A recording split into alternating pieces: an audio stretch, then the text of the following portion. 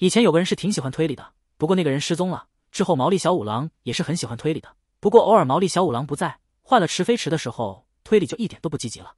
奇怪，之前看那个叫工藤新一的高中生侦探，好像很喜欢出风头啊。白马探疑惑嘀咕了一声，也没再耽搁下去，看向高木社高木警官，麻烦你。晚十点三十三分，白马探去敲了楼上男住户的门，确认了一下一个小细节。之后，除了女房东，楼上男住户也到了田岛林家里。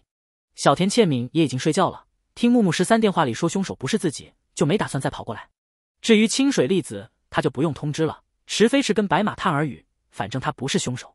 哎，白马探有些意外，低声道：“可是那个时候跟案件本身没多大关系，事后让警方去确认就行了。”池飞驰低声道：“我说池哥哥。”柯南凑在两人身边，仰头一脸认真的看池飞驰半天，突然龇牙一笑，幸灾乐祸道：“你也有躲着别人的一天啊。”池飞驰沉默，他宁愿背锅。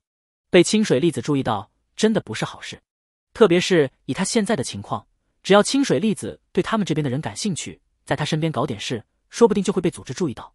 而清水粒子那性格太适合组织了，只要清水粒子被注意到，很大几率能混进组织。那么，一个狠毒的女人在组织里可不是好事。要是再得到那一位的赏识，他想清除都难。这种不太稳定又危险的女人，就像定时炸弹，有贝尔摩德一个就够了。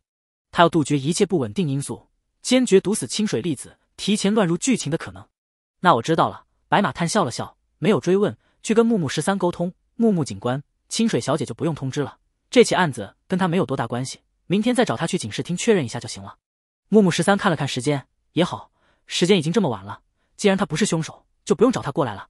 木木木警官，高木社气喘吁吁的跑上楼，双手戴了手套，一手拄着膝盖，弯腰喘气的时候，将右手里的大号证物袋往上扬了扬，找到了沾染血迹的塑料布，沾了胶带的绳子，还有漏气的氢气球。哦，木木十三好奇转头看着那个证物袋。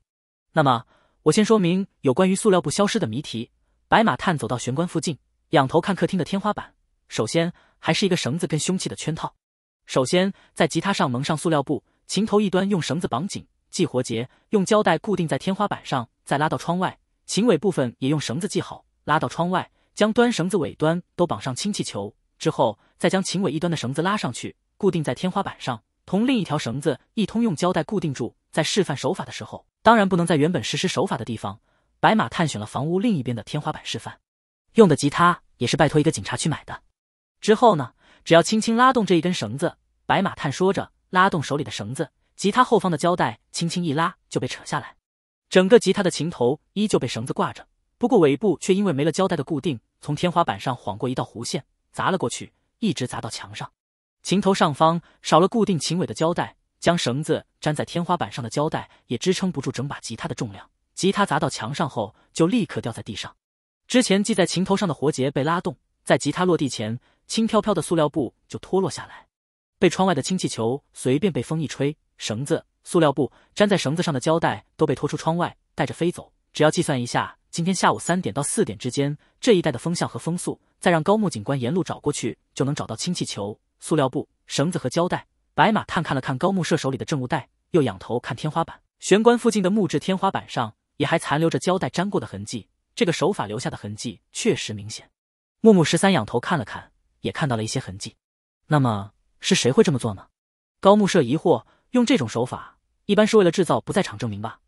果然还是明野哥哥最可疑。光彦摸着下巴思索着道：“只要准备好这个手法，等自己到了涉谷之后，打电话给听岛小姐，让她去门口。呃，不对，她不在这个房间里，没法拉动启动这个手法的绳子，根本没办法杀人。会不会利用了猫之类的动物？”元太猜测事先在猫身上绑上绳子，等猫跑出窗外，就把绳子给拉动了。谁会用那种不稳定的杀人手法呀？柯南无语。如果在听岛小姐从浴室出来之前，猫就跑出窗外，吉他提前砸下来，听岛小姐不仅不会有事，还会察觉有人要害自己，报警让警方来调查，不是吗？对哦，元太忙。塑料布、胶带上有没有留下指纹？木木十三转头问高木社，高木社立刻点头，胶带上没有，不过塑料布上除了听岛小姐的指纹。还有几个指纹与楼上住户山石先生在警视厅提供的指纹一致。木木十三顿时转头看楼上男住户池飞驰在一旁看热闹，思绪飘着。他已经可以确定了，原本没这个案子。从起因来看，是他认识了小田切明也，拉着小田切明也开公司，听岛林才会觉得小田切明也是叛徒，心怀怨恨。在之后，他又神奇的让少年侦探团在这个关头去调查恐吓信的事，把柯南牵扯进来的，让柯南和少年侦探团获得了警方所没有的线索。可是他真的不是老天爷的托，这个世界的运行规则挺有意思的，就是有点伤小伙伴。一不小心把死神小学生引过去，触发某个点，轻则出闹剧，重则出人命。另外，同样有趣的是，这次死者嫌疑人的名字又凑对了。死者听到清水小田切，另外男住户姓山石，女房东姓大屋。听到清水山石小田切大屋，组一组可以成一幅田园人家的画卷。虽然日本姓氏大多是某个地方，但完全没有九条小巷、高长、圆度之类的姓氏乱入，也是蛮神奇的。另外，在那副田园人家画卷里加个池塘也不突兀。他又一次能和死者嫌疑人组成一伙儿的池，真是个百搭好姓氏。景浩在池飞池思绪飘飞的时候，一群人依旧在专注讨论着案子。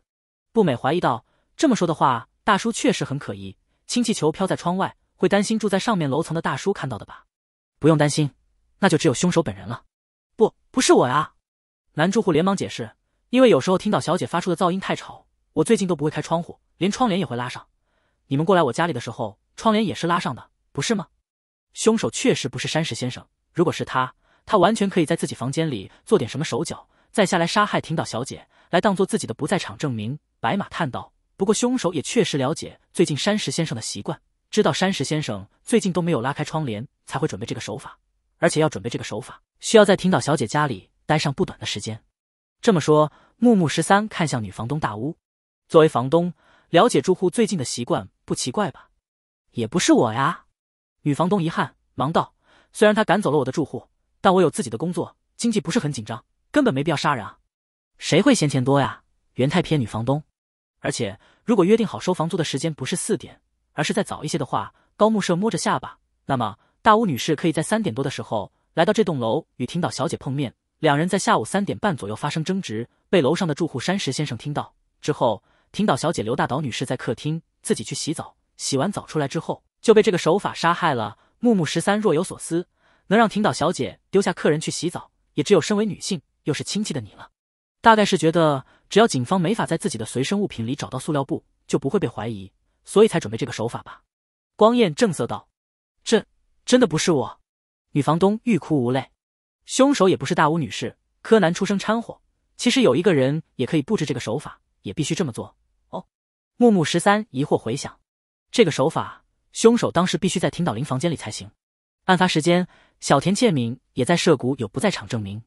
清水粒子下午三点从家里座机跟死者通过电话，一个小时根本赶不过来布置手法。就算转接电话，用分机假装跟死者通话，赶过来杀人，双方家里这么远的距离，分机电话也早就不能通讯了。说到底，那只是座机电话的分机，最多能在附近活动着打电话。又不是这两个人的话，还有谁？他们忽略了谁吗？柯南沉声笃定道：“那就是听岛小姐自己。”白马叹：“这个小鬼不是说自己不推理吗？还抢最关键的一句，要脸不？”池飞驰在一旁看热闹，他根本不信柯南能忍得住，果然又掺和进去推理了。可可是高木社惊讶，之所以准备这个手法，是因为听岛小姐无法用吉他重击自己的后脑勺，就算将吉他悬挂起来，也会在现场留下绳子，让人一眼看穿手法。柯南道：“相反。”如果现场没有找到沾有血迹的塑料布，警方就会相信他是洗完澡出来被人袭击的。高木社摸着下巴道：“那么，只要问一问去附近卖氢气球的地方，问问听岛小姐今天有没有过去。”不，白马探走向书柜，看着书柜上的铁杆，氢气球应该是多天前听岛小姐自己买回来的。任何人只要知道这个屋里的情况，同样可以利用屋里的氢气球完成这个手法。柯南接过话道：“这无法作为判定听岛小姐自杀的证据。”要推翻自杀的推断，只要找出他杀的痕迹就够了。但要是想推翻他杀的推断，为了不错放凶犯，就需要决定性的证据，警方才会以自杀结案。不过，能证明听岛小姐是自杀而不是他杀的，决定性的证据也有了。白马探拿出手机拨通电话后，对那边道：“开始吧。”哒哒哒，远处传来奇怪的声音。门外，池飞驰依旧在看戏。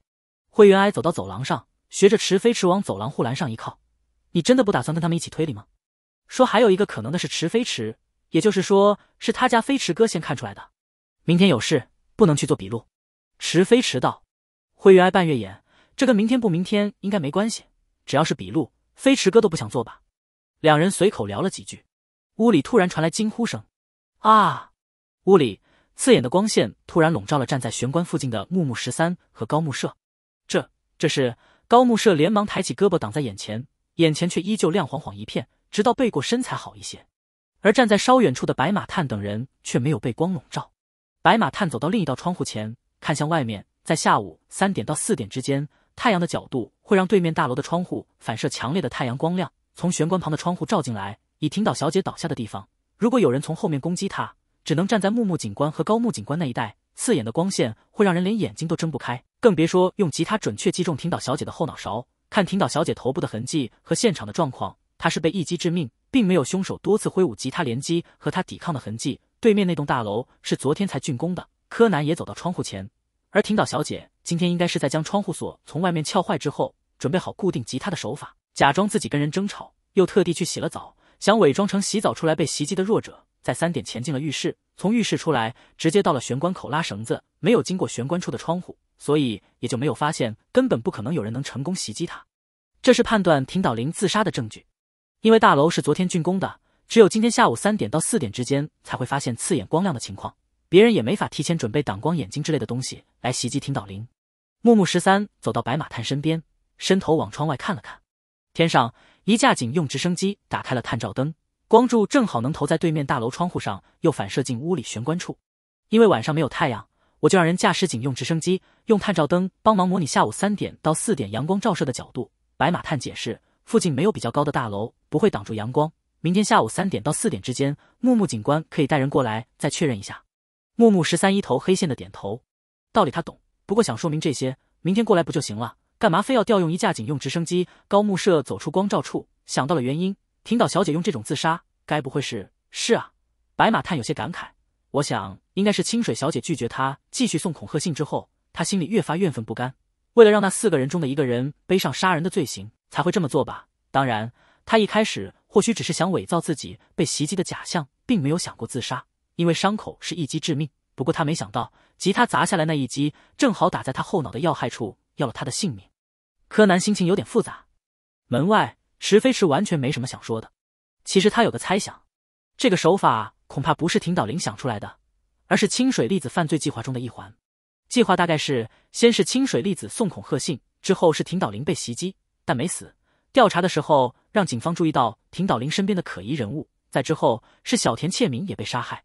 而他们预定给警方准备的犯人就是楼上住户山石先生或者女房东大屋女士，动机也有。山石先生因为恼火停岛林制造噪音，先是潜入停岛林家里袭击了停岛林，之后知道停岛林制造噪音的原因，忍无可忍后又迁怒到小田切明也身上。只不过第二次对小田切明也的袭击过重，导致小田切明也死亡。而针对大屋女士的动机，则是设计为住户被迫搬走、收入降低的怨恨。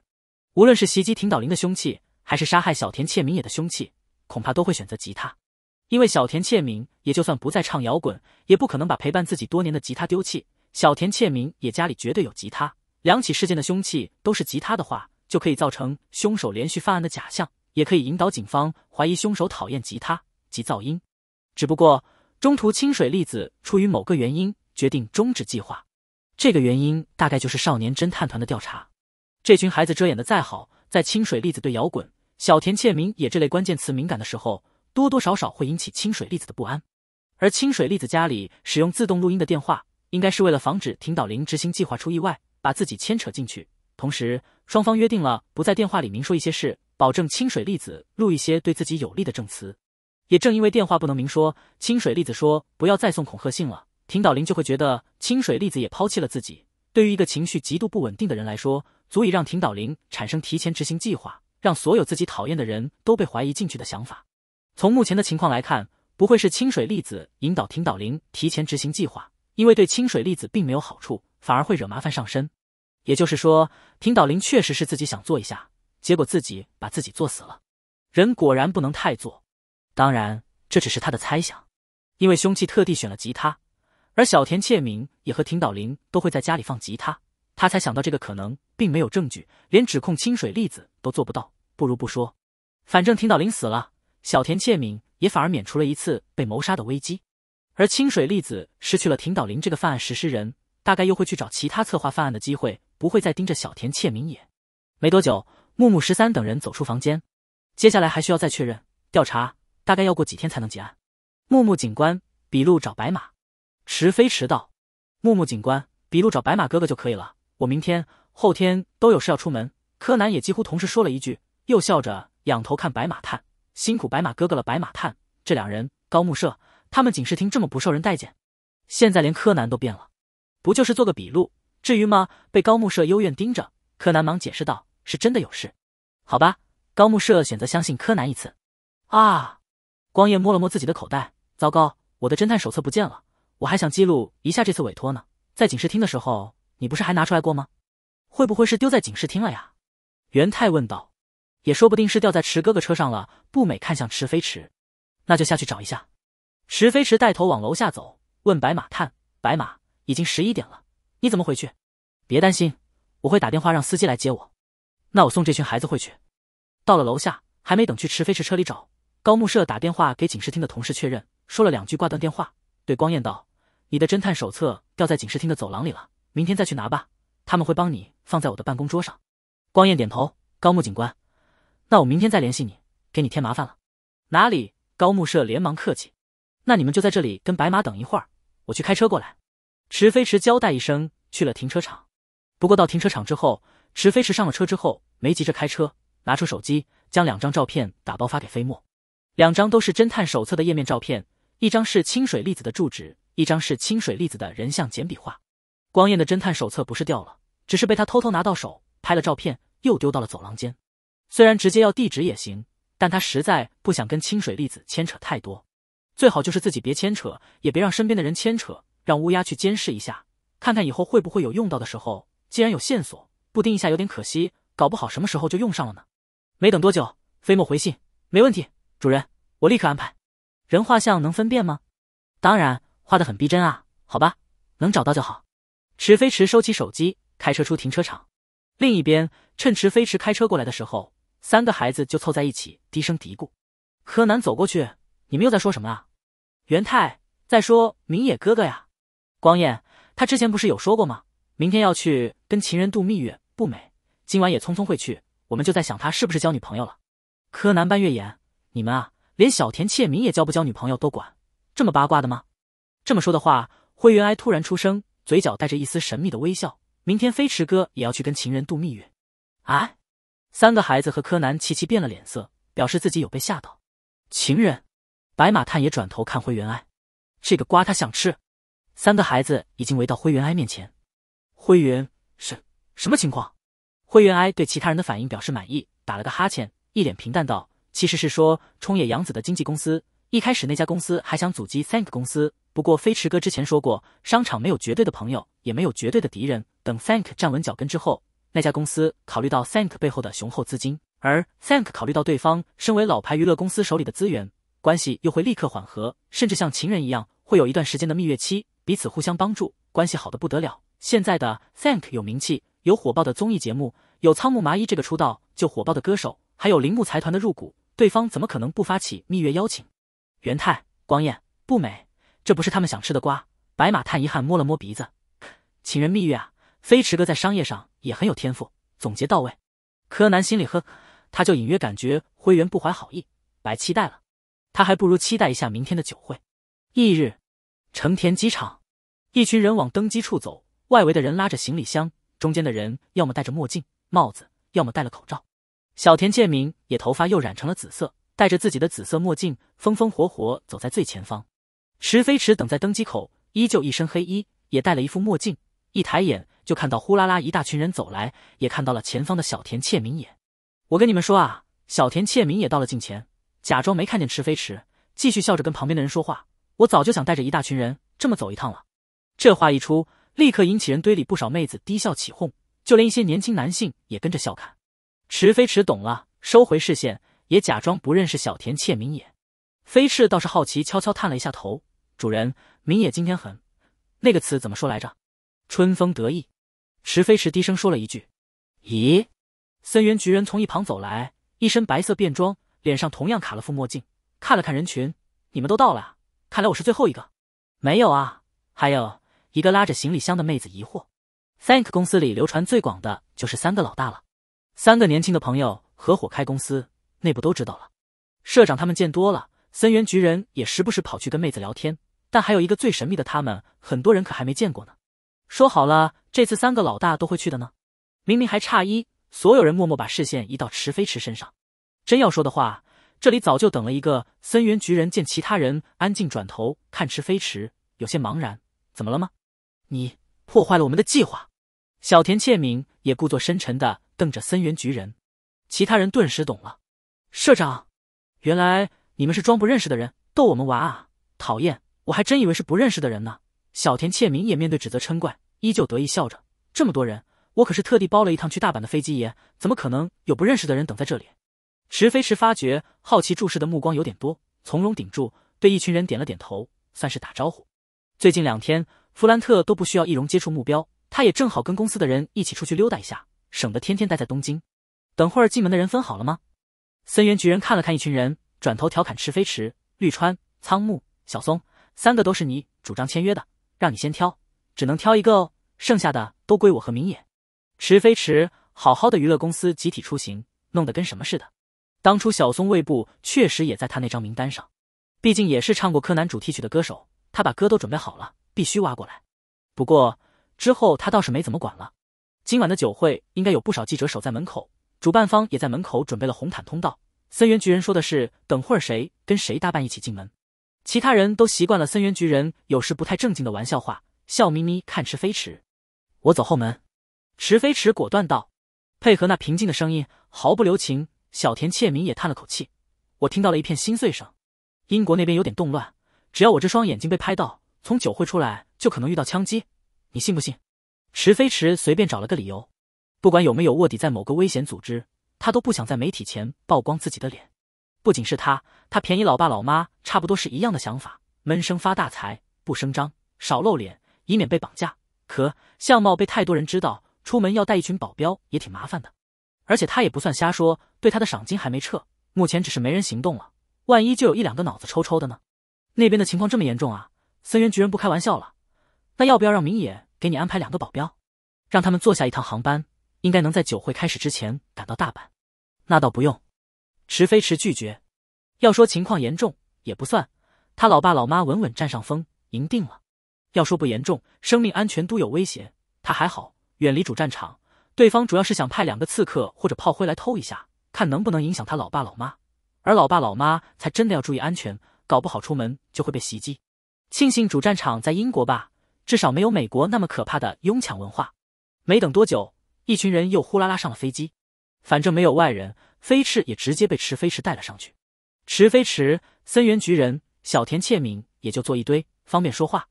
你这条蛇一亮出来，能吓跑不少女孩子，可不是谁都像我姐一样，看到蛇还敢拎着玩的。森原局人有些蛋疼的看了看周围，没女孩子坐他们周围，连男孩子都没有。包下的飞机本来也坐不满，现在他们前后左右都空出来了。飞驰不满探着头朝森原局人吐舌信子，意思是他挡了主人的桃花喽？不可能是他的原因，他不承认。他们是为了避免听到我们说什么，不便被别人听到的话。池飞驰表示这也不是飞驰的锅。好吧，好吧。话说铃木小姐呢？森原局人没忘记自己这边还多了一个妹子股东明野，你跟他说过了吧？他说今天要跟他父亲去别的酒会。就不跟我们一起去了。小田切明也看向池飞池，感慨道：“你们这类人真是麻烦。”池飞池两度嫌疑人，看看谁更麻烦。小田切明也，森原局人顿时笑得像朵花一样。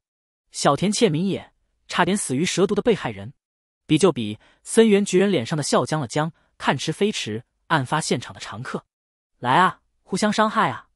池飞驰摘下墨镜，侧头冷眼看过去，我又没笑你，森原局人。呃，好像找错目标了。侧方，仓木麻衣和小松胃部转头盯，真的是紫色爷。前面几排两个妹子转头盯，紫色，池先生的眼睛，哇，真的爷。更多的人转回头，池飞驰后排后排看不到。不过既然飞机上都是自己人，一群人就欢脱了，干脆全部离开座位往前排跑。在被当成大熊猫围观前，池飞驰又戴上了墨镜，低声对小田切明也道：“公司氛围不错，很有活力。”哎，见池飞驰把墨镜重新戴上，飞机里顿时整齐一致的嗔怪叹息。你平时又不去公司找我玩，这次就满足一下大家的好奇心嘛。他们这次来之前，就像粉丝见偶像一样期待呢。小田切敏也替众人吐槽了一句，又问道：“对了，昨天那个案子解决了吗？”自杀。池飞迟到，四个嫌疑人随便哪个被定罪，他就赢了。小田切敏也一愣，摘下墨镜，一脸感慨：“其实他也不用这样的。等节目播出之后，听我唱一首歌，再定义我是不是叛徒也不迟啊。”他认为你不能去开公司，要一辈子混迹在那种地方。你就该放弃自己的未来，去迎合他。池飞驰不留情面道：“他根本没为你想过，只是执着于他自己的幻想。你也没必要纠结。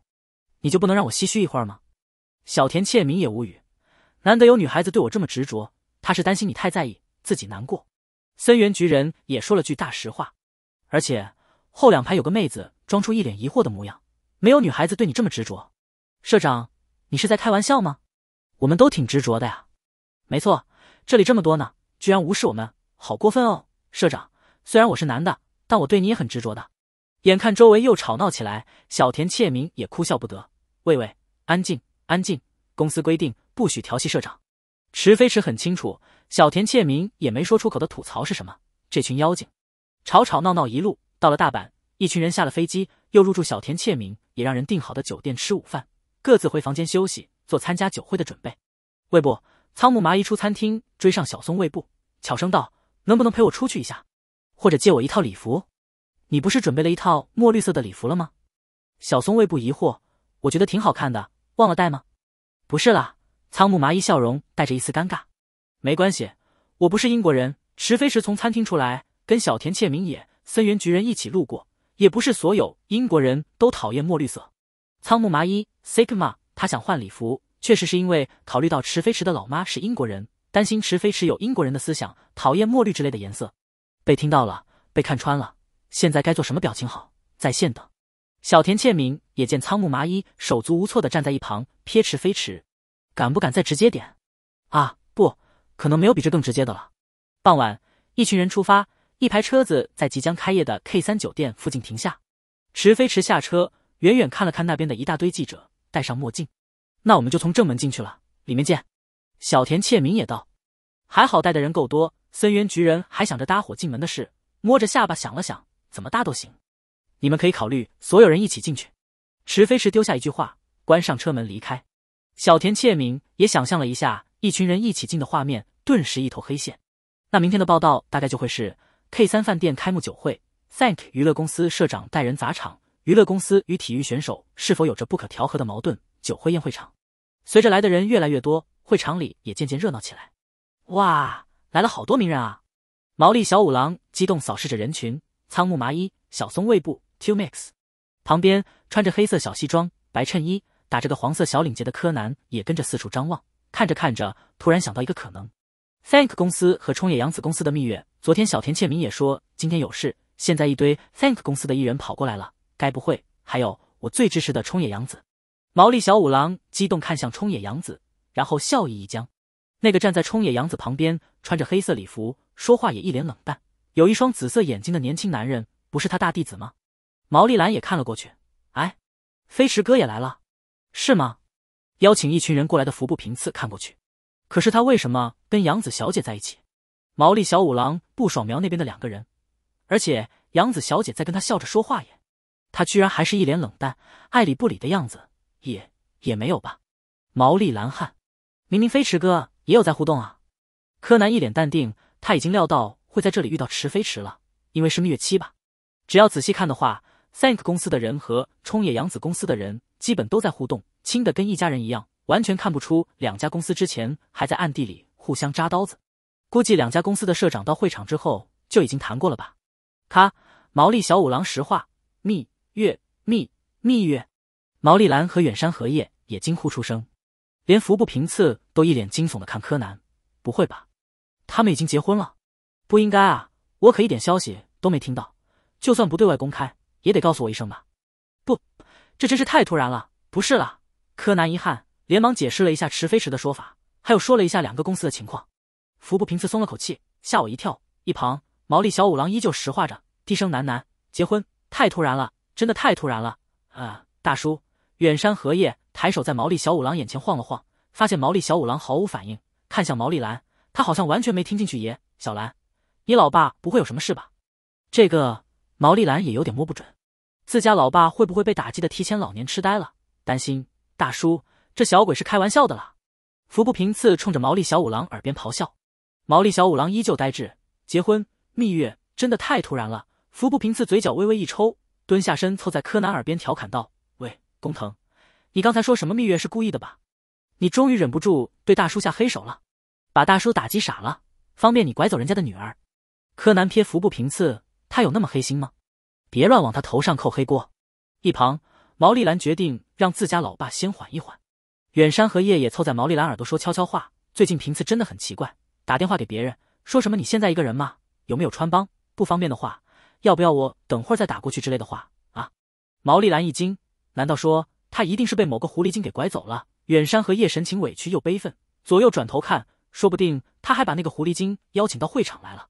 柯南，抱歉啊，他可能就是那个狐狸精。今晚第二个锅了，感觉头上黑漆漆一片。那么前方。主持酒会的司仪拿着话筒出声：“我来介绍一下今晚这场酒会的主角，也就是这家 K 三饭店的三位老板。”所有人停下攀谈，转头看去。首先是没有过败绩的前世界重量级冠军里卡·巴雷先生。随着司仪介绍，掌声中一个皮肤黝黑、身材浑圆壮实的男人走了出来。接下来是球速一百六十公里的最佳新人奖投手麦克·诺德先生。随之走出来的男人留着八字胡，身形高瘦。跟鼓掌的人挥了挥手，柯南紧紧盯着走道，心里期待他的偶像，他的偶像，然后就是被誉为欧洲的铜墙铁壁的知名守门员 A 卡提斯先生。最后走出来的男人金发碧眼，身形高大，同样对着人群挥手。看到偶像出来的柯南顿时一脸激动，太棒了，活生生的本人！不远处，池飞驰转头看了看柯南，看到名侦探一脸亢奋，心里叹了口气。这一次酒会绝对是名侦探的灾难，马上就要把难得见到一面的偶像送进监狱了。小田切敏也不知什么时候晃到池飞驰身边，早知道我们就把 K 三这个名字抢了。森原菊人凑近，笑着低声道：“他们不是说了吗？又不是三个 King 王的意思，而且公司取这个名字被人误会就不好了。不过原本他们还提出今晚跟 Thank 互动一下的。”小田切敏也道：“毕竟我们三个也是合伙开公司，不过我想飞驰肯定不想跑上去被摄像机拍，所以拒绝了。”舞台边突然传来一阵喧闹，快呀，快翻译给他们听呀！卡提斯，一个身材矮胖、唇上留着一字小胡子的男人，对雷卡提斯说着，脸上还带着玩味的笑：“你们在日本牵涉到的丑闻案，用肮脏卑鄙来形容最合适不过了吧？你这个人真是太没有礼貌了，滚出去！”雷卡提斯一脸愤怒的用英语道：“少来了，我可是拿到了正式邀请函的宾客，而且我可是你们的好朋友，靠写你们的新闻稿。”帮我赚了不少钱呢。男人拿出邀请函展示了一下，又转身端起旁边桌上的寿司离开。虽然不知道是谁邀请我的，但我非常感谢他，因为我很爱吃寿司啊！哈哈哈。那个家伙好像是小田切明也转头。那个靠写体育选手丑闻而出名的美国报社记者，好像是叫艾德麦凯。森原菊人低声道：“专门挖掘知名运动员的丑闻来提高销售，比如卡提斯涉嫌吸食违禁品，芭蕾涉嫌比赛造假，麦克外遇离婚。不过这三个人跟他打官司都赢了，证明他在捏造丑闻。”但因为他的写法很高明，就算被控告也全然脱身了。功课做得不错，迟飞迟到。他来之前也查过一些资料，不了解就得做做功课。当然了，森原菊人笑道：“好歹是来参加酒会，至少要提前了解一下三位主角吧。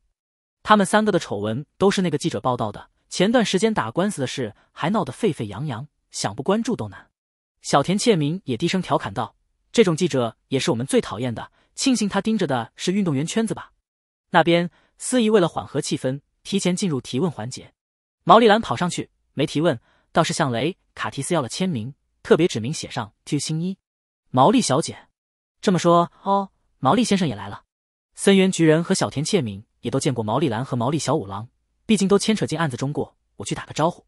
池飞石说了一句，又对远远站在一旁没掺和悄悄话的冲野洋子道：“杨子小姐，失陪一下，我去跟老师打声招呼。”啊，好的。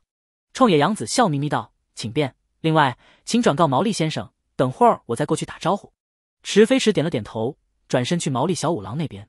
服部平次还拉着毛利小五郎说话：“大叔，你家女儿给一个混蛋小子要签名，再不管要被拐跑了哦。”毛利小五郎依旧呆滞原地：“混蛋小子，结婚蜜月，池飞驰走近就看到这一幕，沉默了一下，蹲下身戳了戳柯南的脑壳。啊，柯南本来正感动的看着替他要签名的毛利兰，突然被戳头，茫然转头看向池飞驰：“是博士给你的麻醉针剂量没控制好。”池飞驰语气平静之余带着一丝复杂：“还是你终于忍不住对毛利老师下手了？不怪他这么想，毛利小五郎很像痴呆症，他怀疑是不是自己穿越弄出什么幺蛾子，让博士的麻醉针出了问题。”让柯南把毛利小五郎给扎傻了。柯南一愣，转头看了看毛利小五郎，被反应过来，池飞驰是什么意思？有点炸毛。你们都把我当什么人了呀？今晚第三个黑锅。那池飞驰刚想问问毛利小五郎怎么了，毛利兰就抱着一件签名球衣走了过来。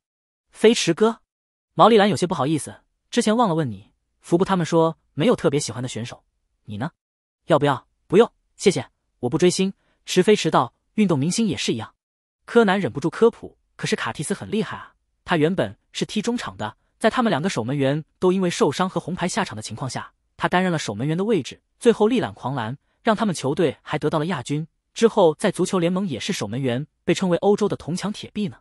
他的小伙伴怎么可以对卡提斯无感呢？肯定是不知道卡提斯有多厉害。池飞驰依旧一脸无感，是很厉害，可是跟他有什么关系？这个案子他也没打算阻止，他跟双方都不熟，而且。卡提斯面对柯南，一开始都在狡辩，他贸然跑过去说什么会被指控污蔑都是轻的，又被犯人当成眼中钉就不好了。这次事件唯一影响的是柯南会很扎心，但打击也是成长的催长剂。现在的柯南可比以前那个爱出风头的工藤新一讨喜的多了，内心也细腻的多。噗，毛利兰倒是被柯南认真的模样逗笑了，弯腰将一张票券递给柯南，给柯南，这是卡提斯明天在长居球场比赛的贵宾券，他刚刚塞给我的，你要不要去啊？要去，柯南立刻被吸引了注意力，高兴应声：“我要去。”他还挺大方的嘛。服部平次感慨：“嗯，不过他要我帮一个忙。”毛利兰扬了扬手里的对讲机。K 三饭店的三个老板打算在饭店房间开关灯，让窗户亮成一个 K 字母，给等会儿出去的宾客一个惊喜。雷卡提斯就拜托毛利兰去外面看着，用对讲机指挥他们该开关哪个房间的灯。柯南、服部平次、远山和叶决定一起去。池飞驰也打算出去透透气，发现毛利小五郎依旧石化在原地，谁叫也不回应。临走前还是说了一句：“老师，杨子小姐等会儿再过来跟你打招呼。”嗯，听到冲野杨子会过来，他家老师应该能补一管血。毛利小五郎把这一句听进去了，脑补出一对新人里。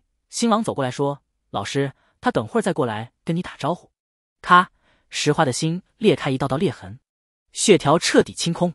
池飞驰跟着一群人到了外面，戴上墨镜。没有掺和指挥，到一旁点了支烟。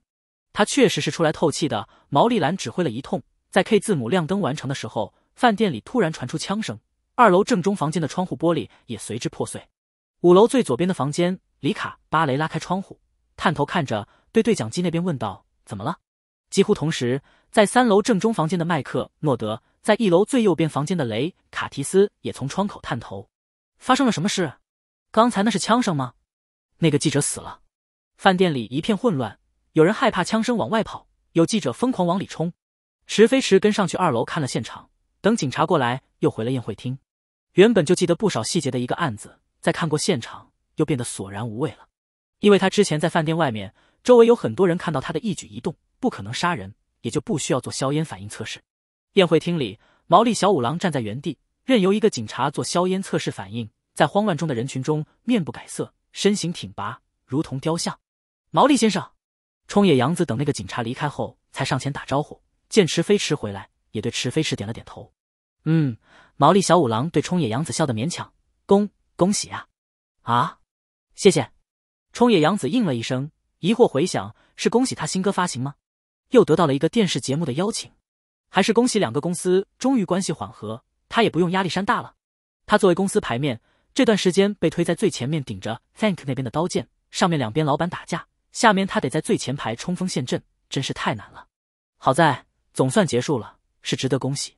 毛利小五郎一听冲野洋子的回应，沉默了一下，转身往门外走。飞驰，告诉他们一声，我先回去了。抱歉，我老师今天身体不太舒服。池飞驰对冲野洋子说了一句，转身道：“我送您。”看毛利小五郎这模样，谁放心？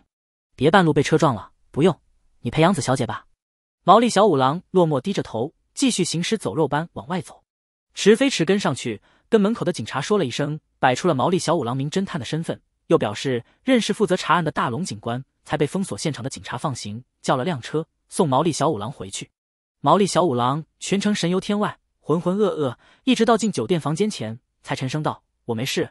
作为老师，还没恭喜你，真是抱歉。祝你们新婚快乐。”什么？池飞驰都没能反应过来，严重怀疑毛利小五郎精神失常，认真提醒：“老师，我未婚。”嗯，毛利小五郎顿时精神了。柯南那小子不是说你和杨子小姐度蜜月吗？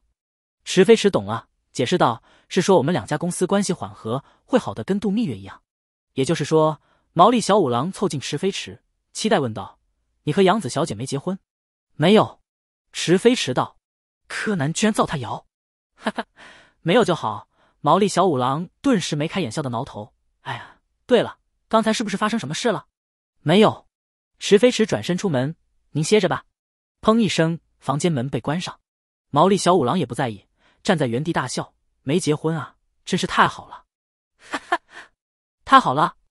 门外走廊间，池飞驰一边快步走进电梯，一边拿出手机打了个电话。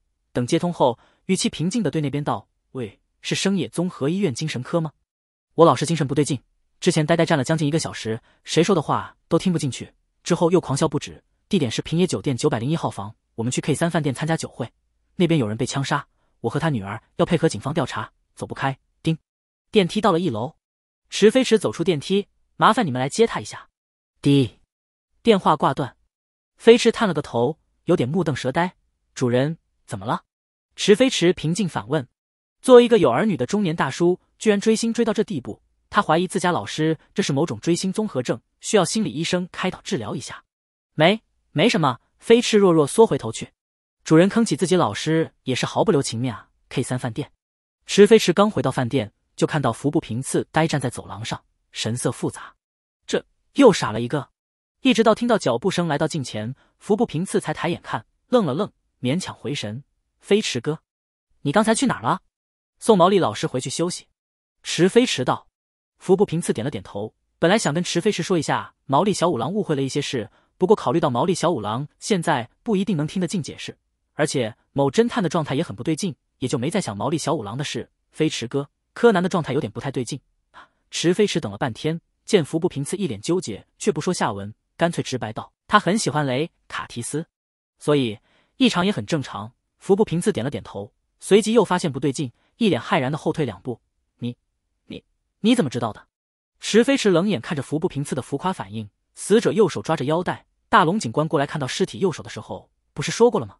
腰带还有种说法叫 band。死者之前说他很喜欢吃寿司，而左手的动作也是抓寿司的动作。在寿司店里，band 是代表第八道菜，也就是指球衣数字是八的雷卡提斯。服部平次郁闷。转身在原地走了两圈，又转身看着池飞驰，目光认真专注。作案手法呢？你知道他是怎么既在一楼最右边房间打开房间电灯，又在二楼杀害那位记者先生的吗？不知道，我又没去房间看过。池飞驰道。服部平次松了口气，还好，哈，这个我知道。池飞驰看着服部平次，然后呢？可，要不要我带你去现场演示一下手法？服部平次也发觉自己刚才幼稚了，强行挽尊。不用，池飞驰看到楼梯上柯南像个幽灵一样晃下来，顿住了。服部平次也转身看去，沉默了一下，认真开口：“公公。”柯南无语，抬眼瞥服部平次，依旧一脸宝宝不高兴的神情。阿 T，服部平次故意装作鼻子不舒服，打了个喷嚏，才干笑一声，走上前：“柯南，刚才飞驰哥说，我听到了。”柯南面无表情，轻声道：“能不能拜托你们暂时不要说出去？”你，服部平次皱眉。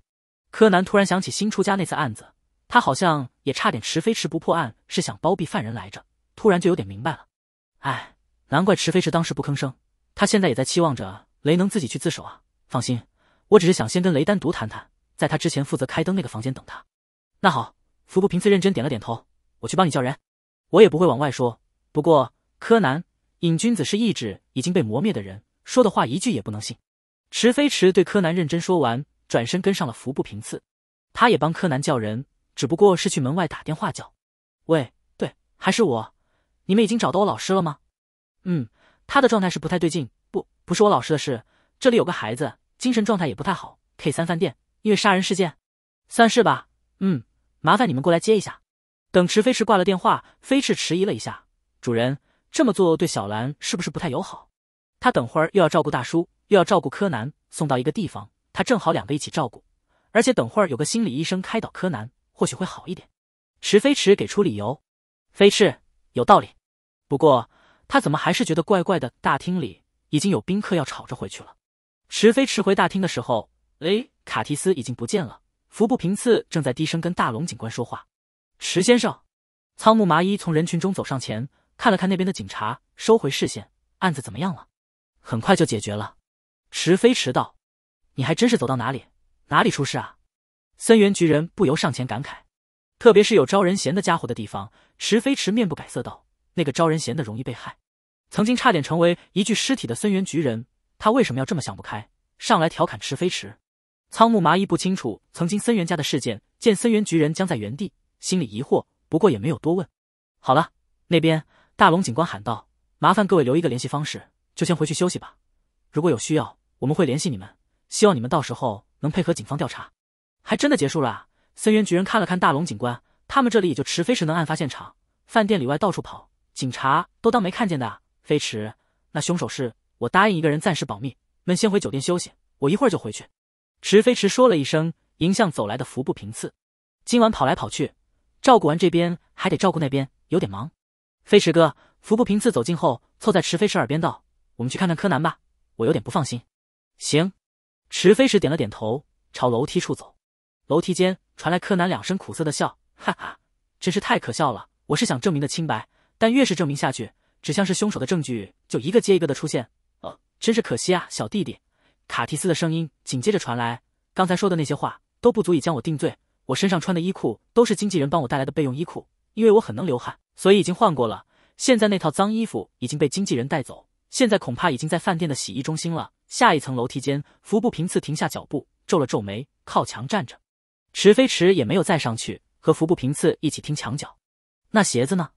柯南听雷卡提斯这么肆无忌惮的狡辩，心里有些失望，直接指出铁证。如果是自动手枪的话，弹夹飞出去的同时，硝烟也会跟着飞散出去。不过，如果是左轮手枪的话，硝烟就会以枪身为中心，呈放射状的飞散开来，所以鞋子上也会沾到。雷行凶时应该穿鞋子了吧？因为必须把球踢得很准才行。既然还没有换鞋子，现在应该还验得出来吧？这就是决定性的证据。雷卡提斯的脸色微变，柯南背对着雷卡提斯，低着头，轻声道：“快去自首，去找警方自首。”哎，就算我求，很抱歉，我不能去自首。哎卡提斯一脸无奈：“我如果被捕的话，我的球迷还有家人都会非常非常难过的。我会依据的忠告，把这双鞋子擦干净的。我会找说辞瞒过警方。”说着就要转身离开。等一下，要交代的事不止这一件吧？柯南心里已经彻底失望，他得承认池飞驰说的没错。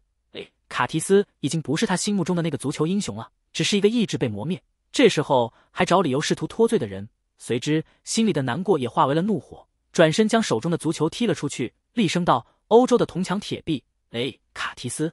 雷卡提斯没有接住这个本应该能接住的足球，被砸得坐倒在地。在柯南的追问下，承认了自己依赖着毒的事，还有自己的杀人动机。之前那篇捏造的报道，害他的妻子打击过大，神经衰弱而自杀。他为了引诱那个记者，干脆就按报道里说的吸食违禁品，将人引到日本，设计杀害雷卡提斯。无法摆脱妻子离世带来的伤痛。也在继续依赖着毒。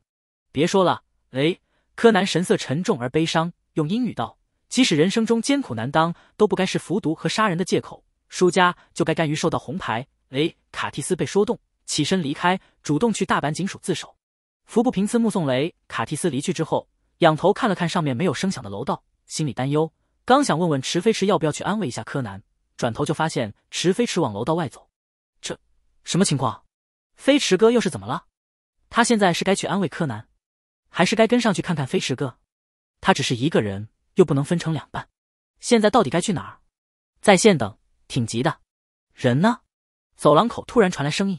哎，服部平次疑惑抬头，就看到池飞驰带着一个中年男人走过来。柯南正沮丧走下楼梯，突然感觉到一道饱含深意的凝视，脑海里突然浮现一个人的身影，连忙抬眼看去，很快心里又松了口气。还好，还好。不是福山志明大魔王，不过这眼神怎么那么熟悉呢？这孩子是不是受到什么打击了？中年男人收回观察的视线，低声跟池飞驰说话：“我试试跟他先聊聊天。”柯南，等等，聊天这个套路也有点熟。放开我！门外传来毛利小五郎气急败坏的声音：“我才不要去精神科，我没事。”飞驰，这个混蛋小子，给我出来！这位先生，请您冷静。服部平次茫然抬头，看着门口那边被两个男人紧紧抱住的毛利小五郎，一张黑脸更加茫然了。飞驰哥，这是帮他们找心理医生开导一下心里的郁结，对他们可能会好一点。池飞驰神色自然从容，中年男人点头。池先生的觉悟和观念都很正确。有的时候情绪或者状态不对劲，一定要及时找医生，不用排斥，不用觉得丢脸。柯南猛了一下，很想问问这个男人，知不知道身边这个人刚从东京最好的精神病院出来，没有痊愈证明，在医院里跟医生对着干，医生没办法了，怕他闷得更严重才放出来的，他还不按医嘱吃药，这都叫觉悟和观念正确，绝对是在逗他。这里最不正常的就是迟飞迟了，好不好？不过看到那个中年男人一转眼对他笑得跟福山志明一样温和慈祥，柯南还是心头一颤，跑到迟飞驰面前，咣一下抱大腿，仰头一脸可怜巴巴的看着迟飞驰，童音卖萌：“我才不要去什么医院呢！迟哥哥刚刚丢下我走了，怎么都找不到，现在又要送我去医院，我才不要！”噗，旁边服部平次没忍住喷了：“这是宫宫工藤。”中年男人有些疑惑，看向池飞驰。这孩子之前心情不好，是因为之前送我老师回去，我也不知道他在找我。池飞池一脸平静的伸手揉了揉柯南的头发，继续对中年男人道：“现在看来，他应该是跟我闹情绪，不好意思，给你们添麻烦了。”哪里？您对这孩子还真是在意。中年男人笑眯眯道：“有的家长就是这样，孩子有异常，就像遇到洪水猛兽一样，担心这担心那的，这不是错。不过您也不用太紧张，以后离开要跟孩子说一声。小孩子有时候是很敏感的，也特别害怕被抛弃。”巴拉巴拉一通之后，见池飞驰不时点头应一声，中年男人心里有些欣慰，多好的一个年轻人啊！那我去看看您老师那边。池飞驰，慢走，应付心理医生，他是专业的。等男人一离开，柯南立刻松开手，冷下脸，站在一旁继续回到伤感惆怅的思绪中。他不想跟谁聊天谈心，他就想静静惆怅一会儿，不行吗？应付心理医生，他在往专业的路上试探前行着。一旁，服部平次看完全程，张了张嘴。最后还是一句话也没说出来。工藤这变脸速度太吓人了，居然演的这么浮夸。确定真的不需要看医生吗？突然发现自己身边的人都很奇怪，他好像从来没看清过世界，茫然失措。翌日，服部家，柯南坐在后院走廊木阶梯上，一手拄着下巴，呆呆看着地面走神。院子里，池飞驰接过服部静华递来的生肉片，放到烤架上。屋里，远山荷叶、毛利兰悄悄探头看着柯南的背影。这孩子真的说他不去看长居球场的比赛吗？远山荷叶低声问道。嗯，毛利兰眼里满是担心。可是他之前不是还很期待吗？远山荷叶道，会不会是因为卡提斯不出赛的原因啊？可是那场比赛除了卡提斯，还有很多世界知名的足球运动员啊。毛利小五郎摸着下巴，要不还是让飞驰叫医生过来一趟吧。昨晚他是很抗拒去精神科，不过去了之后，两个医生陪他聊天，聊中年男人的生活，聊家里的琐碎矛盾和小幸福。聊酒聊时事，听说他是毛利小五郎后，更是热情的不得了。甚至昨晚他们还一起去喝了几杯。那里个个是人才，说话又好听，特别是呀。还是不用了吧。柯南他好像不喜欢那种地方。毛利兰迟疑着，我是担心，要是柯南和新一一样就糟了。烤架前，池飞驰在半熟的肉片上撒调料，香味弥漫。想上前劝劝柯南的服部平次停步，侧目。坐着自闭的柯南鼻子动了动，侧目瞥了池飞驰一眼，又扭开头。新一。他毛利兰顿了一下，烤肉味好香，让人有点分心。他最喜欢的东西有瑕疵的时候，就会像小孩子一样，池飞驰翻了一下烤肉，撒上一点点香料，开始彻底讨厌并舍弃那。毛利兰磕磕盘盘道：“那个东西是吗？”远山和叶盯着那边的烤肉架，应应该是吧。毛利小五郎也盯着烤肉架，完全不知道自己在说什么。毛利兰猛然摇了摇头：“不行，柯南正在难过着呢，他怎么能还想着吃烤肉的事？总之。”哎坐在台阶上的柯南默默起身，走到烤肉架前，仰头，面无表情，半月眼盯池飞驰，故意的吧？不然池飞驰去厨房烤不就行了？干嘛要在院子里？居然用美食诱惑他，简直可恶！最可恶的是，他居然忍不住妥协了，因为看起来好像真的很好吃。池飞驰将烤肉又翻了一下，在另一面撒上香料，先打破了寂静。有没有听过西辉？柯南听着那熟悉的语调平静无波的声音，不知为什么。心里的郁闷也缓和了些，闷声道：“当然听过了，仓木小姐的新歌我都在听。”服部平次也走上前，笑着帮忙，让气氛更缓和一些。我也在听，毕竟是飞驰哥写的歌嘛，歌词记得吗？池飞驰又问道。柯南回想了一下，他对听歌不太热衷，听的两句还真的没有全部记下来，而且他觉得那首歌太悲观了一点，比如孤身一人，又能向谁倾诉这类歌词，他听着心里不太舒服，没有仓木麻衣其他歌听的次数多。池飞驰本来也没指望这两人回答，继续说着：“夙愿得偿，使之伤痛；撕心裂肺，使之伤痛；几经伤痛，使之相逢；几经相逢，使之夙愿。”柯南愣在原地，心里默默解读这几句歌词，却觉得足够慢慢品味很久。服部平次也不说话了，低头思索着。柯南池飞驰直视着柯南，用英语道：“即使人生中艰苦难当。”柯南疑惑仰头，也直视着池飞驰。这是昨晚他跟雷说的话的开头，也不要悲伤，不要绝望。池飞驰继续用英语说道：“未来还有更多的苦难在等着你。”柯南、服部平次，这不是他们想象中的安慰。好了，池飞驰把烤好的肉夹进一个盘子，刚想递给柯南，就被一只手接过去。哦，已经烤好了吗？毛利小五郎端着烤肉，低头闻了闻，又抬头眉开眼笑道：“哎呀，还真是香啊！飞驰，辛苦你了。”刚打算伸手去接盘子的柯南，突然感觉到淡淡的悲伤。这是池飞驰打算给他的烤肉，这一个个的，能不能体谅一下他这个心情不愉快的人？下午，池飞驰跟公司的人集合，搭飞机回东京。除了 Thank 公司的人，还有冲野洋子经纪公司的人，两家公司一起包了趟飞机，热热闹闹一起回东京，真的好的跟蜜月期的情人一样。毛利小五郎原本还想跟着蹭飞机的，不过被柯南和毛利兰拖着搭新干线回去了。两天后。池飞驰接到了毛利兰的电话：“你们回来的时候又遇到案件了？”“是啊，正好遇到押送犯人回东京的佐藤警官和高木警官出了一点事。”毛利兰尴尬笑了笑，又压低声音：“那个飞驰哥，”池飞驰应了一声：“我想问你一个问题。”毛利兰低声道：“如果有女孩子问你，你对我有没有好感这种话，会怎么想啊？”“不怎么想。”池飞驰道，如实回答他：“这这样吗？”毛利兰顿了顿。如果是比你年轻一点的男生呢？嗯，就是高中生，不知道性格，我也没法判断。池飞驰道：“好，好吧。”毛利兰没再问下去。对了，飞驰哥，我爸爸接到了一个委托，要去群马那边，我打算带柯南过去森林浴，你要不要带小艾去看看啊？我问问他。池飞驰道：“好的，下周六。”毛利兰道：“在这之前给我答复就可以了。”小兰啊，能不能直接说有几天？抱歉，抱歉。嗯，下周六还有三天。挂断电话，毛利兰纠结了一下，虽然这么说，但果然还是不好意思直接问那个推理狂。柯南在一旁红透了脸，一不小心就听到了背护艇。池飞驰又给灰原哀打电话：“小哀，下周六要不要去森林浴？”毛利老师接到了一个委托，要去群马，那么会一起去的还有江户川和小兰姐，对吧？嗯，下周六那天我有时间，我会跟博士说一声要准备什么东西吗？比如便当、零食。换洗衣服之类的不用，我下周六给你带一条很适合森林浴的裙子。适合森林浴是什么样子的？到时候你就知道了。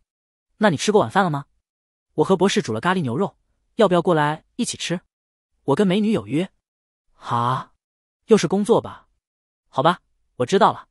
那我们就先去吃饭，等你忙完有空再打过来。池飞驰看着被挂断的电话，怎么就不相信他呢？他真的跟美女有约？喂，绿川。银座大楼三十三楼，一家法式餐厅，临窗的座位间，池飞驰静静看着绿川沙希点菜。绿川沙希的变化很大，染成粉色的大波浪卷发依旧高高竖着，穿了一件裁剪精致的黑色晚礼服短裙，以前空洞忧郁的眼里也多了些神采。绿川沙希低头看菜单，跟服务生报菜名，又抬头微笑，轻声问池飞驰：“这样可以吗？”池飞驰点了点头：“你来决定。”那就这些，谢谢。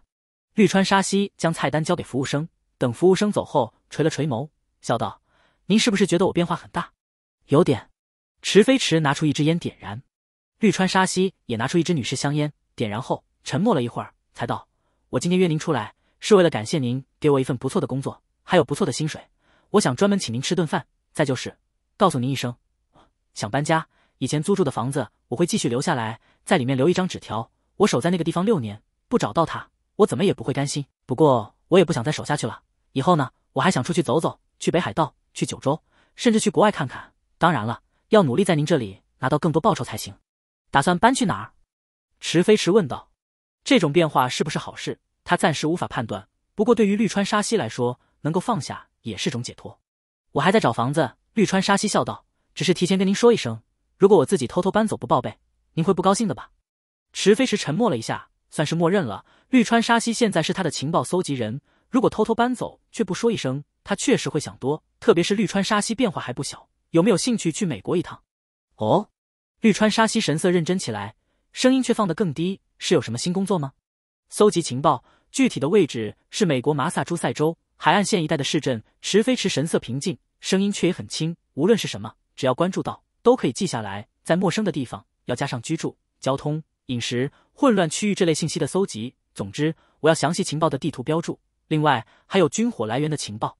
弗兰特那边已经有消息了，原度一郎接触的军方要员，具体是谁、住址在哪儿等详细情报还不清楚。不过，经常活动的地点可以确认，就在美国的麻萨诸塞州。麻萨诸塞州东临大西洋，有很多优良港口，在中华被叫做麻省或麻州。最为出名的应该就是位于那里的哈佛大学和麻省理工大学，那些情报搜查人员藏的都挺深的，他还真不够了解那些人，必须有一个信得过的人先过去。本来考虑到绿川沙希可能要守着那栋出租屋，等那个可能永远等不回来的男人，他想让英曲岩南跑一趟。不过既然绿川沙希想出去走走，那就直接安排过去。在情报搜集方面，樱曲岩南恐怕比不上绿川沙希。另外，皮姆会留在纽约忙别的事，不参与这次行动。而除了绿川沙希，还有三个组织外围成员也撒出去了。朗姆会搜集那个军方要员具体的情报，拿证据，他就过去负责行动方面的事。明白？绿川沙希达考虑了一下，我可以用旅游的名义过去，不过要跑的地方有点多，时间呢？粗略跑一遍，争取半个月内完成。完成不了也不用担心，尽量获取更多的信息，我会再联系你。迟飞迟到，好的，我尽量。绿川沙希认真点了点头。什么时候出发？如果可以的话。明天就去，迟飞迟到，活动经费明天早上转给你。需要手枪之类的武器就联系我，到时候我会让人送给你。不过交接的时候要小心。好的，绿川沙希突然失笑。我最近正好在练习手枪射击，可以过去试试。迟飞迟点了点头，没再说什么。绿川沙希参加射击兴趣社的事，他早就知道了。他甚至还知道，最近绿川沙希除了尝试各种工作，顺便收集情报之外，就一直待在射击兴趣社的训练场。作为新手。成绩还算不错，现在关注绿川沙希、英曲岩南的乌鸦还留着，只是不在蹲窗口偷听、偷看这两人做什么。但对于两人大概的动向，他都了如指掌。他觉得自己没救了。绿川沙希看着眼前神色冷淡的男人，心里无奈，也觉得池飞驰没救了。好好一顿烛光晚餐，偏要一脸冰冷的说工作，像台末的感情的工作机器。一顿饭吃了将近两个小时，池飞驰倒是没谈工作的事，随便跟绿川沙希聊了几句。到了饭后。绿川最近的情报汇总一下，发邮件给我。好的，绿川沙希已经放弃挣扎了，拿出手机，把整理好的情报发到池飞驰邮箱。池飞驰去结了账，和绿川沙希搭电梯下楼之后，拿出手机大致看了一下那些情报。某正要出入不正当娱乐场所，某金融公司社长逃税。一开始这些只是八卦或者不经意间听到的消息，只不过对于绿川沙希来说，这些八卦都需要去查一下，验证是不是真的。如果是真的。最好能拿到一点证据，最后将有效的情报汇总给他验证。找证据需要浪费大部分时间，再加上大多数消息只是谣言或者很难验证。绿川沙希这段时间找到两条，又拿到了证据，已经很不错了，可以丢进组织信息库，以后自己用或者别人用。等池飞驰收起手机，绿川沙希才问道：“嗯，要不要去喂猫？先去看看。这一带太吵闹，公寓楼基本不允许养宠物，猫很少。”池飞驰道。那就去找找。绿川沙希随便找了个方向走去，忍不住问道：“为什么那么努力的为组织做事？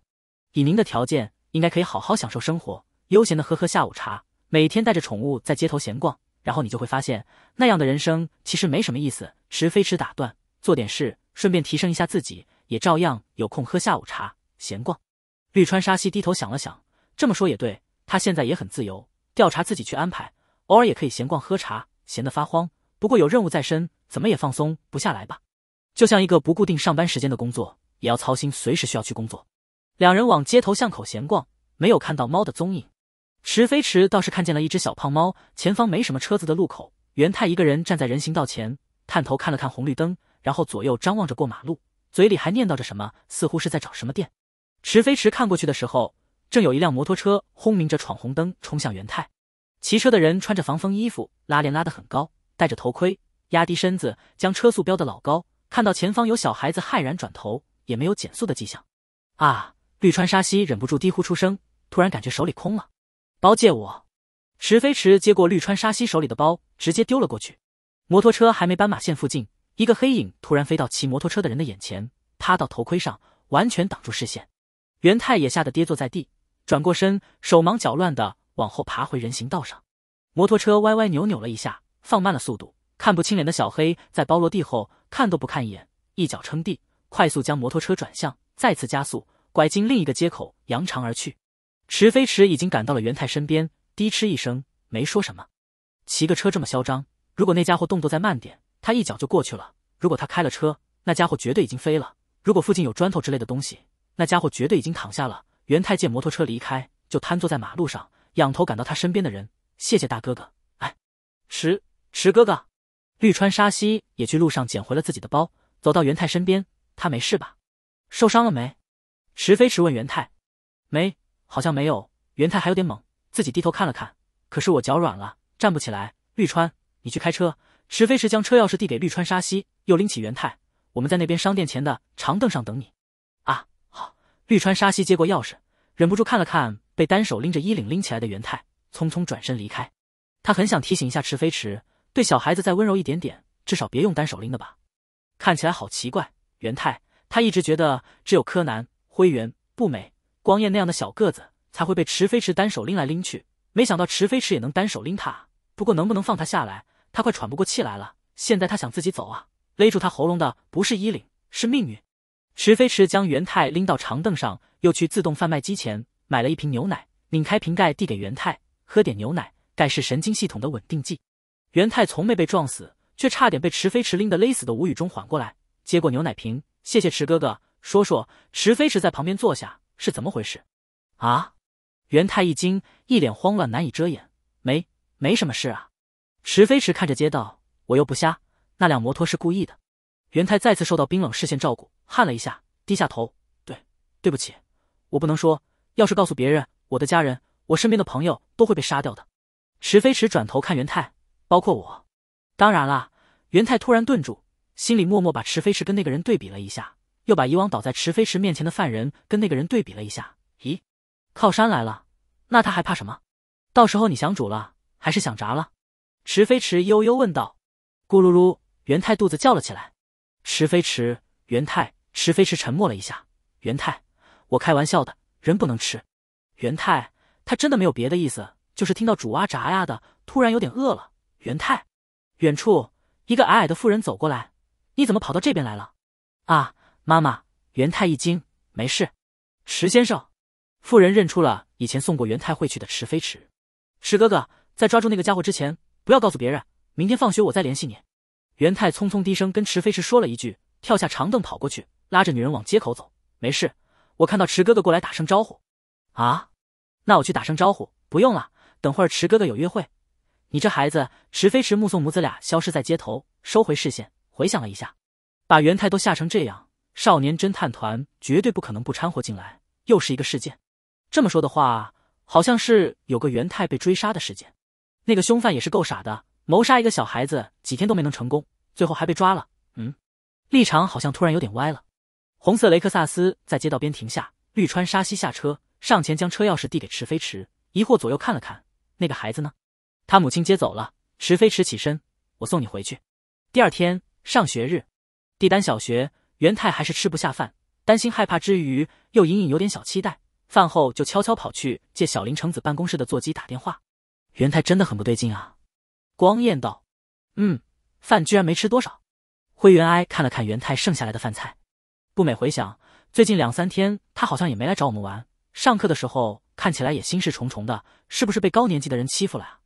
光彦猜测：“拜托，元太那么壮，不会有人欺负他的了。”柯南道：“如果是家庭问题，灰原哀一脸平静的猜测，比如说他父母吵架要离婚之类的事，我们就不好干涉了。”啊？不美惊讶，随即起身坚定道。那至少要安慰他一下吧。没错，光彦也起身，拖着柯南往小林橙子办公室跑。我们这就过去。教室办公室外，灰原哀、柯南、步美、光彦跑到，就看到小林橙子偷偷侧耳趴在门上偷听。看到一群孩子过来，小林橙子连忙竖指在嘴前嘘了一声。步美悄悄凑过去，低声道：“小林老师，偷听不好哦，因为我想知道元太怎么了呀。”小林橙子低声解释：“他不让我在里面，我只好在外面偷听了吗？是不是他父母吵架要离婚？”光彦连忙问道：“不是，我有点担心他这两天的状态。昨天去他家里看过，他父母都好好的经营着他家的酒馆。”小林橙子疑惑道：“不过元太好像在害怕什么东西，听他妈妈说。”他一回家就会躲进棉被里发抖，果然有问题。柯南等人也悄悄将耳朵凑过去。我还没有跟他们说，电话里说不清楚。那等我放学见，去那边等我就好，因为我不想他们知道，不要把他们牵扯进来，比较好吧？好的。门外，一群人快速闪到一边躲好。片刻后，元太打开办公室的门，鬼鬼祟祟的探头看了看，才出门关门离开。嗯，墙后阴影处，小林橙子、光彦、步美一脸凝重的摸着下巴思考，果然有问题。会不会是学校外的人在威胁元太啊？啊，那怎么办？柯南想了想，总觉得不太可能有人威胁会小学生。不过元太确实不对劲。放学后，元太没等少年侦探团其他人，一个人先离开教室，跑到围墙下，打算直接翻墙出去。柯南等人看了看，一起出校门，转到围墙外，默默蹲在垃圾桶后蹲守。如果威胁元太的是暴力社团成员怎么办？步美有点担忧。我没有带我装辣椒粉的瓶子，放心，有我在。不会有事的，柯南自信道。当他的麻醉针、脚力增强鞋是摆设，而且就算对方人很多，这可是在学校附近，只要周旋一下，保安都能及时赶过来。要是池哥哥知道，觉得我们没有准备就行动，生气了呢？光彦有点不安，总觉得背后有冷空气。那就不用告诉他了。柯南语气随意道：“只要我们不说，他不会知道的。如果他已经知道了怎么办？”背后传来平静的年轻男声：“不可能。”他柯南僵住。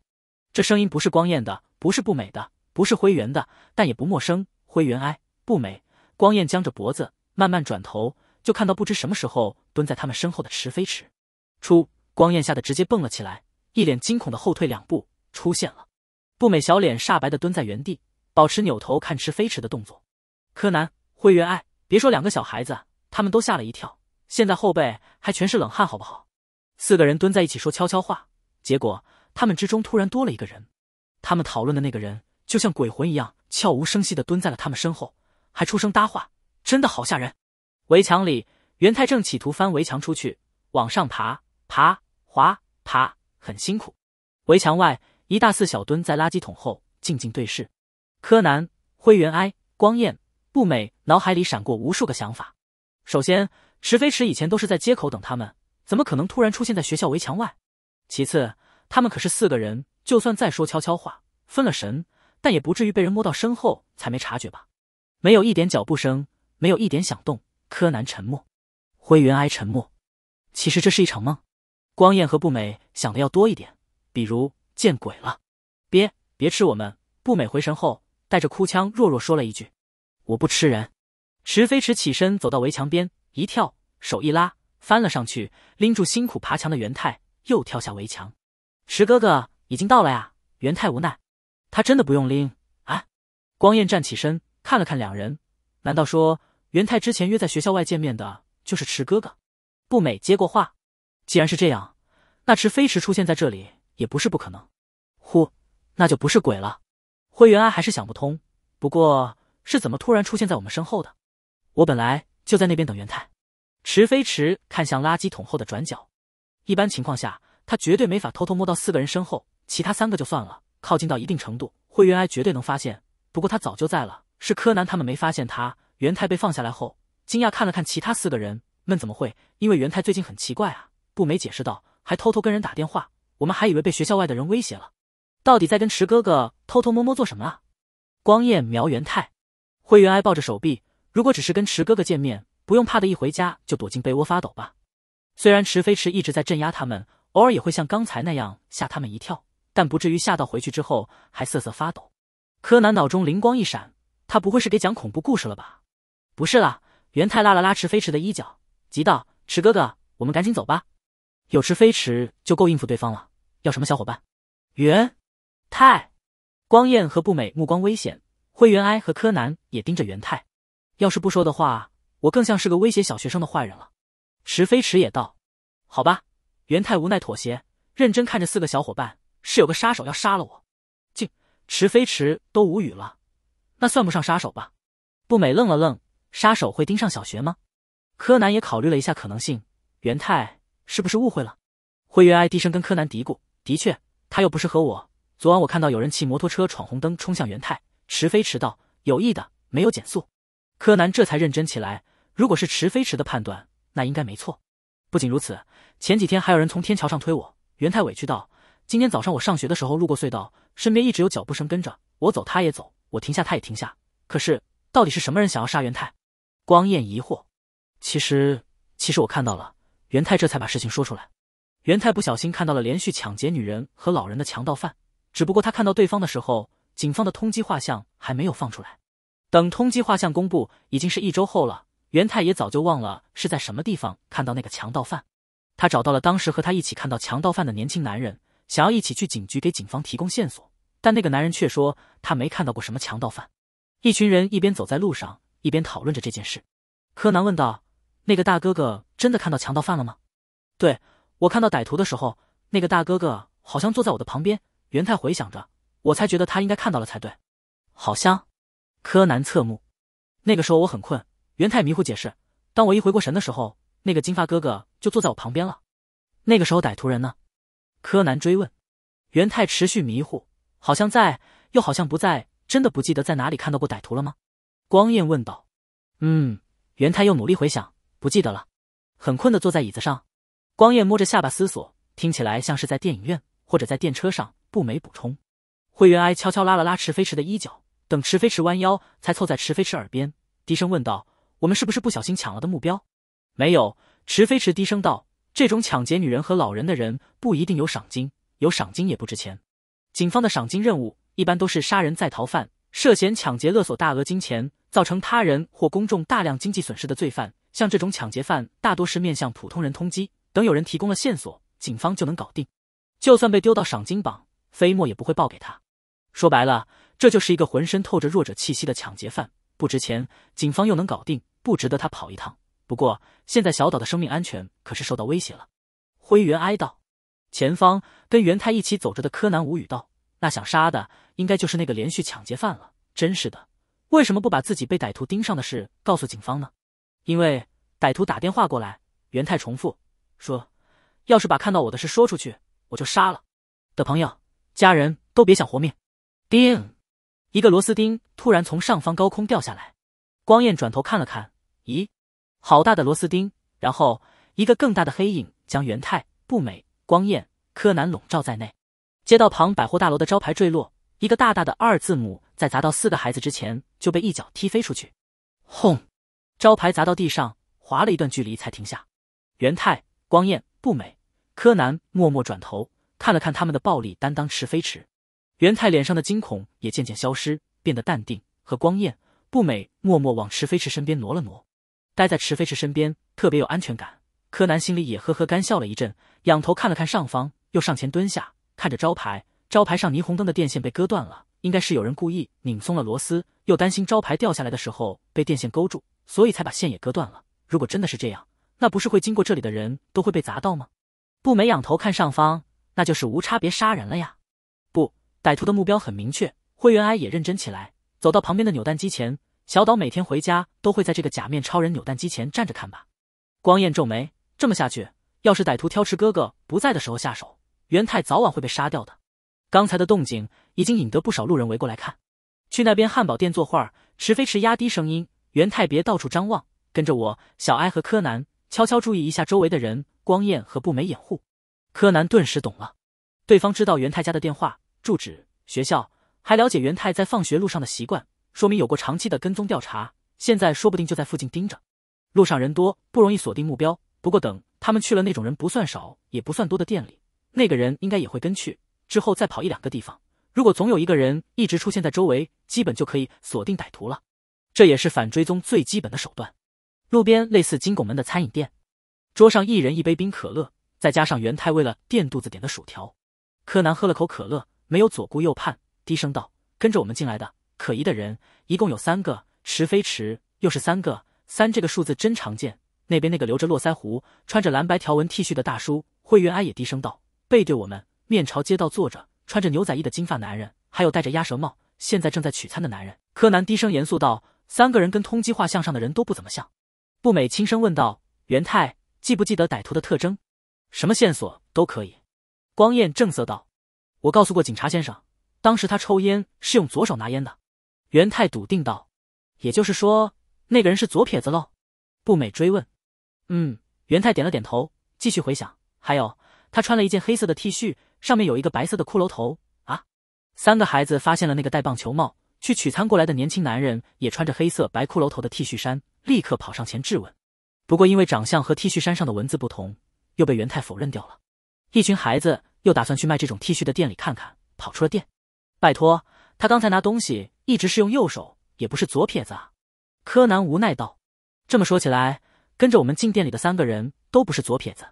灰原哀补充，池飞驰拿着自己的冰可乐跟上去。这个案子他已经想起来了，很简单，带着孩子们玩一趟，就当放松消遣。一群孩子去卖 T 恤的店里问了，元太看到的歹徒穿的是写了二百零二字样的 T 恤，不过店员说并没有卖出过这样的 T 恤。我们 T 恤上的字样大多是一千九百九十九，Help、Escape 这类走投无路的字眼。店员尴尬笑道。不是有人预言一九九九年是世界末日吗？我们的创作灵感就是来自这里。池飞驰把可乐喝光，杯子拿在手里，准备等会儿出去再丢。说出来，这些人可能不信，在二零一二年也有世界末日的预言，还有二零二零末日论、二零三二末日论、二零六零末日论，末日挺多的。买这种 T 恤的人有没有行迹比较可疑的人？柯南追问。这因为都已经两千年了，所以我们早就已经停止贩售。店员妹子无奈道。而且顾客这么多，我也没办法一一记住啊。出了店里，池飞驰把可乐杯丢进路边的垃圾桶，提醒道：“有的地方不能抽烟。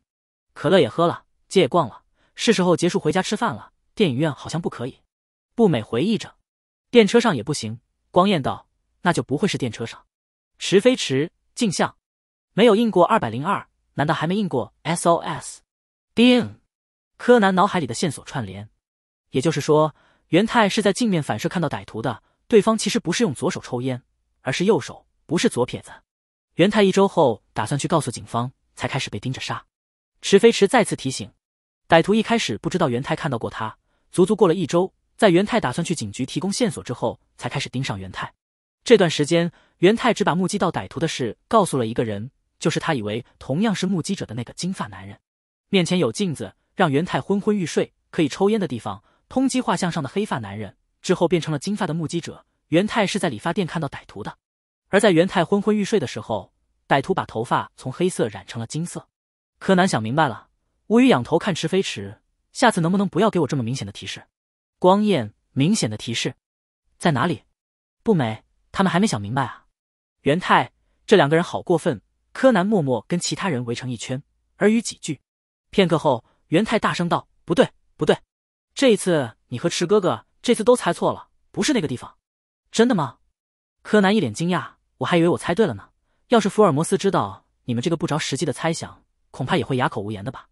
灰原哀说着，偷偷瞥池飞驰，发现池飞驰依旧一脸平静，嘴角不由微微一抽。飞驰哥能不能配合着演一下？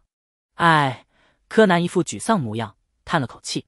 没关系啦，光彦装模作样的安慰，智者千虑必有一失嘛，你就不要沮丧了。步美也跟着安慰，池飞驰伸手拍了拍柯南的脑袋，我们再去理理线索，好吧？柯南一脸不甘，跟着池飞驰转身。元太，那明天再见，明天一定能把那个家伙找出来的。明天见。灰原哀摆摆手转身，跟以前放学一样。柯南和灰原哀离开后，元太、光彦、步美又继续往下一个街口走。元太东张西望，跑去买冰淇淋。等和光彦分别后，又站在一家法式餐厅前，步美怎么都拖不走。就在元太一路磨蹭的时候，三辆警车已经停在了车站大厦附近。七楼理发店里，戴着假发、做了伪装的佐藤美和子跟店老板说话：“不要紧张，等会儿你只要指认他就行了，我们会一直在旁边的。不过让元太把人引过来，真的没关系吗？”高木社汗着，转头问池飞驰：“如果我们跟在旁边，歹徒心里警惕，不方便抓人。”池飞驰依旧看着理发店桌架上的假发，只是把人引过来的话，元太能做好。那边电梯门打开。光彦出门后左右看看，找到人后快步往店里走。池哥哥，现在步美应该跟元太分开了，警方准备好了吗？佐藤美和子将墨镜戴上，马上行动。一群警察呼啦啦散开，留两个在理发店，留两个在理发店旁边的店里。佐藤美和子和另一个警察带着店老板去电梯里等，而剩下的警察散在大厦一楼入口、大厅各楼楼层。池飞驰收回看假发的视线，那个家伙昨晚骑车离开那么嚣张，他也想伪装一下，跟上电梯，在那家伙被抓之前把人锤一顿。不过那个人对他有印象，他要混进电梯，除了伪装还得演戏，挺麻烦的。算了，十多分钟后上来的电梯开门，柯南看向池飞驰，池飞驰摇头。表示自己拒绝推理。柯南和其他人上前，对着那个金发男人说出了推理。哼，金发男人突然猖狂笑了起来，将早就准备在手的刀弹开，另一只手一把拦过一旁的元太。开什么玩笑！啪！戴了假发伪装的佐藤美和子伸手紧紧抓住男人拿刀的手腕。你！金发男人一脸凶恶的转头瞪佐藤美和子：“你这个臭女人，别多管闲事！”突然间，男人感觉手里一空，转头看去。发现元太已经被一个年轻男人拉出了电梯外。那个男人他不陌生，一身黑衣，紫色眼睛，特征很好记。特别是那张没什么表情的脸，还有一脚将铁和塑料混制的招牌踢飞的事，他更是记忆犹新。你还真是笨爷！元太安全后直接开嘲讽：“如果只是引诱你上钩，我干嘛要？”池飞驰的拳头到了，金发男人腹部遭受重击，弯下腰，池飞驰抓头往下压，提膝又松了手。金发男人脸部遭受重击，飙着鼻血往后仰。池飞驰伸手帮忙按了一下，咚！金发男人后脑勺砸在电梯里，眼里冒着小星星，瘫坐在地。池飞驰收回手，一套连的行云流水，带着几分懒散，不到三秒就打出了结局。在街上晃悠那么久，元太呆呆把话说完。可怕，不愧是他们的暴力担当。佐藤美和子手上还抓着男人的手腕，也正是因为被佐藤美和子抓一只手拎着。男人才没躺下，池飞驰转头看佐藤美和子，神色镇定自然。抱歉，不会擒拿，我又想帮忙。就算不混进电梯，只要找准时机，也是可以动手锤人的。嗯，佐藤美和子感觉池飞驰就是故意的，不过看了看掉在地上的刀，又看了看只是流鼻血的歹徒，抬头正色道：“没关系，歹徒持刀还想挟持元太，很危险。池先生想为了帮忙制服歹徒，这也是无可厚非的事。”柯南半月眼呵呵，不过他看出池飞驰留手了。之前动手时的懒散不是错觉，而是池飞驰真的没用力。事件解决，警方带着男人上警车离开。少年侦探团再次大获全胜。耶！元太、不美、光彦欢呼。光彦又抬头看旁边的池飞驰，池哥哥，那个……嗯？池飞驰蹲下，方便光彦跟他说话。你练的不是空手道，对吧？光彦低声问道。是什么格斗技巧？我……其实我……我学的比较杂。池飞驰想了想，主要是中华武学，其他格斗又多少学了点，平时都是看情况出手。后方灰原哀见池飞驰被光彦拖住，瞥柯南，真是太好了，凶手不是左撇子啊！柯南一愣，如果是他们的话，应该会在杀元太前先解决掉我。灰原哀神色沉重道，所以我也觉得不可能是他们才对。所以你说的他们，柯南神色也凝重起来。难道是？如果你还不知道的话，现在最好把这件事记住。灰原哀声音清确认真。秦九也是个左撇子，柯南脸色微变，脑海里再度把秦九的形象回想一遍。的确，不管是他见到的抽烟的时候，还是上次在大楼上的狙击，秦九都是用左手。那关于瑞这个，柯南话还没问完，灰原哀已经沉下了脸，上前走向蹲在光彦面前的池飞池。飞驰哥，江户川之前让我们无准备私自行动，还打算怂恿我们瞒着你，是不是应该处理一下？柯南，他不提了还不行吗？池飞驰侧过头看柯南。他这边一次次和善又耐心的引导这群小鬼注意安全，那边柯南居然敢唆使无准备行动，还唆使其他孩子合伙瞒他，确实不该纵容。我保证以后绝对不会了。柯南乖乖认错。我让你们做的不对吗？池飞驰声音平静的反问。柯南一愣，突然愧疚起来。他得承认，池飞驰让他们必须做好准备再行动，绝对是正确的，能让那群喜欢作死的小鬼少遇到一些危险。但他居然带头破坏，现在该说什么好呢？是不是再来一个深刻的检讨？元太不美，光彦静静看着柯南。下次去露营，你负责买水。池飞驰说着，从光彦面前站起身，表示这事已经接过了。柯南就这样，别啊，他心里过不去，给点重的惩罚行不行？池飞驰这就放过他，让他愧疚难受，总觉得浑身不得劲。好了，柯南步美见柯南闷闷不乐，宽慰道：“只是下次露营帮大家买水啊，这样已经很好了，你还不高兴什么啊？”元太无语道：“就是啊。”光彦认真道：“就算你这样，下次去露营我们也不会帮忙的，而且还会监督你。”柯南这群小鬼不懂他，他他只是算了。灰原肯定知道他不是那个意思。灰原哀对上柯南悠悠的视线，欲言又止，最后还是没说什么，转身跟上池飞驰。能让柯南难受到爆炸，飞驰哥真的惹不起。两天后，森林小道上，细碎的阳光透过树叶洒在土地上。毛利兰牵着灰原哀走在路上，笑着感慨：“空气真清新啊，就应该多出来走动走动，对吧，小艾？”“嗯。”灰原哀面无表情，他这是做的什么孽？咦，那边有花丛。毛利兰低头问灰原哀：“要不要拍张照片？”灰原哀：“不要。”那等会儿再说。毛利兰心里遗憾。忍不住又偷偷看了看灰原哀，灰原哀听懂了潜台词，下次有漂亮景色，我再问你要不要拍照。事情的开端要从一大早池飞驰去阿笠博士家接他开始说起。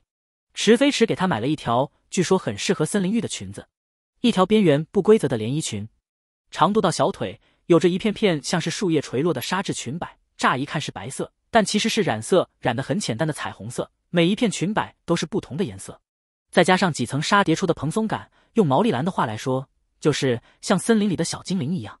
他当时也没忍住，就穿了。因为裁剪、染色、款式处处透着精致。先不说池飞驰花了多少钱买的，是个女人看着就挡不住这条小裙子的魅力，好不好？反正是去森林里，又没有多少人，穿的醒目也没关系吧。一开始他虽然也觉得有点不习惯，但还是美滋滋的。一直到跟毛利兰碰面，就被毛利兰抱住了。再坐车到群马，再到森林里，毛利兰好像忘了还有一个柯南。拉着不撒手，处心积虑想给他拍照。小哀坐在草地上拍照也不错哦。毛利兰看到一处绿草地，又低头看灰原哀，茶色大波浪卷发，湖蓝色眼睛，再加上漂亮的小纱裙，真是太可爱了啊，像娃娃一样。他决定了，以后要养个女儿，给女儿留个可爱的发型，穿条像小精灵一样的裙子，然后每天亲亲抱抱举高高，一起拍照，那日子简直不要太美好。孩子爸，不不。孩子爸已经不重要了，不好意思，我不想拍照。灰原哀一头黑线的拒绝，默默看向后面的柯南，求助，麻烦名侦探像以前一样缠着毛利兰可以吗？柯南跟在池飞驰身边，完全没留意到灰原哀求助的眼神。池哥哥，你累不累啊？哎，愧疚还是没有消散，莫名的想对池飞驰卖好卖乖。你累了？池飞驰问道。不是啦，柯南干笑着，心里叹了口气。能不能指责他一下？求指责。灰原哀转头看见柯南这巴巴跟着池飞驰的模样，沉默。江户川也变了，你家小兰姐姐都不要了吗？他真的不能拍照片，流传出去就糟糕了。求拯救！毛利兰也转头看了看柯南，好奇问灰原哀：“是想和柯南一起拍吗？”啊！柯南一懵，不是。灰原哀果断否认。毛利兰认真点了点头。柯南今天这一身不够帅气，跟小哀一起拍照会很奇怪。柯南，别说这么含蓄，他明白。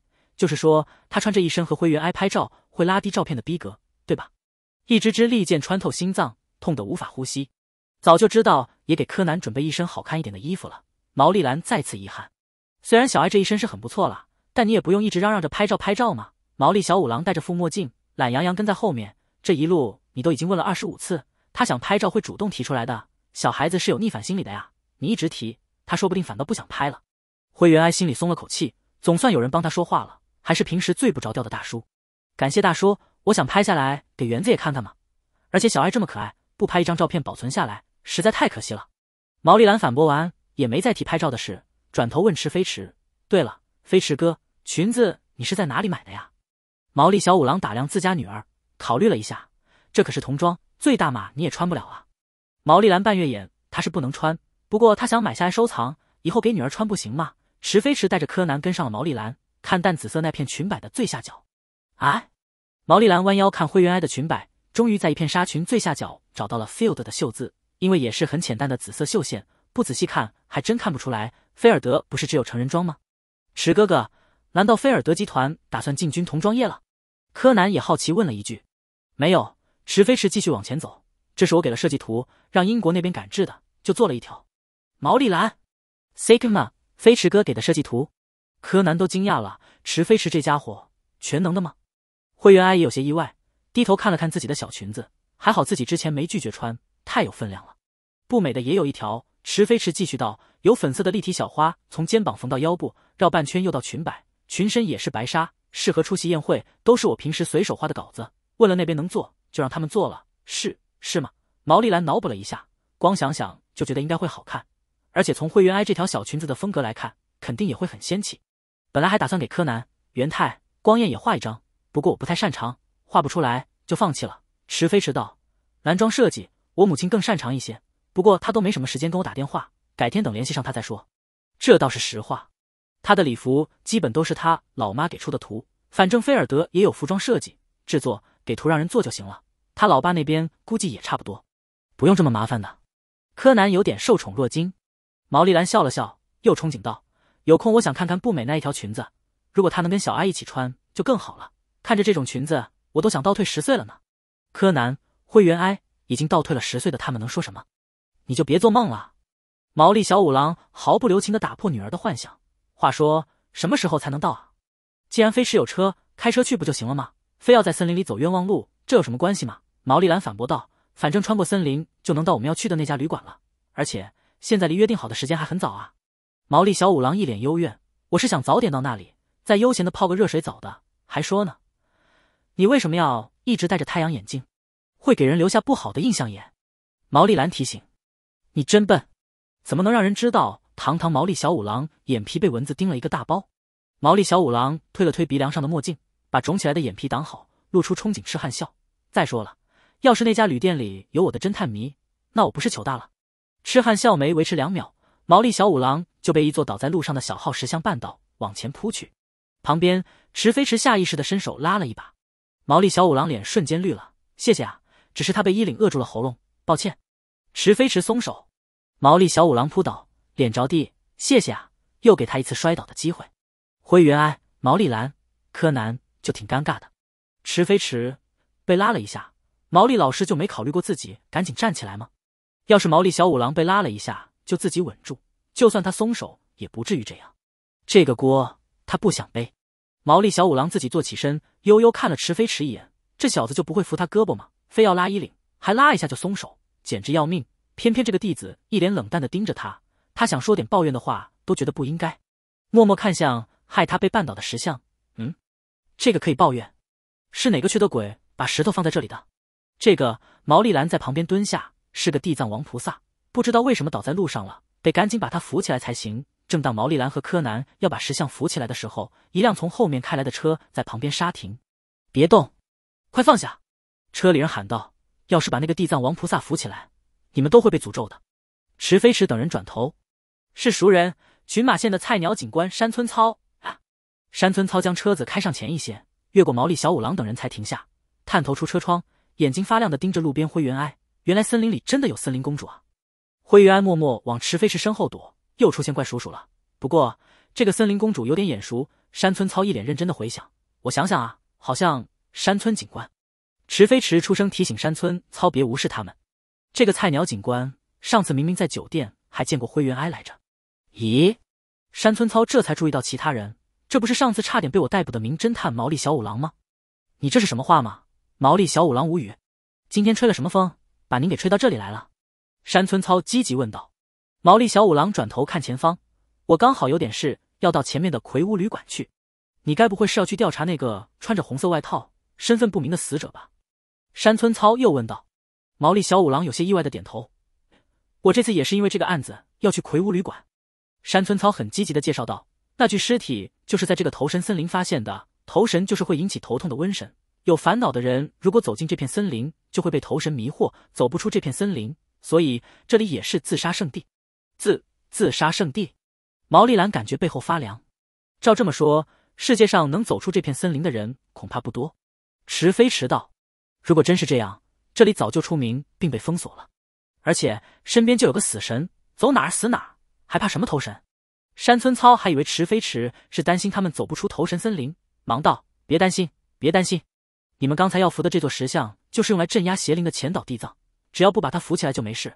不过据说要是把他扶起来，就会招来邪灵，所以他从以前开始就一直倒在那里。”毛利兰吓得后退了一步，山村操又笑眯眯道：“既然我们都要去魁梧旅馆，那我就带你们一程吧。”毛利小五郎刚想拒绝，毛利兰已经嗖一下拉开后车门坐了上去。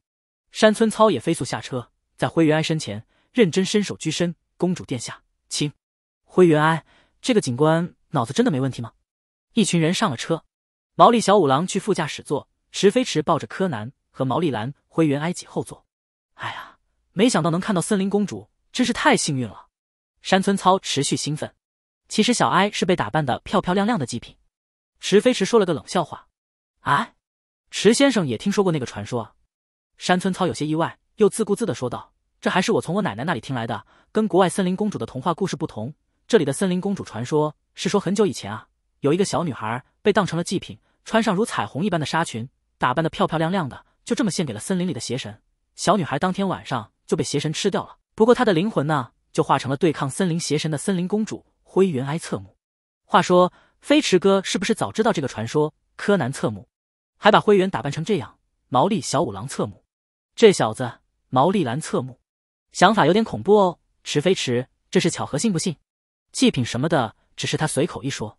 池先生能把自己的妹妹献出来，我想这里的村民都会感谢你的。山村操笑眯眯道。池飞驰低头问自己抱着的柯南：袭警判几年？柯南，袭警。山村操接过话：我想想啊，算了。直接说打死要判几年？池飞驰道：“这个吗？那就是杀人了吧？”山村操认真思索着，酌情从轻也是十五年，还要看是不是计划性犯案，情节够不够恶劣，有没有自首。那如果用钱倒地藏石像把他砸死呢？池飞驰问道：“那就有点恶劣了啊。”山村操道：“而且这样可不行，会让地藏石像附上怨灵，说不定会诞生什么可怕的妖怪。”毛利小五郎心里都泛起了无力感，连他都听懂池飞驰的意思了，好不好？有这么个警官。真为群马县的人民担心，可我们还是说一下那个案子吧。啊，好的。山村操又转说了一下那个案件。毛利小五郎静静听了一会儿。哦，发现尸体的是魁梧旅馆的员工啊。是啊，听说是那个员工去采野菜的时候发现的。山村操认真了些。不过那具尸体很奇怪。毛利兰又觉得背后有点毛毛的。奇怪？毛利小五郎追问哪里奇怪了？身上明明有车钥匙，却没有驾照。山村操回忆着。有香烟，却没有打火机或火柴，而且他是在夏天死的，身上却穿着冬天穿的毛衣。你怎么知道他是在夏天死的？柯南忍不住问道。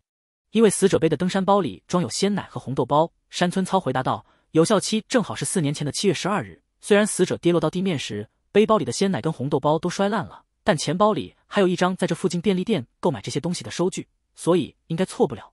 跌落？毛利小五郎疑惑。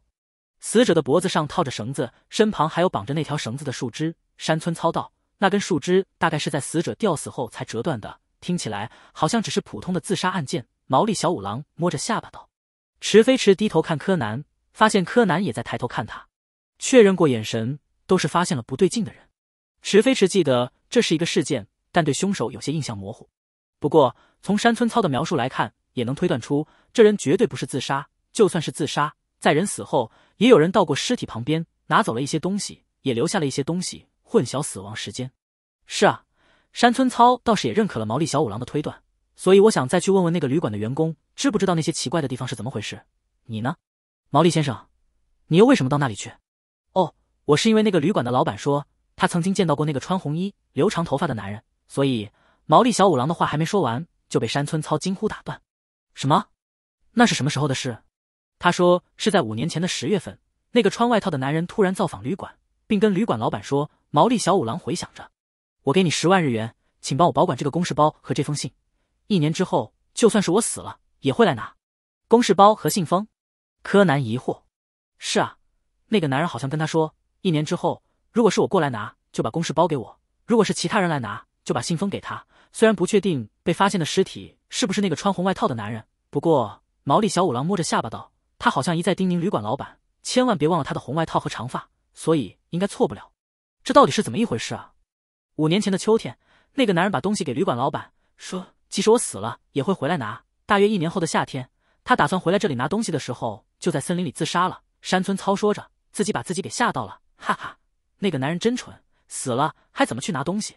所以那家旅馆的老板才会请我去调查啊！毛利小五郎忍无可忍的吼了一句。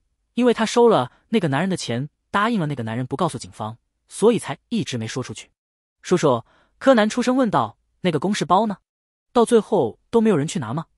不，听说那家伙把东西放在旅馆老板那里的隔天，有一个男人自称是他的代理人。毛利小五郎道：“那个男人戴着帽子和墨镜，而且满脸都是大胡子。老板虽然有点犹豫，但还是按照那个红衣男人的嘱咐，把信封给了他。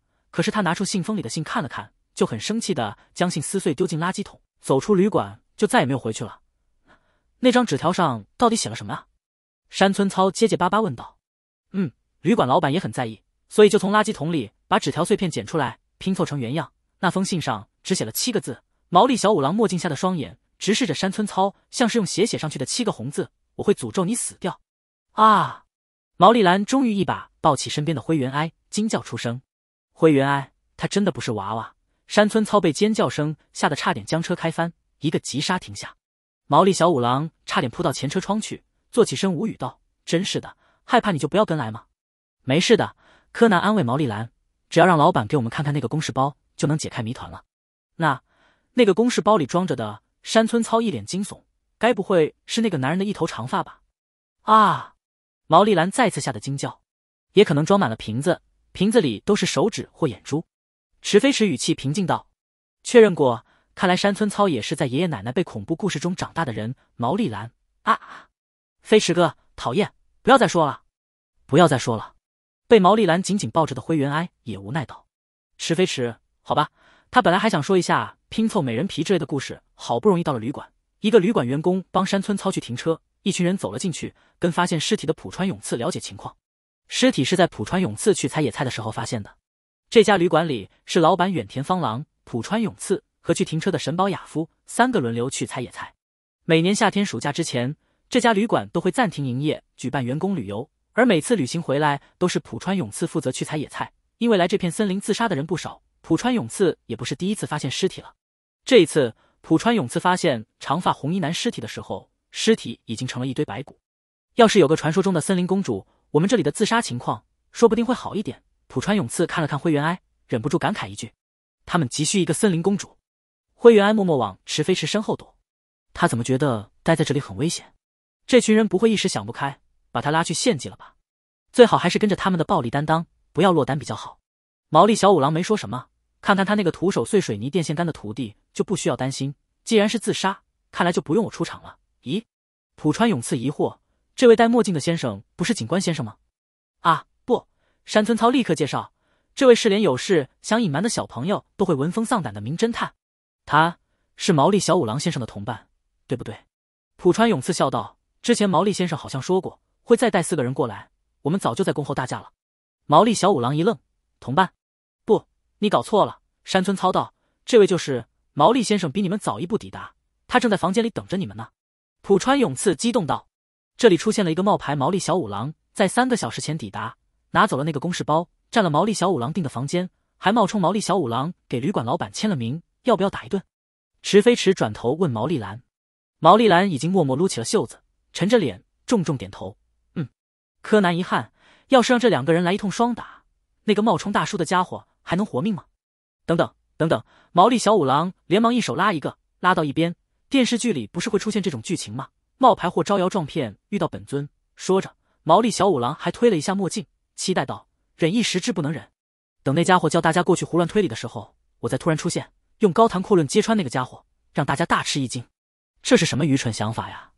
毛利兰半月眼，山村操凑过去。期待看着毛利小五郎，真是太棒了，请务必让我助您一臂之力，是吧？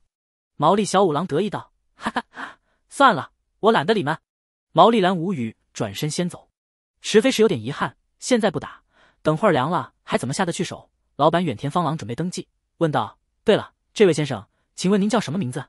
毛利小五郎转身看老板，推了推墨镜，故作深沉道：“就当我是月后光卫门一个微不足道的小人物。”山村操凑在一边起哄：“对对，就是那种隐者一般的人物，给我们最便宜的房间就可以了。”毛利小五郎道：“这位先生，之前去帮忙停车的店员神保雅夫进门，将一个手机递给毛利小五郎。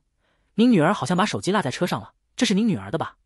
毛利小五郎接过看了看：“是啊，谢谢啊，真是辛苦了。”山村操跟着笑道。石飞驰看了神保雅夫一眼，看向店老板远田方郎，刚想报名字，远田方郎就笑眯眯道。警官先生就不用了，既然来调查，就当是我招待们吧。警官，柯南、毛利小五郎、灰原哀转头看池飞驰，愣了愣，反应过来，原本毛利小五郎是带他们四个过来，提前跟旅馆老板说了，之后旅馆老板把冒牌毛利小五郎当真，而灰原哀、柯南、毛利兰、真毛利小五郎就是带去的四个人。至于池飞驰被当成警察了，毛利小五郎忍不住再三打量池飞驰，他这个弟子为什么会被当成警察？哪里像警察了？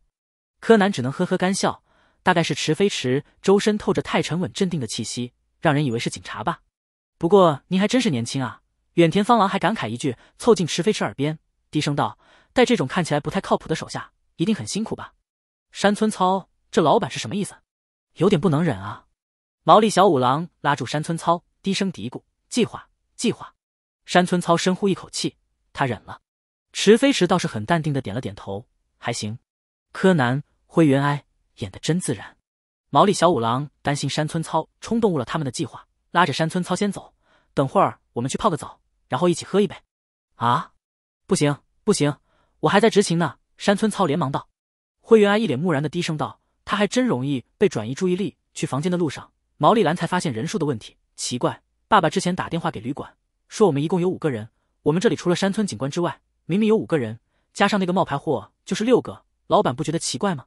柯南正要解释，不过池飞驰先一步开口了：“鬼魂能迷惑的人有限。”池飞驰声音静得发冷，没被迷惑的人自然就看不到我了。毛利兰僵了一秒，惊叫：“啊呀呀！”灰原哀、飞驰哥，别玩了！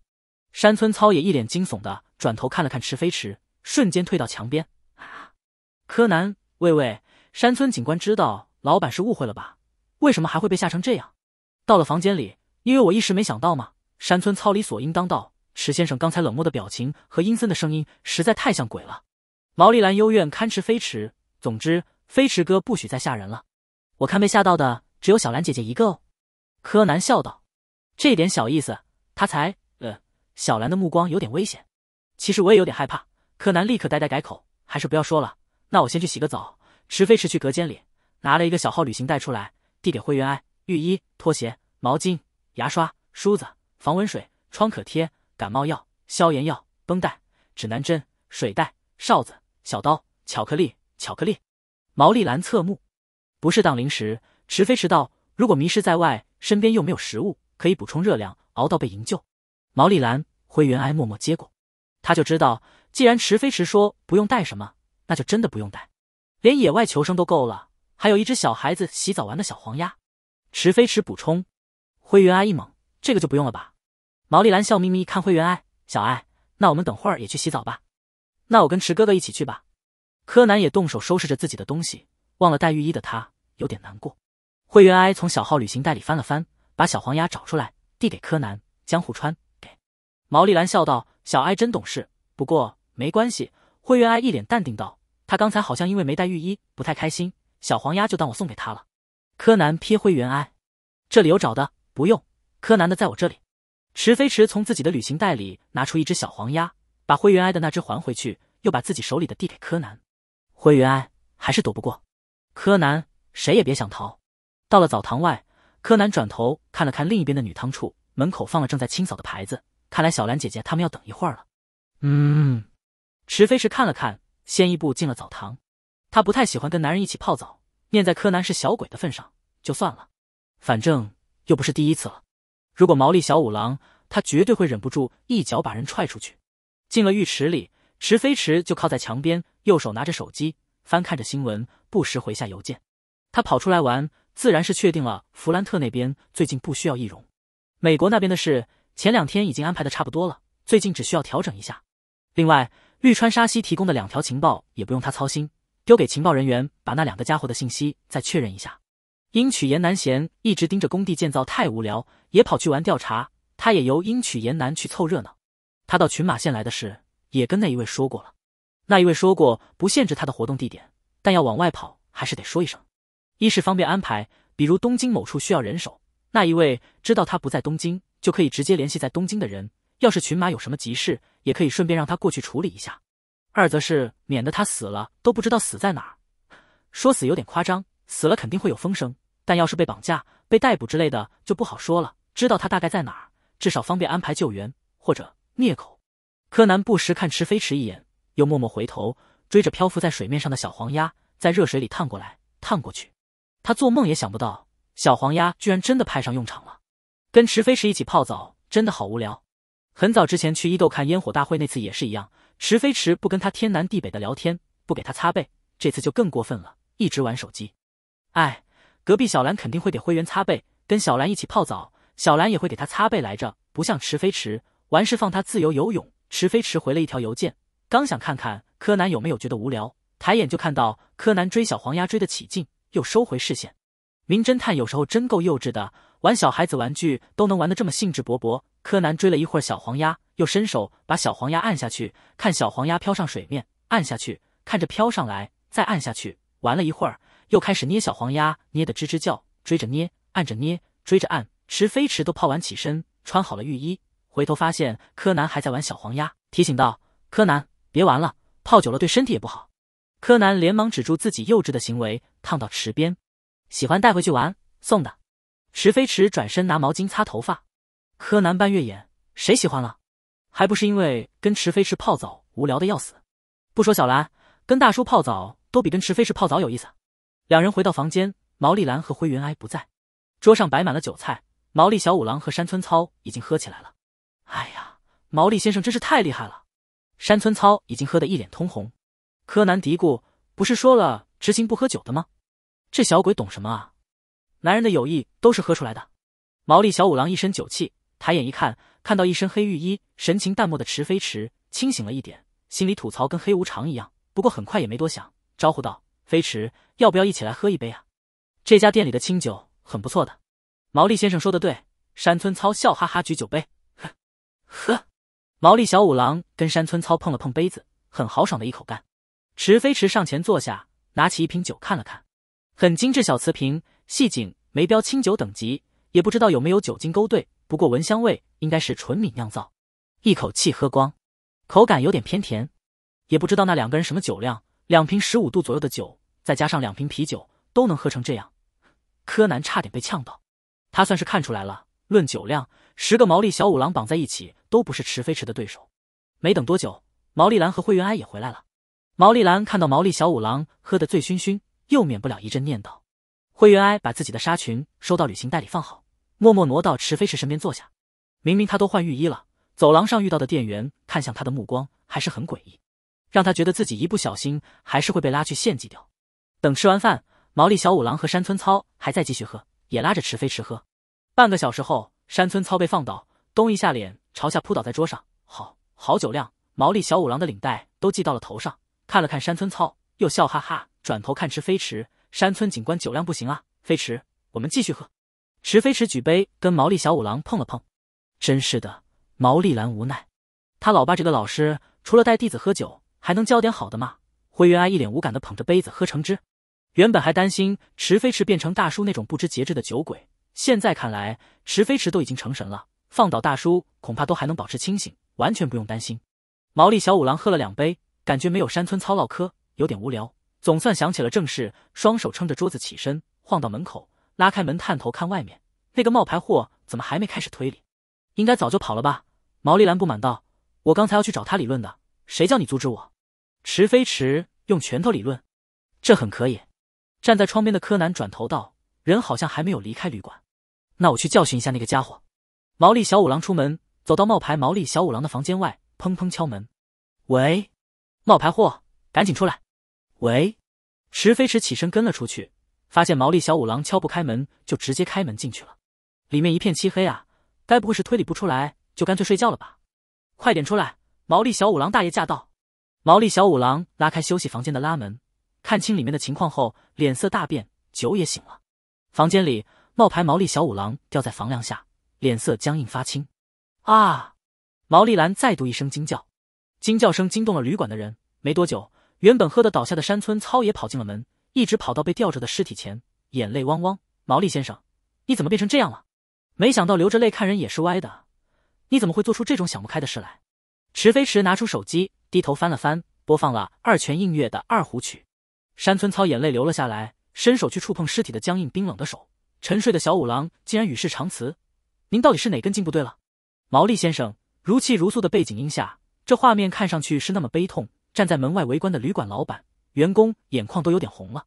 毛利小五郎愣了愣，等等，哪里来的背景音乐？转头，半月眼看向拿出手机的池飞驰。今天这个徒弟格外爱玩，毛利先生啊！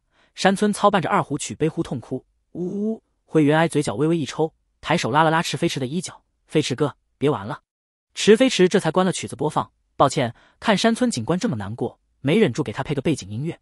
毛利小五郎一头黑线的瞥了池飞驰一眼。走到还在痛哭的山村操身后，我说：“你在这干什么呀？”咦，山村操听着声音耳熟，疑惑转头。毛利小五郎懒得跟山村操解释，面无表情道：“目前还没有人进来过案发现场，你快点打电话给你群马县警局的同事，让他们。”山村操盯着毛利小五郎的脸看了看，突然一脸惊悚的后退：“我的妈啊，有鬼啊！”旅店老板叹了口气：“为什么他们群马会有这么一个警官呢？”半个小时后，山村操联系了群马县警局的同事。毛利小五郎也跟旅馆那群人解释清楚，死的只是冒牌货，不是他毛利小五郎。池飞驰也说了自己不是警察，而是毛利小五郎弟子。真是抱歉，旅馆老板远田方郎尴尬对毛利小五郎道：“因为我们这种地方实在没什么机会见到您本人，所以认错了人。可是死者为什么要假扮毛利先生呢？”旅店员工沈保雅夫疑惑道。柯南指着桌上的公事包，同音卖萌：“一定是想看公事包里的东西。你们看，钥匙……”还插在钥匙孔上呢，那我们打开看看吧。山村操伸手扭动钥匙，打开了公事包。公事包里是一张体育报，全是五年前九月份相扑比赛的报道。头版是赤城丸优胜，之后的版面还报道了当时相扑选手的详细胜负场。不过，为什么在公事包里放这种东西？毛利小五郎拿着报纸打量，池飞驰凑到一旁，把报纸上的胜负场记录给记下来。报纸里好像有黑色的线。山村操蹲下身，疑惑拉了拉。白色手套上顿时落了一把散乱的黑色长发。啊啊！毛利兰被吓得再次惊叫，抱起身边的柯南不撒手。妈呀！山村操也被吓得不轻。灰原哀面无表情，这趟旅行真迷惑，跟看恐怖电影一样。池飞驰走到灰原哀身旁蹲下。嗯？灰原哀疑惑看着池飞驰。池飞驰凑近灰原哀耳边，声音放得很轻：“要不要去找宝藏？”在毛利小五郎等人讨论案子讨论的热火朝天的时候。两个人悄悄溜出了旅馆。山林里一片漆黑，不时有风吹动树叶，发出窸窸窣窣的怪异声音。一束手电筒的光亮打在地面，一大一小两个人影，穿着浴衣，踩着人字拖，慢慢走在路上。脚边灰黑色的蛇跟着爬行。池飞驰心里一片宁静，转头问灰原哀：“会不会害怕？”“不会。”灰原哀摇了摇头，又看向地面欢脱游动的飞驰：“飞驰真的不用我抱吗？不小心踩到了怎么办？”他没那么傻。池飞驰伸脚朝飞翅踩去，飞翅嗖一下闪开，直起身，瞪着池飞驰吐舌信子：“主人说清楚就好，不用动手动脚。”灰原哀抿了抿嘴角，忍住笑：“我怎么觉得他在说不用真的试着踩下去？他还真是这么说的。”池飞驰继续往前走，灰原哀没有当真，拿着手电筒跟上池飞驰。以往他觉得黑夜最难熬，现在深夜走在这种适合拍恐怖片的森林里，他心里居然只有宁静，没有觉得可怕。也没有想起一些让他悲伤的事，好像什么都不用想，一直这么走下去就很好了。我们就像是午夜游荡在森林里的鬼魂一样，要是遇到人，要不要抓一个回去呢？池飞驰听着灰原哀故意放的空灵的声音，也配合着，语气凉凉道：“这个时候还在头神森林里游荡的，估计只有自杀的人，抓一个回去也不错。你要头还是要脚？”飞驰突然停了，看向一个方向：“我想要头，脚归你吧。”身子就……灰原哀的话没说完，突然被惊恐叫声打断。不要啊啊呀！不远处的树林间，一道闪动的光亮往远处晃着，女生带着哭腔也渐渐远去。我不自杀了，不要找我，我错了，不要找我。这个森林好可怕，头神不要抓我，我不自杀了。灰原哀呆了一下，仰头看池飞驰，这个他们好像吓到别人了，不过吓得一个原本想自杀的人放弃了自杀，貌似算是做了件好事。池飞驰也愣了一下，随即蹲下身把飞驰拎起来，小哀。相信我的话，电筒关了，我带你玩个有趣的。啊，好。灰原哀疑惑，不过还是关了手电筒。周围顿时陷入一片漆黑。石飞驰伸手牵着灰原哀，放心往前走。树林间，一个男人颓然坐在一块石头上，低头看着手机屏幕上的消息，眼里满是绝望，默默回复：“对不起，侄子。”在那边树丛中，突然传来轻微的声音。男人神色木然的看去，他特地选这么个安静的地方，可不想有人阻止他。深夜森林天上乌云笼罩，稀稀疏疏的树叶轻响着。两道黑影慢慢走着，一大牵一小，看影子衣着复古，一步步走过。有人念着奇怪的语句，语调平静的声音在森林里回荡。莫问何人行行复亭亭，月下枯骨裹红衣。一回眸青色瞳里映入了生人背影。百鬼夜行，引迷途者向西去。削旗鼓为敌，男人的脸瞬间惨白，僵在原地动也不敢动。等那两道影子走过之后，才抓紧手机，头也不回的往森林外跑。啊啊！树林间，灰原哀听着那凄厉的惨叫，无语转头看停下来的池飞驰。飞驰哥，你又吓跑了一个。很多人自杀只是冲动，在临死那一刻都会后悔，吓走一个是一个。要是他们离开以后还想死，那我也管不了。池飞驰心情其实还不错，也可以说是起了玩心，顺便带着灰原哀玩。不然他还真的懒得管。黑暗中，灰原哀看不清池飞驰的神情，只听着那平静冰冷的声音，确实让人后背发凉。特别是念这种语句，他都觉得恐怖。我明白了，不过你那段话是哪里来的？我从来没听过。后面还有，我教你。池飞驰问道。嗯，自己也念。灰原哀果断点头，又觉得黑暗中池飞驰可能看不到，出声道：“好。”自己也念的话，突然就觉得挺好玩的。昏暗树木间，一只只野兔。松鼠快速窜过，野鸟腾飞，还有看不清的大小动物窜着，窸窣不停。一大一小的黑影不被惊扰，一步步慢慢行走。斜街上那九尾的狐狸抓一把那九命的猫咪，不知火在海面上燃起，吹奏着生人骨质的笛。冰冷男声和女童空灵的声音交替响起，带着些许回音。森林里不时响起一声被吓到的凄厉惨叫。随着第一个跑出森林的人报警，在魁梧旅馆的山村操也接到了群马县警局的电话。喂，是。我是山村，柯南也解开了这个案子的前因后果。刚想看看池飞驰懂没懂，转头看了一圈，嗯，人呢？还有灰原也不见了。神什么？山村操听着电话那边的同事说，有人看到了森林里的头神，脸色煞白，站在原地瑟瑟发抖。柯南找到了门外的店老板，叔叔，你有没有看到跟我们一起的那个年轻男人和小女孩？啊？店老板转头看外面走廊，他们早就离开了呀。柯南半月眼，石飞驰那家伙不会是早就解开了暗号，带着灰原过去了吧？员工浦川永次低声嘀咕：“那个小女孩该不会真的是祭品吧？”有祭品好啊！山村操不知什么时候挂了电话，凑到一旁，神色阴郁，声音悠悠：“森林里出现头神了，我们还是把那个小女孩献祭掉吧，献祭掉就太平了，不然我们今晚恐怕恐怕啊！”毛利兰被山村操吓了一跳：“头头神？是啊是啊！”山村操凑过去跟毛利兰诉苦。他觉得毛利兰能明白他心里的恐惧，柯南一阵心累，这个菜鸟警官简直了。转身把毛利小五郎骗到外面车上，一根麻醉针放倒之后，又用毛利小五郎的手机打电话给山村操。十多分钟后，山村操带着警方假装离开，而对旅馆一群人说的是毛利小五郎去附近打听消息，被当成可疑人物送到群马县警局了。他们要去接毛利小五郎。两辆车离开旅馆，到了前岛地藏附近，开进树木间隐秘停车熄火。山村操鬼鬼祟祟的看了看车窗外，对后座沉睡的小五郎道：“那个毛利先生，我们真的要大半夜去挖宝藏吗？今晚很不对劲啊。”“嗯嗯。”毛利兰重重点头。抱紧，柯南坐在副驾驶座，也感觉外面都是妖魔鬼怪。柯南被抱着，也没法用变声器假装毛利小五郎，只能同音卖萌。叔叔说东西就埋在那里，我们先把东西挖出来，再等一会儿，犯人就会送上门来了。比起抓犯人，我觉得活着更好啊。山村操欲哭无泪。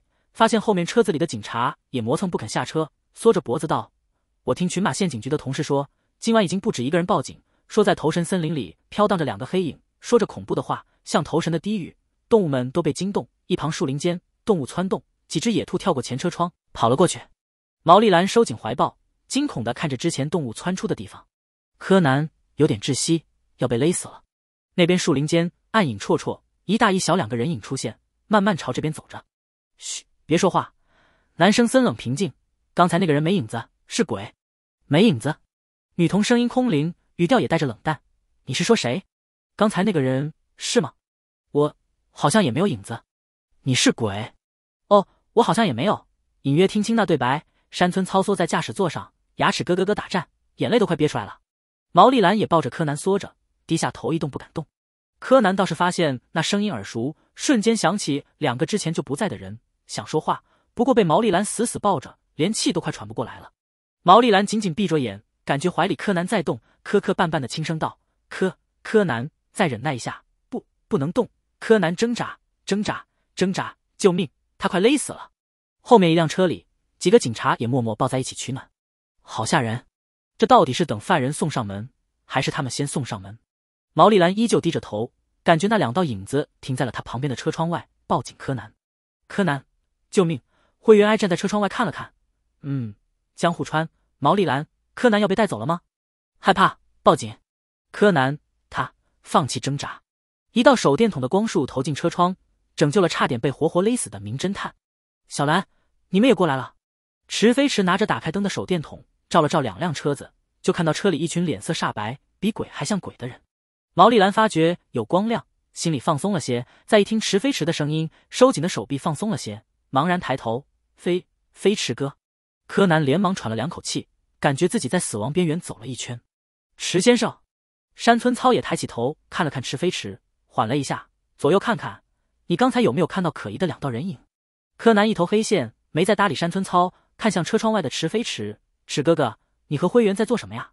我带小哀出来找宝藏，顺便去那边走了走。池飞驰面不改色道：“其实他是逛了一会儿，想起他们是来挖宝藏的，这才又转了回来。”那那你们刚才，毛利兰想起两人刚才的对话，还是后背发凉，有点怀疑的看着池飞驰。眼前这个飞驰哥不会是鬼怪变的吧？就是想迷惑他们，骗他们下车。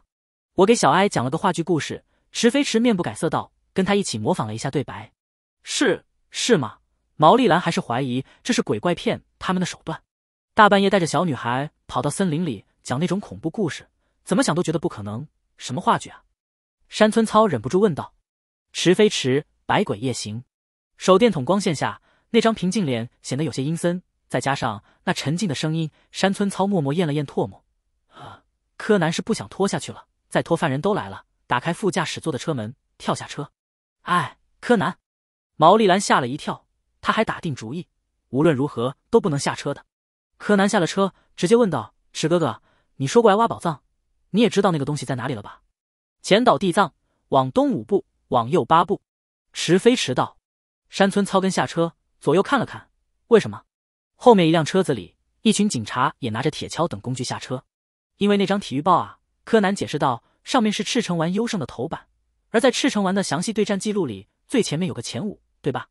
赤城丸当初是东京前头五眉目，而那个死掉的长发男人是五年前勒索糖果厂一亿元现金的歹徒之一。他预感到同伴要杀了自己。就将现金埋在了头神森林，用前头暗示头神森林的前岛地藏。在报纸上，赤城丸的记录位于下方，将前岛地藏放在报纸上，石像头指向是北方的话，那前五就是往东五步。赤城丸在第八天输了一场比赛，那就是再往右走八步，输场代表的黑点就是宝藏所在地。静，毛利兰呆，柯南，你知道的真多呀！柯南连忙笑眯眯挠头，这都是毛利叔叔跟我说的了。那么毛利先生有没有跟你说凶手是谁啊？山村操凑上前，积极问道：“柯南看向池飞驰，他想确认一下池飞驰是不是知道犯人之后才跑出来的，还有想确认一下和他的推理是不是一样的。”神保雅夫，池飞驰道：“为什么？”灰原哀疑惑：“他们没在现场待多久吧？”池飞驰什么时候发现的？他怎么不知道？之前他认出了小兰的手机。池飞驰道：“应该是看了小兰手机上的贴纸。不过毛利老师对旅馆的人报的名字是月后光卫门。”他看到毛利兰这个名字，就知道是毛利老师的女儿，说明他知道毛利老师是真正的毛利小五郎。也就是说，那个冒牌货是他找来的。柯南接过话，语气笃定道：“目的应该是为了提前拿到那个公事包。他本来以为公事包里是现金，才杀了冒牌货灭口。不过没想到里面只是一张报纸。”灰原哀瞥柯南，有的人一推理起来就忘了遮掩。毛利兰等人以为是毛利小五郎告诉柯南的，倒也没有再多想。一群警察挖出了现金后，就在森林里守株待兔。等了大概十多分钟，夜深人静时，神保雅夫拿着手电筒，悄悄摸到了前岛地藏面前，左右看了看，准备按照暗号提示找到埋现金的地点。灰原哀蹲在树丛里看着，看着这黑漆漆的静谧观景，一段词句又浮现脑海，悠悠出声道：“迷雾里，红衣枯骨女持飞驰接脱了皮。”旁边跟着一起蹲的警察们脸色又白了。柯南无语，斜眼瞄着两人，这是玩上瘾了吗？居然不带他，他又不知道词。掺和不进去，突然就有点委屈。前岛地藏前，神保雅夫被突然响起的幽冷声音吓了一跳，立刻转身用手电筒照向声音传来的树林。谁？什么人？光柱下，一群埋伏警察从灌木丛中露出的头被照亮，映着一张张之前就被吓得惨白的脸，就像灌木丛中长出了一个个脑袋一样。灰原哀、风里倩溪女、池飞驰指了音，神宝雅夫呆了呆，眼睛一翻，往后倒去。灰原哀，凤凰火毒去，池飞驰入地狱。咚！神宝雅夫倒在地上，手里的手电筒脱手掉落，咕噜咕噜滚了出去。一群警察愣在灌木丛中，什么情况？他们还在想。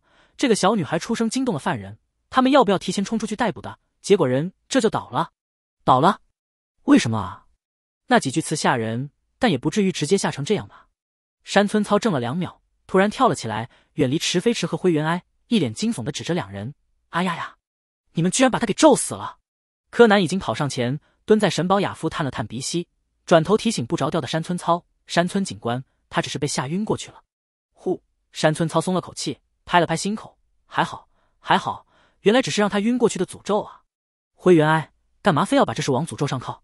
明明是这人胆子太小了点。提前结束，池飞迟懒得跟山村操掰扯，呼吸了一下森林里的新鲜空气。百鬼皆散尽，柯南，犯人都晕了，能不提前结束吗？神保雅夫在警局醒来，老实把犯案过程不交代清楚，还有十年前曾经犯下的一起抢劫案也一起交代了。没有推理，不需要推理。毛利小五郎白挨了一针，在车上睡醒，又迷迷糊糊回旅馆接着睡。第二天，山村操开车到旅馆，说了后续，提出送一群人离开。山村警官还要麻烦你送我们，那多不好意思啊！送我们出森林就行了。飞驰的车停在森林外面。毛利小五郎这么说着，还是很干脆的跟着山村操出旅馆，挠了挠头发。不过，我昨晚真的没推理吗？嗯。山村操神情严肃的点头。出了旅馆后，走到车前，拉开后座车门。对灰原哀道：“公主殿下，请。”啊，毛利小五郎一脸懵逼，怎么又来？灰原哀懒得搭理山村操，打了个哈欠，上车。昨晚溜达的路有点远，今天早上起来还有点累。离开的路上，山村操开着车，忍不住道：“池先生，其实还是献祭了，对吧？”“肯定是献祭了。昨晚你带着公主殿下出去，把她偷偷献祭了，拯救了昨晚自杀的人，还将犯人也诅咒晕倒，帮助我们逮捕犯人。那既然有了森林公主，”以后就不会有这么多人跑到这里来自杀了吧？啊，对了，公主离开森林没问题吗？之后还能保佑这里吗？灰原哀、柯南想象力真丰富。不过，恐怖传说传出去后，以后来这里自杀的人确实会少一点。自杀的人不会被传说吓到，那些人都已经心灰意冷了，除非亲自遇到昨晚那么惊悚的场面，激起恐惧，有了一点逃离、活下去的信念。只是传说的话，估计没什么用。但恐怖传说传出去后，恐怕有不少胆子大的恐怖爱好者会来冒险，说不定也会有记者之类的人往这里跑。人家来这里自杀，本来就是因为不想被人阻止，才找这么个荒僻的地方。当这个地方不荒僻了，也就不会有人选择来这里自杀了。另外，随着来的人变多，那家旅馆和附近的村民也能开发一下旅游业，赚些钱。玄奇一点说，森林公主真的能消除头神森林一直以来的自杀现象，还能造福这一带的人。池飞驰也想到了这一点，离开也能保佑。那是不是该立个神像？灰原哀，喂喂，当然。山村操正色道：“魁梧旅馆的老板已经在组织村民建造森林公主的神像了，到时候会立在森林前岛地藏附近，大家都不会忘记公主殿下和池先生的牺牲和奉献。别忘了再立个自然之子的神像。”池飞驰一脸平静道：“森林归自然管的，静冈那边就有这个传说。”躲在衣服下的飞翅忍不住探头：“主人这么一本正经的要神像，真的好吗？不过小爱是主人献祭的。”本来就应该有主人一个神像，没毛病。咦，是吗？山村操认真点头。那我等会儿打电话去静冈那边问一问，回头跟他们说一声。喂，柯南拉了拉池飞驰的衣角，这么宣传迷信不太好吧？旅游业，池飞驰低声跟柯南说了一句，他也不知道神像有什么用。之前天不山的绯红魔女、自然之子、光之魔人神像也立了一段时间了，也没见他小泉红子、柯南得了什么好处。但他就是想比小泉红子和柯南多一个神像，不行吗？还有，他总觉得有什么盯着自己。小泉红子不会是在偷看吧？一牵扯到神像，看得那么积极，柯南考虑了一下，点了点头。先不说那神像有没有用，造的好一点也是个艺术品，能给来玩的人看看、拍拍照什么的，还有故事可以听，比干巴巴的森林要好一点。要是能发展出旅游业，对这里的人也有好处，造个神像亏不了。那等神像造好之后。我是不是该回来看看？灰原哀一脸镇定的调侃：“您要回来看神像吗？山村操积极道：“您来的话，一定要告诉我一声，我不知情的话，一定去接您。”你们到底在说什么啊？毛利小五郎一头雾水，什么神像，什么公主？噗！毛利兰失笑出声，脸上难掩笑意，没跟毛利小五郎解释，转头看向车窗外，轻声感慨，感觉头神森林也变得阳光明媚了很多呢。小哀改天一定要回来看看哦，我也想来。灰原哀也转头看车窗外，看着慢慢掠过的丛林，目光渐渐柔和下来。不知是不是心情变化，这片森林好像真的没有来的时候那么阴森了。他很清楚。没有什么献祭，但这里会留下他存在过的痕迹，总觉得亲切了不少，就像这片森林真的跟他关联起来了一样。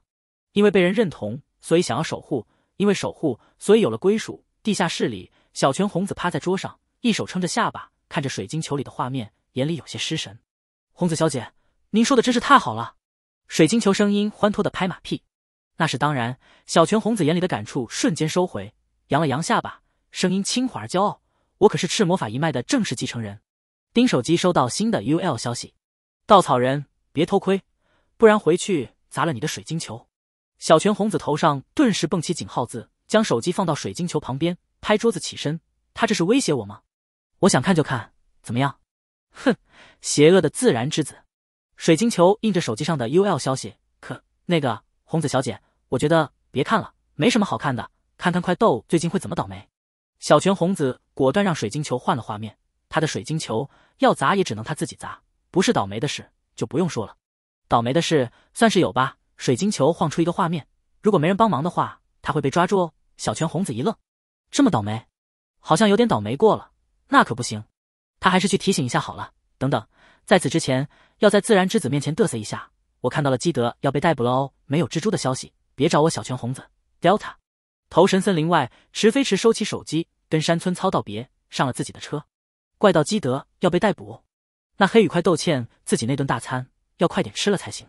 不过今晚不行，今晚得去阿笠博士那里，给吃了两天便当的阿笠博士做顿好吃的。当天晚上，阿笠博士家晚饭后，电视机被打开，阿笠博士和灰原哀已经在沙发上就位，盯着电视上的广告。池飞驰到了果汁端过去，放到桌上，还有十多分钟才开播，没必要干等着。谢谢，阿里博士道谢，笑眯眯端起果汁。你没去你们公司网站的论坛看过吗？这一期节目估计大家都会提前等着。第五期的预告太吊胃口了。灰原哀道，池飞驰在一旁坐下。目前大多数节目预告都是一段像广告一样视频，找个嘉宾巴拉巴拉念词，比如饮食综艺节目，就是笑着说一段像是杨子跟你相约 X 点一起去品尝美食，两大厨王对决之类的话，放一段美食的视频。再放一段往期或者这一期有视觉冲击力的厨艺表演。跨界歌王从开播以来，前三期的预告几乎没变过，因为要扩散知名度，也是广告形式的，念着无论什么职业都能登台的口号，加上一点舞台的画面。一直到上一期，预告开始吊胃口，比如不拍歌手，只拍评委或观众的反应，让人好奇到底发生了什么。因为节目本身登台的人各种身份都有，也够新奇，这么吊胃口真的太合适了。而这一期。也就是第五期试探了观众的接受能力之后，在他的主张下，这种吊胃口的恶劣行为更严重了。中间有一段四个评委陆续转身之后，脸色变得很精彩的剪辑，一向比较冷静的秋庭莲子表情都差点崩了，更不用说其他三个，完事吓了一大跳的反应，半天缓不过来那种。至于台上的人，想知道是谁？不好意思，请等开播。估计很多追着看的人也在等着开播，而且前几天预告出来的时候。就已经亲切问候过策划预告的人了，比如秦九就发邮件问过他，这种吊胃口的预告是谁想出来的？他很坦诚的回了一个我，秦九也亲切的回了一句缺德。其实再过两年不在这个世界的话，大概再过一段时间，预告都会这样了，不吊胃口怎么吸引人去看？柯南应该已经猜到了那个台上的人是谁，他不确定柯南会不会提前等，不过应该不妨碍柯南保留期待。毛利侦探事务所，毛利小五郎看着电视上。见广告过后，又放了一遍那个吊胃口的预告，感觉有点不能忍。飞驰那小子搞什么呀？到底是谁登台会吓那些评委一跳？直接放出来不行吗？听之前那段前奏，好像是摇滚。毛利兰皱眉猜着，是某个摇滚明星吗？不对，就算是摇滚明星，秋庭莲子小姐应该也不会露出那种表情来啊。柯南坐在一旁道：“其实我知道，是不行，不行。”毛利兰打断，认真看着柯南警告：“柯南不许说出来，提前知道就没意思了。”柯南无语。一边好奇的要死，一边还不想提前知道中毒太深了吧？而且他这个知道的，好像跟大家有点格格不入。其实池哥哥以前就告诉过毛利兰、柯南。柯南，行行行，他不说了。节目开始，主持人快速报了一大串赞助商之后，第一个人上台，表演结束，第二个人上台，预告有的那一幕还没有出现。阿笠博士家，会员哀喝了口橙汁，你们是打算把他的出场压到最后吗？会引起众怒的没有，在第三。池飞驰道，阿笠博士顿时投去幽怨的眼神，他就不该跟池飞驰一起看 Thank 公司的节目，不准说是谁。行，我不说。池飞驰保证了一句，又转头跟灰原哀解释：其实哪一期安排哪些人都做过简单的策划方案。这一期前面的两个人，一个水平差，完全是上台凑数，因为职业特殊，人也开朗，有娱乐效果；另一个人水平不错，职业是金融公司员工，在第一期最多第二期之后，这个职业就没什么新奇的了。两个人放在之前哪一期都有些影响节目效果，所以就放在这一期的开头。灰原哀懂了，观众期待着预告里的那一段，对这两个人的表现就会有一点忽略。对他们的缺点也不会太在意。另外，这一期的节目，除非把那个人最早放出来，不然在他之前的选手的人气都会受到影响。种子选手不能放在这里，正好把那两个人排上去。池飞驰语气平淡的解释道：“而且人的期待有一个上限，一直期待会疲劳，然后期待值慢慢下降。那个人也不能压到最后，放在第三个差不多，后面再持续引爆节目气氛。”阿笠博士虽然池飞驰没剧透，但被这么剖开一说，他瞬间感觉满满都是套路。也没那么激动了，他想无知一点。这种安排不会是你想的吧？灰原哀问道。跟预告一样，都是套路。不是，迟飞迟到，什么都安排好太累了，我没那个功夫。只是让公司招了几个研究社会心理学的毕业生。心理学？阿笠博士遗憾，他们学的是社会心理学，跟福山医生那类心理医生的研究方向不同。池飞池见节目里第二个人下台了，没有再细说下去。公司招的那一批人，主要是针对消费者和观众等群体的心理进行分析，对节目的策划提出意见，安排套路。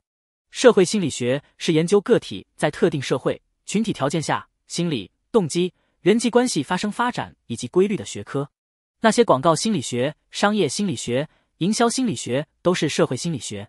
至于福山智明那类心理医生，主要是研究变态心理学、临床或医学心理学，跟医学内外科一样，研究方向的差距很大。这是研究方向的分类，还有另一种分类——流派分类。现在这个时间点，了解、知道心理学的人还不是那么多。会员哀学过医学，或许清楚一点，而更多的人，就算听过心理学，也会跟阿笠博士一样，下意识的跟心理医生联系起来。趁这个时候，赶紧挖两个有天赋的好苗子进公司。连安布雷拉那边，他也让威尔逊招了一批进去。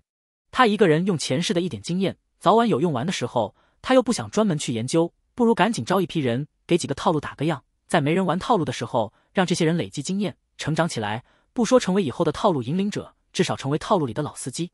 电视里第二个人下台后，主持人又墨迹了一下，提了提赞助商。阿笠博士又忍不住幽怨看池飞驰，池飞驰面不改色的无视掉。理解一下，要恰饭的吗？等主持人扒拉完了，四把椅子带着评委转身背对舞台，第三个人登台。阿笠博士立刻把头转了回去。节目剪辑的很气人，听着前奏，很多人已经猜到了是预告里的那一段，但还是看不见登台者，镜头只是在观众四个评委身上转。池飞池也专注看着电视，准备听听小田切敏也有没有长进。王菲是一首很有爆炸力的歌，从曲到词都是如此，也可以说很嗨。他专门研究过这个世界这个时间段的歌曲，除了重金属音乐、流行轻音乐很少之外，歌曲还是一些情情爱爱的居多。王菲的曲子风格很适合。超前一些，但没超编。而就歌词来说，没有描述奢华的画面，却让人听着就有强烈的视觉冲击。前奏中，王菲这个歌名也在右下角浮现，摇晃的红酒杯，嘴唇像染着鲜血。听小田切明也唱出第一句，石飞驰嘴角就微微扬了一下，确实他想要的感觉。而且小田切明也唱地下摇滚的时候，他去听过私底下的自弹自唱，他也听过。这一次绝对下了苦功夫去练，比以前强出太多了。确定这小子今晚就是冲着炸场去的，那不寻常的美难赦免的罪，谁忠心的跟随充其量当个侍卫，脚下踩着玫瑰回敬一个稳当安慰。节目里某个年轻的词曲家 c o m 一下转身，快得让池飞驰都有点怀疑这家伙在放水。不过小田切明也登场的是，对四个评委都是保密的。小田切敏也又不会留在节目里，纯粹是个彩蛋，有没有评委转身都影响不大，没必要作假。也正因为不知情。那个词曲天才转椅子过去，在看到小田切敏也的一瞬间就喷了。他们四个评委都是这个世界音乐界的佼佼者，邀请参加节目之后，小田切敏也都亲自接待过，大家不算太熟，但也见过好几次了。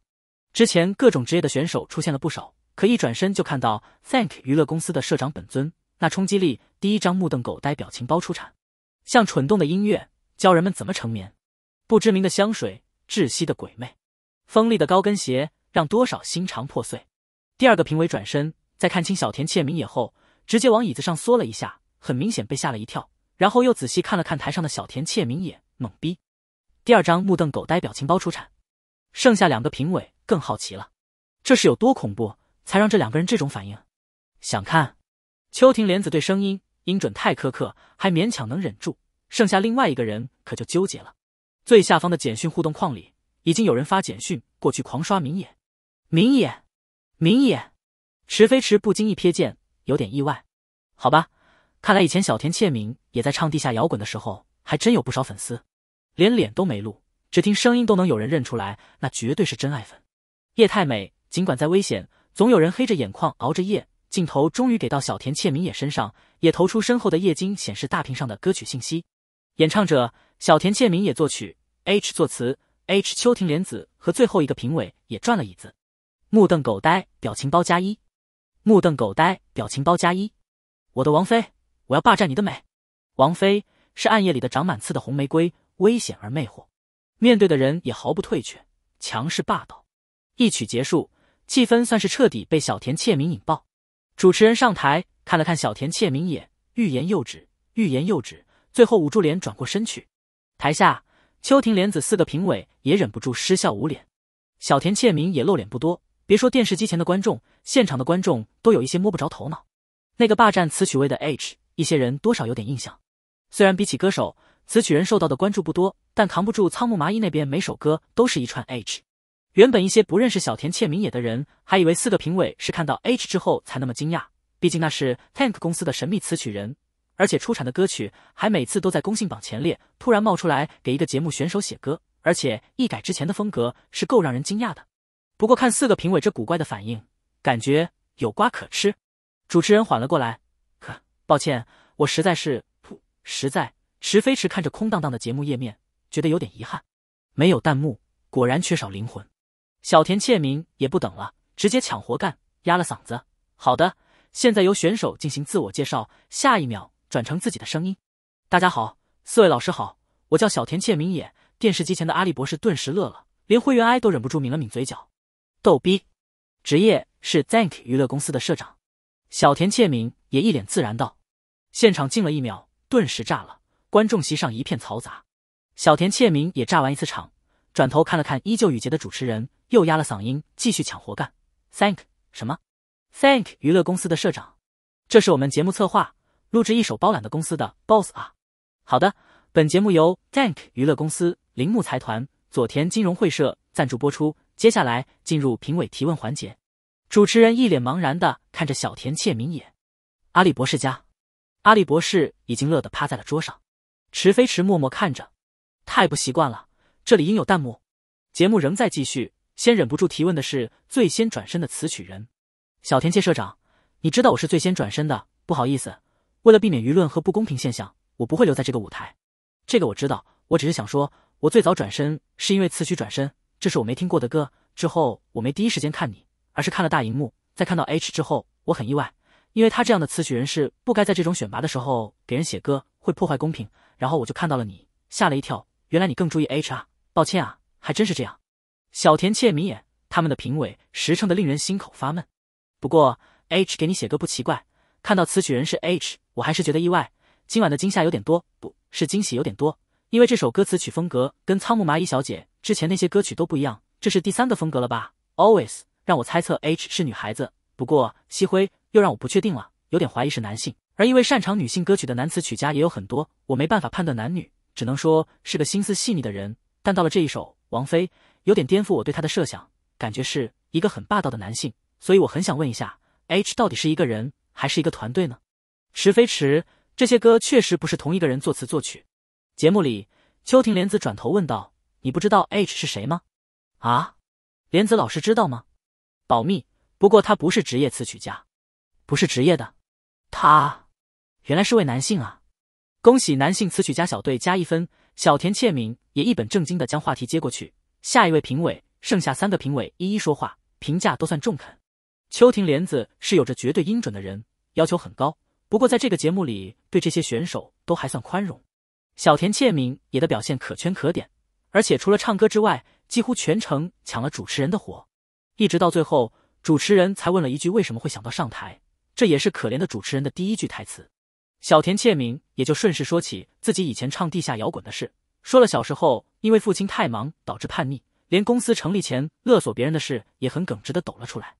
池飞驰一边听一边拿出手机看官网。这次事件对于小田切敏郎的影响远比小田切明也大。在日本，一人犯罪，全家遭殃不是什么稀奇的事，家里出了罪犯，一家人都会被排挤，包括幼龄的孩子和年迈的老人。小田切敏郎作为警界高层。儿子却犯罪，舆论方面对小田切敏郎更加不利，但这是瞒不下来。先不说小田切敏也有多少混蛋朋友想着勒索，想用这个消息去换钱，就算没有这些人，以后早晚会有被爆出来的可能。那还不如找一个合适的机会，自己向大众坦白，态度诚恳的站在我认错这一方，再加上一些语言艺术，很容易接过去。而情况没那么糟糕，小田切敏也是犯了罪，不过他没有杀人抢劫，勒索金额也不多，还主动坦白认错，能卖个好。对于小田切敏郎来说，人们是可以指责他没教育好孩子，可是不要忘了，小田切敏郎不是因为自己懈怠懒惰，而是为了更多人的生命安全在忙碌着。半个月不见的父亲再次见到是在埋伏任务的时候，为了不惊动犯人，甚至没跟小田切明也打招呼，一直到小田切明也看到他走上前，反而还被指责差点破坏逮捕计划。那个完美错过任何学校活动的父亲，不管什么时候一个电话就会立刻出门的父亲，小田切明也诉说的时候。委屈肯定是有的，却没有表露出埋怨的意思。本意也不是责怪警察父亲，而是引导大家去理解那些辛苦的人。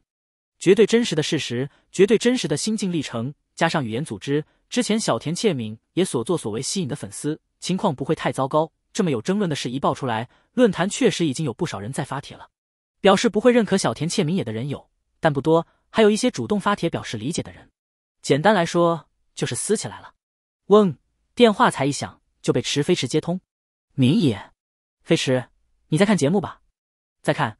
论坛那边的情况我也看了，让准备好的人下场，引导舆论的方向。池飞驰道：“控诉你的帖子不用清理，不过要保证回帖表示支持你的比例占至少百分之九十。人都有从众心理，当一万个人里九千多个人表示理解的时候，第一万零一个人去吃瓜的时候，看着那些言论也觉得有道理，从而也表示理解。而如果第一万零一个人进论坛吃瓜的时候，发现不少人指责小田切明也，也会想这个人是不是真的很差劲？我觉得他们说的有道理啊，那这个人确实很差劲。没问题，早就准备好了。小田切明也轻松道：“别紧张，现在表示理解和包容的人很多，态度偏激极端的只是那么一两个人。我打电话给你是想问问你，我在节目里的表现怎么样？我登台是对他们保密的，可不知道主持人会接吧，所以我就干脆接过主持的任务。节目录完那天，那家伙还无语了好一会儿。不过大家觉得节目效果不错。”剪一下就这么播出来了，挺有意思的吧？池飞驰，别放松警惕，那些报社有没有联系好？放心啦，都已经准备好了。小田切明也语气夸张道：“先不说那些，我要夸奖池飞驰表现不错，有个人样。”小田切明也嘟嘟挂断电话。池飞驰继续翻了一下论坛，这个世界的人确实不错，可能是世界危险程度比较高，说话客气的居多。当然，也有一些言论偏激的，像是找存在感一样的人。也就是什么都不了解，甚至节目也没看过就开始咬的疯子。看了一两条言论偏激的帖子，池飞驰就退出了论坛。他怕忍不住拿着枪找上门去。会员哀见池飞驰通完电话之后，就在低头用手机咔咔咔打字，不由问道：“接下来会很忙吗？”我们既然主动爆出来，肯定做足了准备，备用方案有很多个，不会忙不过来。池飞驰一边打字一边道：“他甚至准备了水军，如果场面控制不住的时候，可以无脑去黑小田切明也。”在一开始的全民黑之后，再显露故意带节奏、故意黑的痕迹，让观众觉得这是竞争手段，这是有人在愚弄他们，从而站到被伤害的小田切明野那边去。就目前的局势来看，那个安排是用不上了。不过浪费了也无妨，要打就要保证稳。至于他现在有两个家伙跳的不一般，都上升到人身攻击了，我让人查一下情况，然后心里拉个小本本记下。他现在不会找上门去做什么，不过总要弄清楚那些是发泄心里怨愤的人。还是某个公司的人拉进黑名单，这些记在小本本上的人，他以后打赏金或者组织任务遇到，必要的时候也别指望他会手下留情。阿笠博士继续看节目，不时幽怨看一眼池飞驰。后面的节目爆点也没少，现场气氛越来越火爆，连他都有点激动。但这边情绪释放一片火热，那边池飞驰一脸冷淡的工作安排套路，让他心情有那么一点微妙。其实他真的想无知一点，快乐一点，以后绝对不能跟池飞驰一起看 Thank 的节目。第二天，池飞驰去了小田切明野家里吃午饭。饭后，小田切敏郎拉着两人喝茶。何辉去上学了，虽然在拍电影，但也不能耽搁上学。小田切敏郎低头倒了茶，递了一杯给池飞驰。他这个年纪，不管学业怎么样，能多交一点同龄的朋友就是好事。池飞驰接过茶杯，电影的进度不用赶。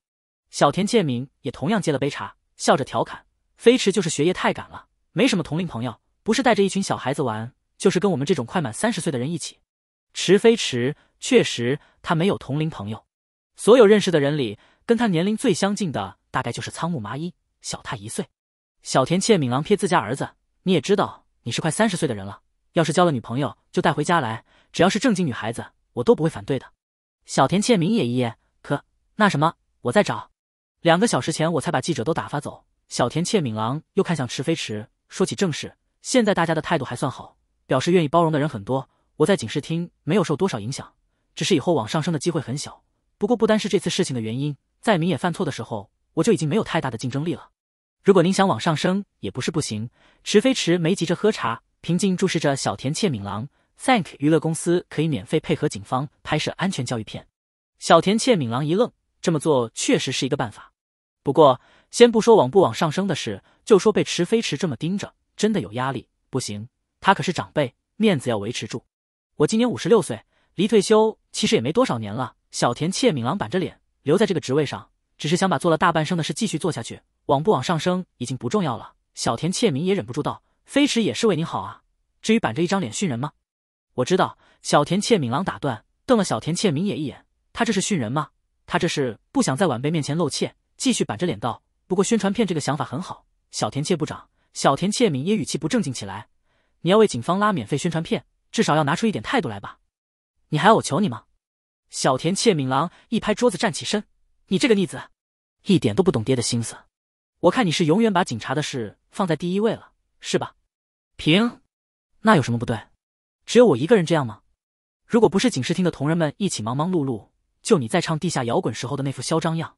早就被人打死了。啪啦！我那时候怎么了？是谁说不再提之前那些事的？砰！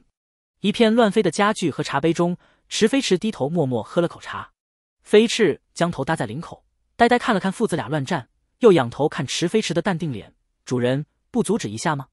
阻止什么？池飞驰看着杯子里的茶水，又喝了一口红茶。上等，这对好久没沟通感情了，他们都有点怀念。飞驰又抬头。看着小田切敏郎，哧央一下拔出刀架上的真刀，这样真的不会出事吗？一时间，饮茶的偏厅一片刀光剑影。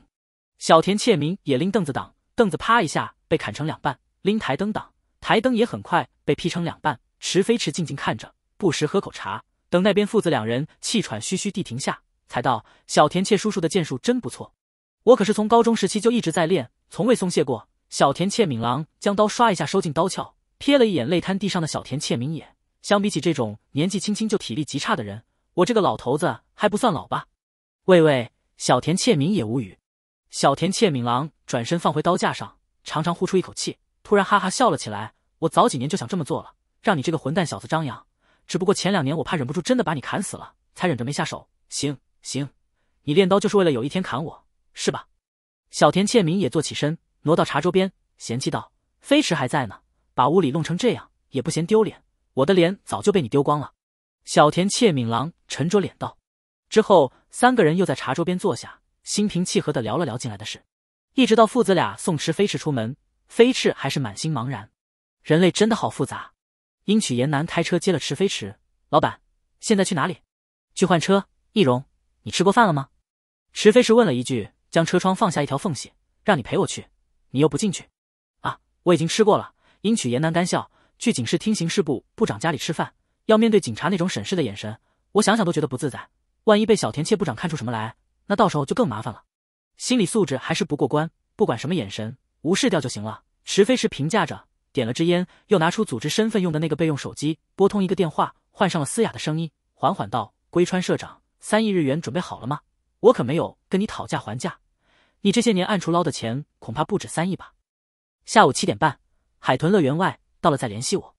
这是绿川沙希去美国前发现的小任务线，一个大金融会社社长非法逃税，组织某些无良情报人员调查之后汇报组织这是一条肥鱼，组织肯定不能放过条肥鱼，又让人默默把具体罪证收集了，威胁一下，准备进行一波见不得人的金钱交易。秦九说有别的小任务线要去打，这事就丢给他了。开车的英曲岩男再三侧目，前一秒才在警视厅刑事部部长家里喝茶聊天，后一秒出来就打电话勒索干坏事。老板这心态是怎么练出来的？飞驰日常探头窥屏池飞驰手机上的邮件，低声道：“主人，英曲一直在看你爱，什么事？”池飞驰头也不抬的问了一句。英曲岩男被吓了一跳，怀疑自家老板脸侧也长了眼睛，半开玩笑道：“我是在想。”您在青山第四医院诊断出来的病症，不会是人格分裂吧？他觉得就算不是，老板也要小心一点，演太多容易得分裂症。池飞驰视线从手机屏幕上移到英曲岩男身上，怎么看出来的？还用问怎么看出来的？英曲言男心里语塞，面不改色道：“我就是随口一说，您不用放在心上。”池飞驰收回视线，看了一下散出去的外围成员回复的信息，又打了电话：“科恩，交易地点海豚乐园外，去确认情况。”明白。科恩闷声应了一声，切断通讯。这是一个多做事少说话的老实人。池飞驰心里评价一句，又继续看邮件，表示这个金融会社社长是肥鱼的人，是波本。估计安世透是想着那家伙的钱也是非法所得，干脆拿来组织里刷功绩。这么做是养肥了组织？还真不至于。秦九一个月不知要打多少钱，组织一个月不知要在活动经费、研究方面烧多少钱，组织一个月的流水。要是全部抖出来，估计他都会觉得惊人。安世透卧底在组织，不可能什么情报都不提供。与其让组织祸害老实人，不如引组织祸害这种不老实的人。这类交易基本是一笔结束，只要对方不耍心眼，人也不用清理掉。对安石透来说，心理负担应该是最小的。而那个金融会社社长，大概还觉得妥协了就没事了。殊不知，他的罪证都已经放在公安警察那里了。换了黑色车子，池飞驰帮自己和英曲岩男易了容。又去了趟实验室，才带着英曲岩男先到了海豚乐园附近侦查了地形，然后就找了个地方停车，坐在车里等。他好歹是跟秦九一起打过钱的人，这些行动的基本流程都不算陌生。行动前，让两个外围成员来探探情况，再找跟着这事的波本确认目标没有异常举动，比如报警、联系暴力社团等其他势力。之后，科恩就位，在附近高处警戒，他们在勘察地形，找出适合他观察情况的地方，适合出了意外撤离的路线。到了交易时间，应曲岩男带着东西去跟目标交易。他待在外面，如果他发现异常，或者科恩发现异常并汇报给他，他就要看情况安排，带着应曲岩男安全撤离。池飞驰坐在车里，手里把玩着一个装药的小盒子，侧头看着窗外渐渐黑下来的天色，脑海里突然冒出一段话：某个高中生侦探跟青梅竹马来海豚乐园玩的时候，目击了黑衣男子可疑的交易现场，由于偷看的太过专注，而忽略了另一个从背后接近的黑衣男子的同伙。被袭击打倒在地，这个黑衣男人给他灌下了名为 APTX 四八六九的药物。等那高中生清醒过来时，发现自己的身体居然变小了。这种情况应该不会出现。今天附近没发生什么案子，也没警察在附近。如果真遇到有人发现黑色交易的情况，也用不上 APTX 四八六九，直接一枪解决，不用担心遇到警察。他带着 APTX 四八六九，只是为了以防万一。嗡，有电话打进来。池飞驰立刻接听，用上了嘶哑的伪装声。科恩，拉克，有可疑的人在交易地点附近。科恩干脆利落的汇报，穿棕色衣服，戴着帽子，已经在交易地点附近转了两圈了。池飞驰顿了顿，将通话转到耳机，将药盒装进口袋，拿上自己的折叠镰刀下车，注意周围的情况，保持联络。明白。科恩应声。折叠镰刀没有展开刀刃，就是一根黑棍。棍子有了，药有了，目标有了。池飞驰心情有些微妙的悄声摸进目标，被袭。闷棍敲倒，呃，戴着帽子的男人扑通倒地。不远处昏暗角落里，正在跟目标交易的英曲岩男被惊动，立刻拿出枪对准交易的矮胖男人，才微微侧目看响动传来的方向。拉克，这家伙鬼鬼祟祟的在附近转悠。池飞驰声音嘶哑道。衣冠楚楚的矮胖男人也吓了一跳，看清倒在池飞驰脚边的男人后，忙摆手道：“别，我担心我们的交易被人看到，所以通知他来附近守着。”池飞驰没急着说什么，拿出手机。正准备问问情况，新邮件发来，Rocky 目标之前通知了一个保镖跟过去。Bourbon 真不知道安室透这消息算是发来晚了，还是发来的及时。知道了，Rocky 池飞驰回复之后，收起手机，朝英曲岩南点了点头。英曲岩南拿着装钱的箱子，跟着池飞驰撤离。不用担心被偷袭，科恩还瞄着呢。一直等回到了车上，英曲岩南检查箱子，确认里面没有夹杂窃听器、追踪发信器之类的东西。池飞驰开车离开原地，对耳机那边说了一句：“科恩，交易完成。”才切断了通讯。英曲岩南仔细检查了箱子和钱，核对了金额，才出声道：“老板，没问题。”池飞驰从口袋里摸出手机，给秦九打电话。飞驰忍不住低声感慨：“日常工作的一天结束喽。”第二天一早，池飞驰出门晨练，飞驰在家玩剑域晨练。飞墨跟着池飞驰飞了一路，嘎嘎叫声就没停过。主人，让我去英国铺一下情报网吧。主人，英国伦敦塔的乌鸦真是太可怜了，我想拯救他们，让他们加入我的飞墨军团。主人，可能会有王室和高层的情报啊，您心动吗？心动不如行动啊。主人，暂时不铺情报网。我去设立个据点总行了吧，主人。英国不行的话，您送我去美国吧，我去帮您打探情报，即将有重要的大行动。哎，主人，考虑一下。主人，主人，池飞是有点庆幸他起得比较早，不然路上的人看到有乌鸦一直围着一个人嘎嘎叫，不知道的还以为他今天运气会有多差呢。回到家，飞沫跑去喝了水，又继续道：“主人啊，我把乌鸦都挑好了，都是能出国常住的，长途托运不安全。池飞驰去卧室拿了衣服，准备去洗澡，把你们装进笼子里。”一不小心就会受伤，说不定会有人嫌你们吵，还偷偷给你们打针麻醉药。我不跟去，不放心。飞沫想了想，那可以找家靠谱的航运公司。过去之后，项链通讯因为距离过远就没法用了。你还需要一批能联系到我的远程通讯设备，电脑或者手机。池飞驰继续道：“也就是说，送你们过去之后，我要让人把电脑和手机送到某个地方，你们必须自己去找地方，去拿设备，自己接电源。”飞沫考虑了一下，这个也没问题，我会接电源。我让大山联系专机送你们去。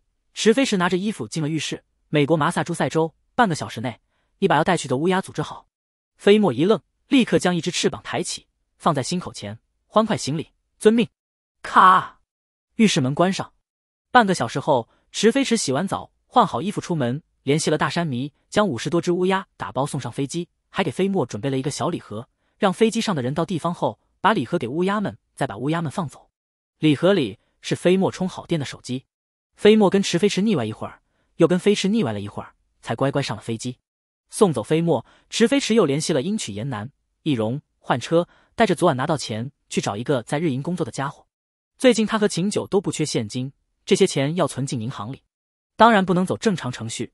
不过组织在各个银行里也控制了一些人，他只要把钱交到对方手里，等钱转进组织提供的账户之后，给行动成员发钱就行了。提供消息的绿川沙希，调查确认可以交易的波本，负责交易的英曲岩南，盯梢警戒的科恩，交易前去探路的外围成员，还有他的，剩下差不多五成归入组织资金。这次行动每个成员占了其中一环，都不算辛苦，回报却是数倍。要是安排合理的话，风险比起其他犯罪而言也不算太大。如果是风险太大的交易，行动指挥者也要选择直接放弃或者另找机会。也难怪组织除了卧底，被迫加入的人。还有一些摸到了门路的人，削尖了脑袋想加入组织。组织基本是隐藏起来的状态，没有对外的加入途径。能触及组织的人也算不容易了。加入之后还有各种试探，而且风险不大，只是相对而言，一不小心死了的也有不少。很多人加入只是想痛快赚两年钱，然后退出养老。可是组织加入了就不存在退出的一天，退出就是死。考虑拉一批人出去单干，很难。这是一台精密运转的大机器。而且已经有序运转了数十年，触手伸到各国各层面，个人只是一个零件，就算拉了几个零件出去，组成一个小机器，早晚会被大机器搅碎。各国卧底目前就是想摸清这台大机器各个零件藏匿的位置，具体的情况最少要掌握主要零件，一举打散。而在所有零件里，秦九、贝尔摩德、朗姆这类由那一位联络的人，就像是一条串联着多个零件的电线，逮住一个，说不定就能摸出一条线上的附带零件。只不过这些人没一个好歹的。夜里，酒吧墙角昏暗的卡座间，池飞驰顶着易容脸坐在椅子上，右手转着酒杯，将目前了解到的组织情况在脑海里理了理。那一位大概是想将他当成一条新的电线，让他再把一些边缘零件串一串，顺便去拉一些出色的零件，把大机器再扩充一下。问题是，那一位能掌控主权的根源，你来的够早的。秦九走到桌对面坐下，那个正要的那条线，朗姆要去了。石飞驰转头看了看远处的卡座，看到伏特加跟一个男人坐在一起低语，又收回视线。我也没什么事，就先过来了。哼，朗姆。秦九意味不明的低嗤一声，没再说下去，拿出一支烟咬住，擦火柴点燃。你那边没什么事了？我这里事情可多得很。今晚没空，我要去打赏金。石飞驰端起杯子喝了口酒，他今天心情一点都不好。之前飞沫就算不会天天跟着他，但能随时联系上，他能知道飞沫在做什么，身边是什么情况，有事要碰面，最多就一两个小时。今天飞沫这一走，不仅想飞都飞不回来，连什么时候才能联系上都不知道。万一水土不服呢？万一过去美国就被什么手段捕杀了呢？万一担心加上一种莫名的失控感，让他很不舒服。让飞沫走，是因为他很清楚，飞沫有自己的想法，是只很会自己拿主意的乌鸦。而他的很多担心其实都没必要，飞沫能处理好。他同意飞沫离开，全程没表露任何不满，并且之后也该干嘛干嘛。也是因为他知道控制欲过强，对他、飞沫、其他人都不好，必须改正一下，控制自己。控制自己，要尊重飞沫的选择，要尊重飞沫的想法。但特么他心态其实还是崩了。打赏金，秦九拿出手机看信息。日本可没多少有意思的对手。池飞驰也拿出手机上赏金殿堂那个论坛，准备看看最近的信息。刚登上账号，看到私聊信息一堆，打算顺手清理一下，就看到噩梦将会降临到你的身上。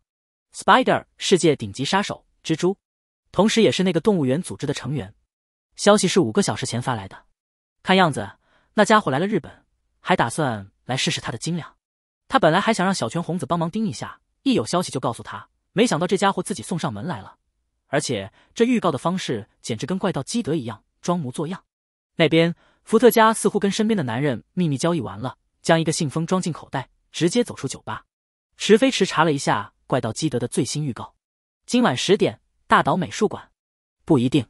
秦九抬眼看池飞驰，随即反应过来。池飞驰是回复他之前那一句“日本没多少有意思的对手”，过了两分多钟才接话，这什么毛病？池飞驰没有回那条消息，给那一位发消息报备，跟秦九解释道：“那个代号蜘蛛的世界顶级杀手来了。虽然组织不干涉私人行动，他以往打赏金也不用特地告诉谁，但蜘蛛跟那些罪犯不一样，有风险得报备一声。”秦九又垂眸继续看手机，组织里有一点情报，但是情报不多，一个神秘兮兮的家伙，身为杀手。信息泄露太多才叫傻，池飞驰说了一句：“上次拿了磁盘那群家伙的同伴。”秦九查了一下信息，突然冷笑出声：“还在赏金殿堂里给你下了战书，你在幸灾乐祸？”池飞驰看了一下赏金殿堂论坛里确实有一封战书。飞鹰七月，你们准备好迎接噩梦了吗？Spider 论坛里一群唯恐天下不乱的家伙看出其中的意思，杠上了，全都很积极的等着看热闹。我还可以更幸灾乐祸一点。秦九操作着手机，说说你有多少把握？我开个赌局，看你想要什么结果。池飞迟到，他早就猜到秦九在赏金殿堂里有账号。不过蜘蛛名气不小，现在战书下了不到半个小时，大大小小的赌局已经不少了。他也找不出秦九的马甲。你还真够自信的。秦九默默调低了池飞池输的赔率，又设了平手、死亡、逮捕之类的小赌项。抬眼发现池飞池依旧在盯着手机。你那里有这家伙的情报吗？有一些，池飞池翻看着论坛，不急，打猎前先算清报酬是常识。他要先算算蜘蛛所有赏金加起来一共有多少钱。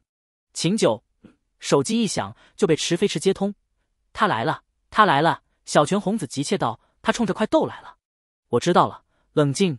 池飞驰话没说完就被那边小泉红子打断：“今晚十点，大岛美术馆，水晶球那边响起水晶球像小黄人一样的声音。红子小姐，统计完了。”逮捕赏金大概一千多万美金，换算成英镑是八百多万，换算成够了。小泉红子对着手机道：“听到了没有？我先过去了，你别算了，赶紧来。”嘟嘟，池飞驰将手机从耳边放下，继续逛论坛。魔女小姐太心急了，现在才八点多，距离基德预告的时间还剩一个多小时，急什么？自己把账算清楚，才比较有期待感。晚安，九点四十一分，大岛美术馆内外已经被警察戒严。黑羽快斗被中森亲子拉进美术馆，快点啦，快斗！既然白马邀请我们过来，我就一定要亲眼看着我爸爸把基德那个小偷抓住才行。美术馆附近的大楼楼顶，小泉红子披着黑色的披风，帽子拉起，挡住了脸，焦急的看着手机上的时间，怎么还不来呢？你是指谁？后方传来一个男声，平静的语气很熟悉：“邪恶的自然之子。”小泉红子欣喜转身看向后方的黑袍人，池飞驰一身同样笼罩在黑袍里，帽檐拉得很低，没吭声。对于邪恶这个前缀，他不认同。相比起来，魔女才是邪恶的，好不好？帽檐下，飞驰耷了个脑袋出来，看了看一身黑袍的小泉红子，又低头看看笼罩池飞驰的黑袍，也选择沉默。这两人现在这样子，就像邪教徒聚会，看着都挺邪恶的。小泉红子没争论谁邪恶的问题，看向大岛美术馆，解释道：“白马给快斗设了陷阱，邀请他和青子去大岛美术馆。等会儿白马肯定会盯紧快斗，等预告时间到了，要是基德却没有出现，白马一定逼他坦白身份的。”池飞驰走到天台边，蜘蛛交给我，那边你解决。好，你要小心，那家伙是幻术师。小泉红子一看时间不多了，将自己身上的黑色披风扯下来，露出下面的白色礼服，变出白色礼帽和单边眼镜戴上，将头发变短，伪装成怪盗基德的模样，又变出扫帚，骑着飞向大岛美术馆。我去帮快斗。飞翅目送小泉红子离开，主人，红子伪装的怪盗基德看起来很娘娘腔啊。池飞驰抬起头，沉默。黑袍帽檐下，一张无脸男的面具附在脸上，眼睛部位依旧没有开孔。飞翅反应过来，我差点忘了您看不到，就是红子打扮成了怪盗基德的模样，却打了个红色的领结。嗯，池飞驰应了一声，用戴着手套的右手摘下了脸上的面具，拿出一颗胶囊服下，又重新戴上面具。蜘蛛是幻术师，就是用高超的催眠手段让人陷入幻觉中的一类人。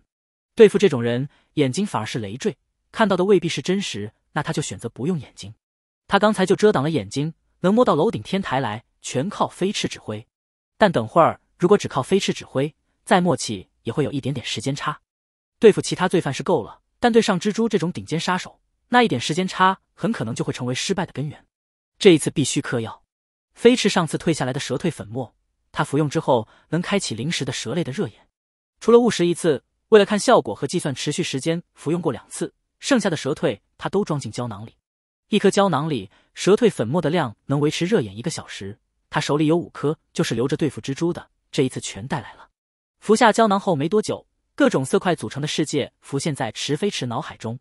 大岛美术馆有些看不清，观察到的世界以他自身为中心点呈圆弧扩散，就算不转身也能看到身后角落一只爬动的小虫子。那个移动小点的热量显现出偏黄的色块，与蓝色地面明显不同。看色块颜色深浅形状。能辨别出是一只苍蝇，嗖！一张黑牌飞出，将苍蝇切成两半后，一个角钉入地面。池飞池上前将牌捡起，站起身，重新回到天台边。而前方两栋大楼中间，一张大网横在空中，形状与蛛网一模一样。大概是制作材料的温度很低，深蓝的蛛网现在在他眼里十分醒目。附近还不止这一张蛛网，一张张蛛网交错，横着的、竖着的，笼罩了大岛美术馆周围。空中。还随风飘荡着一根根细细的蛛丝，上方空中一张蛛网连接着两栋高楼悬空着，蛛网上趴了一个深蓝的蜘蛛状怪物，还有一个黄橙红组成的人形站在旁边。蜘蛛，这家伙估计早就看到他和小泉红子了。池飞驰拿出手机，凭着记忆翻通话记录，热眼看手机就是一块冰冷的方形状物，由于运转而散发出热量，部分地方多了一些稍暖的颜色，完全看不到手机屏幕上显示的内容。不过，现在的翻盖手机有一个好处，那就是不需要看着屏幕点击屏幕，可以用上下左右键选定。只要记得具体的页面，暂时看不到屏幕也能操作。飞驰发现池飞驰拿手机，伸头窥屏，想来一把体贴指挥。主人用人眼的时候，他就用热眼帮主人；主人用了热眼挡住了自己的眼睛，他就用蛇眼帮主人看手机。世界上哪有比他们更默契？更池飞驰按了手机拨号键，快速按下移下移。再按拨号，他记得秦九的通话记录在第二个。喂，飞翅，其实他们可以默契一波的，真的。电话那边，秦九声音沉冷道：“蜘蛛在论坛发了消息，他已经发现你了。具体说了什么？”池飞驰问道。“July, I see you。”秦九道：“就这么一句。”“嗯，我也看到他了。”池飞驰挂断秦九的电话后，面具下的嘴角微微扬起，将手机从耳边放下来，右手垂在身侧，手指快速在按键上按着。既然看不见屏幕，他也懒得将手机放在眼前了。飞驰从黑袍下爬到池飞驰右手袖子处，探头一看，手机屏幕亮着，显示出赏金殿堂的论坛页面，账号密码已经输入完了。选定框又快速下移，选中登录，页面开始跳转。大概两秒后，登录进去的页面浮现。主飞驰刚想提醒，就看到池飞驰手指又开始利落按着手机键，选定框咔咔咔，下一道第二排第一个发帖再次被确认，跳转帖子输入界面，Spider I C U Two，手机屏幕上快速跳完字符，选定框又咔咔咔跳到发布选项，选中确认发布，发布成功，全程盲打，怎么了？池飞驰问着，继续操作退出论坛，清理浏览记录，没没有，飞驰突然有点惆怅。池飞驰没追问，没事就去衣服下躲好，还有两分钟。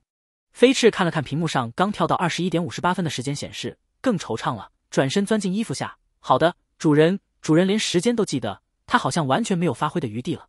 池飞驰将手机关机收好，就静静站在原地观察着上方蛛网上的蜘蛛。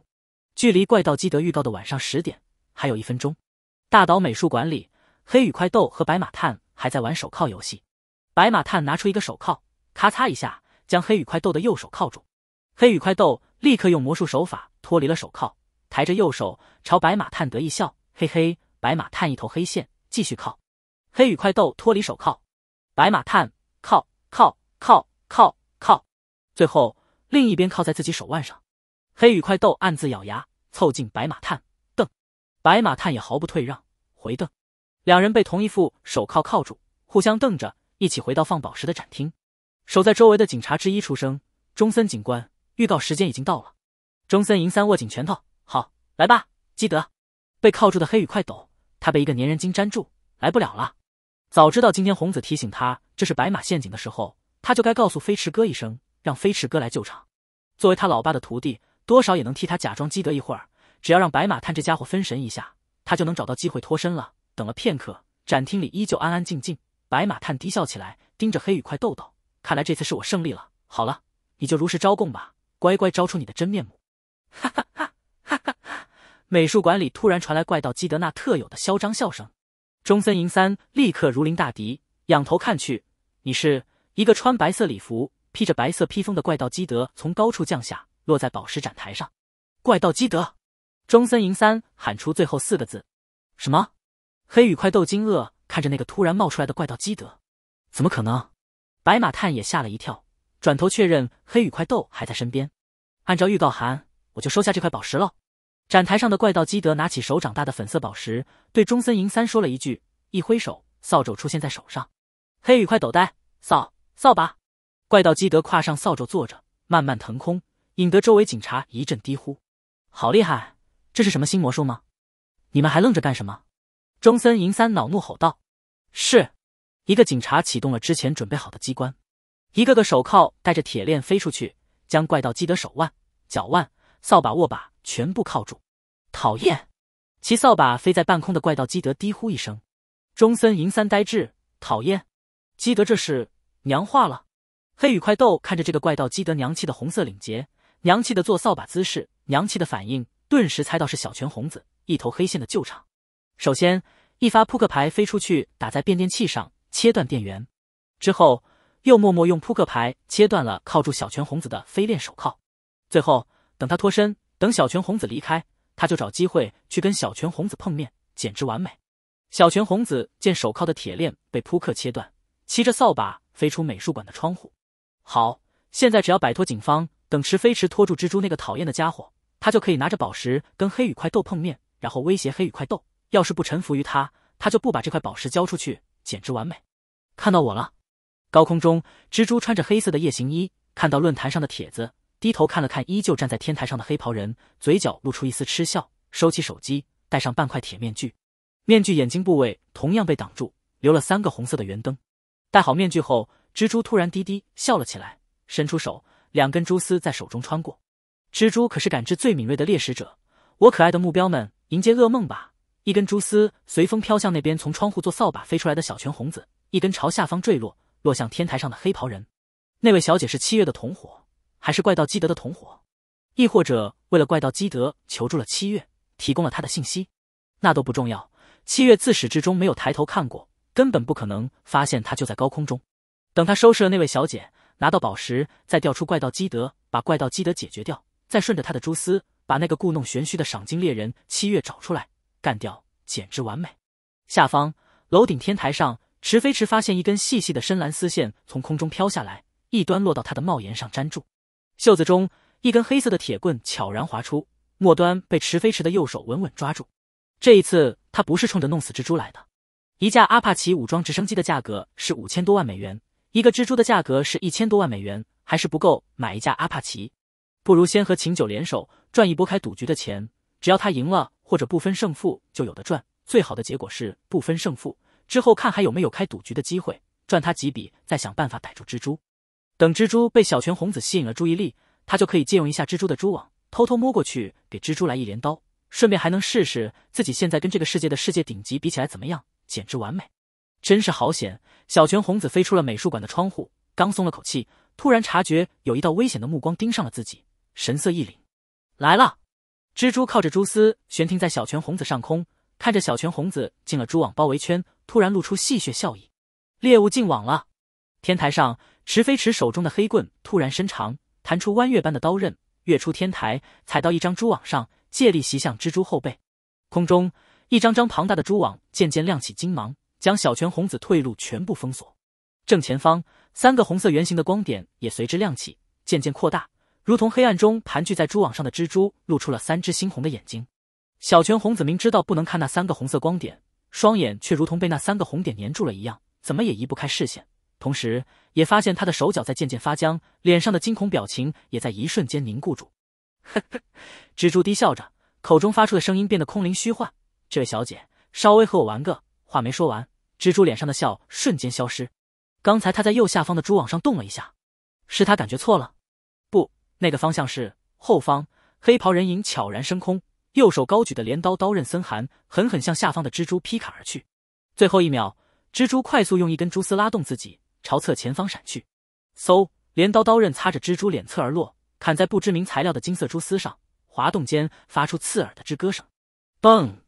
一根蛛丝断裂，蜘蛛被蛛丝带着往一边闪。看到被砍断后弹起来的金色蛛丝，脸上仍带着一丝惊愕。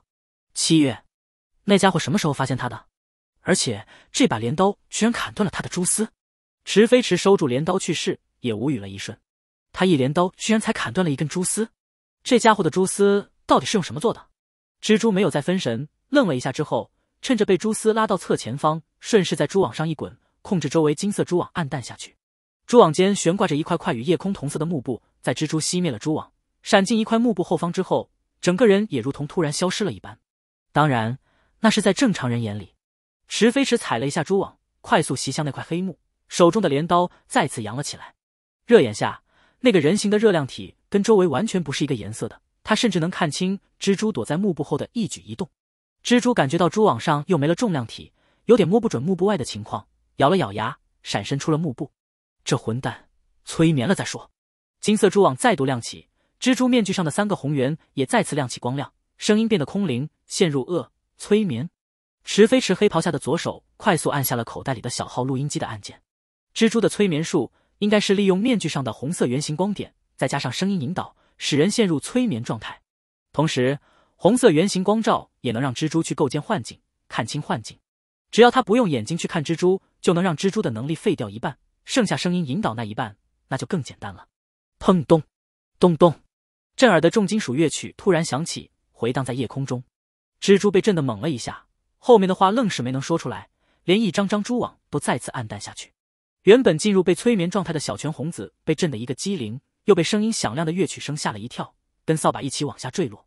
大岛美术馆，中森银三带着一群警察冲出美术馆，刚抬头准备搜寻一下怪盗基德的身影，就被突然响起的乐曲吓得齐齐一个踉跄，全部摔倒在地。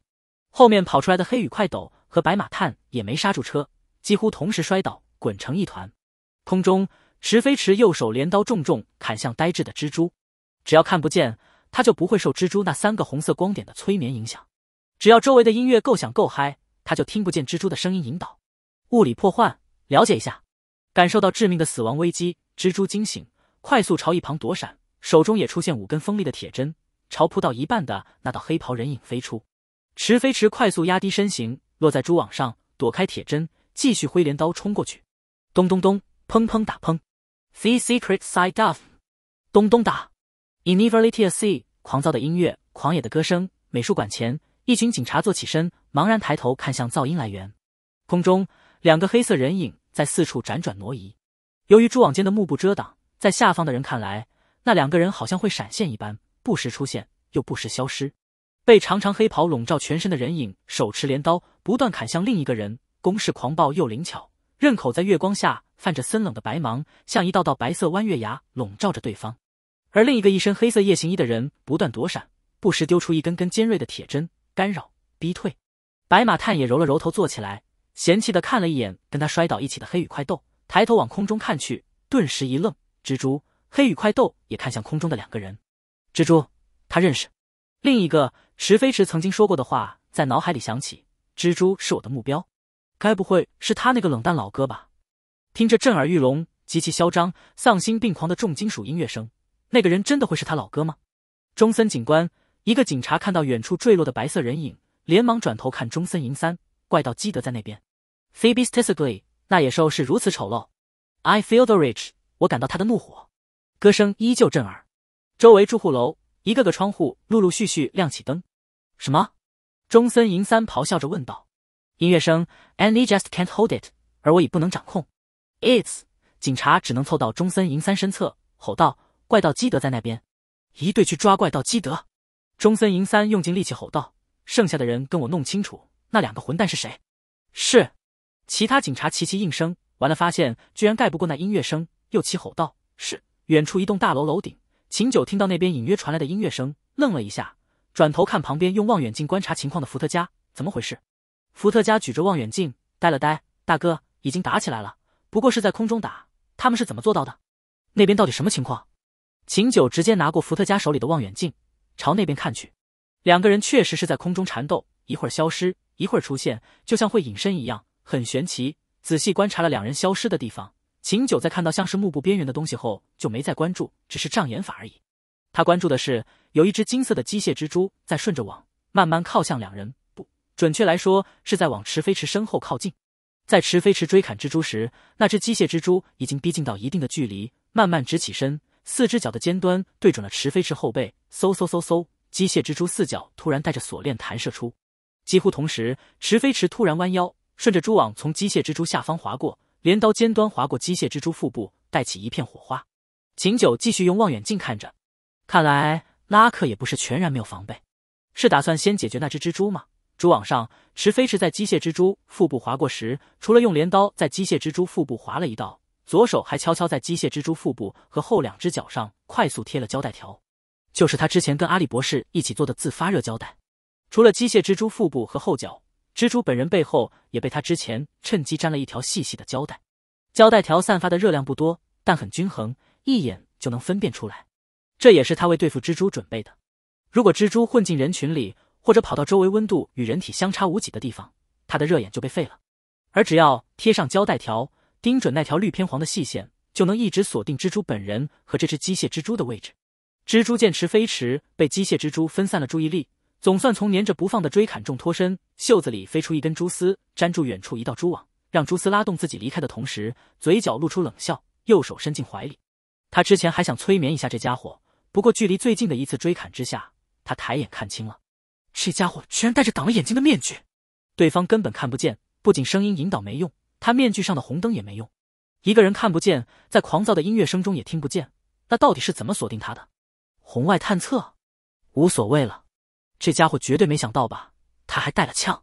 在蜘蛛右手伸出怀里的同时，三张黑牌前后飞出，一张切向蜘蛛的手腕，一张切向拉蜘蛛离开的蛛丝，最后一张飞得慢一些，在蜘蛛为了避免右手手腕受伤。将手往上抬了一些的时候，切进枪管中。由于拉动自身的蛛丝被切断，蜘蛛也朝下坠落。池飞驰已经从机械蜘蛛身旁脱身，跟着跃下蜘蛛网边缘，镰刀再次朝蜘蛛砍去。从打斗开始，他就没用过飞牌，一直近身缠斗。面对蜘蛛飞出的铁针，也是能躲则躲，就是为了留底牌。双方都是手段奇多的挂笔，必须要计算清手中的牌，在最合适的机会打出去。蜘蛛在往下坠落的同时。袖子里再次弹出蛛丝，绑上旁边大楼的铁杆，稳住下降的身形。池飞驰黑袍下，左手也丢出一道细锁链，拴住上方的蛛丝。在蜘蛛上方悬空时，镰刀再次挥砍过去。蜘蛛手里的蛛丝延长，带着自己往下继续往上降落，让本该腰斩他的镰刀从头上砍过，将旁边大楼的玻璃砍得粉碎。攻击被躲开，池飞驰也不意外，没有跟着下坠，反而让拴在左手腕上的铁链拉着自己上升，回到上方蛛网上。双方第一次将距离拉得这么远，蜘蛛心里却骤然不妙的感觉，对方明显做足了准备，他可不信对方没有拿枪。之前对方左手要控制锁链，右手要拿镰刀，空不出手来。但如果回到了蛛丝上，有了落脚点，就不需要再用左手控制锁链了。果然，那个黑袍人在回到蛛网上后，立刻换了左手拿镰刀。右手一把枪的枪口露出黑袍，对准了他。咻咻，三颗子弹快速打出，冲蜘蛛的手、头、脚打去。迟飞迟，这是防备蜘蛛穿了防弹衣。蜘蛛脸色一变，咬牙立刻让蛛丝回升了一下，拧身背对着枪口。一颗子弹打在蜘蛛后背，并没有穿透。剩下两颗子弹，一颗从蜘蛛腰侧飞过，一颗从蜘蛛脚下飞过，频频打碎两块大楼的玻璃。池飞池轻嗤了一声。这混蛋果然穿了防弹背心。大楼里，中森银三正带着一群警察爬大楼。池飞池和蜘蛛已经打到忘了外界的声音，但那狂暴的重金属音乐一直没有停止。I feel it deep within，我像是被困在深潭里。It's just beneath the skin，在这副皮囊下。I must confess that I feel like a monster，我必须坦白，我就像恶魔。I hate，一群警察听得都忍不住跟着节奏微微点着头往楼上爬。平，平。旁边的窗户突然碎裂，玻璃碎片纷飞。中森银三前方的地上多了两个还在冒烟的弹孔。中森银三停住脚步，脸色在一瞬间变得铁青，总算明白过来，那两个人不像基德一样从来不杀人，两个人都带着枪，这简直不能忍。撤！这已经不是他们搜查二可能应付的了。他要上报，让警备部特殊奇袭搜查队出动，还有第四机动队、第六机动队。而现在已经有附近的民众被音乐声惊动。他们必须先回去保护民众安全。大楼外，蜘蛛已经准备撤了，让机械蜘蛛悄悄跑到前面织网，用蛛丝拉着自己飞离。池飞池也拉了蛛丝，跟着搭顺风车。想跑，不行。随着两人远离，音乐声也跟着远离。白马探一手扶墙，揉了揉眉心，抬起头，长长松了口气。那震耳朵的噪音总算离远了。黑羽快斗靠墙站在一旁，放下捂住耳朵的双手，也跟着松了口气。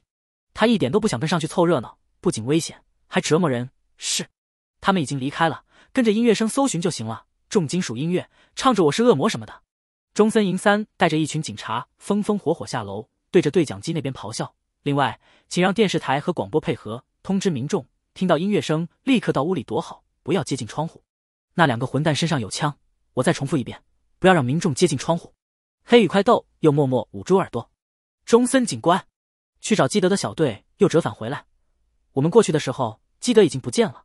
中森银三刚点了点头，白马探究神色沉重的迎了上去。那两个打斗的人里，其中一个是世界顶级杀手，相比起基德，蜘蛛才是危险人物。我知道了。中森银三感觉耳边还有狂震的音乐，下意识的大嗓门喊了一句。白马探刘海的发丝被咆哮吹得飘了飘，面无表情。他就是提醒一句，不用吼他吧。根据警察厅的消息。另外一个家伙是赏金猎人七月，中森银三继续咆哮式说话。黑羽快斗转头看向那两个打斗的人离开的方向，还能隐约听到一点音乐声，还真是他那个日常一脸冷淡的老哥呀。等会儿要不要用怪盗基德的身份跟上去，看看能不能帮忙？呃，还是算了吧。那音乐不仅震耳朵，节奏还嗨得吓人。他怕池飞驰是脑子突然抽了，嗨过头连他一起砍。他等会儿还是偷偷溜走。先去找红子，把宝石要过来再说。白马探默默挡了一下耳朵，才继续问中森银三：“他们怎么对上了？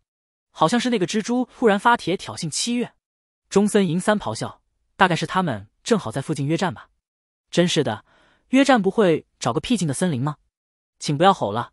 白马探得到想要的情报后，无语远离了中森银三，摸着下巴思索。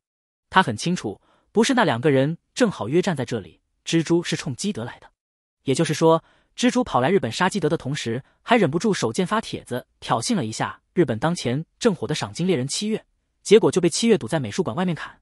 这，这是觉得日本的赏金猎人都是菜鸟？可好吧，他在今晚之前也是这么想的。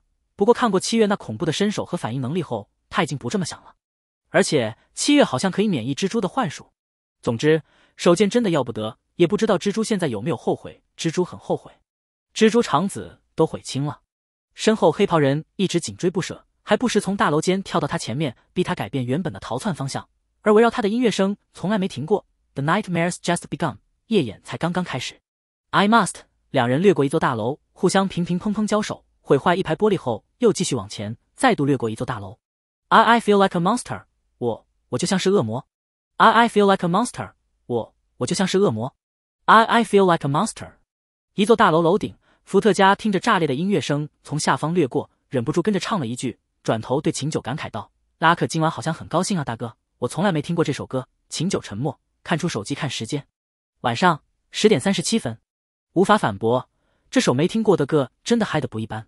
不过歌不是关键。关键是警方快来了，还会是特殊气息搜查队。他不信拉克不清楚这一点，但拉克似乎还打算追下去。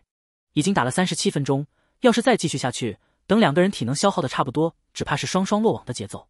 这可不在他们说好的范围内。原本警方出现就可以直接撤了的，赌局胜负自然有人判定。拉克不会失控了吧？秦九眼皮跳了一下，给那一位发着邮件，转身朝天台入口门走去。大哥。伏特加疑惑跟上，我们这就走了吗？不再多看会儿热闹？热闹多好看啊！那两个人就像是飞在空中打的。秦九侧目看了看伏特加，突然觉得心累，低头看了一下那一位的回复，拨通电话，基安蒂准备行动。秦九，都已经快十一点了。那边基安蒂道：“好吧，我知道了。地点呢？”嗯，你在酒吧吗？秦九关上身后天台大门，挡住渐远的音乐声，又沉默了一下。地点。那两个人移动着打的，而且移动方向也没个规律，他怎么知道等会儿会打到哪里去？先准备一下，搭直升机过去。他选择高空锁定。晚，十点四十七分，毛利侦探事务所。毛利小五郎依旧在看冲野洋子的演唱会重播，喊个不停。洋子小姐真是太可爱了，洋子小姐，我爱。毛利兰带着洗漱好的柯南出洗手间，恼火提醒道：“爸爸，柯南该睡觉了，就算不睡。”也请把电视声音调小一点吧，有什么关系吗？毛利小五郎嘀咕着，不过还是拿起了遥控，准备把声音调小。电视机里，冲野洋子演唱会的画面突然跳转。嗯，毛利小五郎疑惑放下遥控，电视机里也传出女主持人严肃的声音：“这里是日麦电视台，现在紧急插播一条报道。”打着哈欠去房间的柯南停住了脚步，疑惑转头，突然紧急插播的报道，发生什么大事了？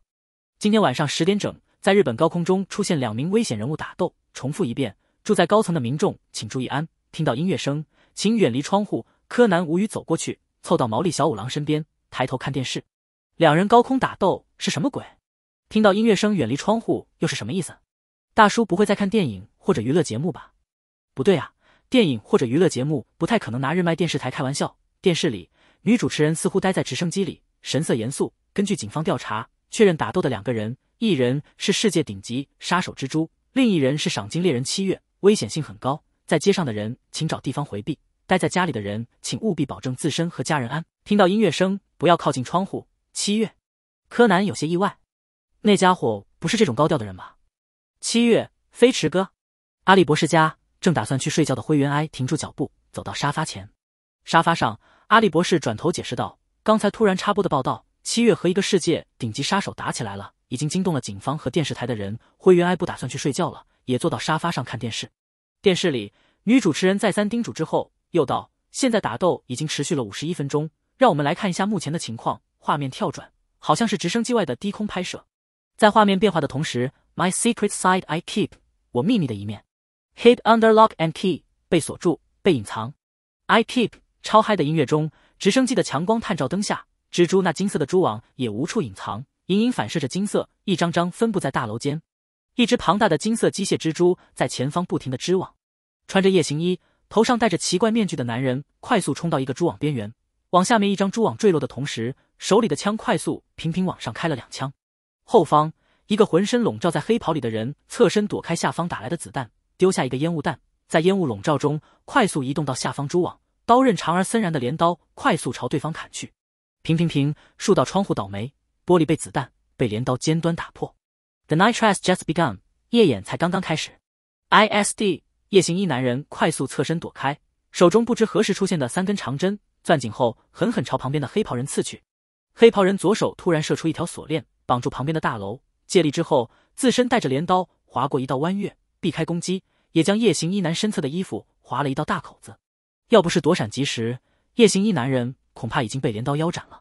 I I feel like anster，我我就像是恶魔。夜行衣男躲避时，手上再度飞出银针，同时快速朝前方一侧大楼闪去。I I feel like an monster，我我就像是恶魔。后方黑袍人再度跟上，乒乒啪啪砰砰，无数窗户玻璃，大楼外墙倒霉。I I feel like an monster。同样的插播在东京各家各户、各处商城大荧幕上播放。电视机前，阿笠博士和灰原哀风中凌乱，打得很精彩，像电影不对，电影都不敢这么演，真的是在高空打斗啊！但这是哪个家伙给配的音乐？都出了这么大的事，居然还像电影一样给这场面配 BGM，是不是有点过分了？能不能严肃点？电视机里画面再次转到直升机里，女主持人认真道：“就是这样的音乐声，听到请远离窗户。”之后。又是嘉宾采访。根据公安部的消息，蜘蛛没有行动放音乐的习惯，七月当然也没有这种习惯。两个人平时都是很神秘的人，也都很低调。至于今晚，我想大概是他们需要一点仪式感吧，也可能是想让自己更加热血沸腾一点。具体是谁在播放音乐，我们也还不清楚。阿笠博士，原来是那两个人自播 BGM，这样就可以热血沸腾一点吗？这个确实很嗨啊！会玩灰原爱飞驰哥很反常啊，到底是怎么了？难道跟那个叫蜘蛛的家伙有仇？也对。那是世界顶级杀人，肯定不是好人。一家酒店，贝尔摩德看着电视，听到那句仪式感，嘴角微微抽了抽，低头看了看手机上的信息。他宁愿相信拉克是突然神经质了。目前特殊奇袭搜查队已经就位，并对两人喊话。电视里画面再度跳转，似乎是另一架直升机。一个中年警察在咆哮，再次警告：“请们立刻停止械斗行为，放下武器。”狂躁音乐声：“IST song fast that I feel like I enter。”我必须坦白，我就像恶魔。中年警察深呼一口气，喊话声居然盖不过音乐声，好气啊！警告，请们立刻停止音乐声。I gonna lose control，我已失去控制。Harry's something radical，有什么是如此暴躁？中年警察一头青筋蹦起，有什么是如此暴躁？没有了，现在没有比他心情更暴躁的了。给我将声音调大最大！两个混蛋们，给我听好，最后一次警告，立刻停止！咆哮声好像在整个东京的夜空中回荡。电视机前，贝尔摩德扑哧笑出了声，笑着笑着，脸上的笑意却渐渐散去。他很想跟那一位说一声：“派什么直升机，都陷入警察包围了，别救了，救不了，趁早狙杀灭口吧。”不过，听着电视里传出的音乐，贝尔摩德还是没有发邮件。他提了也没用，那一位不会就这么放弃拉克，反而让那一位多想。而且这首歌他还挺喜欢的。我秘密的一面。从未展示给我，试图将他困入牢笼，但我已不能控制，所以请远离我。那野兽是如此的丑陋，我感到他的怒火，而我已不能掌控墙上的爪痕。在衣橱里，在大厅上，他马上就要醒来，而我却束手无策，躲藏在床底，躲藏在我的体内，躲藏在我的头脑中。为何没人来将我解救，结束这一切？我像是被困在深潭里，在这副皮囊之下，我必须坦白，我就像是恶魔。他没有听过这首歌，搜了一下也没搜到。不用想，又是某个神秘 H 弄出来的，能接触铃木原子和毛利兰。他哪能不知道 H 是谁？一开始他只是想了解池飞池，才去关注仓木麻衣那些歌。一直到西辉那种孤独又异样坚韧的感觉吸引了他，到王菲，再到这首不知名字的歌。虽然不想承认，但他似乎要变成某人的粉丝了。贝尔摩德垂眸点了支烟，又看向电视。他不想看那个女主持人在那里唧唧歪歪。换战斗画面啊，能再多听两句也好。原本他还纠结着，心里排一排喜欢的歌，西辉和王菲。哪首占第一，现在不用纠结了。这首歌是第一，永远是他心里的第一。狂野的乐曲让人亢奋，声嘶力竭又狂傲的喊着我，就像是恶魔，更是叛逆不羁。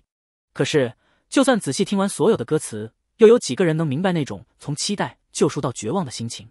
又有几个人能明白？所以，请远离我的痛苦。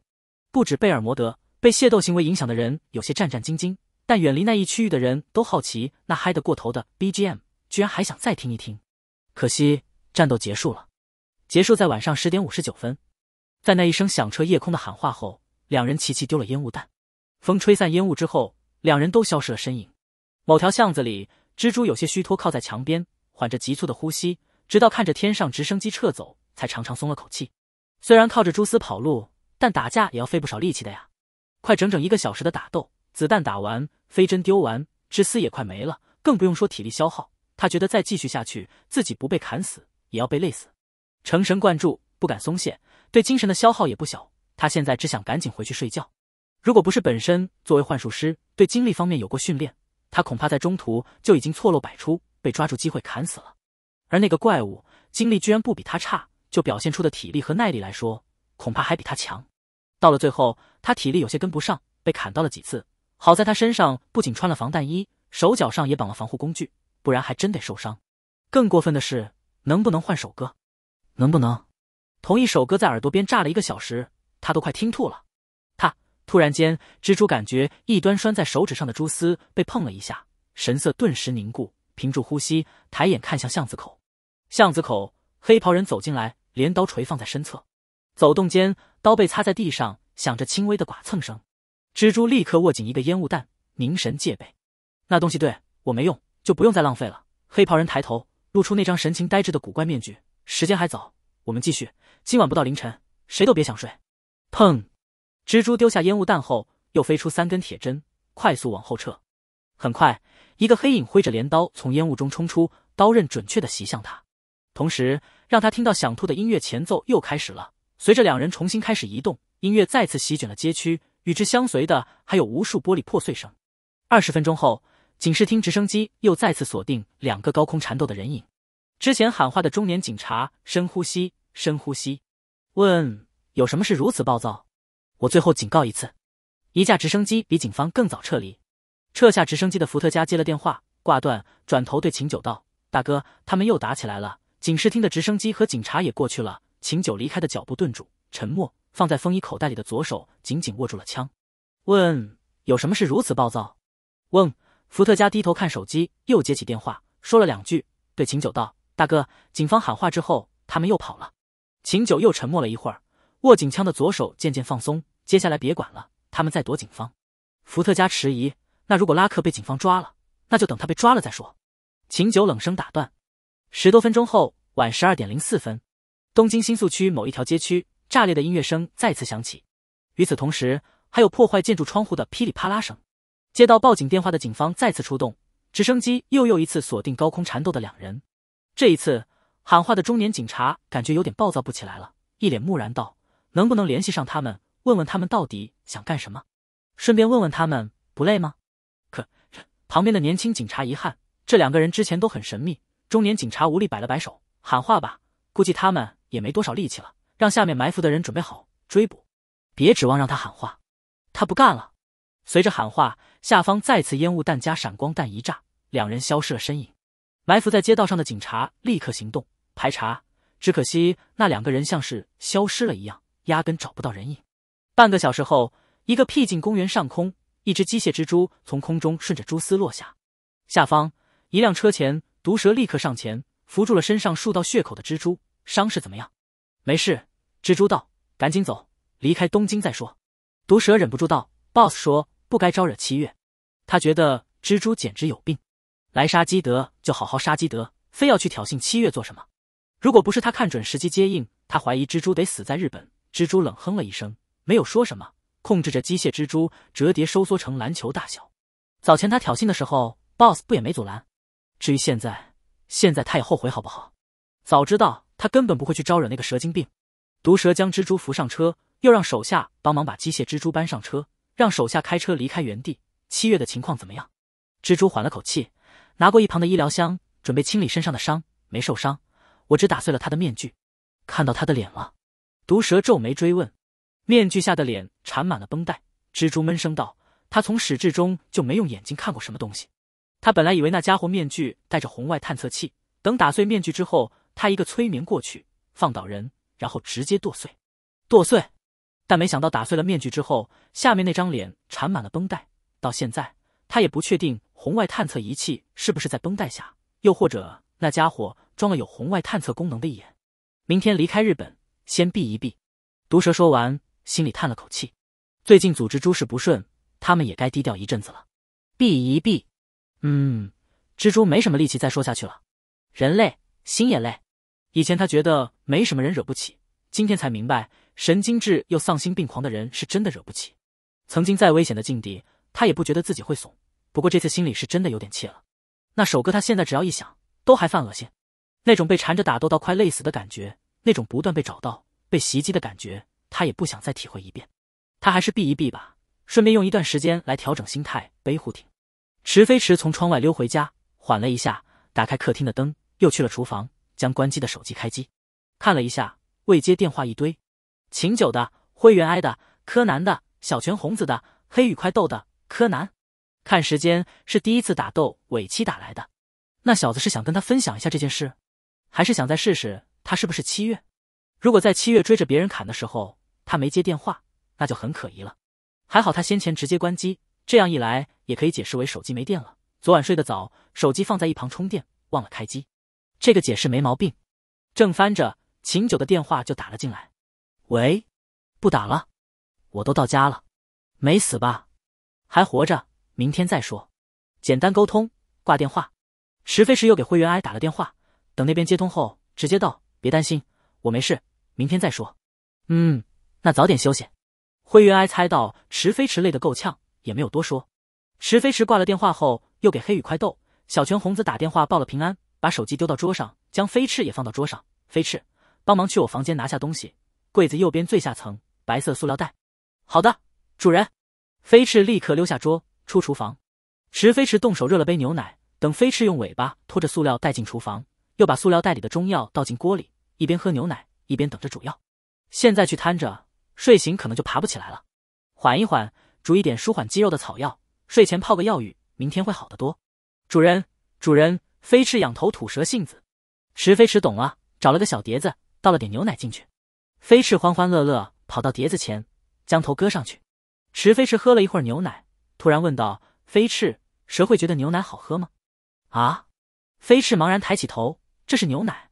池飞驰，好吧，可能在飞翅看来，这只是奇怪一点的水而已，好像没什么特别的。飞翅评价了一句，又道：“其实我比较想尝尝主人喝的酒，蛇喝酒会很奇怪。”池飞驰想也不想道：“会吗？”飞翅看了看碟子里剩的牛奶，打算再将头搭进去。池飞驰，我会想起蛇泡酒，还有的人杀蛇。也会先用酒将蛇熏醉。飞翅，碟子里的牛奶突然就有点喝不下去了。昨夜东京的高空打斗，最早战斗的地点持续了一小时的战斗，警视厅表态追捕到底。怪盗基德归还昨晚偷窃的宝石。第二天，黑羽快抖翻了几份报纸，看着一份报纸角落里的小版面，叹了口气，给池飞驰打电话。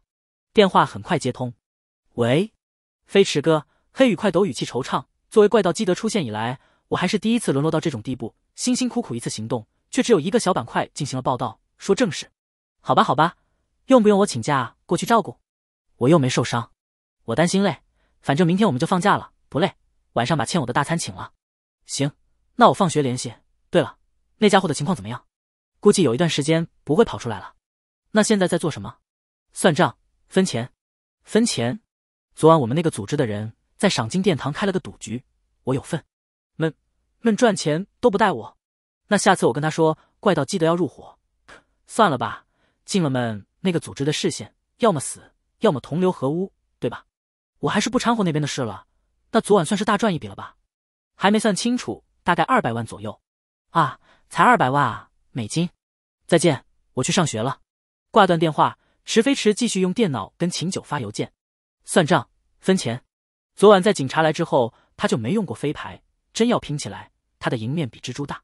其实要杀蜘蛛，他玩可以在锁定蜘蛛后，一个重火器炮弹丢过去，或者选择毒杀。甚至昨晚在他吸引蜘蛛注意力后，可以让秦九远程安排人狙杀。但最终结果是他没弄死蜘蛛，蜘蛛也没弄死他。赏金殿堂最终判断为平局。秦九既然知道他会努力打出平局这个结果，自然就会在赔率上做手脚，保证自己这个庄家的收益。赏金殿堂里不缺有钱人。再加上一群过了今天不知有没有明天的亡命之徒，砸钱买乐子都挺痛快的。说好了，双方合伙开盘，账算清后，秦九也干脆利落的转账两亿两千二百二十二万两千二百二十二日元。迟非迟，秦九大概不清楚二有二货的意思，但这还是挑衅，绝对是挑衅。分钱可以联想到商业行为，而商人在有的时候喜欢用手势表示数字。二有竖起大拇指、食指的表示方法。但要是将食指对准别人，就是手枪的手势。今晚是不是要开跟我的盘？Rookie 可以把这个二理解为 V 手势。Jin 迟飞驰噼里啪啦打字回复，可以。改天去英国，在人最多的地方做一下这个手势，庆祝一下这次大赚。Rookie 剪刀手在英国有侮辱人的意思，跟美国人竖中指差不多。秦九要是敢在英国人多地方对人群做这个手势，绝对会被群殴打死，没商量。他就不信秦九不知道这个含义，差点忘了 V 手势在英国的含义不太好，要休息几天。Jim 最近两天别找我，弗兰特还在休息，他需要易容之前，我会调整好自己的状态。Rookie 秦九这个小心眼，他不就是昨晚闹出点幺蛾子，想把所有人都折腾一会儿吗？居然用转账的方式来暗戳戳挑衅。池飞驰回复完，又看了一下其他人的信息。飞墨已经到美国了，跟绿川沙希在一个城市，打算在城市边缘转转，挑选一个合适的据点。池飞驰给绿川沙希转了账，让绿川沙希去买一批电子设备送到一个仓库，又把仓库的地址给飞墨发了过去。晚上，池飞驰又去中华街找了家餐厅，宰了黑羽快斗一顿。刚回家就接到了灰原哀的电话：“飞驰哥，博士说明天带我们去伊豆的海水浴场玩。”灰原哀声音压得很低，似乎是在偷偷打电话。我担心没有精力带一群小孩子玩。所以先打电话跟说一声有精力，不过没那个精神。池飞驰实话实说，昨天被音乐炸得头疼，他只想一个人静静待两天。那等会儿阿笠博士打电话问，也不要勉强。嗯，知道了。过了一会儿，阿笠博士果然打电话过来，问池飞驰要不要一起去伊豆。池飞驰以有事要忙为理由拒绝了。阿笠博士也没有勉强。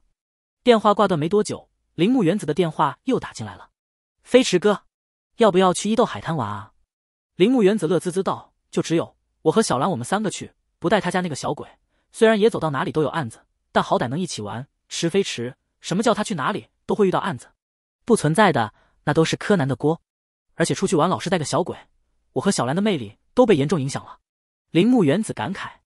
荆棘，池飞驰提醒：“就是他让我很苦恼啊，他很久没打电话给我了。”铃木原子气呼呼道：“两边有时差。”我又担心打电话过去会影响他休息，他偶尔打个电话过来就在说比赛的事，一点都不懂我。我这次就要去找个可爱的男孩子，气死他！经济会回来去找人家 PK 的。迟飞迟到，铃木原子一憾，总算正经了些。好了，我开玩笑的，我只是趁着放假想跟小兰一起出去玩一下，可不要告诉他哦。那么要不要和我们一起去？不去，我有事。好吧，好吧，那下次去玩再叫。挂断电话。石飞驰默默给大山米打电话：“大山先生，帮我在伊豆安排一条游艇，我一个人驾驶，不想让人跟着我。可是您没有游艇驾驶证吧？就是因为这样才找安排。这好吧，您自己小心，遇到紧急情况要记得按报警按钮。还有，一个人去海上一定不要潜泳。”大山迷巴拉巴拉一通，才挂断了电话，去给池飞驰安排游艇。飞驰疑惑：“主人，我们不是不去吗？只是不跟他们去，我们自己去。”池飞驰道：“翌日，伊豆阳光明媚，一辆游艇孤零零停在海上，没有固定位置，随波逐流。游艇甲板上打了太阳伞，飞驰趴在桌上养神。池飞驰穿了条沙滩裤，躺在椅子上闭着眼睛养神。阿笠博士会带少年侦探团来伊豆，铃木原子和毛利兰也会来伊豆，多半会撞上。那他大概想起是哪个事件了？记忆中事件经过、凶案手法、凶手是谁？”这些都有些模糊，不具体，看看他想不起来。他记得这段剧情里，灰原哀第一次主动向毛利兰伸出手，认真自我介绍。他不确定他的存在会改变什么，所以想跟过来看看，确认一下灰原哀的心理状况，而不跟着那群人一起玩。一个原因是他想一个人静静，不想管什么案子；第二个原因则是这个案子的死者曾经在以前出海的时候杀了凶手和其他几个人的父亲。凶手在听一个船员说漏嘴后，本来是打算带着那个船员去报警的。但这个船员也被灭口了，所以凶手才选择了下手杀人。他不觉得这么做是对的，也不觉得这么做不对，甚至不太喜欢那个凶手的性格，只是不想去看这个事件而已。柯南说，福尔摩斯是他的偶像，是他努力想成为的那个人。但柯南只是崇拜福尔摩斯那份冷静如推理机器一般的天赋和能力吧。对于福尔摩斯的一些做法，柯南恐怕无法理解。福尔摩斯在法律之外，还有着自己对正义的标杆，支持私人报复。甚至有可能亲自目击杀人的过程而不制止。如果死者长期加害于凶手，或者凶手已经消除了影响，福尔摩斯可能会选择站在同情犯人的那一边。这与玩追求程序正义的柯南不一样。在米尔沃顿里，福尔摩斯目睹了贵妇人杀死米尔沃顿的过程，但因米尔沃顿恶贯满盈，在雷斯垂德警官寻求帮助时选择了拒绝。如果我们出面干涉，未必能使这个人免于一死。是正义打倒了恶棍，不应忘记我们应有的责任和目的。福尔摩斯还说。雷斯垂德，我恐怕无法帮助。我知道米尔沃顿这个家伙，我认为他是伦敦最危险的人物之一，并且我认为有些犯罪是法律无法干涉的。所以在一定程度上，私人报复是正当的。不，不必再说了。我已经决定了，我的同情是在犯人的一面，而不是在被害者的一面，所以我不会去办理这个案件。还有，福尔摩斯曾让华生加入陪审团，帮凶手船长判定无罪，也曾宽容过犯罪的仆人。在推理的时候，福尔摩斯就像一架推理和观察最为完美的机器。在四个签名中也说过，感情会影响清醒的理智，但福尔摩斯也有着人情味。其实，所有福尔摩斯探案集里，只有百分之三十三的罪犯被移送警方，有百分之二十二被福尔摩斯放走了，百分之十七的罪犯死亡，百分之十六的罪犯逃脱。有人说那是老旧伦敦时代的影响，那时候的法律并没有那么正义。可是池飞驰觉得福尔摩斯永远比柯南多了一些人情味，也更任性一点。柯南或许能成为福尔摩斯，但现在绝对不是。现在的柯南只是一个光之魔人，就像一个无法明白深陷泥沼与黑暗中的人的一点感受。身在光明之中，为光明之意高举着屠刀，要毁灭一切异端的魔人。当然了，比起柯南，他才是永远无法成为福尔摩斯的那个人，因为他从来都不以成为福尔摩斯为成长标杆。他一直觉得这个世界弱肉强食，也并不是非黑即白，总有很多超脱规则并制造新规则的存在。但也不妨碍他喜欢福尔摩斯这个侦探。他没法讨厌柯南或者毛利兰这种人，这种人有时候还是挺暖心的。而且每个人都有自己存在于世的信念和意义。作为朋友，不认同，但不代表不能包容；但能包容，也不代表他乐意去掺和。前世看这一段就觉得跟自己理念有冲突，为什么还要再去看个现场版？自找不痛快，还不如悠闲的在海上钓钓鱼，放松一下。桌上飞翅趴着趴着，突然感觉搭在椅子扶手上的钓竿动了一下，立刻精神了。主人是不是有鱼上钩了？快快，我的晚餐来了！池飞驰睁开眼，伸手拿过钓竿，收线。鱼钩上空荡荡，不仅没有鱼，连原本的鱼饵也没了。唉，又跑了。飞驰叹气，他只是想尝尝最新鲜的海鱼，不想吃游艇冰箱里的冰冻鱼。是主人说可以帮他钓一条，不过这已经第六个鱼饵没了。主人今天还能不能钓上鱼？池飞驰默默把鱼钩重新甩进海里，这能承认自己钓鱼很菜吗？绝对不能！他不承认。主人没放鱼饵。飞翅提醒。池飞池重新闭上眼睛。愿者上钩。该钓到的鱼，没鱼饵也能钓到。飞驰侧头看着池飞池的平静脸。愿者上钩，还有这个说法？怎么觉得主人是在一本正经的忽悠他？远处海滩上，阿笠博士也带着换上泳装的五个孩子到了海边。下水游玩一定要注意安，我就在岸上等们，一定不要离我太远哦。阿笠博士交代。我们知道了。路上，博士明明已经说了好多遍了。博士不跟我们一起去海里玩吗？空中，两只海鸥扑腾翅膀，低头看了看海滩上的阿笠博士。一群人冲着对方鸣叫，是这群人吧？跟他给我们看的照片上的人很像。一、二、三、四、三、五，只有五个人啊！不是说一共六个人吗？是吗？一、二、二、三、四、四，明明只有四个，哪里来的五个人？不对，不对，明明是五个。我数的没错，四个，五个，四个，一直到五个孩子下水玩，两只海鸥吵累了，才暂时停下来。不管几个，凑近看看就知道是不是了。好，那就下去看看。下方海里，柯南和灰原哀一脸无感的被拉着玩海上捉迷藏。现在先决定谁来当鬼。元太跃跃欲试，下一秒有点呆住。两只海鸥飞了下来，一左一右停在灰原哀肩膀上，转头叮灰原哀。什么情况？海海鸥，光彦瞪大眼睛看着两只海鸥，两只海鸥对视一眼，又再次飞走。哎，元太伸手要追逐，不过等他反应过来，海鸥已经飞高了。五个孩子只能目送海鸥飞向远处，混入了其他海鸥中，再也分辨不出之前过来的是哪两只。我还想摸一下呢。元太遗憾，步美也依依不舍的收回视线。他们好像很喜欢灰原同学。光彦笑道：“不奇怪啊。”因为灰原一直很喜欢小动物嘛，也因为她是森林公主吧。柯南偷笑着揶揄。灰原哀收回视线，瞥柯南，某个人是在嫉妒吗？柯南无语，那有什么好嫉妒的？们在说什么森林公主啊？元太好奇问道。没什么。灰原哀又转头看了看海鸥飞走的方向，不是要玩捉迷藏吗？两只海鸥穿过同伴汇聚的地带，一路飞向海面上的一艘游艇，落在甲板上，鸣叫了两声。谢谢，知道了。池飞驰睁眼应了一声，又对飞翅解释：“小哀他们到了。”两只海鸥停留了一会儿，再度飞向海滩的方向。游艇甲板上，一人一蛇继续咸鱼滩。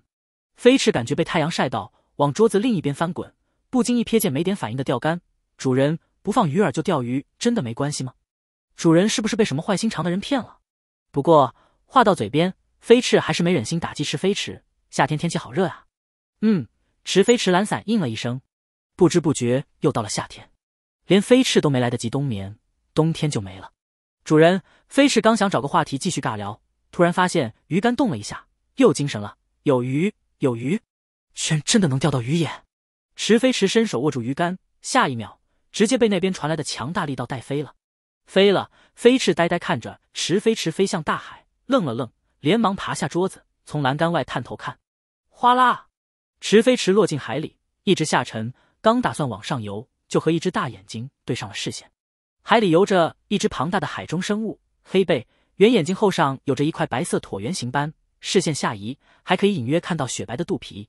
这是一只虎鲸，鱼钩就在虎鲸嘴里。连着鱼竿的线在海水中飘飘荡荡，飘飘荡荡。嗨，虎鲸出声打招呼，声音清脆娇气，像个没长大的小姑娘。池飞驰一脸平静的看了看自己对面的大脑袋，松手放了鱼竿，转身往上游。别怕，虎鲸跟着上浮。我只是觉得奇怪，为什么有人钓鱼居然不放鱼饵？想把拽下来看看。我不吃，别跑了。池飞驰一直浮出水面，才长长舒了口气。居然钓到一只虎鲸，不对，应该说居然被一只虎鲸反钓了。有点刺激。甲板上，飞翅探头看到池飞驰浮到海面上，松了口气，又很快惊奇道：“主人，脚下有陆地在上升。”哎，不用飞翅说，池飞驰已经感觉到了，那只虎鲸从自己下方浮上来了。咻！一道水柱从下方将池飞驰冲起，池飞驰脸色顿时一黑，这是把他当玩具了。他拒绝戏弄式调戏，女人不行，雌鲸也不行。抓住游艇的护栏。脱离水柱后，立刻翻身，再次往下坠去，蓄力暴力破岩拳。Doom！栏杆边，飞翅看得目瞪舌呆。鹰虎鲸猛了一下，带着哭腔拍海水：“我没欺负，却打我！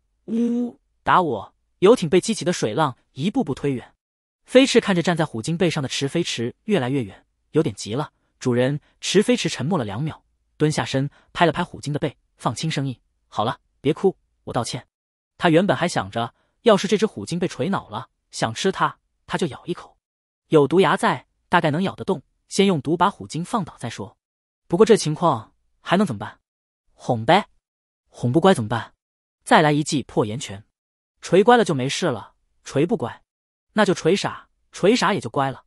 虎鲸不知是不是感知到了池飞驰心里的恶劣想法，默了一会儿，委屈道：“好吧，我原谅。谁让那么好看呢？”池飞驰见了鬼。他居然被一只虎鲸撩了，而且可能是单身久了，他居然觉得有那么一点点被撩到，差点老脸一红，稳住，面不改色。能不能送我去游艇那边？好，虎鲸往游艇那边游，语气认真。其实不怎么疼，但也不能打我。池飞驰嘴角微微一抽，不疼还哭。是，以后不会了。好吧，离游艇还有一段距离。虎鲸突然顿住，嗖一下跃出海面，听得懂我说话。池飞驰又飞了，飞了，哗啦。在池飞驰落水的时候，虎鲸立刻游过去，围着池飞驰转圈。是族群里新出生的孩子吗？不对啊，长得那么像人类。栏杆边，飞翅眼巴巴看着游艇又被海浪推远。主人，池飞驰憋了口气，在漩涡里浮浮沉沉。体型大就可以为所欲为吗？人家还真的可以。虎鲸发现自己带动的漩涡将池飞驰卷下去，连忙停下，游到下面，将池飞驰拖到海面上，又往游艇飘走的方向游，疑惑问道。现在族群里的孩子都长这样吗？池飞驰躺在虎鲸背上，伸手挡了下太阳。我二十岁，比我年纪大。虎鲸反驳：“不可能，骗我！明明那么小一只，我是人类。”池飞驰解释：“不过我能跟很多动物交流，真的不是我族群里的同胞。”不是，那跟我一样厉害哦。能跟鱼说话吗？有的能，有的不能。这样啊。一分钟后，池飞驰总算回到了游艇上。主人，飞翅嗖一下窜进池飞驰怀里。蹭蹭蹭！我还以为以后再也见不到了。池飞驰有点想念他家稳重的飞沫。哗啦！虎鲸从水里钻进来，头部趴到甲板上，压得游艇晃了晃，往一边倾斜，还不忘感慨一声：“的船好小啊！”池飞驰将游艇上的锚放下去，免得又被某只虎鲸弄走或者压翻。就他一个人，要多大的游艇干嘛？而且这游艇是长度十米的规格，已经不小了，好吧？飞翅钻进池飞驰的袖子里。好奇盯着虎鲸，主人，好大的团子！这不是大熊猫。池飞驰到桌子旁边收拾地上的杯子和书，刚才那一晃，把他桌上的饮料和书都晃下去了。虎鲸又叫逆戟鲸，海里的生物。好，小蛇。虎鲸趴在甲板上打招呼。飞驰愣了一下，嗖一下钻出池飞驰的袖子，一直跑到虎鲸面前，仰头看了看，发现离得太近，对方可能看不到他，又快速移动到虎鲸眼睛前，再次抬头看了看，发现对方可能还是看不到他，后退，后退。后退，池飞驰收拾了地上的杯子，起身关注着。如果起了矛盾，飞驰可能一秒就被吞了。当然了，他也不比飞驰好多少，同样一口沫。不过看得出来，这只虎鲸的脾气还不错，应该不会有危险。飞驰退了很长一段距离，直起身，蛇眼直勾勾盯着虎鲸。虎鲸茫然：“我怎么了？”池飞驰顿时反应过来，虎鲸能听懂飞驰在说什么，而飞驰之前那么大的反应，可能是因为听懂了虎鲸打招呼。一只鲸，一条蛇，可以跨物种交流。飞翅吓了一跳，我到底怎么了？虎鲸好奇说：“啊，不不，飞翅结结巴巴，们可以沟通。”池飞驰帮飞翅把想说的话说了。对对，飞翅一个劲点头，又盯着虎鲸。为什么我能听得懂说什么？明明我跟飞沫都听不懂对方说话的。海里也有很多蛇，他们的语言我学会了吗？虎鲸一副理所当然的模样，这有什么好奇怪的？的主人也可以跟我说话，跟说话。飞翅若有所思地点点头，有道理。池飞驰收回视线，用冰水涮了涮杯子，倒了一杯冰水，默默喝了一口。不，一只虎鲸居然学会了蛇语，一点都没道理。不过鲸鱼发出的是超声波，它能听懂也早就不科学了，没法研究。好吧，那自我介绍一下。飞翅也认真道：“我的种族被人类叫做赤练蛇，我的名字叫飞翅，这是主人给取的名字，因为我跟其他赤练蛇不一样，我父母身上都有红色，我其他兄弟姐妹也有红色。”就只有我是这个样子，而且我的气味跟他们有点不一样。总之，因为我身上没有红色，所以主人给我取名叫飞翅。虎鲸静静盯着甲板上的飞翅，飞翅等了一会儿，有些疑惑的歪了歪头：“是没有名字吗？”虎鲸委屈：“没有，好可怜啊。”飞翅口直心快的感慨一句，又很快安慰道：“不过没关系，不要在意，那是因为没有主人啊。”虎鲸有点扎心，总觉得这条小蛇是在炫耀什么。池飞石有点看不下去了。转开话题的族群呢？虎鲸是集群迁徙的生物，喜欢群居生活。少的族群有二至三只，多的族群甚至多达数百只。每个族群不是由实力决定领袖，而是由最年长的雌鲸担任族群头领，标准的母系群体。成员都是血缘相近的虎鲸，他们一起生活，一起打猎，一起旅游，一起共享食物。再冷的地方也会聚集在一起，围成圈睡觉。在小虎鲸出生后，也有专门的虎鲸教他们打猎，养育后代。雄性只负责出去打猎，在群体里很少会发现父子、父女关系的个体，母子、母女关系则比较稳定。另外，每个族群都会有自己的方言，跟其他族群略有不同。在旅行途中遇到别的族群，也会停下来聊两句，谈谈打猎心得。起矛盾也会边打边骂，他们还有骂人、嘲讽的专用词汇，飙脏话也不是不可能。群体生活、母系社会，年长者受尊敬，语言文化。再加上雄性寿命达五十至六十五年，雌性寿命可达八十至一百年，继续繁衍进化下去，说不定还真有可能成为地球上的新文明。不过也只是说不定。虎鲸是很聪明，但比起人类还是不够看。有人说虎鲸大脑是人类几倍重，但智商可不是这么算的。人类本来就出自最聪明的灵长目，成为智慧生命也经历了无数进化史上机缘巧合的奇迹，又在灾难中一步步筛选出高智力的个体繁衍。诞生文明，又经过无数年的累积，形成了现在的文明。相比较来说，人类的智力已经超过了虎鲸很多了，文明更是已经领先了不知多少倍。池飞驰默默收回思绪，不，现在不能谈科学。他眼前就有一只能学会其他物种语言的不科学虎鲸。在池飞驰走神的片刻，虎鲸也沉默了一下，闷闷道：“我的族群，他们不要我了，很早以前就不要我了。”池飞驰一愣，皱了皱眉：“为什么？因为我跟他们都不一样。”虎鲸不由看了看飞驰，这条蛇扎他心好几次，又看了看池飞驰，这个人类提到他的族群，想想族群，他更扎心了。这一人一蛇，差点用语言把他送走。小时候我就跟其他鲸不一样，我小了圈，长得又很慢，三岁还是一小只，到了九岁，一个比我小三岁的妹妹都比我大了。虎鲸说着，转头扑通一下落进海里。池飞驰走到栏杆边，低头看了看海里的虎鲸，虎鲸朝一个方向游了游，又转头游到甲板边。是不是很小只？池飞驰目测了一下这只虎鲸的身长，四米出头，绝对不足五米。虽然就身长来说，比它和飞翅都强得多，但虎鲸雌鲸平均身长七米，最长的达到了八点五米，比起来是挺小的。你几岁了？十七岁。虎鲸又将头搭上甲板，压得游艇晃了晃。池飞驰蹲下稳住身形，顺便将滑向甲板边缘的飞翅抓起来，搭在手上。呼，飞翅汗了一下，谢谢啊，主人。虎鲸将脑袋搭在甲板上，声音变得更娇气。我也想要好看的人类抱抱，话都说到这份上了，他能不抱吗？池飞驰走上前，伸手抱了一下虎鲸的脑袋。虎鲸二十岁到二十五岁才算成年，那个时候体型才是最大的时候。你才十七岁，可能只是长得晚一点。谢谢。虎鲸用头轻轻蹭池飞驰，虽然我一直长得很慢，但听你这么说，好受多了。池飞驰松开手，后退了两步。我不觉得虎鲸会因为这个把个体驱逐出族群，是不是有什么误会？虎鲸沉默了一下，好吧，算是我自己走的。他们更喜欢弟弟妹妹们，不教我打猎，也不喜欢跟我玩，吃东西都是其他兄弟姐妹先吃。从来没有一次让我先吃，我只有最后吃剩下的，好可怜啊！飞驰不由感慨，我以前也是，只有最后剩的小泥鳅才给我吃，很过分，对吧？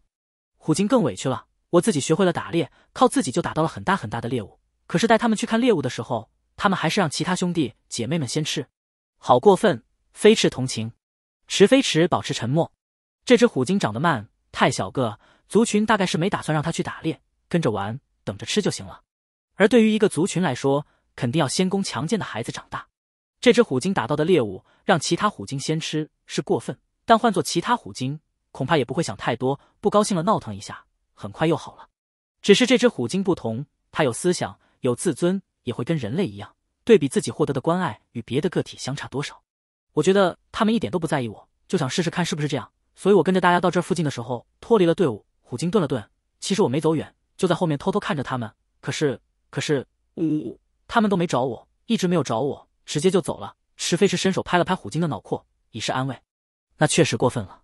虎鲸一个族群就像一个大家庭，某个成员遇到危险或者特殊状况时，其他虎鲸都会救援或者提供帮助，不会不管。放弃一只似乎不太健康的虎鲸，可能是优胜劣汰的抉择，但也不能否认，那个虎鲸头领过于冷漠。这只虎鲸妹子的母亲也是一样。这只虎鲸妹子的感觉没错，她真的会被放弃掉。就像人心，如果不试试，你都不知道自己会有多绝望。虎鲸声音依旧带着哭腔：“那我也不要他们了，我自己也可以打猎，自己也可以生活，自己也可以玩得开心。讨厌，明明说过我不会再哭了。”池飞驰摸着虎鲸的头，傲娇的小姑娘，如果真的不在乎，又怎么会难过？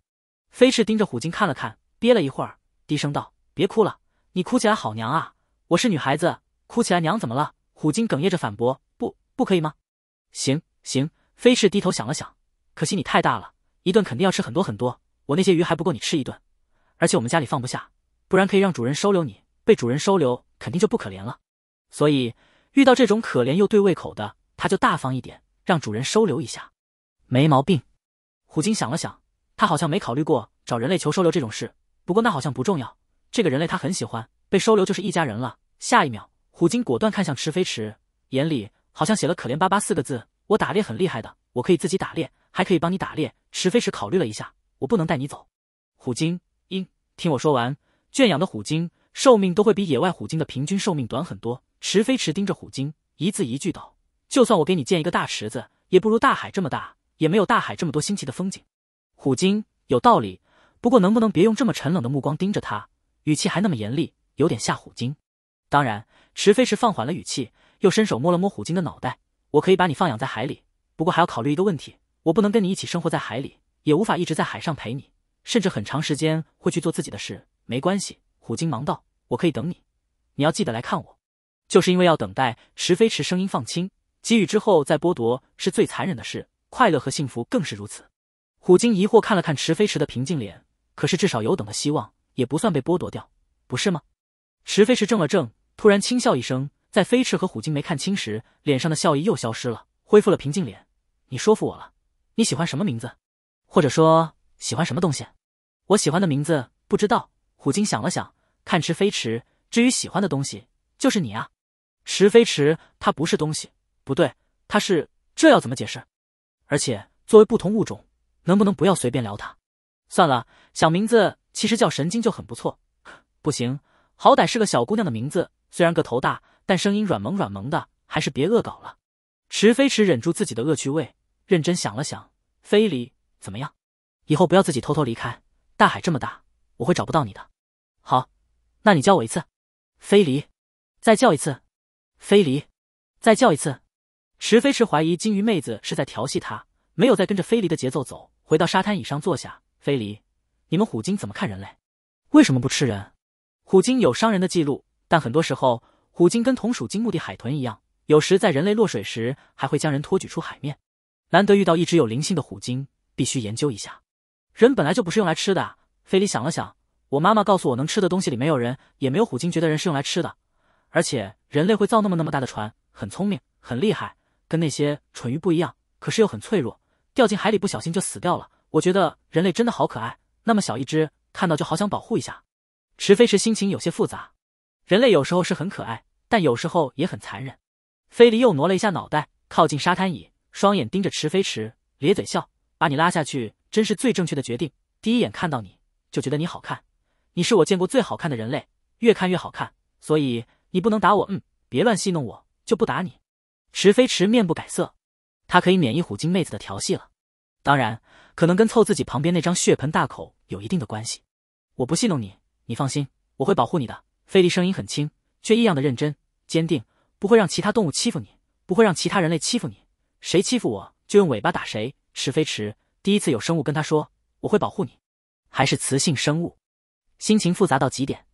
那我呢？我呢？飞翅问道。菲利侧头看了看飞翅，好吧，也顺便保护你一下。被顺便保护一下的飞翅，心情复杂到极点。其实我真的很厉害。菲利又看向池飞驰，很认真道：“我是要成为王的鲸，总有一天我要回去，告诉我们族群里的鲸，我虽然个子小，但我很强。”池飞驰恶趣味上头。也神色认真道：“我成为王，那你也就成为王的精了。”菲离猛了一下，理了理池飞池话里的意思，又纠正道：“不对，不对，是成为王的精，不是成为王的精。总之，我要成为精的王。你是金王的男人。”飞翅他有点晕，池飞池他好像又被飞离占便宜了。海滩上，少年侦探团跟毛利兰、铃木原子相遇，这不是柯南吗？毛利兰一转身就看到柯南一群人，有些惊喜，还有小爱和大家。原来阿笠博士说带你们来的海水浴场就是这里啊！真是的，铃木原子瞥柯南，每次带着小鬼出门总是遇到案子，这次特地不带上他，没想到还是遇到了。有什么关系？大家一起玩比我们两个人玩好多了。毛利兰笑眯眯跟铃木原子说了一句，又转回头弯腰看一群孩子，对不对？铃木原子先前埋怨，不过跟一群孩子玩起水上皮球来一点都不含糊，立刻就笑哈哈跟三个孩子玩到了一起。灰原哀玩了一会儿，突然不想玩下去了。看了看一群人，迟疑了一下，还是没有开口打招呼，纠结着往沙滩上去。这种时候应该打声招呼吧？在组织里，只要有价值，无论态度怎么样都没关系。但这是在外面，应该要表现出和善的态度，表现出小爱。毛利兰注意到灰原哀离开，好奇跟过去，弯腰问道：“怎么不跟大家一起玩？”灰原哀仰头看毛利兰：“没什么，我想去休息一下。是不是身体不舒服？”毛利兰关切追问。灰原哀沉默了一下。往太阳伞下走，没有。毛利兰愣了一下，叮嘱道：“如果不舒服，一定要及时告诉我们哦。”灰原哀回到太阳伞下，看了看那边跟孩子们，看他这边低声说话的毛利兰，坐到沙滩椅上躺下，看着头顶的太阳伞走神。被喜欢的感觉很好，但他不确定自己是不是真的会被喜欢。上次在头神森林做那些事，都是池飞驰带他去做的。今天海鸥落在他身上，可能只是巧合。如果没有池飞驰，她不是公主。他没法像毛利兰那样温柔的对小孩子，没法像铃木园子那么开朗，甚至是喜欢冷着脸的池飞驰，也比他更懂得跟人相处。刚才他的表现一定很糟糕，池飞驰那么努力的让他变成公主，让他被喜欢，他一个人就把事情搞砸了。明明只要再勇敢一点，表现出一点点友善就行的，他果然还是不行。一只停在遮阳伞上的海鸥等同伴回来，又飞向远处。海上游艇，海鸥说完情况，又再次飞走。菲里已经跑去海上游泳了，顺便还用背带着飞驰一起玩。池飞驰坐在沙滩椅上，拨通了福山志明的电话，跟福山志明简单说了一下情况。治疗方面还是得求助专业人士。身在美国的福山志明听了池飞驰的叙述，心情有点爆炸。他很想问问池飞驰，有系统的学过心理学吗？有得到行医许可吗？本身还是病人，跟着凑什么热闹？啊，简直乱来！但也正因为池飞驰是病人。是他的病人，那些话他都不能说，不然就太打击人了。沉默了片刻，福山志明语气温和道：“你想帮助别人是好事，不。”过还是需要专业人士的协助，你说对不对？所以我打电话给你。池飞迟道。福山志明捂了一下心口，他的意思是去医院。如果他在东京，还可以跑去看看情况。可他不在东京，没有个准确的病情判断，光他在这边分析有什么用？去医院做个检查，有个准确的结果，他也乐意远程指挥池飞驰去帮别人，说不定池飞驰也好了呢。可现在这福山医生，池飞驰想了想原意识体曾经的感受，我那个时候很讨厌有人跟我说没事，你只是压力大，放松一下就好了，你会没事的。你看，有人得了抑郁症，不是已经好了吗？我会突然烦躁起来，也根本听不进去。还有一种自己溺水了，可岸上的人在加油的感觉，他们觉得轻如鸿毛，我却快喘不过气来了。或许还有人在心里想着，都是富贵病，都是闲的。不，患上抑郁症的原因也可能是基因影响。总有一些人比其他人更容易患上抑郁症，这与贫穷或富有无关。福山志明坚定否认着，却又沉默下来。很多抑郁症患者也意识到自己这样不好，可低落、消极情绪爆发的时候，完全无法控制，就像慢慢在往水里沉。溺水的感觉，他能想象，但他没经历过，确实无法完全体会那种感觉。而且，有百分之七十五至百分之八十的抑郁症患者会复发。也正因为这是一种应该严谨对待的病症，他才觉得不该贸然做判断。到最后就有些麻木了，一天一天，一点一点的往下落。迟飞迟到，我在医院里治疗，配合着吃药，但我一点都不关心为什么吃药。福山志明沉默听着，以前迟飞迟可从来没跟他说过这些。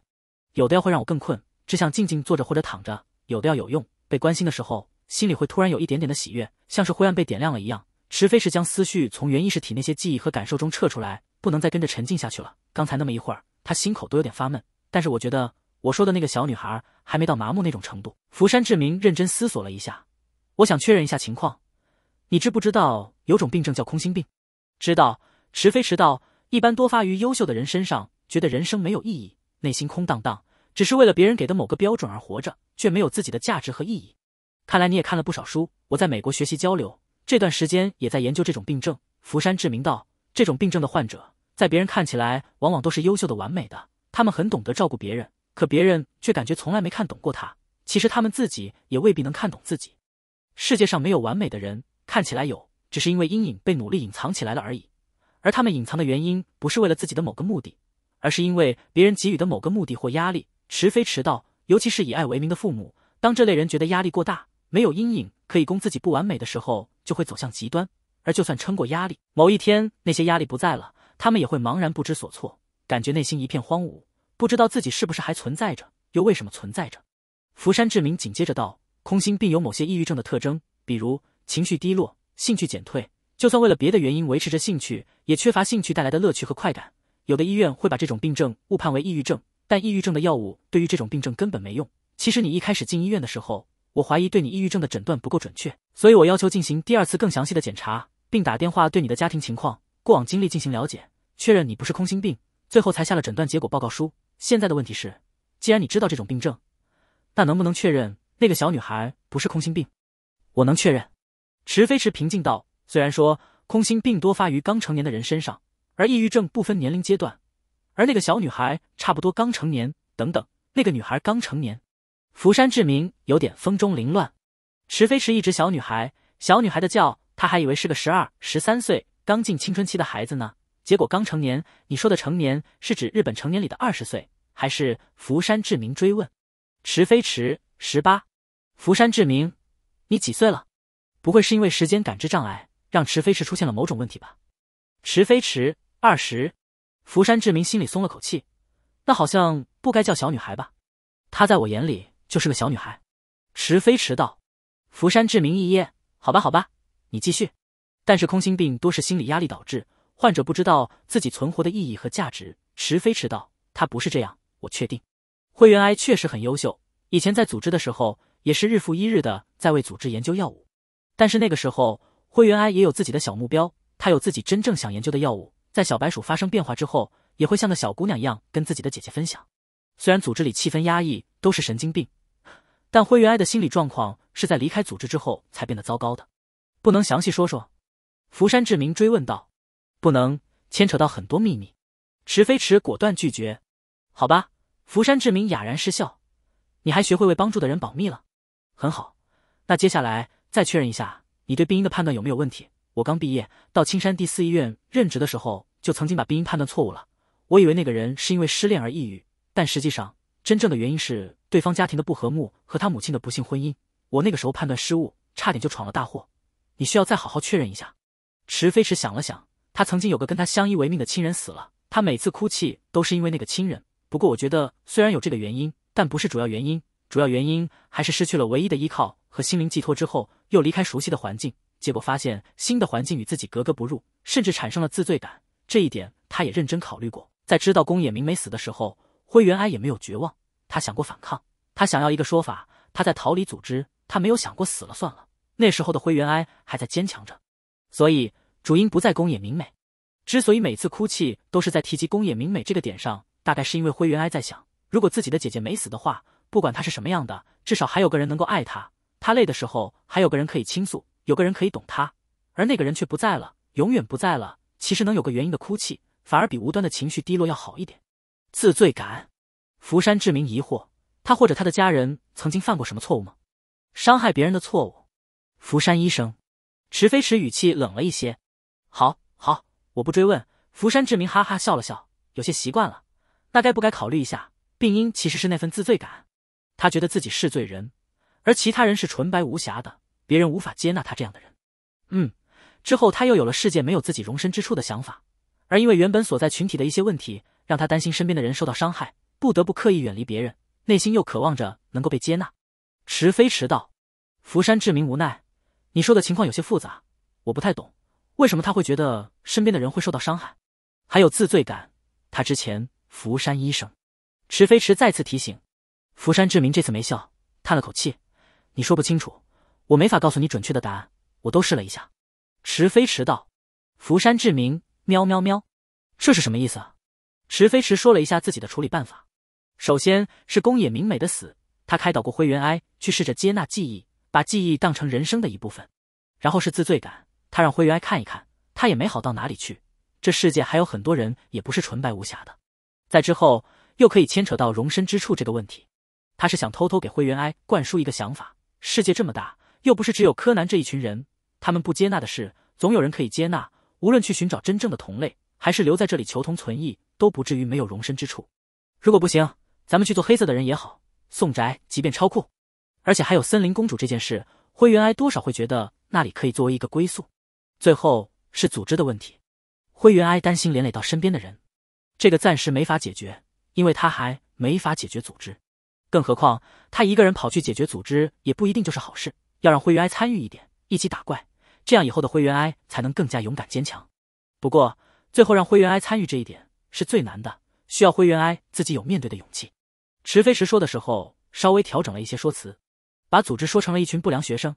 你是男性，和他不同，你想让他在别的女孩那里明白什么是面对和勇敢，这一点没问题。福山志明笑了笑，很快语气又严肃起来。可是你之前说的，让他一个人去跟那些人接触，不单是想让他试着勇敢一点，而是你也发现问题了吧？嗯。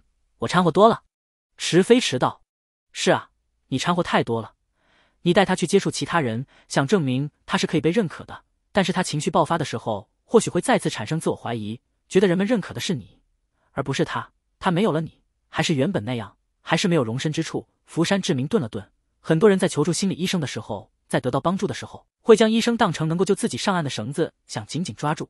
而心理医生必须遵守的一点。就是不得与求助者建立咨询以外的任何关系，这不是不近人情，而是因为这个时候的患者对于医生太容易产生好感。如果医生有一点坏心思，完全可以将病患控制住，彻底的控制住。从你的言论和行为来看，你对他并没有产生男女感情，那么他呢？石飞石又认真回想了一下，没有，确定依赖是有，不过大概是把我当做兄长之类的人。好，福山志明暂且相信池飞驰的判断，虽然池飞驰从来没有恋爱记录。他不觉得池飞驰能够判断准确，不过那个可以慢慢解决。现在有个更严重的问题，还有一个问题，你让他单独去面对，是不是急了一点？既然一开始是你带他去接触的，就要有一个缓和阶段，慢慢来。你要知道，如果他鼓起勇气走出那一步，能得到你和他想要的结果，那固然是好事。但要是他没有得到认同或者预想中的结果，对他的打击是毁灭性的，很可能就会否认掉之前的所有，状况也会恶化。哎，一半一半的几率，你不该赌的。如果说。我没有赌呢，池飞驰反问：“你安排了人？”福山志明疑惑，又提醒道：“如果被他发现，那会很糟糕。他会觉得以往好起来的情况都是欺骗和假象，同样会开始否认一切。我没安排。池飞驰侧头看向大海，我只是相信那群人能给我和他一个想要的结果。确定？你这么自信？福山志明有些意外，能从池飞驰口里听到“相信”两个字，还真是不容易。嗯，池飞驰应了一句，又说起别的话题。福山医生，除了不得与求助者建立除咨询以外的关系，还有两点：不得因任何原因歧视求助者，以及遵守保密原则。福山志明之前还把他的情况告诉了阿里博士他们，跟他解释一下。福山志明，他能有什么办法？池飞驰一直在默默刚他，抵抗治疗，甚至产生学心理学的想法，简直不要太有毅力。凭这份毅力，他就相信池飞驰的抑郁症绝对好了。只是他郁闷了。最后一次的检查里，池飞驰虽然存在一些小毛病，但大致是没有什么太大的问题。他不信那份检查报告是真的，不仅不符合该有的心理变化流程，就连时间感知障碍都还存在。这小子绝对有问题。只不过池飞驰成长的太快，居然能瞒过了机器和各种检查，他也关不住池飞驰了。而因为池飞驰本身的一些潜在危险，他觉得有必要提醒一下池飞驰会接触到的人。一旦发现求助者有危害自身和他人安全的情况，必须采取必要措施或与其他心理医生磋商，防止意外发生。为此，可以稍微泄露一点病情，而且他也将保密信息的暴露程度限制到最低了。关于池飞驰家里的情况，池飞驰之前在学校的调查等事，他只是随便提了一下。按理来说，他觉得自己不行，那就该跟池飞驰商量，转到其他医生那里。可是池飞驰的检查报告在那里，其他医生也没办法留池飞驰住院观察，而且也没人想接手池飞驰这个刺头。他同样也不放心。青山第四医院的实力已经够强了，他在里面也是老牌医师，他都觉得棘手到可怕的病患，其他人恐怕也没办法。他还有点担心，经验不足的医生恐怕反而会被池飞驰给带偏了。他到美国交流学习，一是因为出了升山县三的事。他明白，要是他不离开一段时间，表示自己会保密到底，真池集团不会放心。二是因为他也想出国交流学习，有人出钱给自己学习，那是好事啊。还有另一个原因，他想来美国学习交流一下，看能不能解决池飞驰这个刺头的问题。可惜这些话他不能直说，不然池飞驰肯定会说：“原来福山医生，你觉得我危险？”那好不容易建立的信任又没了。现在池飞驰能跟他谈谈当初的感受，能说这么多，他觉得很不容易啊。不能急。不能急，曾经犯的错误不能再犯第二次。福山志明提醒自己要耐心，开玩笑道：“那你不会举报我吧？”没必要。池飞驰看到天上飞来的海鸥，顿了一下。海鸥鸣叫着落下，在甲板一个小水盆里喝水。医生，结果出来了。哦，福山志明连忙追问：“情况怎么样？”好消息。海滩上，灰原哀躺在沙滩椅上，被突然从旁边冒出来的一群人吓了一跳。灰原，小兰姐姐。说你不是身体不舒服，那你是不是不开心啊？不美问道。不对，灰原一直是这样，不舒服也不会告诉我们。元太无语道：“不舒服就一定要说啊，不然会很让人担心的，好不好？”灰原哀一愣，会担心，也可能是因为飞驰哥没来，所以不开心。光彦猜测，那家伙本来就是那样，喜欢忙来忙去。柯南搬越野，我们玩不就好了？因为实在不懂你到底是怎么了。铃木原子抱着手臂道：“我们讨论半天没个结果，所以干脆直接来问你啦。”小女孩就活跃一点啊，跟飞驰哥学什么深沉嘛。灰原哀沉默。刚才那群人窃窃私语，不是因为他表现很糟糕被讨厌了，而是在担心他。不想说也没关系。毛利兰笑眯眯将一个冰淇淋递给灰原哀。我觉得不能把你一个人丢在这里闷闷不乐，陪你坐一会儿怎么样？我们也坐一会儿吧。步美转头看元太、光彦和柯南，反正也玩累了。灰原哀接过毛利兰递来的冰淇淋，低头看了看，又仰头看毛利兰。谢谢，小兰姐。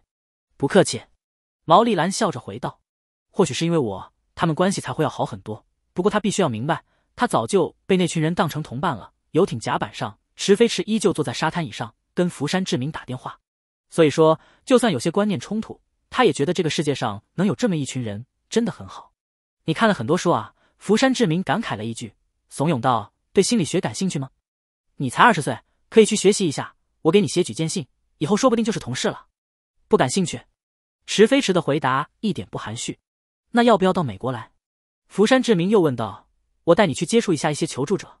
如果池飞驰对帮助别人感兴趣，那确实是好事。不去。池飞驰再次直白拒绝。还是别去祸害人了。他能这么快确认灰原哀的问题，是因为太了解灰原哀的那些过往。就这么一例，换了其他人可就未必行了。前面枪击警察的事件，那个人野医生为了前途害死患者，如果换作是他。他做不到。讨厌那个人可以事后解决，但死在自己的治疗中，他会觉得这是耻辱。动物医学是这样，心理治疗也是这样。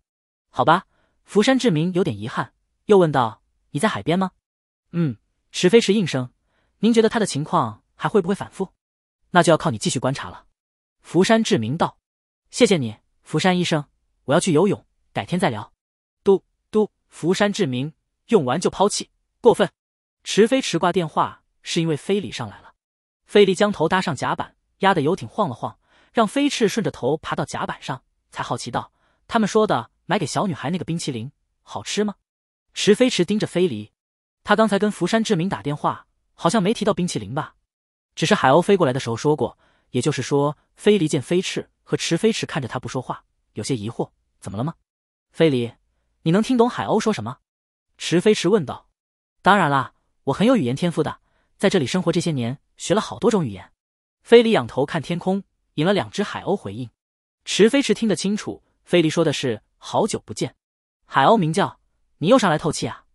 不是，我有主人了哦。飞离欢快道：“就是能跟你们说话的这个人类，他很好看，对吧？”主人，那你要跟他走了吗？他说把我放养在海里。飞翅呆。飞离有说话，他怎么听不到？这就是有语言天赋的大佬的世界吗？池飞驰也沉默着。这是语言天赋？这分明是成精了。好想用科学方式研究一下飞离到底是怎么做到的。飞离跟海鸥聊了一会儿。又转成飞翅能听懂的话，还是主人最厉害，不用转声音，说出来大家都能懂。不，你那已经够厉害了。池飞驰问道：“你还懂什么动物的语言？”以前有一只比我小了一点、长了很多长角的动物，他有教我他们的语言。不过后来他走了，他说想去更远的地方看看。飞离回想着，池飞驰想了想，很多长角的动物，章鱼、乌贼、水母，不管是什么，体型比飞离小一点的话，至少有三米吧。长到这种体型，堪称水怪。还有一种可以吃的胖家伙，我偷偷学了他们的语言。飞离来了兴致，跟池飞驰分享。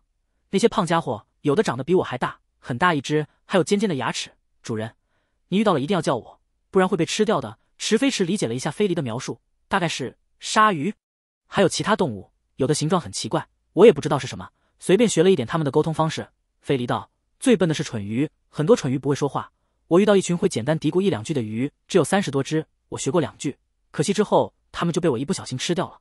飞翅，一群鱼，三十多只，不小心吃掉了。对了，主人，飞离的声音依旧带着娇气。你和飞翅吃不吃鱼啊？我给你们抓鱼怎么样？好啊，好啊。飞翅积极应声。哎，反正靠主人钓鱼，估计他今晚是尝不到新鲜的海鱼了。放鱼饵钓不到，不放鱼饵钓上来这么大的飞离。我去拿潜水设备。池飞驰起身道：“去海里玩一下。”大山迷士说过，只有他一个人不要潜水。他之前也没打算潜水，真出了意外没地方求援。不过有一只虎鲸做保镖，不去海里浪一浪太可惜了。主人，飞离试探着问道：“你要去海里的话，能不能帮我一个忙啊？”池飞驰停下去船舱的脚步，转头看向飞离。十年前我刚离开族群的时候，有一天晚上太无聊了，就想去海岸附近看看人类。飞离说了一下当年的事。那天晚上涨潮，有一个出海捕鱼的男人搭着渔船回去，遇到了往海岸去的虎鲸。他一边大声喊着涨潮了，快回去，不然等退潮你就回不去了。一边故意拉响渔船上的笛音，还丢东西砸过去吓唬虎鲸。那个男人大概想不到，那只虎鲸听懂了他的话，也记下了他的好意。之后两年，在他出海打鱼的时候，总有一只虎鲸在海里悄悄把鱼往他那边赶。可惜那段时光也只维持了两年。在一个暴风雨的夜里。那个男人和同伴一起搭船出海，虎鲸在海底遇到了暗流，没能及时跟过去。等赶到的时候，男人已经跟同伴一起坠落在深海里，体温也变得跟深海的海水一样冰凉。那个男人有一个孩子，以前会跟他一起出海捕鱼。虎鲸见过那个孩子，想把男人的尸体和海底发现的一些东西送过去。可是那个孩子之后也没再出过海，只是偶尔出现在海滩附近。虎鲸也没法靠近浅水滩，就这么等着那个男人的孩子哪天能再次搭船出海。他的孩子肯定在等他回家，一直等不到，会很难过的吧？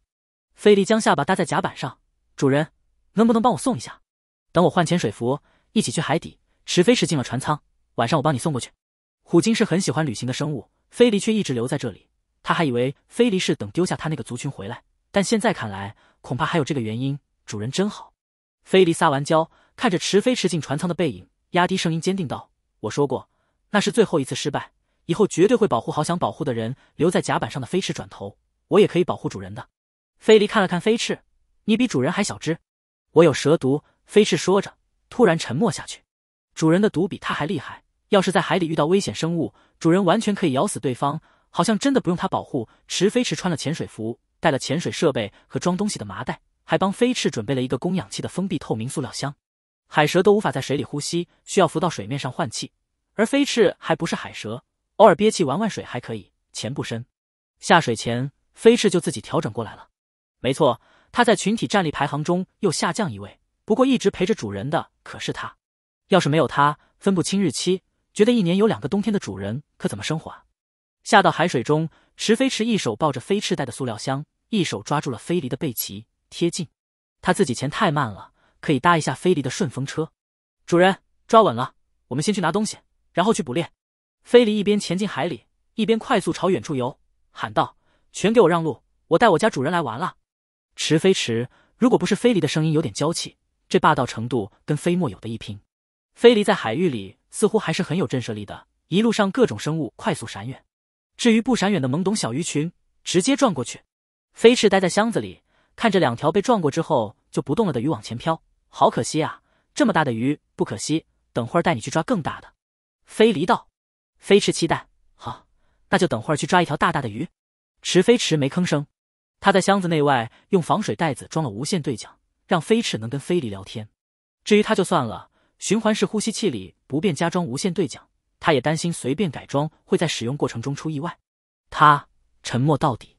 越往下，海里光线越暗。池飞驰打开了潜水手电筒，又潜了一段距离，不得已停下。沉尸地点比他想象中深，水里压力太大，再往下，他和装飞翅那个小箱子都会撑不住。飞离无奈回头看池飞驰，池飞驰看懂了飞离这个眼神的意思：你们人类真的很脆弱。飞离最终还是给池飞驰留了点面子，没有把那句话说出口。那怎么办啊，主人？那个人只剩骨头了，我拿不起来的。池飞是用潜水手电筒照了照周围，看向远处游过来的鱼群。飞翅帮忙解释，找其他动物帮忙。你会说其他生物的语言，让小鱼帮忙叼一下，或者找能拿骨头的生物过来帮忙。池飞驰点了点头。飞翅这一波翻译稳，那我去找找。你们等一下。飞离往一个方向游去。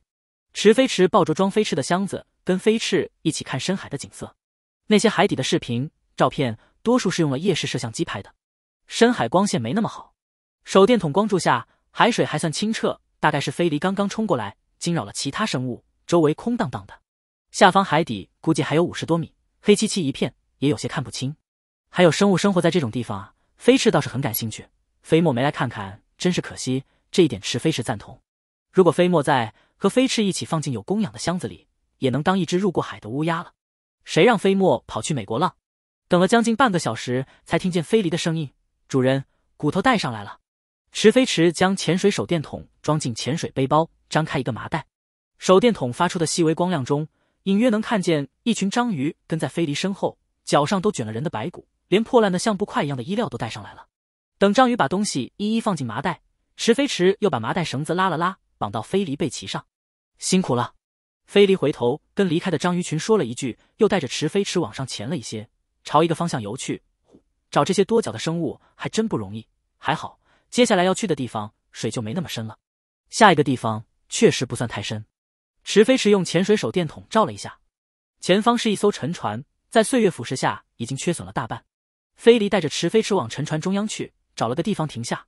主人，下面有金闪闪的金块和很好看的宝石，被你埋起来了。我听人类说这两样东西很值钱，给那个孩子装一麻袋吧。你喜欢什么也随便装。我可以帮忙带上去。池飞驰找了绳子，将飞驰带的箱子也绑好，固定在飞离的背鳍上。拿着剩下的两个麻袋往下方前去，装一麻袋。嗯，措辞很豪气。在一层薄薄的泥下，有十多个还算完好的大木箱，看制造风格，应该不超过一百年。还有一些珠宝、精致工艺品被箱子或者木板压住，没有被卷走。池飞驰先按飞离说的装了一麻袋金子、珠宝，绑到飞离背鳍上，又挑了两块最大的宝石丢进最后一个麻袋里。嘿，飞翅顿时懂了，乐道：“这是给块豆带的。块豆是什么动物？”飞离好奇。咬起来口感特别好的人类。飞翅恶趣味道：“是吗？”飞离道：“那我改天也咬一口试试。”池飞驰，别，要是被飞离咬一口，块豆就没了。不行不行！飞驰忙道：“你太大了，牙齿还那么尖，被你咬一口，他就死定了。他不能死。”飞离，好吧，那我不咬了。池飞驰突然有种在陪两个小孩子玩的感觉，再次压下对飞沫的思念，继续翻箱子。他没打算把这里的珠宝、金子带走，只是想看看能不能找到什么有趣的东西。开箱，两个被海水腐蚀得看不出原样的小号铜像，一堆破布。开箱，一箱堆砌整齐的金块。开箱，一堆被腐蚀的奇奇怪怪的金属制品。开箱，一些大大小小的金银制首饰珠宝。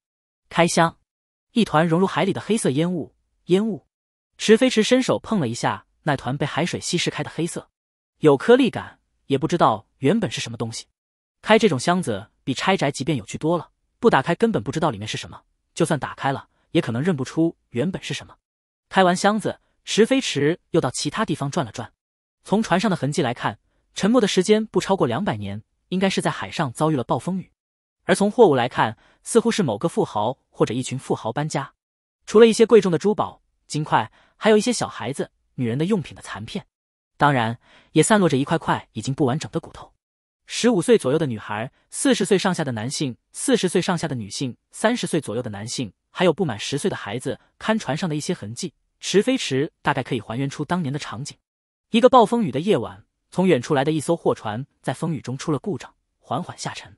大厅里，男人在绝望中变得疯狂，用枪杀了三个女佣，而不满十岁的男孩被吓得躲在桌下。装着宝石和金子的房间。几个贵妇人还在祈祷，根本没想过赶紧逃生。船长带着两个人在坚守，剩下的水手或许是到了甲板上，或许是在往别处奔逃。有一个房间里，年轻男人和年轻女人一直陪伴对方到最后。那道破损的门上，门锁被一把大锁从内部锁上，而男性白骨堆里还有一截已经被海水腐蚀的破烂的绳子。也就是说，在灾难来临前后，那个男人就已经被囚禁了，而且门是从内部锁上的。能做到这一点的。就只有那个和他一起待在房间里的女人，然后船彻底沉了，一些人被海水卷走，一些人跟着沉船埋葬在大海中。经过岁月和海水的腐蚀，大厅里的男人化成白骨，被腐蚀得看不出这是枪支的凶器落在旁边，来自不同三个女性的白骨，墙壁上的弹孔，白骨间裹杂的衣料碎布，见证了三个女佣的悲惨经历。船彻底沉没的时候，那个不满十岁、身份不明的男孩，在涌入船舱的水的压力下。被桌子死死顶在角落，桌子挤断了他的肋骨。经年累月之后，那具留在残缺桌子旁的尸骨，肋骨上因外力造成断裂的痕迹还是那么明显。谁也不知道到底有多少疯狂、嚎哭、歇斯底里，像是静默的画片，但画片上写满了血淋淋的“残酷”两个字。池飞驰转了一会儿，发现氧气消耗的差不多之后，才带着最后一个袋子离开，搭飞离的顺风车离开。回到海面时，太阳已经西斜，海上波光泛着红橙色光芒。飞离将脑袋搭上游艇甲板，池飞驰把三个麻袋搬上游轮，一个装尸骨的，一个装满了珠宝，还有一个像是没装东西一样干瘪。主人，你不多拿点吗？飞离看着池飞驰搬麻袋，你们人类都很喜欢亮晶晶的东西吧？池飞驰头也不抬道：“不想拿，想拿的时候再说。那要不要我帮你守着？”飞离道：“不守着的话，过两年可能就会被人拿走了哦。不用，能有人拿走就拿走。”池飞驰进船舱，重新拎了个氧气瓶，走了，捕猎去。飞驰很激动，总算到捕猎时间了。飞离也很激动，入海后就开启了唱跳模式。啦啦啦啦啦啦！我是有主人的小飞离，我是飞离飞离离飞离，左边游游，右边游游。待在箱子里飞翅，啦啦啦，找一只漂亮的大鱼做晚餐。啦啦啦，飞离转着圈圈游。飞翅虽然飞离的声音很好听，但这么唱着不累吗？飞离翻滚翻滚，黑白色转成圈。继续唱道：“啦啦啦，和小伙伴一起去捕猎。飞离看见的猎物都别想跑。箱子里，飞翅突然跟着调子开始唱：啦啦啦，跟着飞离去捕猎，捕到漂亮的大海鱼，一口吃不下，让主人帮忙剁成块。池飞驰想唱歌没问题，但能不能唱一点他能听的？他要求不高，实在不行，铃儿响叮当也是可以的。乱七八糟的歌声飘了一路，二十多分钟后才消停。飞离躲在一处珊瑚礁后，嘘，看见猎物了吗？哪里？”飞翅在箱子转，期待问道：“猎物在哪里？”那边啊，飞离悄声道：“左边远处过来的那个胖家伙。”胖家伙，飞翅转头看去，下一秒将在箱子里，果然很胖。前方一个庞然大物在游动，尖头呲着雪白的牙，有它一万个，不，很多很多个，它那么大。池飞驰面无表情的看着前方游动的鲨鱼，请找个他和飞驰能吃的，谢谢。等会儿我先冲上去撞晕他。飞离兴奋讲着捕猎方案，然后你们过去直接咬，想吃多少咬多少。池飞驰抬手敲了敲自己的潜水面罩，别说他不想咬，想咬也咬不到，好不好？飞离懂了，又提醒道：“那我冲上去撞晕他，然后把他拖到主人的小船那里一起吃。”池飞驰摇头，飞驰也摇头，汗了汗。那个飞离啊，这个太大了，我们去找小鱼好不好？好吧，其实蠢鱼没有这种胖家伙好吃。飞离勉强放弃了这只猎物，往一个方向游。那我们去打小鱼，就去主人的小船附近打。打完你们可以搬去船上吃。主人，我们可以试试我一直想试的一种打猎方式。十多分钟后，池飞驰在海里驱赶着鱼群，逼着鱼群往上游。这是虎鲸的捕猎方式之一。一只虎鲸在下方驱赶鱼群，一只虎鲸在上方接近海面的地方等鱼群接近，用尾巴拍晕。只是菲里可能忘了，他是人类，没有虎鲸那么大的体型，没法搅动海水下鱼，要赶一个有上百条鱼的鱼群很辛苦。不过菲利一直都是自己捕猎，恐怕从来没有试过这种跟同伴一起合作的捕猎方式。他就当陪菲利玩了，还能锻炼身体。忙活了一会儿，鱼群总算被驱赶到菲离附近。菲离快速冲上前，尾巴狠狠砸向鱼群，一招搞定。一条条被拍晕的鱼翻了肚皮，往海面上飘去。箱子里，飞驰看完了菲离的暴力行径，又呆呆看着密密麻麻往上飘的鱼。主人，菲离也能拍这么多个我吧？池飞驰点了点头，往海面上游。绝对能，还是拍扁那种。一群鱼，飞翅和池飞驰分了一条，剩下的都进了飞离口中。在池飞驰烤鱼的时候，飞离又自己跑去打了几只体型颇大的鲶鱼，拖到游艇边，还特地叼到甲板上，似乎打算和池飞池、飞驰一起开餐。天色已经完全暗了下来，海面一片漆黑。游艇甲板上亮了灯，池飞驰将切好的鱼块给飞驰，自己吃着烤鱼。飞驰一口一块鱼块，一口一块鱼块，飞离一口一条大鲶鱼。一口一条大鲶鱼，分分钟搞定，再凑到一起看着池飞池吃鱼，顺便闲聊。飞驰，人类吃东西很慢的。飞离很可爱。飞驰，可是还是好慢。飞离，你们吃东西也是吞的吗？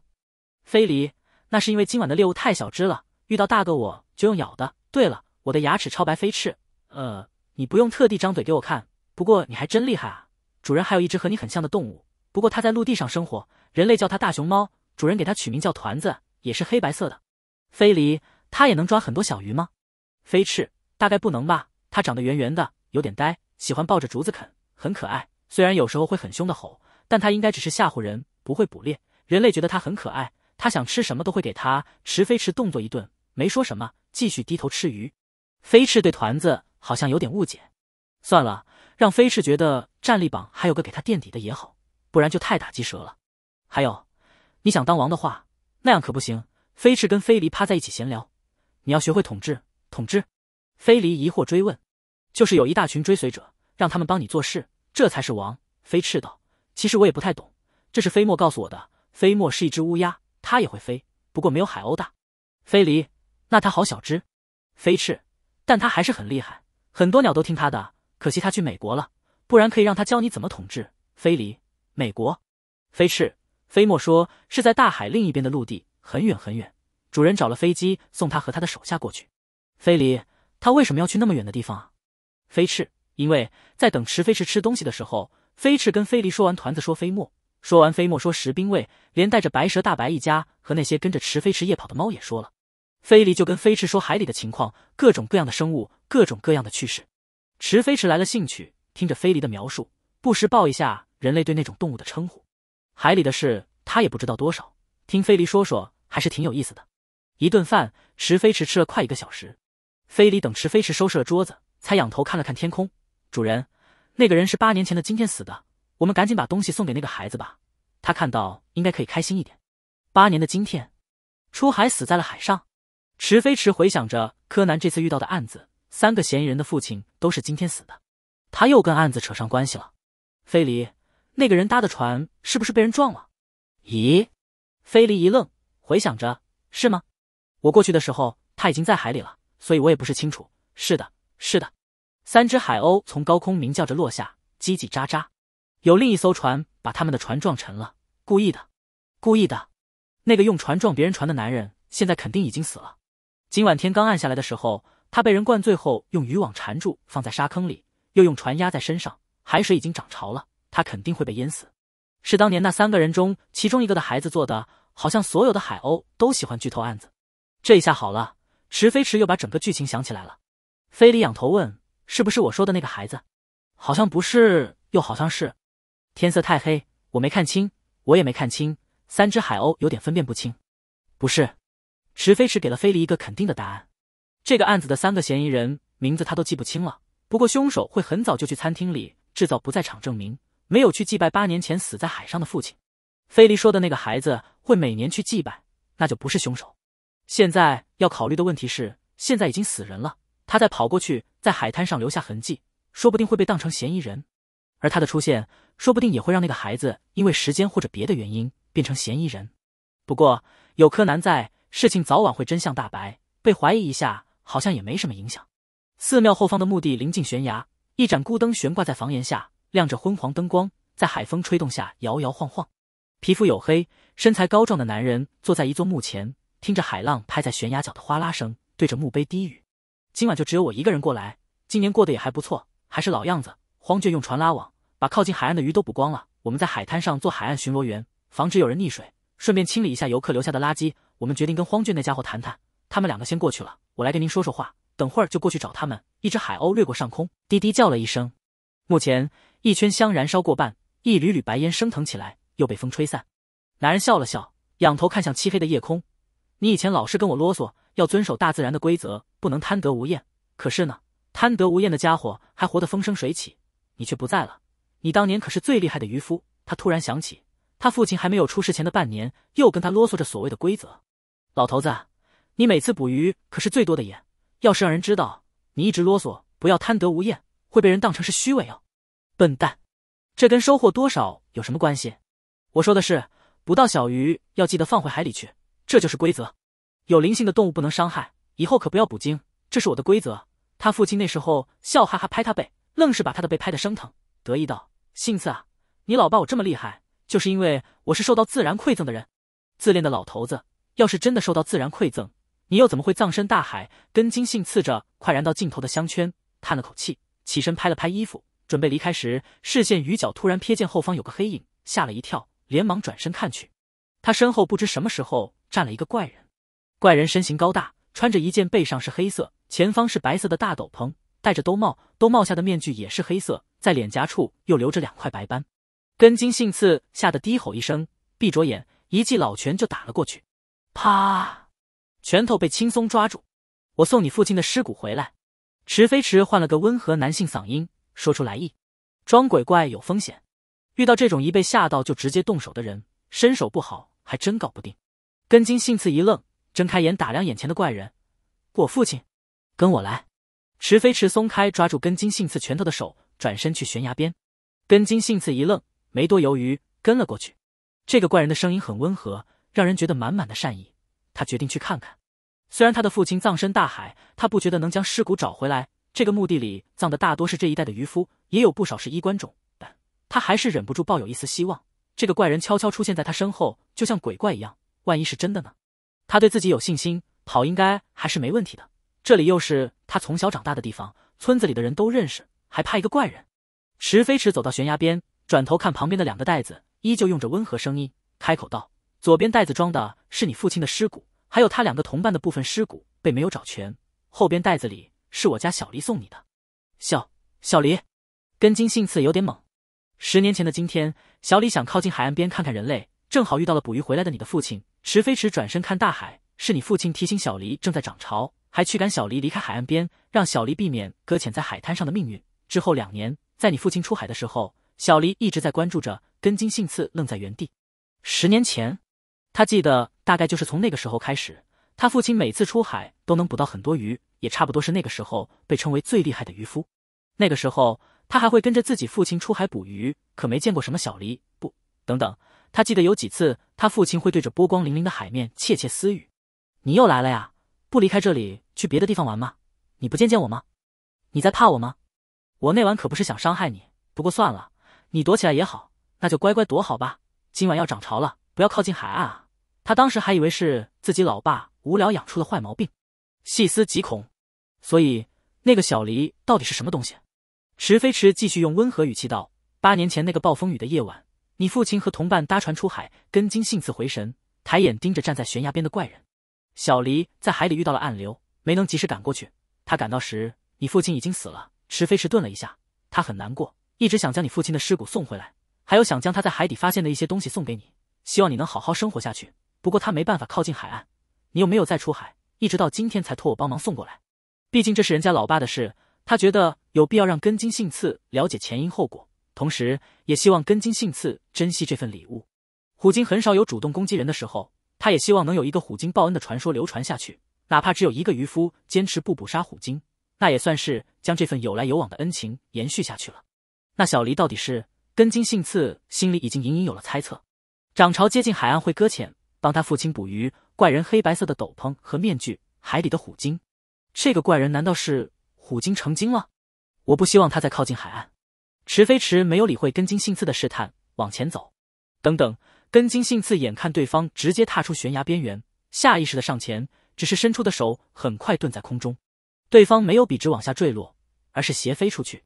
昏暗夜色下，斗篷被风吹动，黑面隐在黑夜中，只能看见一条晃动的白，向着远处海面而去。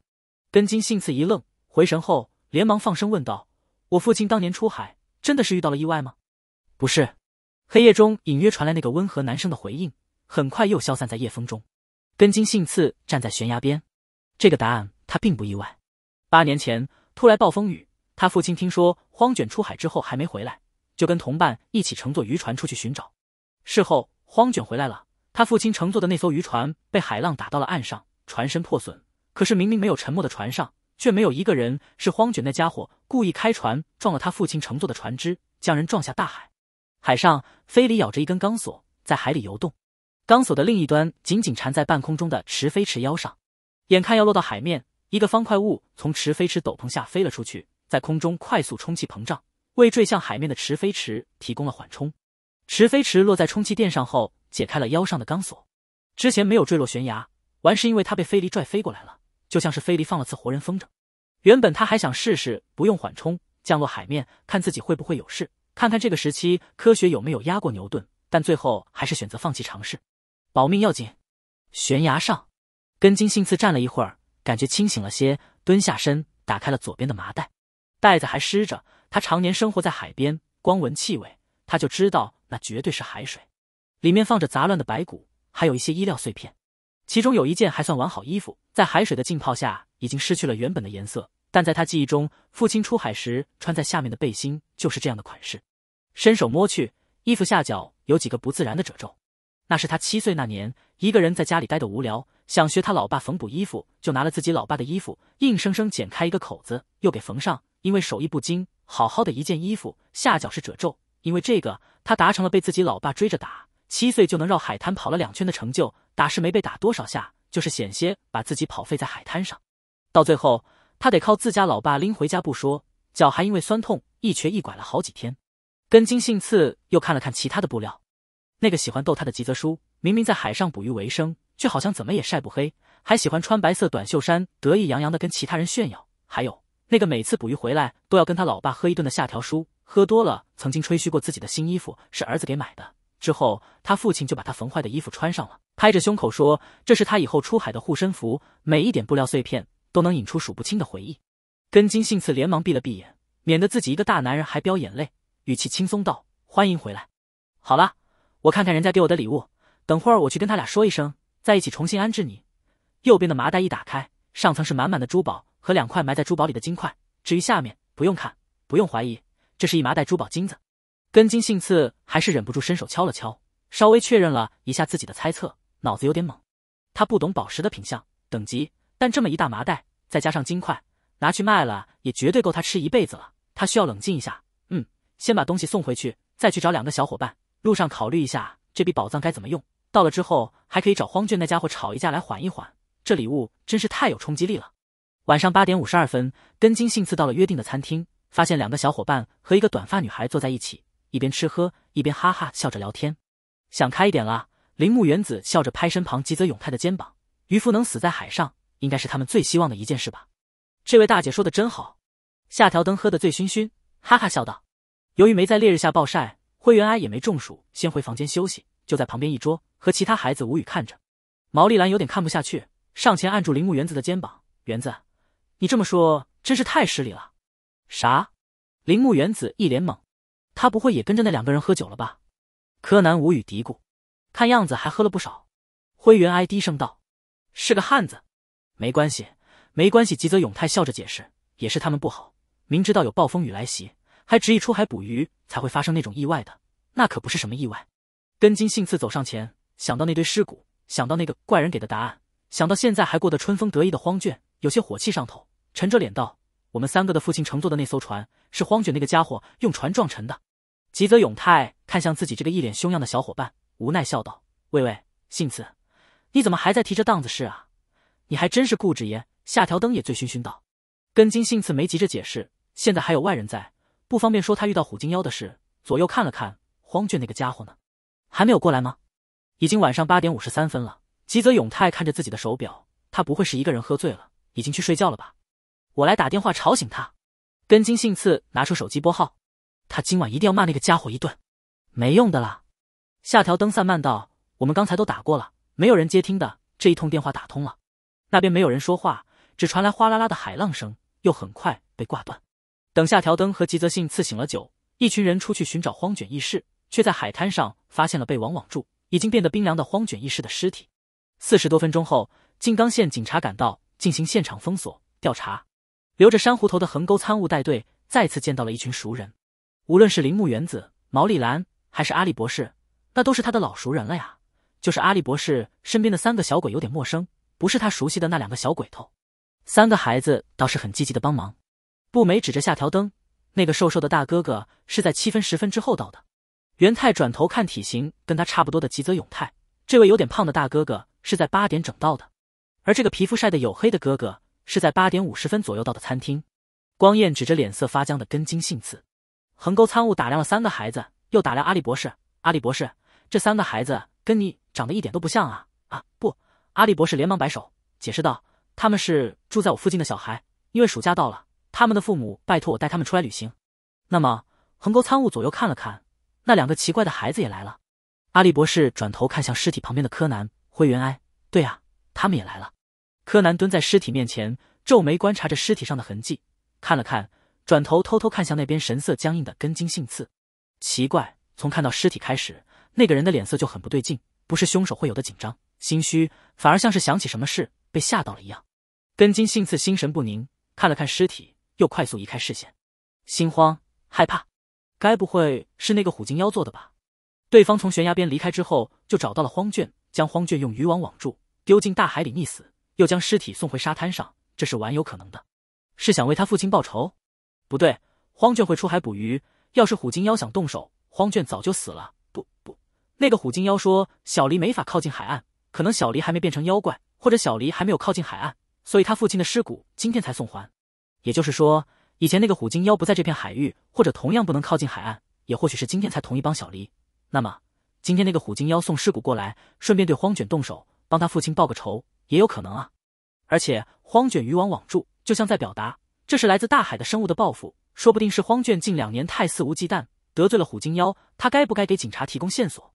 不说，那警察还不知会调查出什么结果。荒卷再混蛋，也跟他一样是人类。要是荒卷被妖怪杀了，他还沉默不吭声。好像有点不厚道，说不，人家虎鲸妖送还尸骨，赠与他财富。如果真杀了荒卷，也算是为他老爸报仇了。不管这是虎鲸妖的意思，还是小黎的意思，人家始终对他有恩，这份恩情还很重。不说，那好像也不行。很多传说里不是说了吗？妖怪杀人之后就很难停下来。要是虎鲸妖以后因为杀人变得失控、残暴，伤害这一带的村民，可怎么办？出现了会杀人的妖怪，他应该提醒一下其他人类的吧？说不，如果虎鲸妖不会失控，只因为他莫须有的担心，他就出卖虎鲸妖，那也太不仗义了。而且虎鲸妖那么强，要是因为他的出卖记恨上他，嗯，变仇，他就死定了。他孤家寡人一个，死就死吧。但万一还引发什么的变故，比如虎鲸妖开始厌恶人类，攻击人类，那他就成罪人了。不说，说，不说，说。根津幸次内心纠结难安，一个皮肤黝黑、一脸凶样的大汉。愣是纠结的脸色发白，一脸失魂落魄。做人真的太难了。那边横沟参悟将柯南拎到一边，见灰原哀乖乖自己远离尸体，心里满意点头，又警告柯南不许乱碰尸体，不许打扰警方调查。是，柯南装出乖宝宝模样，被横沟参悟放下后，也没再去看尸体，走到根津幸次面前，仰头同意卖萌：“大哥哥，你身体不舒服吗？从刚才开始，你的脸色就一直很难看眼。”啊！根津幸次低呼一声，他脸色很难看，不会被警方看出什么来了吧？还是说，柯南仰头盯着根津幸次，嘴角上扬：“大哥哥，你是有什么事想告诉警方，却在犹豫着该不该说呢？”横沟参悟等人立刻转头看着根津幸次，虎金妖顶着其他人探究的目光，其中还有警察。根津幸次终于扛不住压力，一脸紧张道：“这可能是虎金妖做的，虽然虽然我也不确定。”哈，横沟参悟半月眼，转头问下条灯和吉泽永泰：“你们这里有人叫虎金妖这么奇怪的名字吗？”“呃，没有啊。”吉泽永泰茫然：“拜托，怎么可能有人叫那么奇怪的名字？”夏条灯一脸无语。不是名字，是一只虎鲸妖怪。根金信次解释，他之前将我们父亲的尸骨送回来了，还送了我一大袋珠宝和金子。他说我父亲对一只雌虎鲸有恩，所以才这么做。那就有可能是他杀了荒卷。虎虎鲸妖，毛利兰抱紧身边铃木原子的胳膊。是啊，他穿着黑白色的大斗篷，戴着黑白色像是虎鲸脸一样的面具。我没看到他的脸，也不知道他的名字。根金幸次有些语无伦次。我在墓地里给我父亲扫墓的时候，他突然出现在我身后。把东西送给我之后，就从悬崖上飞向了远处的大海。毛利兰将铃木原子的胳膊抱得更紧。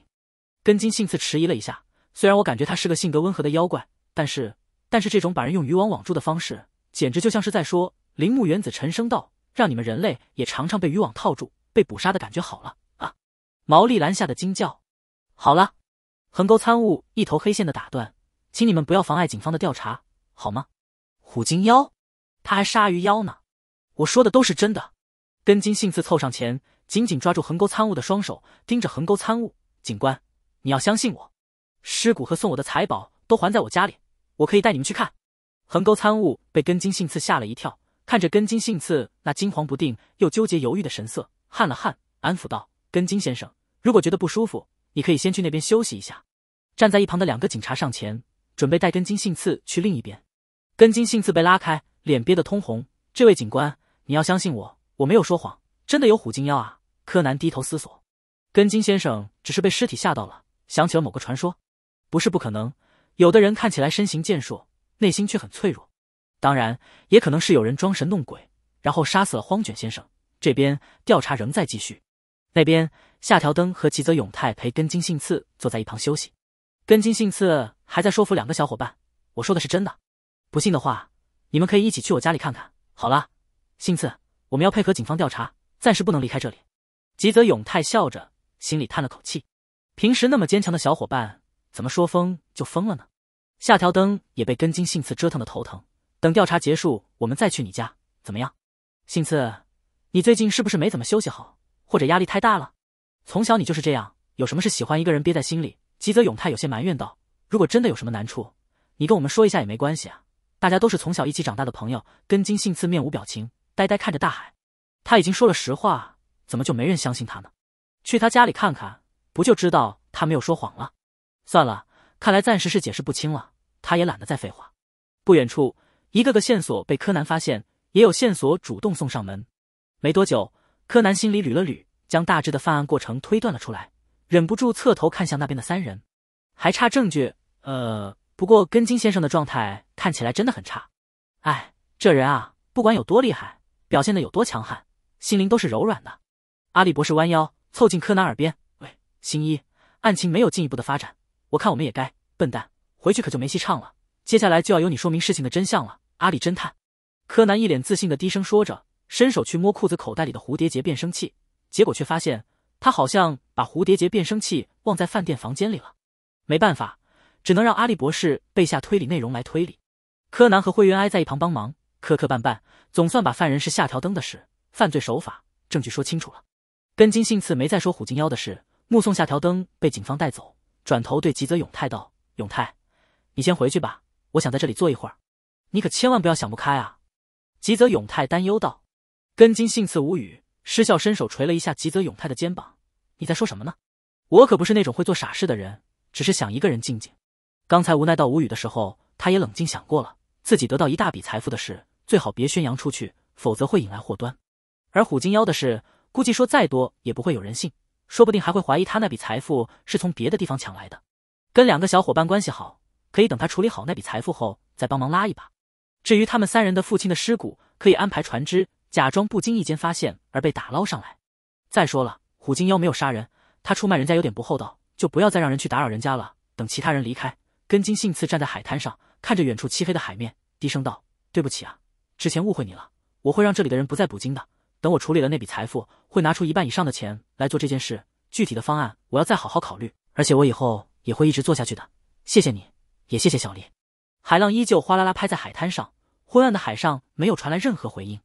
根金信次也没指望能得到回应，等了一会儿，转身走向等在远处的吉泽永泰。好了，你别哭丧着一张脸。我没事，真的吗？你真的没事，只是最近老是梦到一只虎鲸妖，他让我出海去找我父亲的尸骨。我想过两天找船出海看看，这一次说不定真的能找到呢。你已经好几年没出海了吧？没关系，那阿登的事，明天再一起去警局看看他吧。翌日一早，池飞驰舒舒服服一觉睡醒，起床洗漱后联系了大山迷，让大山迷安排人送一批设备过来。看了一下邮件，有飞墨的新消息。飞墨表示据点已经找到。通讯工具已经搬了过去，这两天会将通讯工具接好电。池飞驰回复了各方的邮件。出门的时候，飞驰已经和飞离一起趴在甲板上聊天了。主人，飞离见识池飞驰出来，激动道：“我要去找飞墨哥哥，我想让他教我怎么统治。”怎么又一个想往美国跑的？池飞驰将顺手带出来的书和笔记本电脑放在桌上。你知道路线吗？嗯，飞离沉默了一下，不知道。我是可以安排一条货轮从伊豆出发，前往马萨诸塞州。让你远远跟着货轮过去，然后让飞沫去对应的港口找你。池飞是在沙滩椅上坐下，分析道：“不过马萨诸塞州在美国东海岸，货轮从出发到抵达大概要四十天。等你到了，飞沫都完事回来了，不如等他回来，我再带他来找你。”飞翅有道理，不过主人还真会冷场，一出来冷淡几句话，就让原本热火朝天的聊天气氛瞬间成冰。菲利也汗了汗，那那我等他回来好了。嗯，你跟飞翅玩，等会儿配合我做个实验。池飞驰打开电脑。我先处理一下手头的事。郝飞离乖巧应声，转头低声问飞翅：“主人一直是这样吗？”“嗯。”飞翅想了想，也压低声音吐槽：“居然还有人说主人找不到伴侣是因为老是带着我。我觉得明明是主人的原因，和女孩子相处就应该温柔一点。可是主人老是喜欢破坏气氛。”石飞驰抬眼，说悄悄话都不离远一点，是当他聋，还是当他不存在？飞驰察觉有道凉凉的视线落在身上，不用抬头确认，立刻改口：“当然啦。”也有女孩子喜欢主人，嘻嘻，我也喜欢主人。飞离立刻道。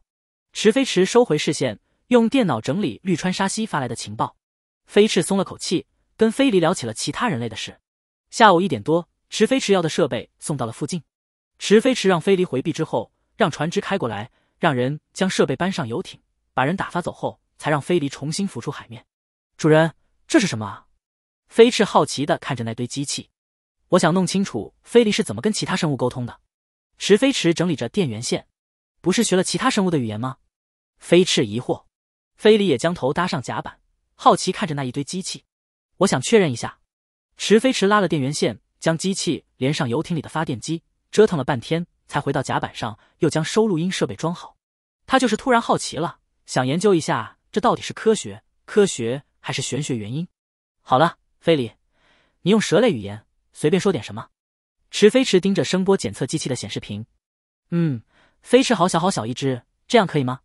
飞离道，两道声波。池飞驰看着机器上探测出来的声波，有些意外。飞离刚才居然同时发出了次声波和超声波，而且显示出的波段似乎有某种规律。继续说，说说飞翅的事。池飞驰又道。飞离想了想，说了起来：飞翅很可爱，比其他小蛇可爱多了，跟我说了很多有趣的事。如果有其他动物欺负飞翅，我也会保护它的。它想吃鱼，我也会帮它抓。飞翅默了，有点不好意思。不过飞离真好。池飞驰发现飞离每次说到飞翅，显示出的曲线图都是一样的，将那一段曲线截取下来，用发出超声波和次声波的设备播放，模拟出飞离发出的声音。飞翅，听一下。播放了两次。飞翅，你有没有听到什么？池飞驰可以确定，这种机器合成模仿的声音自己听不到。有啊，飞驰道。机械的声音在叫我的名字，叫了两遍。等会儿，池飞驰又将录下来的飞离的声音截取播放。飞翅，飞离的声音，飞驰确认道：“再叫我的名字。”嗯，池飞驰点了点头。这一次他也听到了。继续实验了一会儿，换两只海鸥配合实验。海鸥完了，让飞离去找海龟、章鱼来配合实验。一直到傍晚，池飞驰暂时停下，带了一个防水播放机器，录下飞离恐吓鱼类的声音，下海跟着飞离去捕猎。这一次就不用他辛苦驱赶鱼群了。录音一播，鱼群立刻吓得往飞离那边游，然后被飞离一尾巴全部砸晕。赶了两次，凑够了飞离的食物，池飞驰才上了游艇。飞离，今晚都是你的。咦，主人，你们不吃吗？飞离疑惑。我不想吃鱼了，游艇冰箱里有别的食物。池飞驰进了船舱，飞翅四五天吃一顿就行。原来是这样，飞离看向甲板上点头的飞翅，飞翅吃的好少哦，难怪长得这么小，多吃点说不定就可以长大了。不对，不对，飞驰纠正，这不是食量的原因，多吃我也吃不下呀。池飞驰懒得做饭，去冰箱里拿了速食食品，就到了甲板上，打印了白天实验的检测报告，一边吃东西一边看。从实验来看，飞离不是能够发出其他动物的声音。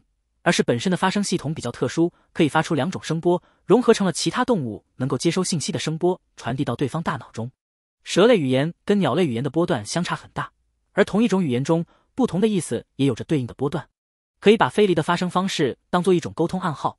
人类只要掌握了这种暗号，利用发出和接收超声波与次声波的设备，就可以做到跟其他动物交流，指挥其他动物。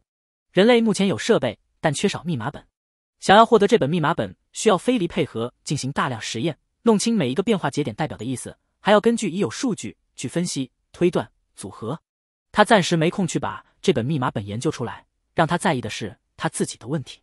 他一直以为自己能听到动植物的声音，应该是自己的耳朵能捕捉到特殊的声波，并自动将内容翻译反馈到大脑中。但在之前的实验中，他能听懂飞离的话，能听懂机器录下来的飞离的话，却无法听懂机器合成的声波。而飞翅，其他海鸥那里也是一样，区别是生命体发出的声音与非生命体组合出的声音。换言之，它能听到人耳能捕捉到的声音，但只能听懂生命体发出那些声音的意思，非生命体模拟出的声音不行。它的能力跟声波无关。而且，刚才他检测过自己的脑电波，在听到机器发出的声音、不同动物发出的声音时，他的脑电波并没有异常波动。也就是说，他的能力也不是脑电波的原因，真的是因为玄学。吃过晚饭。池飞驰继续研究，接下来的研究就没飞离多少事了。池飞驰在研究自己，继续检测自己的脑电波，实验在干扰手段下自己的脑电波变化，甚至用超声波检测手段给自己口腔的毒腺拍了个片，确认这是科学手段可以检查出来的。沉迷研究自己，无法自拔。凌晨一点睡觉。第二天一早，池飞驰没有急着继续研究，他得回东京去了，明天还得帮弗兰特易容。菲离打算离开这里，去别的地方看看。原本是该准备个通讯工具，防止飞离失联、迷路的。不过海洋太大了，网络不一定能连接上，电波对讲通讯又有距离限制。没办法，池飞驰又花了一早上的时间教飞离看地图、背地图，又用了一整天的时间给飞离灌输各种防骗、防捕、防拐知识。傍晚，飞离心情愉快的告别主人飞驰，我过段时间就回来这里看看，别担心，我不会迷路的。池飞驰，嗯，飞驰，嗯，一人一蛇目送飞离游向远处。而后，飞离下潜，露出海面的贝奇也看不见了。飞狮叹了口气，好担心飞离就这么丢了。主人，你说他们怎么那么喜欢往外跑呢？放养在天空和大海的宠物就是这样。池飞驰总结一句，转身回船舱。有飞沫在先，也不是那么难以接受。只不过飞离比飞沫更难联系，这一跑可能就跑丢了。等游艇靠岸，池飞驰让大山迷安排人来接收游艇，顺便帮自己订机票。回到东京，已经凌晨三点多。没睡一会儿，池飞驰又起床出门去帮弗兰特易容。早上八点多，东京街头，金发碧眼的女人看到熟悉的车子后挂断电话，沿着街道走上前，见副驾驶座没人，直接上了副驾驶座。黑色车子开离原地。易容好了，顺便送我去港区附近怎么样？弗兰特笑着转头问道。池飞驰来之前也换了那张雀斑欧洲青年脸，开着车点了点头，声音嘶哑道：“送你到青山公园。”OK。弗兰特也习惯了那张冷漠脸，没放在心上，应了一声后，神色认真了些，压低声音：“原度一郎之前透露给我的炸药信息确实有问题，不是三天后抵达的货轮，而是半个月前从美国港口出发的货轮，大概二十天后会抵达千叶县附近。之后他们会让渔船去将炸药卸下来，从千叶县的偏僻海岸过，避开检查，再运送回东京。具体的抵达时间还无法确定。确认过了吗？池飞驰问道。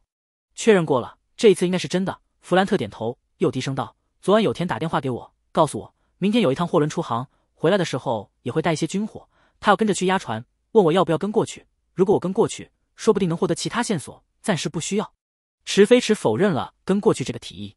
从日本港口到美国东海岸的货轮大概需要航行四十天左右，易容根本维持不了这么久。如果弗兰特要伪装跟着去，他也得混进去，跟着在海上漂四十天。他不是不乐意去海上溜达一圈，说不定还能顺便带飞离去美国找飞沫。不过，两个顶着易容的人在货轮上跟其他人同吃同住四十天，暴露的风险太大了。弗兰特是利用有田喜欢小泉久美这一点，才打入那个走私团伙内部。那么在船上，那个有田必然会把易容成小泉久美的弗兰特盯得紧紧的，而他帮弗兰特更换易容，两个人就要偷偷碰面，暴露的风险更大。再者，如果弗兰特有问题，无论是出卖组织还是本身是卧底。一旦确定组织让他去跟船，那么也会猜到拉克和贝尔摩德这两个会易容的人会有一个跟上船帮他易容，在美国港口布置人手进行抓捕，谁去谁完蛋。综合考虑，这一趟跟船出行或许能得到更多线索，但风险太大，不值得。四十天时间，组织从其他方向调查，也未必不能获得一些线索。不去，这是他做出的决定，估计那一位也会做出一样的选择。还能不能再准确打听出目标是在麻萨诸塞州哪里？我尽量。弗兰特皱了皱眉，他们对目标的消息瞒得很严。我试探过有田，还试着灌醉过他，不过他喝多了什么都不会说。而每次谈到军火来源，他都会转开话题，我不敢过度追问。再寻找机会试探一下，争取再缩小范围。池飞池思索了一下，另外把他们这些年的出航信息整理之后发给我，有多少要多少。弗兰特愣了一下，提醒道：“每次来往美国，他们选择的港口不是同一个，从波士顿到昆西一带的港口都有可能，而且信息太多了。”近五年的出航信息我都能弄到手，你全部需要吗？全部。池飞驰找了个偏僻的地方停车，帮弗兰特易容，又将弗兰特送到港区。回到新宿区附近后，看了一下时间，已经上午十点多了。给那一位发邮件，简单说了跟船过去的事，不用跟船出航，尽量锁定大概位置，从其他方面调查。那一位给出的答案跟他预想中一致。明白。Rocky 池飞驰回复了一下，又给秦九发邮件说炸药的事。弗兰特确认。运送那批炸药的货轮半个月前从马萨诸塞州港口出发，会在千叶县海湾附近转移炸药，转移的具体时间位置不明。Rocky 等了大概十多分钟，秦九的电话才打过来。拉克，我一个人在街上，方便讲电话。秦九确认了池飞池这边的情况，也没磨蹭，情报准确。根据他们走私团伙的一个船员说，最近他们确实在千叶县那边有所安排，转移的具体时间、地点等货轮大概进入日本海域之后再进行调查。明白了，池飞驰懂了，估计秦九又抓了某个船员的把柄，让船员盯着团伙最近的动向。他这边让弗兰特从高层确认走私炸药的货轮详情、出发时间、预算抵达时间和大概的行动计划，而秦九那边则是随便威胁两个底层成员，利用动向等消息来判断弗兰特提供的平板准不准确，之后还会继续跟进确认。这样一来，基本就可以确认情报准确了。挂断电话，毛利兰的电话就打了过来。邀请他去森林浴，不去啊？好的，那我问一下小艾。嗯，池飞驰果断拒绝之后，打电话让大山米找个地方把检测脑电波的设备送过去，再指定了一些设备一并送过去。之后又联络了在附近地点的乌鸦，确认小泉红子的动向信息和位置。学生们又放暑假了，四处跑，四处玩。光之魔人是这样，绯红魔女也是这样，简直不要太咸鱼。某游乐场外的餐馆里，黑羽快斗、中森青子。小泉红子、桃井惠子凑在一起吃饭，商量着饭后要去游乐场玩。去海底世界怎么样？中森青子笑眯眯道：“喂喂，黑羽快斗一头黑线，明知道他怕鱼还去那种地方。红子，你呢？”中森青子没有搭理黑羽快斗的抗议，转头看小泉红子：“难得你答应跟我们一起出来玩，你有没有什么想玩的地方？我们一起去。”小泉红子刚想说海底世界不错，察觉自己手机铃声响，说了句抱歉，拿出手机看了看。这个号码是池飞池，接听，我是小泉红子，出来一下，我在你们吃饭的餐厅旁边的巷子，叫上快豆。好，我知道了。小泉红子挂断电话，起身对黑羽快豆道：“跟我来一下，我有话想跟你说。”啊！黑羽快豆疑惑，跟着站起身，见小泉红子转身往外走，跟了上去。有什么话不能在这里说啊？你哥打电话给我，找你有事。小泉红子解释着，推开餐厅的门，左右看了看，找到旁边那条巷子。径直过去，中森青子和桃井惠子原本还觉得奇怪，不过隐约听到小泉红子的话，也就没有多想。黑羽快斗跟着小泉红子进了巷子，脚步有些迟疑。他第一次遇到池飞池，就是跟着小泉红子傻乎乎跑去找池飞池，结果被威胁、被控制、被绑架。红子那天就直接把他卖了，还帮池飞池替他在学校老师那里请假，让四井先生误会他有个哥哥，最后真得了一个便宜老哥。今天这情况怎么看着就有点不对劲呢？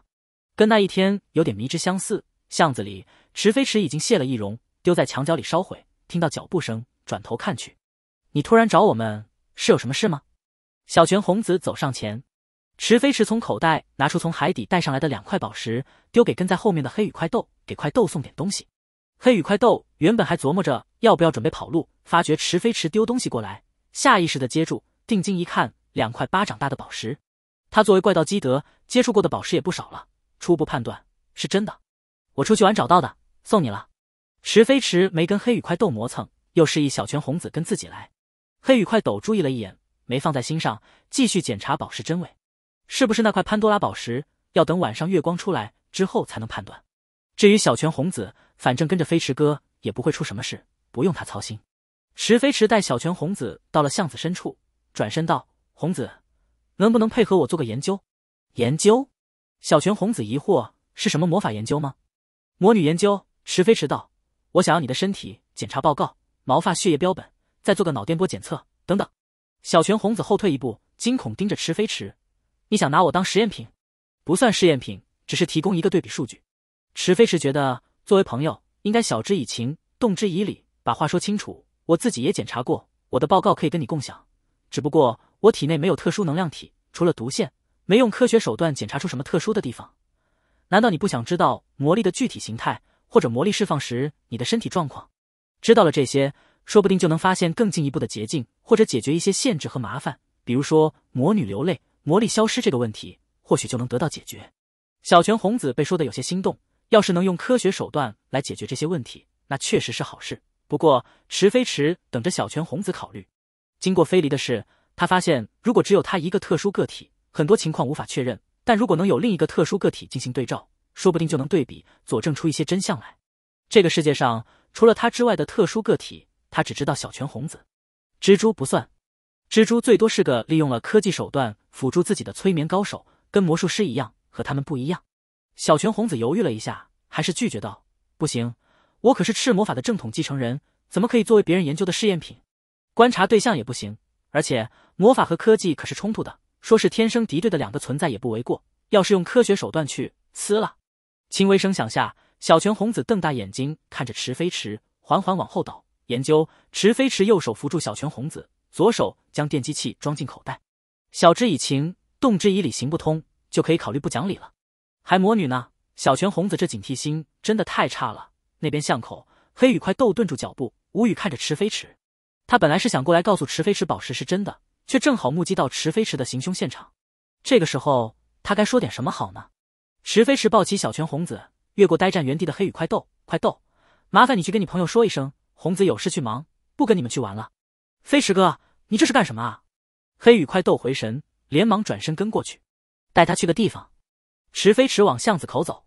可是，你这样是不是有点有点不太好？黑羽快斗无语提醒：“有什么事好好说，不就行了吗？”他不同意。池飞驰到了巷子口附近，拉起外套帽子挡住脸。黑羽快斗不同意就强行带走，这是绑架，还特地拉上帽子挡住容貌，这行为就更像绑架犯了。池飞驰拉开停在路边的车的车门，把小泉红子放进后座，自己去了驾驶座。我又不会把他怎么样。等等，黑羽快斗忙道：“这两块宝石我不能要，我晚上确认一下，不是潘多拉的话，我就送。不用，都说送你了。”池飞驰直接开车离开原地。黑羽快斗无语，目送车子离开。他能怎么办？想想那天池飞驰提着镰刀砍蜘蛛的样子，他就明白了，战力不对等。而要是他耍小聪明，玩魔术手段，池飞驰也知道不少魔术窍门。估计也没用，要是有用，暂时解救了红子，那更惨了。接下来不仅红子会倒霉，他也要倒霉。算了，飞驰哥还是信得过的，红子应该不会出什么事。他又不是故意卖红子。黑羽快斗低头看着一手一个的大宝石，彻底沉默。拿人手短，等会儿他还要回去骗青子他们说红子有事走了，替池飞驰打掩护。看起来真的很像他把红子卖了，换了两块大宝石，小泉红子再次恢复意识，睁开眼，发现自己身处一个陌生环境里。白炽灯照在白色墙壁上，没有任何装饰，一片雪白。从玻璃窗反映的画面中，他看到自己躺在一个台子上，头部、手臂、脖子上接满了各种线路，线路一直连接到周围亮着的仪器上。某个邪恶的自然之子穿着白大褂，坐在一台仪器前，低头看着手里厚厚的一叠打印纸，头也不抬的问道：“醒了？”小泉红子缓了一下，才想起之前自己被放倒了，立刻坐起身：“你，你对我做了什么？别说那么容易让人误会的话。”池飞池放下手里的报告，也别把线弄掉了。你拿我当试验品？小泉红子悲愤交加，直接一个火球丢向池飞池。池飞池立刻操作着一台机器，确认小泉红子现在的身体状况。之前小泉红子昏迷着，没办法检测使用魔法时的身体变化，现在好了，可以检测了。稳，在火球飞到池飞池身前时，小泉红子又默默把火球收了回去。不能打，打到池飞池，他会倒霉的。手臂右掌鳞片和羽毛都是青的，万一把池飞池打伤了，他整个人变成蛇或者乌鸦了呢？委屈，好气！他他走，惹不起，他还躲不起吗？你应该来看看你的检查报告。池飞驰打印着检测到的数据，语气平静道：“在使用魔力时，身体数据确实出现了一些变化。”刚想溜的小泉红子迟疑了一下，一副不情不愿的模样，凑过去，黑着脸问道：“哪里有变化？”虽然不想承认，但他也很好奇。等一下，池飞驰将数据打印出来，又从那叠打印纸里挑出几页纸放在一起对比。在你丢出火球的瞬间，大脑比之前活跃了两倍还多。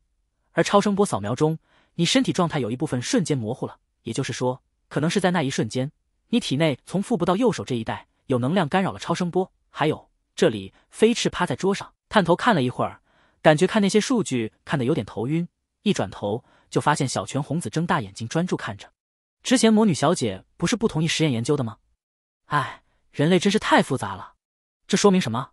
小泉红子看了一会儿，好奇问道：“你的魔力可以用科学手段检测出来。”池飞驰将打印纸收起来，比我的情况好一些。等以后收集的数据多了，能有一些收获，比如知道怎么增强魔力。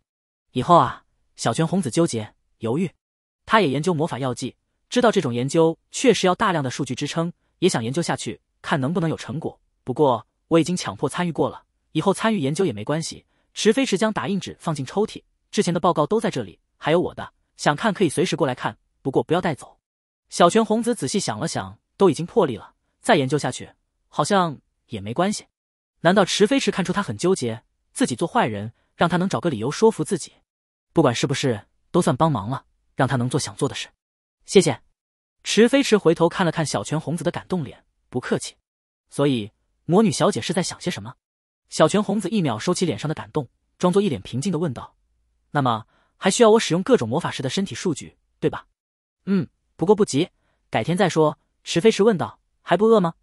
小泉红子摸了摸肚子，不说不觉得被池飞驰这么一说，还真的饿了。我午饭吃了一半就被叫出来了。现在几点了？晚上九点十二分。池飞驰拿出手机看了一下，脱下白大褂，拎起飞翅：“我请吃饭。”谢谢。小泉红子道了谢。疑惑问道：“我晕了那么久吗？我担心中途醒过来跑了。”池飞驰又顺手断了实验室的电，走向门口，又给打了针麻醉。小泉红子刚拿出手机照明，听到这话，脸有点僵。到底做了些什么？我说了，别说那种让人误会的话。池飞驰打开门出去，只是给做了超声波检查，抽了三管血，采集了几根头发，剪了一点指甲，检测了的脑电波。小泉红子居然抽他三管血，这可是魔女的血啊，很珍贵的。哼，邪恶的自然之子。之后我就去找了其他人的血液、头发来进行对比。池飞驰道：“偷偷去医院血库、去理发店采集的，折腾了一下午。”小泉红子无语问道：“那么结果呢？跟其他人有没有区别？”的身体情况跟其他人没什么区别，就是普通高中女生的体质。不过基因跟其他人都有一点差别，具体的我还无法确定。对比的样本还是太少了。池飞驰径直走到停在外面巷子里的车前，打开车门上车。我把我和的样本做过对比。跟其他人对比，似乎也没有多大的异常。不过有时候某一项数据的细微差别都有可能是关键。数据在抽屉里，有空可以自己看看。我无法做出准确判断。缺少样本。小泉红子跟上车，扬了扬下巴。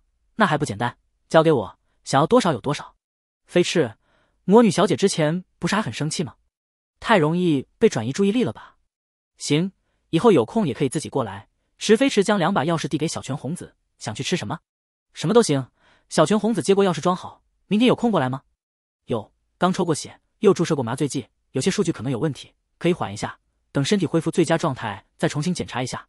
明天有空过来帮我监控一下我的数据，我想看看在召唤乌鸦时我的身体数据会不会有什么变化。好，那明天在这里碰面，我身体挺好的，大概过两天就能恢复，到时候再测我的数据。而且我们放暑假了，我过段时间要去美国。喂，只有我一个人研究吗？平时继续研究的魔法药剂，想过来的时候过来一下就行了，先填充数据库，短时间别想研究什么来。也对，那这样吧，我明天过来的时候在实验室周围布置一个阵法，免得报告丢失或者被毁了。辛苦了。没事，研究玄学的科学研究和谐愉快的持续了两天。实验室在江东区，一开始大山迷是为了方便工人从海上搬运机器。也只当做给池飞池放各种奇奇怪怪机器的地方，就在港口附近，很偏僻。这也方便了池飞池和小泉红子研究，偶尔检测一下飞行或者大型魔法，也不用担心被人看到。两天时间，把两个人各种状态下的身体数据检测了一遍，两个人都没再过去。江东区距离两人的住所都有点远，池飞迟早上还要去帮弗兰特重新易容，再跑到江东区去，一天要开车三四个小时，各条路线都快摸熟了。毛利侦探事务所。毛利小五郎、毛利兰、柯南往楼下走，冲野洋子跟在一旁，穿了身跟普通人没什么两样的衣服，还戴了副黑框眼镜做伪装。我说的那个朋友就住在北户町三丁目，我开了车过来，毛利先生就坐我的车过去吧。是吗？毛利小五郎跟偶像在一起，笑容都有些飘，那就麻烦杨子小姐了。哪里？冲野洋子笑着又道：“其实我也有给池先生寄邀请函，不过他一直没有回复。这是们几个好朋友的聚会吧？”毛利小五郎不爽道。为什么要邀请他那个外人参加？难道池飞驰那小子跟冲野洋子关系真的不一般？嫉妒，嫉妒使他面目全非，嫉妒使他丢失了老师该有的慈爱。是因为前段时间两家公司的矛盾，我朋友都比较担心我。冲野洋子有些不好意思，虽然我也知道池先生很忙，邀请他参加这种私人庆祝派对有些不太合适，但还是想着，如果他能跟毛利先生一起过去的话，也正好可以告诉大家不用担心，事情已经过去了，一个邀请有什么不合适的？毛利小五郎刚想下意识的说出这句话，夸海口把池飞石带过去，不过总算没彻底遗忘自己是人家的老师。他可不想拿身份压徒弟去做不愿意做的事。开玩笑可以，要是池飞驰真的忙，那他也不能勉强。他忙一阵子，闲一阵子，最近好像是不怎么有空。这样吧，我帮打电话问问他。他也住在北户町，离那里应该不远。哎，冲野洋子意外，池先生也住在北户町吗？是啊。柯南好奇，洋子小姐不是有给池哥哥寄邀请函吗？因为我不知道他家里的住址，所以邀请函是直接寄到 Thank 公司的。冲野洋子笑着解释道。柯南顿时明白了，能知道池飞池住址的人肯定不多。池飞池背景摆在那儿，如果家里佣人、管家一堆，有人去拜访或者去找麻烦，都有人应付。但偏偏池飞驰一个人住公寓楼，要是有什么偏激人物找上门，还是挺麻烦的。虽然他觉得谁去找麻烦谁要倒霉，但被麻烦是很闹心的事。估计也是因为这个。Thank 公司和真池集团的人都不会随便透露池飞驰的住址，池飞驰那家伙也不会随便跟别人说。那也难怪了，他很少去公司，估计根本没看到邀请函吧。毛利小五郎也没透露池飞驰的住址，拿出手机打电话。电话接得很快，是他大徒弟的风格。老师，问候冷淡的不带一点情绪，也是他大徒弟的风格。可毛利小五郎轻咳一声，突然不太确定能把池飞石叫出来了。飞驰，杨子小姐有个朋友要订婚。今晚会在家里举行一个小型派对，地址就在背户町。杨子小姐在我这里，我们刚打算过去。她说给寄了邀请函，但没有回复。我是想问问今晚有没有空，要不要跟我们一起过去参加派对？冲野洋子侧目看了看，转头对毛利兰低声笑道：“毛利先生面对弟子就像是个严格的老师呢，跟之前和平时的样子都不一样。一瞬间严肃的像个雷厉风行的名侦探，他都觉得意外。是是啊，毛利兰看着自家老爸不苟言笑的脸。”心里汗了一下，不，这大概是被飞驰哥的冷淡语气冻到了，所以看起来很严肃。那大概是他寄到公司去了，我没注意。电话那边，池飞驰解释了一句，又问道：“具体在背户町哪里？”我现在在家，是直接过去，还是先过去毛利侦探事务所接您？不用，我们跟杨子小姐一起过去，在背户町三丁目百货大楼对面的公寓，直接过去就可以了。我们在停车场等。好，嘟嘟，正式说完就挂电话，依旧是他大徒弟的风格。毛利小五郎收起手机，转头对冲野洋子笑道：“洋子小姐，他会直接过去，我们也出发吧。”这一秒从严肃脸变笑脸，让冲野洋子看得一愣。他就说嘛，名侦探怎么可能简单？这转变快速又自然的脸色太厉害了，就像以前一样，平时笑哈哈，像是没脾气，但破案又严肃的很有气势。要是因为和气的模样就觉得这位名侦探不着调，那可就错了。真是谢谢您，毛利先生。冲野洋子一脸诚恳的道谢。哈哈，也不是什么大事了。毛利小五郎笑得更飘了，他这徒弟没话说，很给面子。改天居酒屋走起，他请客。背户町三丁目一栋公寓楼外的停车场，池飞驰没开车，一路逛过来，在停车场等了一会儿，就看到冲野洋子开的车进了停车场。柯南、毛利小五郎、毛利兰、死神小学生、推理工具人、报警专线员都到齐了，很好，又有一个事件即将发生。本来他是打算待在家里宅着，等会儿去阳台上喝会儿酒，然后就睡觉了。不过反正也没什么事，自家老师都打电话了，那当然要给个面子，冲野洋子下车。等毛利小五郎三人下车后，锁好车门，一同上前。他上次见池飞驰还是在大阪三 K 饭店的酒会上，双方只是聊了一些商业应酬话，而且都是他在说。池飞驰偶尔应两句，感觉很有压力，好像哆嗦絮叨都是不应该的。虽然今天池飞驰穿的很休闲，一身黑色运动服，只有袖子上印有白色的英文字母，比一身西服的毛利小五郎看起来要放松不少，但还是好紧张。毛利小五郎再怎么出名，也是圈外人士，又是他的粉丝。他相处起来不会紧张，不过池飞驰不一样，池飞驰不是他的顶头上司，但娱乐圈里的资源说到底还是资本把持。Thank 公司现在蒸蒸日上，有仓木麻木，有至今还爆火的综艺节目。之后社长跑去登台溜达了一圈，现在提起小田切明也比他们还火，人气高的吓人。要人有人，要名气有名气，要节目有节目，这么一个公司，如果他惹人家不高兴，两个公司再开战是不太可能了，只会是他家经纪公司冷藏他一段时间。飞驰哥，毛利兰带着柯南上前跟池飞驰打招呼。池哥哥，柯南乖巧叫人。冲野洋子跟上前，露出歉意笑容。麻烦您过来一趟，提出这么无理的要求，还让您在这里等，真是抱歉。没什么，我刚到没多久。池飞驰客气道。那我们先上去吧。冲野洋子笑着带路，也不知道他们有没有到。对了，洋子小姐，你那个订婚的朋友是谁啊？毛利兰问道。冲野洋子笑道。那个人说出来，你们肯定认识。嗨，杨子。停车场另一边，一个波浪卷长发竖在脑后、戴着墨镜的男人从车前走来。咦？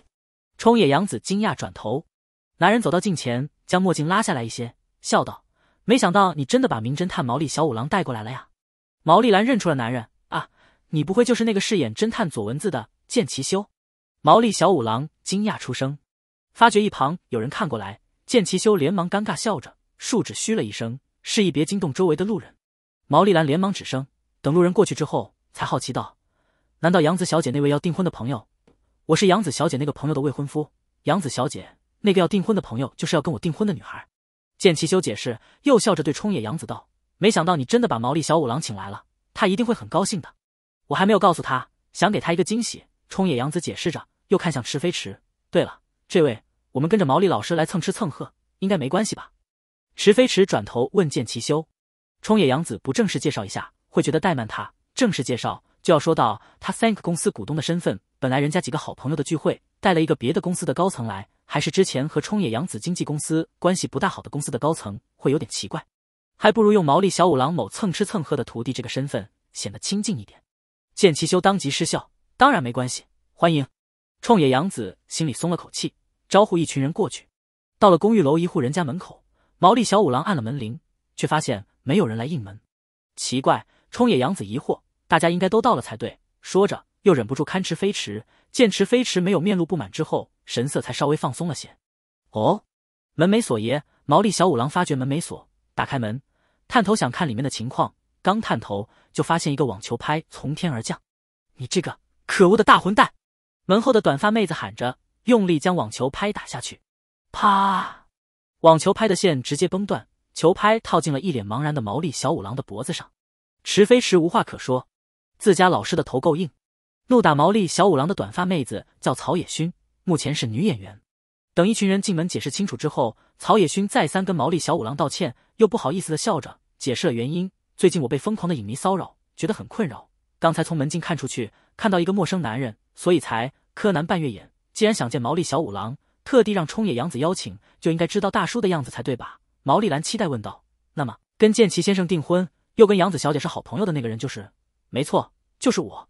曹野勋伸手抱住剑奇修的胳膊，笑道：“我们的婚礼决定在明年春天举行。”剑奇修也笑着，不过这件事还没有向媒体正式宣布。对了，我记得小薰小姐在侦探左文字里也有跟剑奇先生一起演出吗？毛利兰笑道。咔啦，一旁的门被打开，一个留着波浪卷中长发、看起来比较成熟的女人进门。没错，今晚大家准备一起欣赏那部影片。一边祝福，女人竖起食指，笑着眨眼，一边嘲弄他们。这对金童玉女，毛利兰顿时认出了女人是月野雪爷。你怎么又贴上这么炫的指甲，小雪？剑奇修笑着调侃。池飞驰看了看月野雪的指甲，留得很长，特地做了红色的美甲，看起来是很招摇。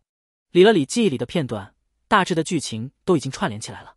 这次事件就是因为月野雪喜欢剑奇修，原本是他跟剑奇修一起出演侦探佐文字的电影，不过之后角色换成了曹野勋，而一部电影之后。曹野勋和剑奇修就要订婚，妹子心态崩了，用指甲直接划破了曹野勋的喉咙。而事实上，曹野勋喜欢的是自己的经纪人，和剑奇修订婚只是在演戏，想逼经纪人跟他坦白心意并结婚。最后，曹野勋没死，谎称是疯狂影迷做的，月野雪也没被追责。哎呀，真是太可惜了！毛利小五郎遗憾感慨：冲野洋子、曹野勋和月野雪，还差一个人就全都到齐了。你是在说我吗？门口。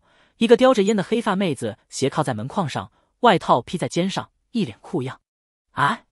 毛利小五郎疑惑回头，辉美冲野洋子笑眯眯打招呼。曹野勋神色有些玩味。哎呀，小辉姐也来了呀？对啊。星野辉美一脸冷淡。是洋子叫我无论如何也要过来一趟的。如果你不欢迎，我现在就走。怎么会呢？冲野洋子立刻上前，笑盈盈将星野辉美拉进门。我们地球淑女队好久没有聚在一起了。地球淑女队，柯南疑惑：“你不知道吗？”毛利小五郎兴致勃勃的跟柯南科普：草野薰是花香四溢的草原，月野雪是山顶皑皑的白雪，星野辉美是夜空中闪耀的满天繁星，而冲野洋子呢，则是波光粼粼的蓝色海洋。他们四个人前些年组成的唱歌组合叫地球淑女队，统一的队服就是不同颜色的纱衣，加上一个外星人一样的发箍。池飞池贤毛利小五郎啰嗦半天说不到正题，接过话。之后，因为星野小姐和草野小姐吵架而解散了。毛利小五郎，浪漫点，说话的方式请浪漫点。冲野洋子，外星人。草野薰，仔细想想当年的队服，月野雪头上戴的那个有两根天线的发箍，确实像外星人。星野辉美，当年他是脑子进水了吧？居然会接受那么二的队服。近年，草野小姐和星野小姐在往影视方面发展，而月野小姐在综艺、电影、电视剧主持方面都活跃过。杨子小姐和月野小姐差不多，不过只有杨子小姐还在唱歌。池飞驰把四人的近况简单说了一下。他当初了解明星情况时，也了解过地球淑女队，现在又有家娱乐公司，这四人目前的近况他也听说过一点。你还真够了解的。对了，你是剑奇的朋友吗？星野辉美又看了看其他人，目光锁定毛利小五郎，还有这位是，还带了小孩子。月野雪也看向剑奇修，难道是剑奇的哥哥？啊，不，我其实是。毛利小五郎的介绍被从客厅里出来的男人打断。那个侦探左文字要开播了，脸上长着雀斑、穿着围裙的男人站在客厅门前，有些唯唯诺诺。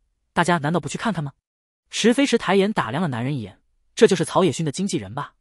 也就是曹野勋真正喜欢的那个人。我不想看了。曹野勋顿时一脸不爽，转身朝浴室走。我想先去洗个澡，等播完之后再来叫我好吗？可是，男人纠结道：“这样我做好的菜就全都凉了。”你还是先跟大家一起，少啰嗦。我说不看就是不看。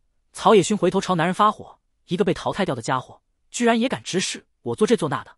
说完，直接往浴室去。男人愣了愣，低声道：“对不起，喂，阿勋。”见齐修连忙追了过去。池飞驰转头见那个经纪人目光一直停留在曹野勋离开的转角，想了想，还是没说什么。虽然他想解开误会，好好参加一次派对，但谁知道直接说穿会引发什么后果？万一没到曹野勋生死关头，奸雄赌的选择也不同呢？直接揭穿人家把戏的他，不就是破坏气氛又惹人讨厌？大家又没有多熟，他懒得管。他果然还是这样。月野雪轻笑出声，每次一播放他出演的电影，他都不好意思跟大家一起看，就跟我们想的一样。冲野洋子有些期待。等等，你们打算玩真的呀？星野辉美一脸无语。当然了。冲野洋子笑着上前挽住星野辉美的胳膊，所以我们。才特地叫你来啊！什么玩真的？毛利小五郎疑惑。星野辉美叼着烟，转身往客厅走。那我去客厅里等。月野雪也跟了过去，回头笑道：“杨子，你先去洗手间换装。”“OK。”冲野洋子笑眯眯应声，转头看池飞驰：“抱歉，池先生，适配一下，我去洗手间换一下衣服。你和毛利先生先和大家去客厅吧。”“没关系，没关系。”毛利小五郎笑道：“我在这里等你。”我去看侦探佐文字。池飞驰转身朝客厅去。柯南犹豫了一下，跟上池飞驰。我跟池哥的一起。毛利兰笑着感慨：“柯南和飞驰哥的关系还是那么好。”柯南，他是觉得等在这里太无聊，还不如跟池飞驰看电视去。客厅里做好的饭菜和啤酒一同摆在桌上。电视上《侦探佐文字》已经开播。听到开门声，已经到了客厅的剑崎修、月野雪、星野辉美齐齐转头。哎呀，这位小哥，你带小朋友先过来了呀？星野辉美打招呼，又看向柯南。小朋友，如果肚子饿了，可以让坚雄先生帮忙准备点心。谢谢辉美姐姐，我不饿。柯南乖巧卖萌，跟着池飞驰到沙发上坐下。话说，剑崎修好奇看池飞驰。你和杨子关系很奇怪，我说不清楚。不过他之前好像偷偷在注意你的情绪。哎，月野雪和星野辉美又立刻盯上池飞驰，眼里带着八卦的色彩。杨子小姐太紧张了。池飞驰拿出烟盒，问其他人：“抽烟没关系吧？”“没关系。”月野雪笑道。辉美可是一直没问，直接叼着烟进来。她呀，还是那么喜欢装酷。我跟你们还客气什么啊？星野辉美调侃着，也点了支烟。剑崎先生，请问。柯南等剑崎修看过来，才装作一脸天真的问道：“小薰小姐真的说过她想见见小五郎叔叔吗？”“是啊，他刚刚不是说了吗？有个疯狂影迷骚扰他，他想拜托毛利先生把那个人调查出来。”剑崎修解释着，笑着眨眼。不过等她嫁给我之后，就不用担心那些事了。另一边沙发上，月野雪低着头，嘴角依旧带着笑意，不过留着长长指甲的右手慢慢攥紧了些。池飞驰视线余角注意到，没有多看，依旧看着剑奇修。你和草野小姐的关系也很奇怪。算了，稍微提示一下，如果月野雪想通了，别闹出什么闹剧来，今晚可以轻松点。剑奇修汗了汗，是是吗？那边跟月野雪坐在一起的星野辉美也愣了一下，抬眼看池飞驰。池飞驰看到电视上侦探佐文字的画面，正好是剑崎修调查案子的剧情。拿到剧本之后，将自己设想成那个角色，去模拟揣测角色的心理活动，让肢体语言。表情结合，表达出准确的情绪。你对现在扮演的这个角色的心理解读出现了一个错漏。月野雪疑惑，刚想说什么，客厅门被打开，冲野洋子已经换了当初地球淑女队的队服，站在门口，笑着摆了个拍照姿势。你们看，剑崎修看得目瞪口呆，也顾不得去追问池飞驰那些话是不是他理解那个意思。你们还真打算进行那个计划？柯南不由看了看冲野洋子的发箍，像是头上长了两根带星星的天线。完了，被池飞驰带偏了。这么一看。真的很像外星人，星野辉美、剑崎修、月野雪也忍不住看了头箍一眼。冲野洋子，别以为他不知道看发箍是什么意思，不就是外星人吗？好了，月野雪收回视线，站起身朝门口走去。接下来就换我去返老还童了，你动作快一点。星野辉美也没提外星人，将话题接过去。还有我呢，知道了。月野雪带上了门。所谓的计划就是趁草野薰去洗澡的时候。原本地球淑女队的其他三个人换上当年的队服，等草野熏出来就一起唱当年出道的歌，当做庆贺。那么，我们先来写给小薰的祝福语吧。冲野洋子笑着拿出一块板子和笔，自己低头认真写了一句，又转身将白板递给池飞池。池先生，你要不要写一句？见其修抬头，星野辉美抬头，丁。有问题。池飞驰面不改色的接过白板和笔，看到冲野洋子先写下的祝福语：早生贵子。冲野洋子窘迫脸红，有有什么问题吗？没问题。池飞驰低头写字，作为新婚祝福语，肯定没什么问题。不过冲野洋子一来就祝早生贵子，有点彪悍，多少等他们写个白头偕老之类的过渡一下吧。天缘已定，四郎恨郎郎不知池飞驰，他的意思就是原本的缘分已经来了，不过傻男人还不知道，人家妹子都怨念了，暗示，疯狂暗示。柯南探头看着池飞驰的字，他不是第一次看到，以前只是签名。看着就觉得舒服，像是打印出来的一样，却又比打印出来的字多了一些沉稳又不失凌厉的气势。没想到写上一大段还是一样，看得舒服，字都能透着气势，很神奇。这就是书法。反正池飞驰这家伙绝对练过。不过这句话的意思是，冲野洋子也探头看着，一开始也在欣赏池飞驰的字，眼里有点冒小星星。不过看完池飞驰写的话后，不由怔了怔，抬头疑惑看见齐修和星野辉美。难道刚才这两人把事情跟池先生说了？见齐修、星野辉美，他们怎么了吗？别用眼神传递意思，他们看不懂啊。一直窝在袖子里睡觉的飞翅不知什么时候醒了，努力从袖子探出头，兴冲冲凑热闹。主人，主人，我也要写。冲野洋子刚收回视线，看向写字板，就看到一个吐舌信子的蛇头从池飞驰袖子里冒出彩，搭在板子上，脸色瞬间苍白。蛇，蛇，我的宠物，不咬人。池飞驰解释，将笔和白板放在桌上，他想凑个热闹。飞翅，合适点，别真的写出一堆字来，会吓到别人的。我知道，我知道。飞翅嗖一下从池飞驰袖子里滑到桌上，尾巴卷起笔。星野辉美和剑气修一开始也被窜出来的飞翅吓了一跳，不过看到飞翅用尾巴卷笔，也有点好奇，悄悄凑近一点，再凑近一点。飞翅用尾巴卷着笔，就在池飞驰留下的画旁边画着。好，好厉害！星野辉美蹲在桌旁低呼，眼睛眨也不眨的看着飞翅。剑气修也蹲在桌子另一边。是啊，他不会真的写出什么祝福语来吧？不像写字啊。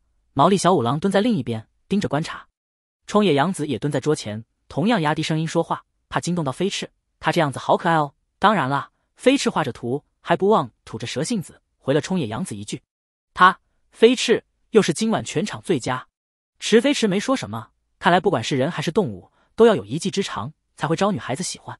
月野雪打开门进来，就看到冲野洋子、剑崎修、星野灰美、毛利小五郎、毛利兰、柯南围着桌子蹲成一圈。很不顾形象，而且一个个都专注的盯着桌子，不由愣了一下，又看了看，只有池飞驰还坐在沙发上，不过依旧看着桌子，没有人说话，直勾勾盯着桌面，好像什么奇怪的仪式或者被诅咒了。你们这是？月野雪刚疑惑出声，就见其他人齐齐转头朝他竖手指。嘘，飞翅已经画好了，像是两个纠缠在一起的正反 S 图案，将笔一甩，重新钻进池飞池袖子里。好了，池飞驰一看就懂了。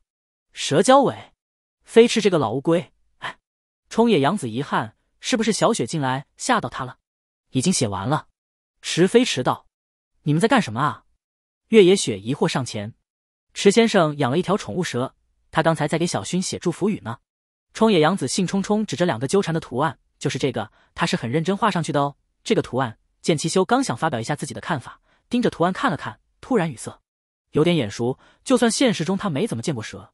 但记得他以前好像看到过这个图案，很古老的，该不会就是那个意思吧？柯南语塞沉默，有其主必有其宠。星野辉美也沉默了一下，嘴角微微一抽，这个图案的意思该不会是巧巧合吧？冲野洋子汉，这也算是祝福吧，来自动物的特有的祝福。不过蛇怎么可能明白他们在祝福什么啊？巧合啦，绝对是巧合。毛利小五郎也喊道：“徒弟家的宠物成精了？不可能。”什么巧合啊！毛利兰有些疑惑，两个正反 S 图案怎么了吗？没什么，就是真的够巧的。看来老天爷有心祝福呢。冲野洋子笑着，将白板递给毛利小五郎：“毛利先生，你也写一句祝福语吧。”飞翅忍不住再次从袖子里探头：“主人，我给的祝福关老天什么事？”池飞驰默默将飞翅按回去，他让飞翅写祝福语，好像是个错误。其他人都在关注飞翅的祝福，压根就没留意他和冲野洋子写了什么。也没注意到他的暗示，算了，坐等事件发生。毛利小五郎写了一句“白头偕老，永结同心”，留了自己的名字。想了想，又帮飞翅在图案旁写了“飞翅”两个字，将写字板和笔递给柯南，又转头看着持飞翅袖口探头的飞翅，笑哈哈道：“飞翅，我可是帮你把名字也留下了，以后可要念我的好啊。”他叫飞翅啊。冲野洋子在池飞驰身旁弯腰，好奇看着飞翅，他真的不会咬人吗？星野辉美也在一旁俯身看，试探着伸手，食指轻轻点在飞驰头上，好像很乖。星野小姐，你高冷的人设崩了。池飞驰低声提醒。星野灰眉脸一红，干咳一声，直起身。我只是有点好奇，蛇这类宠物不多见。毛利兰也笑着看飞翅，不过飞翅确实很乖，飞翅哥一直把它带在身上，但一直没被咬过，对吧？嗯。池飞池应声，将飞翅拎出来，让他出来玩会儿。这一个个都直勾勾盯着他袖口看。如果不是他心理素质好一点，恐怕连手都不知该怎么放了。啊！冲野洋子忙后退了一步，星野灰眉也汗了汗。之前不怕，大概是觉得在池飞驰袖子里多少有点阻隔，现在看着一条被拎着的活蛇，还是有点吓人。不过他不能怂，稳住高冷表情。他不怕，他超酷。他会不会乱跑到别的地方去？我们是不怕，但说不定会吓到小薰。不会。池飞驰将飞翅放到沙发上。柯南在写字板上写了一句“祝甜甜秘密”，又写了名字。抬头就看见一群人围着飞翅，有种自己被遗忘在角落的感觉。拉了拉毛利兰的衣角：“小兰姐姐，你要写吗？”“啊，好的。”毛利兰回头写过写字板写祝福语，不经意看到池飞驰写的那句话，觉得有些奇怪。不过见池飞驰在跟星野辉美、冲野洋子说话，还是没有问。星野辉美盯着趴在沙发上吐舌信子的飞翅，对视，伸手摸一下，又快速缩回手。冲野洋子也忍不住试着伸手，快速摸一下，缩回手。月野雪也凑到一旁，伸手快速摸一下。飞翅无语，往沙发边缘游动了一下，发现三个人立刻后退，转头告状：“主人，他们就想趁我不注意摸我一下，摸我一下。我想靠近他们又躲，好像有点欺负蛇。”池飞驰懒得说飞翅，一群大明星陪着玩，这是多少人求不来的事。就知足吧。剑奇修也忍不住跑到沙发边，他看起来不怎么有精神，是不是饿了？蛇不需要天天喂，他还没到该喂食的时候。池飞迟到，他担心精神起来吓到你们，是吗？剑奇修明显不信，蛇怎么可能知道？飞翅直起身盯着剑奇修，剑奇修吓了一跳，回盯飞翅，不敢动。飞翅又懒洋洋趴下去。主人说了，精神起来会吓到你，还不信？星野辉美脑洞大开，精神或许是这条蛇能听懂的口令吧。试探着出声：“精神。”见其修哑然失笑：“辉美，你也太幼稚了吧！”哼，这可不是幼稚，刚才肯定有什么让他在意的事，所以他才会突然支起身来。星野辉美强行挽尊，看着见其修，吓他。飞翅恶趣味上头，支起身盯着见其修。哎，真的有反应耶！冲野洋子觉得有趣，等飞翅趴回去后，也喊了一句：“下剑奇。”飞翅又支起身盯着剑奇修，下杨子。剑奇修道，飞翅再次支起身，盯的还是剑奇修。夏辉美，剑奇修不服气道。飞翅支起身，还是选择盯着剑奇。夏小雪，星野辉美道。飞翅还是选择支起身吓唬剑奇修。啊，为什么还是我？剑奇修一脸无奈。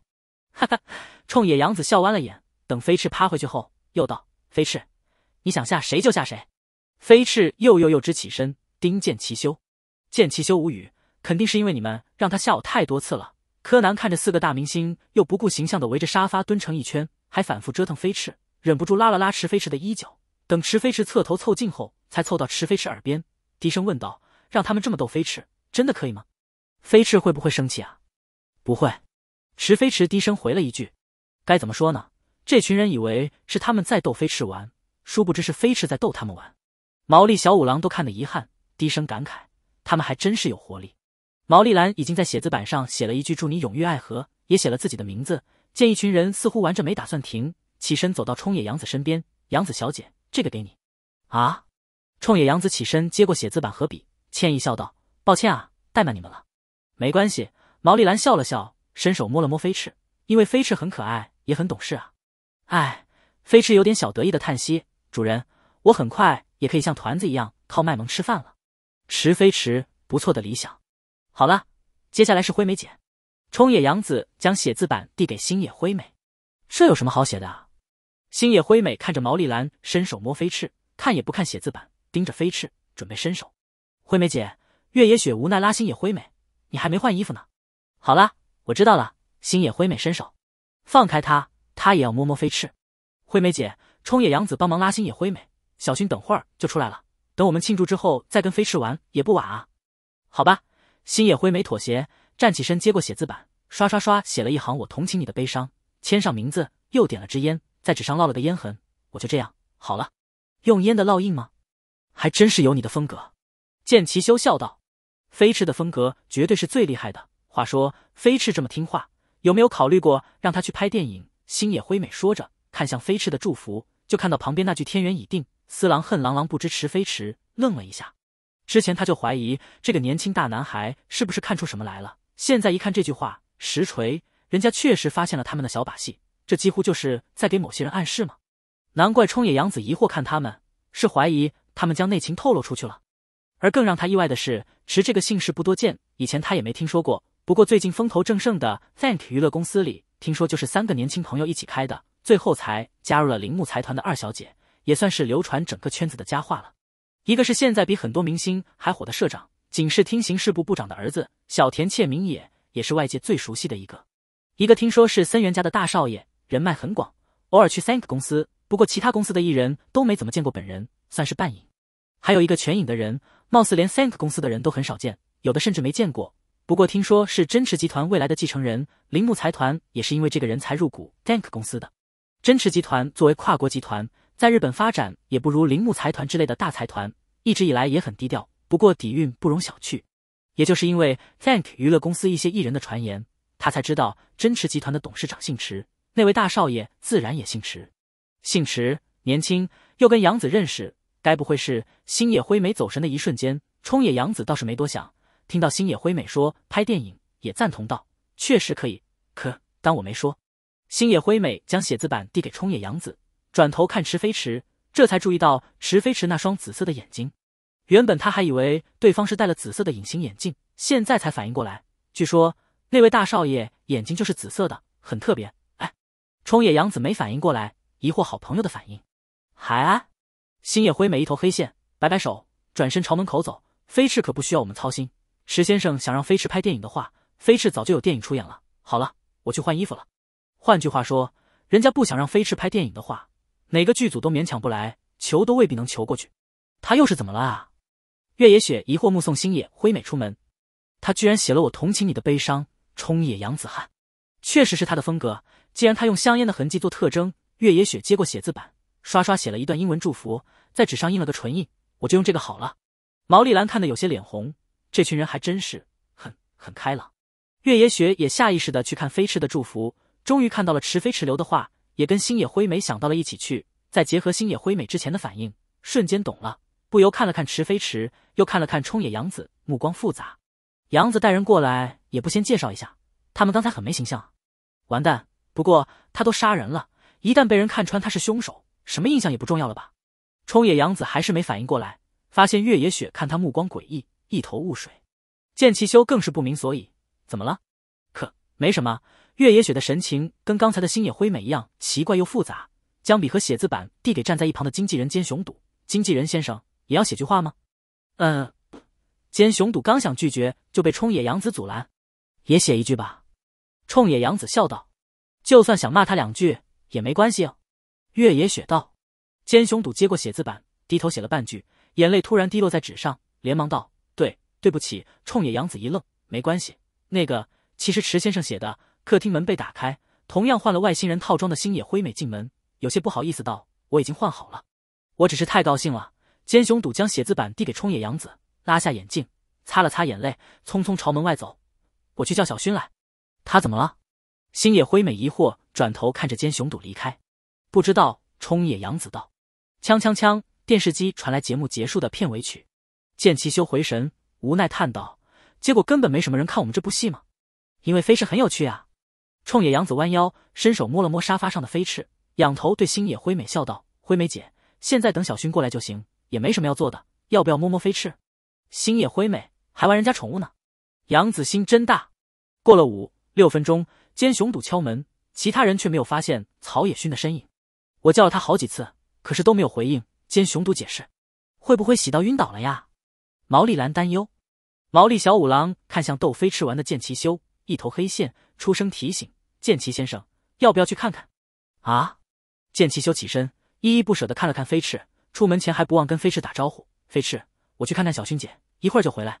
我看他八成是在闹脾气吧？”真是的，毛利小五郎嘀咕。这样的未婚夫一点都不靠谱，柯南总觉得不放心，悄悄跟了出去，发觉走廊上有一排血点，而见齐修敲浴室门没有回应，喊道：“快点把门打开！”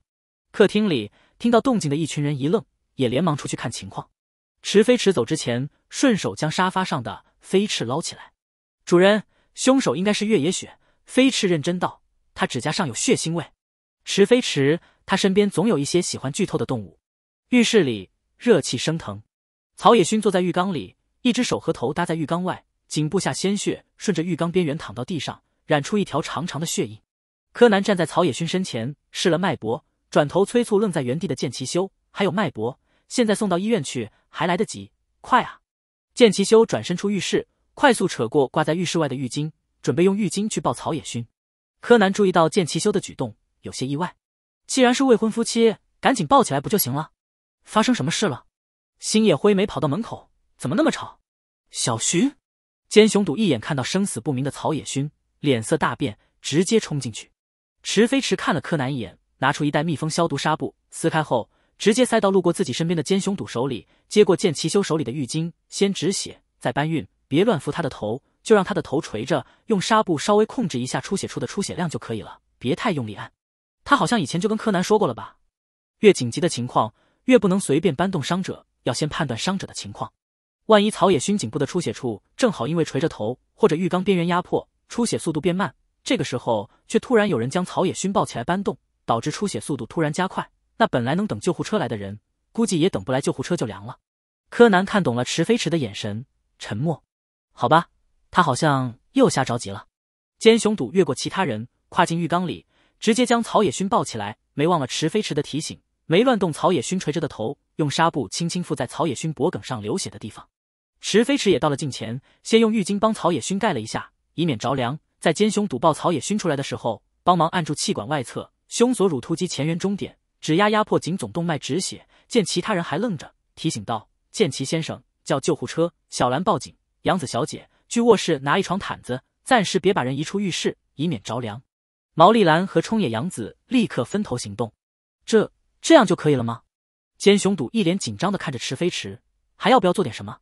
星野辉美也道：“我们也可以帮忙的，别紧张，该做的都做了，紧张也没用。”池飞驰道。其他人默了一下，听池飞驰这冷淡的语调，虽然感觉有点怪，但心里突然就没那么慌了。没多久，打电话叫救护车的剑崎修进门，将手机递给池飞驰：“救护车已经过来了，十分钟内可以抵达。医生要了解情况。”冲野洋子也找了一床毯子抱过来：“池先生，这个可以吗？”池飞驰点头，接过剑崎修的手机。跟那边沟通了一下情况和处理方式，确认没有问题后，问道：“我们这边有毯子保暖，送去楼下等呢。”“啊，注意保暖，搬运小心，随时监控呼吸、心跳、出血情况、面色情况，保持通话。有什么意外立刻告诉我。”电话那边道：“还有，记得不要双侧压迫。”“嗯，知道了。”池飞池应了一声。电话那边已经有人被割喉了，那边的人比他还淡定，他还能说什么？可总之，那边有人配合是好事，他的内心都平静了不少。柯南找塑料布，把门口走廊盖一下，保护好现场，等警方过来。池飞迟到，我和奸雄先生送他下去。柯南懂了，立刻跑去找了塑料布，将走廊盖了一下，以免池飞驰和奸雄赌进出的痕迹破坏了那些血点。看来池飞驰跟他的判断一样，有可能是内部的人作案。池飞驰和剑雄赌将人送下楼，等救护车到了之后，见坚雄赌执意要跟去医院，就自己回了楼上。门一打开，一群人立刻看了过来。飞驰哥。小薰小姐的情况怎么样？毛利兰连忙问道。池飞驰进门，没死。静。刚哭过的冲野洋子忘了擦眼泪，呆呆看着池飞驰，没死，这算什么回答？好吧，这确实算回答，说明还有希望。池飞驰见一群人怔怔看他，又道：具体情况等医院的消息。别问他那些，他只是帮忙止血，防止情况恶化，又没有检查过，怎么知道伤势怎么样，有多严重，好不好处理？医院有没有处理好？虽然看样子到了医院后及时出血，对伤口进行处理，估计曹野勋今晚就能脱离危险。但他要是说死不了，这些人估计还会以为是他在安慰，还不如等医院的结果。怎么会发生这种事呢？冲野洋子又开始抹眼泪，其他人围过去安慰。柯南走到池飞驰身前，看向一旁的袋子：“池哥哥，我之前沿着血点到了门口，在门外发现了这个。”咦？毛利小五郎立刻看过去，看过了吗？池飞驰从口袋里拿出医用手套。撕开袋子，戴上，顺便给了毛利小五郎一双手套。毛利小五郎一愣，接过手套戴上，忍不住看了看池飞驰的口袋。他大弟子每次出门还真的必备手套啊，有雨衣、破洞的手套、装眼药水的小瓶子、手帕。柯南表明自己已经看过了。毛利小五郎拿起小瓶子，打开嗅了嗅，神色严肃的分析，像是麻醉药。这么看来，凶手是先敲开了浴室的门，用沾了麻醉药物的手帕让小薰小姐睡着，行凶之后又到了门口。将身上的雨衣、手套一起装进袋子，丢到门外。老师没有凶器。池飞驰提醒：“嗯。”毛利小五郎检查了袋子，确实没有发现凶器，那就奇怪了。如果凶手可以带走凶器，没理由把行凶穿的雨衣这些东西丢在这里啊。柯南低头思索：“没错，而且地板上的血点很完整，没有被踩过，像是有人故意拎着雨衣滴上去的。也就是说，凶手很可能没有离开这里，就在就在屋里的这些人之中。也就是说。”毛利小五郎了然道：“凶器很特殊。”可能会让警方锁定凶手的身份，所以凶手必须把凶器带走。柯南不由一个踉跄，站稳后，无语抬头看毛利小五郎：“喂喂，大叔这脑回路跟他不在一条线上啊？”“嗯。”池飞驰认同，凶器确实很特殊。柯南惊讶看向池飞驰，池飞驰也这么认为。这家伙是为了给自家老师面子，还是被大叔带偏了？那可不行，他怎么能坐视一个优秀又出色的侦探被大叔带上歪路？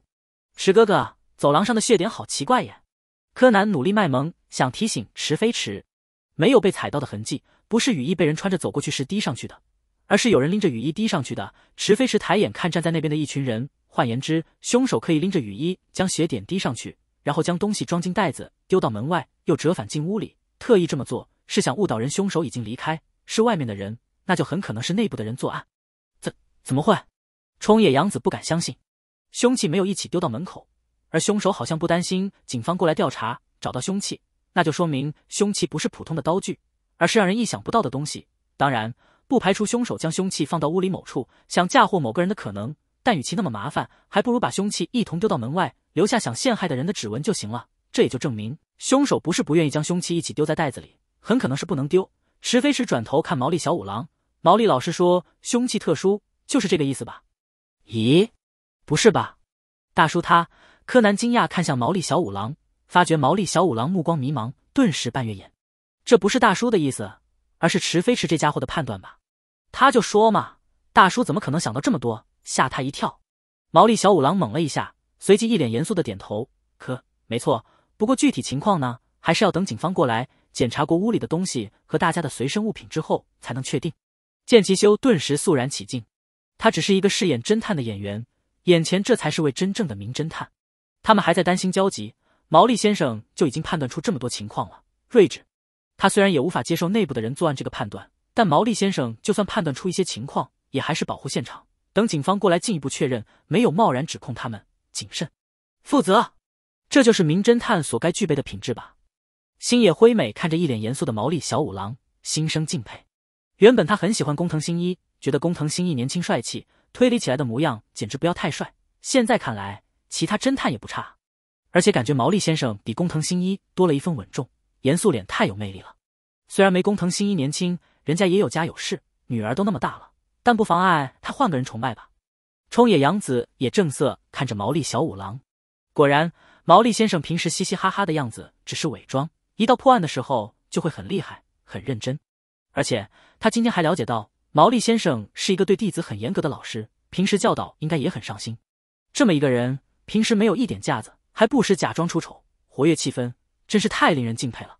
毛利小五郎还不知道自己在几个明星心里的形象无限拔高，看了看一群人，现在好像除了等警方来，就没别的事了，干脆说点闲话，缓解一下凝重的气氛。好了，大家都别紧张。不过话说回来，剑崎先生。你不打算去医院看看小薰小姐的情况吗？嗯，剑奇修遗憾，不会连毛利先生也看出问题来了吧？他们演的真的有那么差劲吗？剑奇先生，现在已经发生了命案，毛利老师希望你能坦白情况。池飞驰又开始给自家老师刷名望，一个男人怎么能忍受另一个男人对未婚妻家里比自己还熟？坚雄先生去厨房，去浴室，去房间，想去哪里就去哪里，哪怕那个男人是自己未婚妻的经纪人，但他毕竟是个男人。你作为未婚夫，就算不闹，多少会有点吃醋吧？至少去浴室教自己未婚妻这种事，你不会看着另一个男人去，自己还能坐在沙发上跟跟宠物蛇玩，一点都不放在心上。原来池飞迟早就注意到问题了。柯南有些意外，也看着剑奇修说出自己的发现。而且之前小薰小姐情况危急，你却去拿浴巾，坚雄先生则是直接去抱人。你和小薰小姐真的是未婚夫妻吗？毛利小五郎刚想说话，就被池飞池抢先了一步。另外，曹野薰小姐的态度也很奇怪。之前好像讨厌坚雄先生，冲坚雄先生大吼大叫。但这种由朋友、未婚夫、几个客人组成的派对，又是值得庆贺的订婚派对。如果真的讨厌的话，他可以选择不叫上坚雄先生，省得心烦。池飞驰神色平静的盯着剑奇修，再加上坚雄先生的性格，还有他之前写祝福语的时候突然哭出来的情况，真相应该是曹野薰小姐和坚雄先生才是情侣。只不过他可能因为自己怯弱、自卑等原因。一直没有给曹野薰小姐回应，所以曹野薰小姐才找了你来演戏，想用这种方式来逼迫坚雄先生勇敢一点，表明心意。月野雪脸色微变，惊讶转头看见齐修，是这样吗？毛利兰也看向剑齐修，剑七修无奈笑了笑，又正色点头：“没错，我和小薰确实没有订婚，只是演戏。他喜欢的一直是奸雄先生毛利小五郎，这他没想这么多啊。不过外人面前不能怂，保持严肃。”星野辉美也一脸无奈，早知道会发生这种事，还会有毛利先生这样的名侦探过来看穿，我当初就该阻止你们进行这个计划的。灰美姐，月野雪难以置信的看着星野辉美，你也知道？是啊，星野辉美低头。用打火机点了支烟。当初他们跟我商量的时候，我就觉得行不通。月野雪突然跪倒在地，捂着脸失声痛哭。小薰、星野辉美一愣，蹲下身安慰：“好了，小雪，发生这种事，大家谁也不愿意看到。不是我对不起小薰。原本月野雪在割了曹野薰的脖子后，就打算吃降血糖的药，也跟着自杀。在提前知道内情之后，心态崩了。是我做的，都是我。毛利先生说的没错。月野雪抽泣着说了自己犯案的经过。他先是敲了浴室的门，等曹野勋开门后，将曹野勋迷晕，然后用留长的、尖锐的大手拇指指甲割破了曹野勋的脖子。之后，他又将雨衣上的血滴在走廊上，把东西都放进袋子里丢到门外，想伪装成骚扰曹野勋的那个疯狂影迷跑进来做的。选择那双满是破洞的手套，也是为了方便让尖锐的指甲露出手套。本来他是想用指甲刀把指甲剪了，不过没找到指甲刀，就用牙齿直接把行凶的指甲咬断，丢进洗手间马桶里冲走。老老实实交代的一清二楚，柯南听着总觉得有点不得劲，解开谜题的乐趣又没了。不，他怎么能这么想呢？人命关天的事不能说乐趣。可是为什么？冲野洋子不解问道：“你为什么要这么做？”司郎恨郎郎不知。池飞迟到不仅是写给奸雄先生的，也是写给剑崎先生的。剑崎修惊讶看着月野雪，难难道说小雪？外面楼层电梯门打开，嗯。伤者叫曹野勋，今年二十岁，住在二十八楼一号房。木木十三带队下了电梯，朝门口走，有些疑惑。可是二十岁的年轻女孩子就一个人住在这种高档公寓，是哪家的千金大小姐吗？警官，你不知道吗？高木社按了门铃，有些期待的解释道：“她是地球淑女队的成员呀。”木木十三听差了意思，杀虫剂？这是什么？呃，不是。高木社刚想解释，门被打开，穿着外星人套装的冲野洋子开门后。抬眼看木木十三，眼里还含着眼泪。后方星野辉美刚把月野雪扶起来，都还穿着颜色亮丽、款式夸张的队服。木木十三看看几人头上的天线，又看看三个妹子身上的纱衣，老脸一红，挠头笑道：“真真是抱歉，我们好像走错地方了。”站在后方的毛利小五郎出声：“木木警官，你来了呀？不是走错了？”可木木十三干咳一声，恢复严肃脸，缓解尴尬，带队进门。毛利老弟。又在案发现场见到你了呀？毛利小五郎笑着挠头。木木警官，你这么说会让人误会的。这是事件在召唤我名侦探毛利小五郎。木木十三心里呵呵，抬眼看到池飞池，哦，这次池老弟也在。木木警官，好久不见。池飞池打招呼。木木十三一头黑线，仔细想想，好像是有一段时间没见着池飞池了。不过每次见到这些案发现场的常客，他心情都很复杂。好了，请你们说一下具体的情况吧。高木社拿出警察手册，准备记录。好的，毛利小五郎神色严肃起来。那么，就让我来将情况告诉警方吧。他们来这里的目的，在场其他人的身份，曹野勋受伤前后的情况，高木社刷刷记录着，心里不免感慨：毛利先生业务很熟练，了解情况不用反复询问解释。也难怪木木警官每次过来都会直接找这些老熟人了解情况，记录起来真是太舒服了。在警方到来之前呢，我们在门口发现了这个塑料袋。毛利小五郎看向已经被拎进来的塑料袋，里面有沾血的雨衣、破洞手套。木木十三看了看那个明显被翻过的塑料袋，半月眼瞥毛利小五郎和池飞池。这就是现场有侦探最令人讨厌的地方。虽然他知道这些人不会破坏一些痕迹，不会留下指纹，但他们警察还不到就私自调查，会带坏别人的。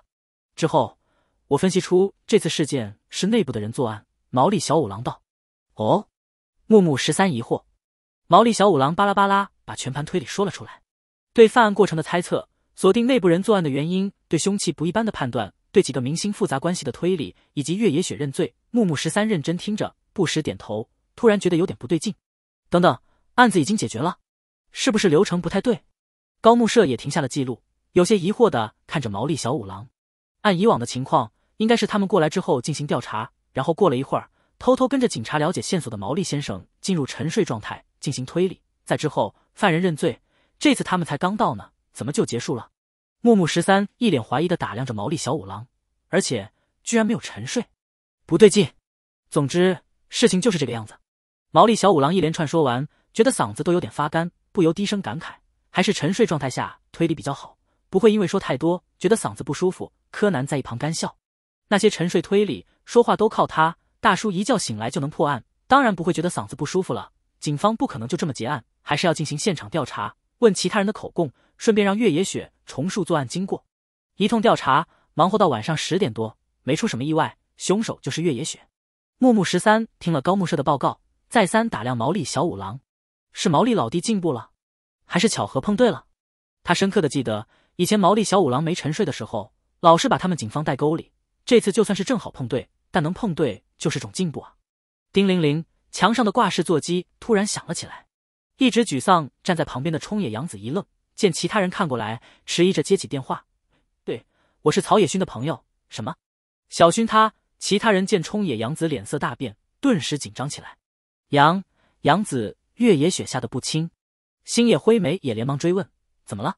是不是医院打来的电话？”“喂，难道毛利小五郎脸色沉重？”“没事了。”冲野洋子挂断电话。回头边擦眼泪边笑道：“手术很成功，再过几个小时，小薰就能清醒过来了。”木木十三松了口气，正色看向越野雪：“那么，越野小姐，请你跟我们。”木木警官站在窗户前的池飞驰转头：“现在不仅医院那边，楼下也有不少听闻消息赶过来的记者。你们现在将越野雪小姐带下去，她以后的人生就全毁了。要不要等一会儿？等曹野勋小姐醒了，也可以问一下她要不要追责。”可是木木十三犹豫，毛利小五郎也帮忙说情。木木警官，就算回警局调查，也不缺这一会儿吧？木木十三点头，好吧，那就等记者散去之后再说。谢谢。冲野洋子忙道：“谢谢。”星野灰美也认真感谢，心里有些感慨：世界上除了工藤新一，还是有很多厉害又体贴的人可以粉啊。池飞驰把剧情掰回正轨之后，就回到客厅沙发上坐下。楼下被记者围了，他不想被缠着采访拍摄，暂时也没法离开。桌上的饭菜已经变得冰凉。要保护现场完好，也不能吃，一直等到晚上十二点多，医院那边传来曹野勋苏醒的消息，楼下的记者等不来警察和凶手，终于忍不住都往医院那边跑。曹野勋打电话过来，表示不会追责，并且希望警方对案件详情保密。再加上越野雪经纪公司的介入，对外的说法就成了曹野勋是被一个胖胖的妇人割伤的。凌晨一点，池飞驰回到家，做了点东西吃下后就跑去睡觉。不仅作息时间，感觉再这么下去，他连吃饭时间都要乱了。一觉醒来，早上八点，池飞驰又顶着拉克那张易容脸去见弗兰特，帮忙易容，也从弗兰特那里拿到一个磁盘。回家后，用电脑查阅着磁盘里面的资料。弗兰特搭上关系的有田已经跟着货轮出海，不过作为一个打入走私团伙内部的会计，弗兰特也不至于被边缘化，还是可以接触团伙里的其他人，甚至打算近两天接触一下原度一郎这个走私团伙的头领。原度一郎开了个货运公司，做掩护走私行为，公司里的货轮在日本。美国之间来往运送货物，他让弗兰特把近年的出航记录拿到手。这对于能接触到货运走私账目的弗兰特来说，并不是难事。不过，就像弗兰特说的，太多了。弗兰特是直接把人家电脑里的出航记录、账单等东西全部拷贝到了磁盘里。几号货轮什么时候出发，载货多少，预计什么时候抵达，具体什么时候抵达，什么时候返航，光记录的日期就是一堆，再加上一些预算开支的金额，一眼看去，表格里密密麻麻都是数字。再加上弗兰特拷贝下来的不止货运公司的记录和账目，还有走私那边的资料，更是多的吓人。池飞池先把私账账目打包上传到组织信息资料库，这些可以作为原度一郎走私的证据，不过不能作为那个军方要员走私的证据。要威胁控制那个军方要员，还得从美国那边入手。不过那个军方要员藏得很深，目前想锁定对方，任何线索都至关重要。出航记录算是和对方仅有的联系，仔细找找。说不定能挖出什么线索。一整天时间，除了出门买食材、做饭、吃饭、喝酒、上厕所，池飞驰都坐在电脑前，直到傍晚七点才将所有记录都看了一遍。飞驰在桌上懒蛇趴，发觉池飞驰起身，转头看到电脑屏幕上那一堆表格，就觉得头晕眼花。主人有什么发现了吗？暂时没有，只是粗略看了一遍。池飞驰去厨房拿杯子，放了一大杯冰块，倒上拉克酒后，端着杯子回客厅。又在电脑前坐下，将杯子放在桌上，继续翻记录。飞驰仰头看了看池飞驰的专注脸，看到池飞驰映着一排排数字的眼睛，感觉又晕了。啪，觉得无聊，自己去玩游戏或者玩监狱。池飞驰依旧盯着电脑屏幕，端起杯子抿了口酒，那股大料味熟悉之后也就不觉得有什么了，喝着还挺来劲。今天都玩了一整天监狱了，好累啊，又不想打游戏。飞沫不在线，魔女小姐不在线，小艾、安氏先生也不在线，就只有我打游戏，一点都不好玩。飞翅翻了个身，肚皮朝天，脑袋搭在键盘边，盯着池飞驰手里的酒杯。随着冰块融化成冰水，原本透明如水的茴香酒渐渐多了一缕缕的浓白色，看起来就有趣。池飞池将杯子放下，继续盯着电脑屏幕。飞翅看了看池飞池，挪挪挪，悄悄挪到杯子边，又看了看池飞池，探头，他就长一点点，就一点点。持飞驰专注翻着那些记录，寻找着规矩，就像弗兰特说的一样，从波士顿到昆西一带的港口都有靠岸记录。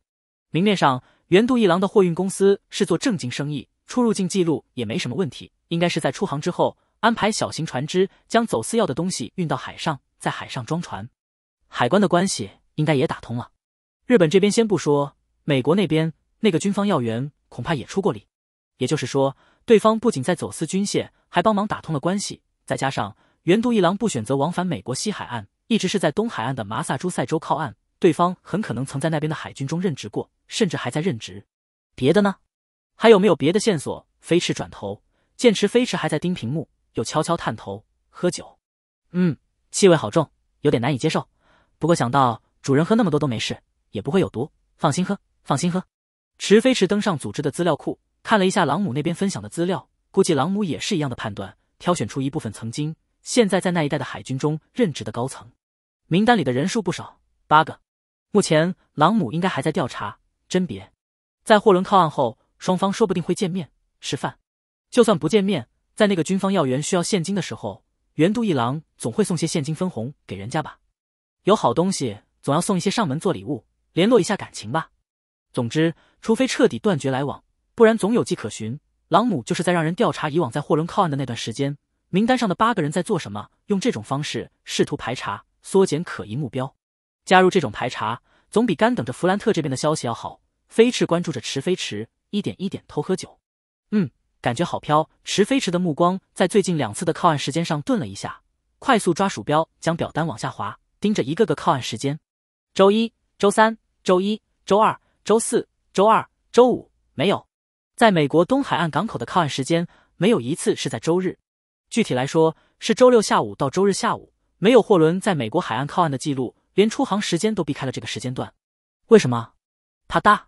飞驰靠倒在池飞驰拿鼠标的手背上，池飞驰转头看到旁边酒杯里的酒明显矮了一厘米左右，顿时懂了。飞驰偷喝酒，飞驰靠着池飞驰的手背，尾巴一点点往池飞驰手腕上卷。Enum，池飞驰收回视线，继续看着出航记录表。最近五年，美国东海岸港口的记录里，货轮一次都没有在周六下午到周日下午这段时间靠岸出航，不会是巧合。甚至连周六、周日的靠岸记录都很少，在靠岸记录的整体比例中不足百分之一，只有三次，三次都是因为海上天气突变耽误了时间。也就是说，原度一郎这个走私团队在避免这段时间抵达美国或从美国出发。为什么？最近五年，马萨诸塞州持飞驰查了一下港口情况，一切正常。近年马萨诸塞州的港口，周六、周日并没有什么异常，其他货轮照样该靠岸靠岸，也没有什么特殊的加急检查。那么，原度一郎为什么要特地避开这段时间？以双方地位来判断，只会是原度一郎在迁就巴结那个军方要员，不会是对方来迁就原度一郎。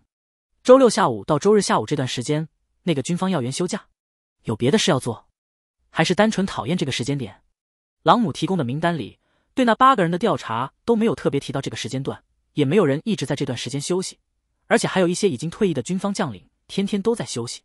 这段时间要陪家人，要训练，那也不至于五年都这样吧？坚持这么久时间的活动，再加上走私的流程，池飞驰怔了一下，将他缠住右手的飞翅拎到左手边，用电脑打开邮箱，将出航资料也打包发给朗姆，又给朗姆发了邮件，确认一下那八个人的宗教信仰。近五年。货轮从来没有在周六下午到周日下午之间抵达美国东海岸港口的时间。目标疑似虔诚的基督教徒，周日礼拜。Rocky 原度一郎没有买通港口检查员，而是从港口附近的海上装卸走私货物，过程中可能需要目标进行配合，或者被海上巡军发现时需要目标走关系进行调解。为了避免在目标礼拜时打扰目标，原度一郎才特地避开周日靠岸或出航。而周六下午以后这段时间。也需要留出来，让目标好好休息一晚，迎接第二天的礼拜。如果他的推测没错，目标几乎五年甚至更长的时间坚持每周去礼拜，绝对是个虔诚的基督教徒。别看美国的基督教徒占总人口比例很高，但据他了解，很多人是在出生时接受洗礼成了基督教徒。要是有人问起来，他或许会说：“是，我是基督教徒，但本身并没有那么狂热，会去礼拜，但不会每周都去，甚至有人几乎不会去礼拜。”这样一来，那八个人的范围还能再缩小一圈。当然，这是其中一个可能。或许还有其他原因，但能排除就排除一下，先找出一两个可能性最大的目标进行调查。调查之后不对，那就重新换个方向思考。反正周六下午到周日下午这个时间段，绝对是条重要线索。根据他们在军方的档案，其中七人是基督教徒。至于是否虔诚，我会让人去确认。你那边试探一下原度一郎对基督教的态度。Ram OK，Rocky 回复了朗姆。石飞驰又给绿川沙希发了邮件，让绿川沙希不用到处跑了。着重调查波士顿和昆西，他觉得目标恐怕就身在波士顿和昆西这一带，非要问理由，没有理由就是感觉。目前飞莫就在波士顿溜达，打探地形，倒是不用再通知。第二天一早，池飞驰帮弗兰特易容的时候，让弗兰特试探一下原度一郎对基督教的态度，之后就开车离开。换车，谢易容去接回原爱。又到了带小姑娘出去走走的时间，弗兰特这边不用随时盯着，明天早上之前能回到东京就行。昨天看了一天的报表，他也想放松一下，去野外牧场骑骑马。希望这条长线赶紧结束调查阶段。他几乎每天要选不同的地方确认安全，自己易容，帮弗兰特易容，很少有几天休息，也是够折腾的。一望无际的草野上，凉风习习，红色车子放下了车顶，沿着道路一路飞驰。最近两天有关于七月的报道已经没有了，除了一些受贿丑闻、杀人事件、政策报道，还有你刚才说的那位草野小姐。她要隐退，并和经纪人先生结婚。灰原哀坐在副驾驶座上，一手撑着下巴，看着车外的草野，任由泥土和青草气息混杂的大风将头发吹乱，心里一片轻松。对了，还有跨界歌王的报道。有个记者说，他本来以为会是四个评委，四个组互相对抗，没想到会是让评委先淘汰自己组内一半的学员。节目策划的想法很新奇，但也很残忍。池飞驰开着车，静静听着灰原哀絮叨。我也觉得够残忍的。灰原哀收回看窗外的视线，看向池飞驰。四个评委没找你抗议，这是为难他们吗？没有，池飞驰直白道：“规则他们早就知道了，选人的时候就决定了会把谁作为王牌培养，又会把谁当做炮灰舍弃掉。”会员阿一噎，半月言吐槽，听到这些内幕，还真是让人感慨，里面一片黑暗。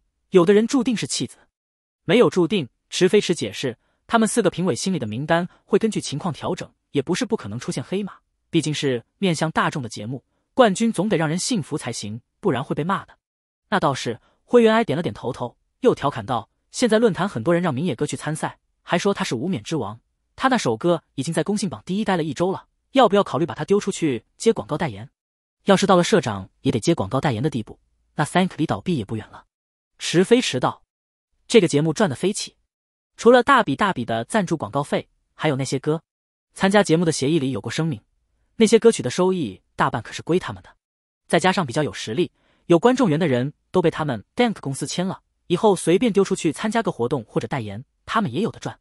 正是因为以后可能再也见不到了，才会格外让人怀念追捧吧。就像大火之后二十岁就退出娱乐圈结婚的工藤有希子一样。灰原哀点评了一句，又问道：“对了，飞翅呢？没带他来吗？以往飞翅就算不跑出来，也喜欢在池飞石衣领上搭个头，偷偷看外面。今天从上车到现在，他都没看到过飞翅，在我外套衣服口袋里。”池飞驰道，灰原哀探过身，伸手从池飞驰口袋里将飞翅拉出来，看到软绵绵、一动不动，连蛇信子都不吐的飞翅，吓了一大跳，一向淡定的脸色都有点崩了。飞飞驰哥，别担心。池飞驰道，他昨晚偷喝酒，还在宿醉。宿宿醉。灰原哀看着手里像是死蛇一样的飞翅，还是有点放心不下。其实他很想问问，确定飞翅还活着吗？蛇平时就凉凉的，他有点分辨不出来。一路上，灰原哀也不说话了，一直观察手里的飞翅，直到看到飞翅慢吞吞吐蛇信子后，才稍微放心了些，把飞翅小心翼翼放回池飞驰外衣口袋里。想了想，担心飞翅不小心掉出来被踩到，又拿出来放进池飞翅给他买的小背包里。就算没死，他也担心飞翅就这么傻掉了。感觉飞翅变得好呆。道路前方的牧场大门口，一个女人左右张望，在看到驶来的红色车子后，立刻让到一旁，等车子开进牧场停车场停下后，才笑着走上前。池先生，大南先生说，算算时间，您也快到了，就让我在这里等您。池飞驰带灰原哀下车，之前他就带灰原哀来骑过一次马，这次来的路上也打电话跟牧场主说过。小哀小姐也来了呀。女人笑着弯腰跟灰原哀打招呼，今天一样很酷哦。谢谢。灰原哀迟疑着，顿了顿，早苗姐姐，竹内小姐，大南先生在里面吧？池飞驰问道。您叫我竹内或者早苗就行。竹内早苗笑着转身往屋里走，请跟我来。大南先生在会客室等您。二宫先生去城里采购了，应该也快回来了。池飞驰牵着灰原哀跟上去，低声道：“不要勉强自己去做不喜欢的事，迁就得来的友情不是真正的友情。”灰原哀仰头看了看池飞驰，低头想了想，我明白了。他最近几天都在学着释放善意，确实很不自在，好像自己都不是自己了。现在想想，是他又钻牛角尖了。其他人接纳他，好像也不在乎他是不是清静和善，是不是阳光开朗。刚进门，一个穿着牛仔装、留着八字胡的男人就哈哈笑着迎上前：“池先生，你来了哦，还有小哀小姐也一起来了。”牧场主大南有之走到近前，弯腰看着灰原哀，摊开双手：“看好了哦，我给你变个魔术。”灰原哀看着大南有之的双手。竹内早苗在一旁笑，低声跟池飞驰解释：上次大南先生逗小哀小姐没逗成功，这段时间还念叨着，要是小哀小姐再来的话，一定要变个精彩的魔术给他看看。大南有之合掌搓手，悄悄把藏在衣服袖子里的巧克力抖出来，用右手拿住，看。灰原哀无语看大南有之，不是他不给面子，只是这种听得到塑料袋的声音，甚至早在衣袖里看到了巧克力包装袋的表演，他实在没办法违心的鼓掌夸赞。看来又失败了。大南有之遗憾摸了摸鼻子。手里的巧克力没收回来，那小小姐要不要尝一尝这块巧克力呢？我们路上刚吃过点心。灰原哀道：“好吧，是我选的时机不对。”大男有之直起身，将巧克力放在一旁的柜台上，摸着下巴考虑：“其实应该选花的吧？女孩应该比较喜欢花。不不，小女孩的话还是用魔术变出毛绒玩具之类的东西比较好。”灰原哀一脸木然，他后悔了，早知道这位大叔不愿放弃，还琢磨着下一次尴尬表演，他刚才就该配合一点，欢呼鼓掌的。大男有之还在笑眯眯逗灰原哀，那么小小姐今天还是选上次那匹小马吗？没办法，这个一脸冷淡的小姑娘太可爱，她忍不住想去逗灰原哀。点点头，上次骑的那匹小马她挺喜欢的，而且也熟悉了，不想再换。那池先生呢？大南有之又转头问池飞驰，还是上次那匹吧？池飞驰也懒得换了。这个牧场里的马没有能沟通的，不是说完全没灵性，只是都还懵懵懂懂。我想先去看看利普夫人。灰原哀道：“上次过来，大南先生不是说她流产了吗？现在情况怎么样？”石飞驰也问了一句。利普夫人是这个 OK 牧场负责繁殖的母马，也是灰原哀挑的那匹小马的母亲。他们上次过来的时候，利普夫人流产没多久，看起来病怏怏的。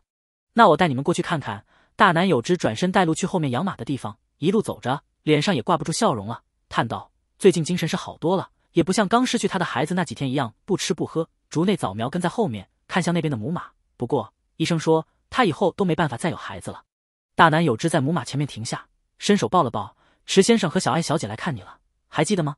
利普夫人低头蹭了蹭大男有之，大眼睛里带着低落的情绪。灰原哀也走上前，伸手摸了摸利普夫人。好了，大男有之觉得气氛有些伤感，不太适合小孩子，松开怀抱，轻轻拍了拍利普夫人的头。利普夫人可是很坚强的，过段时间就好了。我们去看看小马吧。转过这一栏马厩。一群人就看到镜头一格里，灰色的小马点着头，踏着欢快的脚步，额头上一个像月牙一样的白块也一晃一晃的。灰原哀心情顿时好了起来，跟着大男友之的脚步也加快了一些。听到脚步声，小马抬头看了看过来的一群人，一秒严肃，微扬着头，站得笔直，一副宝宝超优雅稳重的模样。噗！竹内早苗失笑，这孩子最近真是越来越调皮了。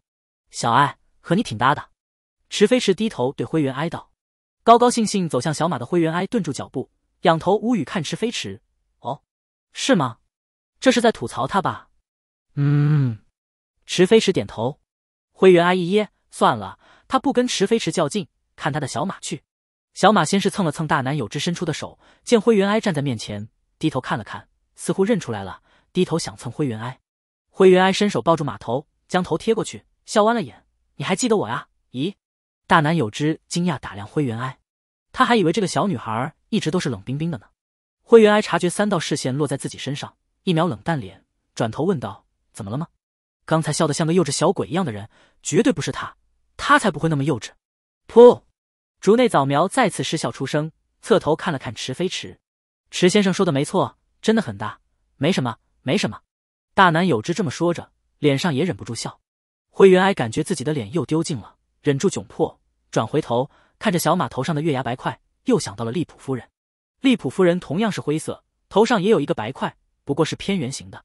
相比起其他小马，这是最像利普夫人的一匹了。他是利普夫人最小的孩子吧？这孩子以后会被卖掉吗？也是利普夫人最后一个孩子了。这个大男友之迟疑了一下，如果有人喜欢或者有比赛天赋的话，过两年会卖去赛马场吧。其实每年赛马场那边也会订购一匹看起来矫健年轻的马。灰原哀抱着小马，沉默下来。竹内早苗轻声跟灰原哀解释：母马流产对于牧场来说是一笔不小的损失。之前大南先生又买了一匹小马，资金有些紧张，所以必须要联系买家卖掉一匹马。不过也不用担心，这孩子还小，大概还能再养一两年。小哀。那要不要把这匹小马买下来？池飞驰问道。买匹小马陪着灰原哀玩也不错。买下来吗？灰原哀犹豫。可是平时就寄养在这里。池飞驰道：“我们买下来，它就不会被卖掉，不会有其他人骑。以后你再来这里就选它。”大南有之笑道：“我们这里也有很多马是有主人的，只不过是寄养在我们这里，想来骑马就挑自己的马。我们也会好好照顾他们的，就当宠物。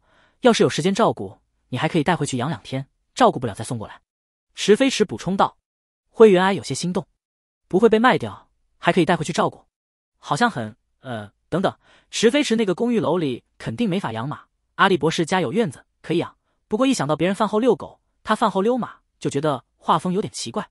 不过话说回来，池飞驰养的宠物都不是常见的，有蛇有乌鸦，那他养一匹马做宠物也没什么吧？”池飞驰一看灰原哀迟疑的样子，就知道灰原哀被说动了，转头看大南有之，大南先生。我们谈谈价格吧。”大男有之笑道，“那就先去我办公室坐会儿，怎么样？”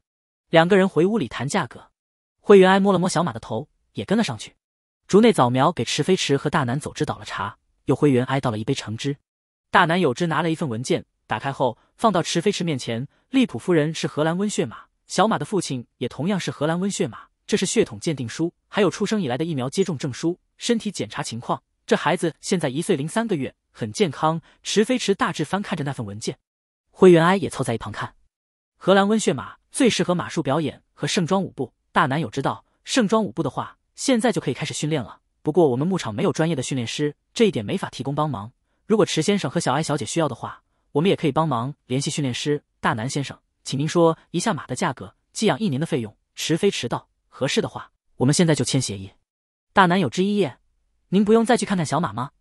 不用了。我上次看过，池飞驰道，骨骼很正，髋关节这几部较平，颈头骨大，四蹄结实，牙齿整齐。现在还小，以后好好养的话，是匹矫健的好马。缺点是毛色有点杂，头顶的白块不算什么，月牙图案反而是特色。只是鬃毛和尾巴的毛是白灰杂色，看起来不太好看。不过还算浓密柔顺，身体倒是没什么问题。大男有之，呆。竹内早苗，呆。肌肉、骨骼、生长素之类的营养补充的还不错，不过。大南先生可能没注意到一个问题。池飞驰看着大南有之，这匹小马不瘦弱，但根据我上次过来和这次过来观察到的情况，它增膘的速度慢了些，没有达到年龄该有的体格。好像是这样。大南有之思索着点头，不由问道：“这是什么原因？”我之前发现过这个问题，不过请医生来做过身体检查，小马并没有什么疾病，消化也很正常。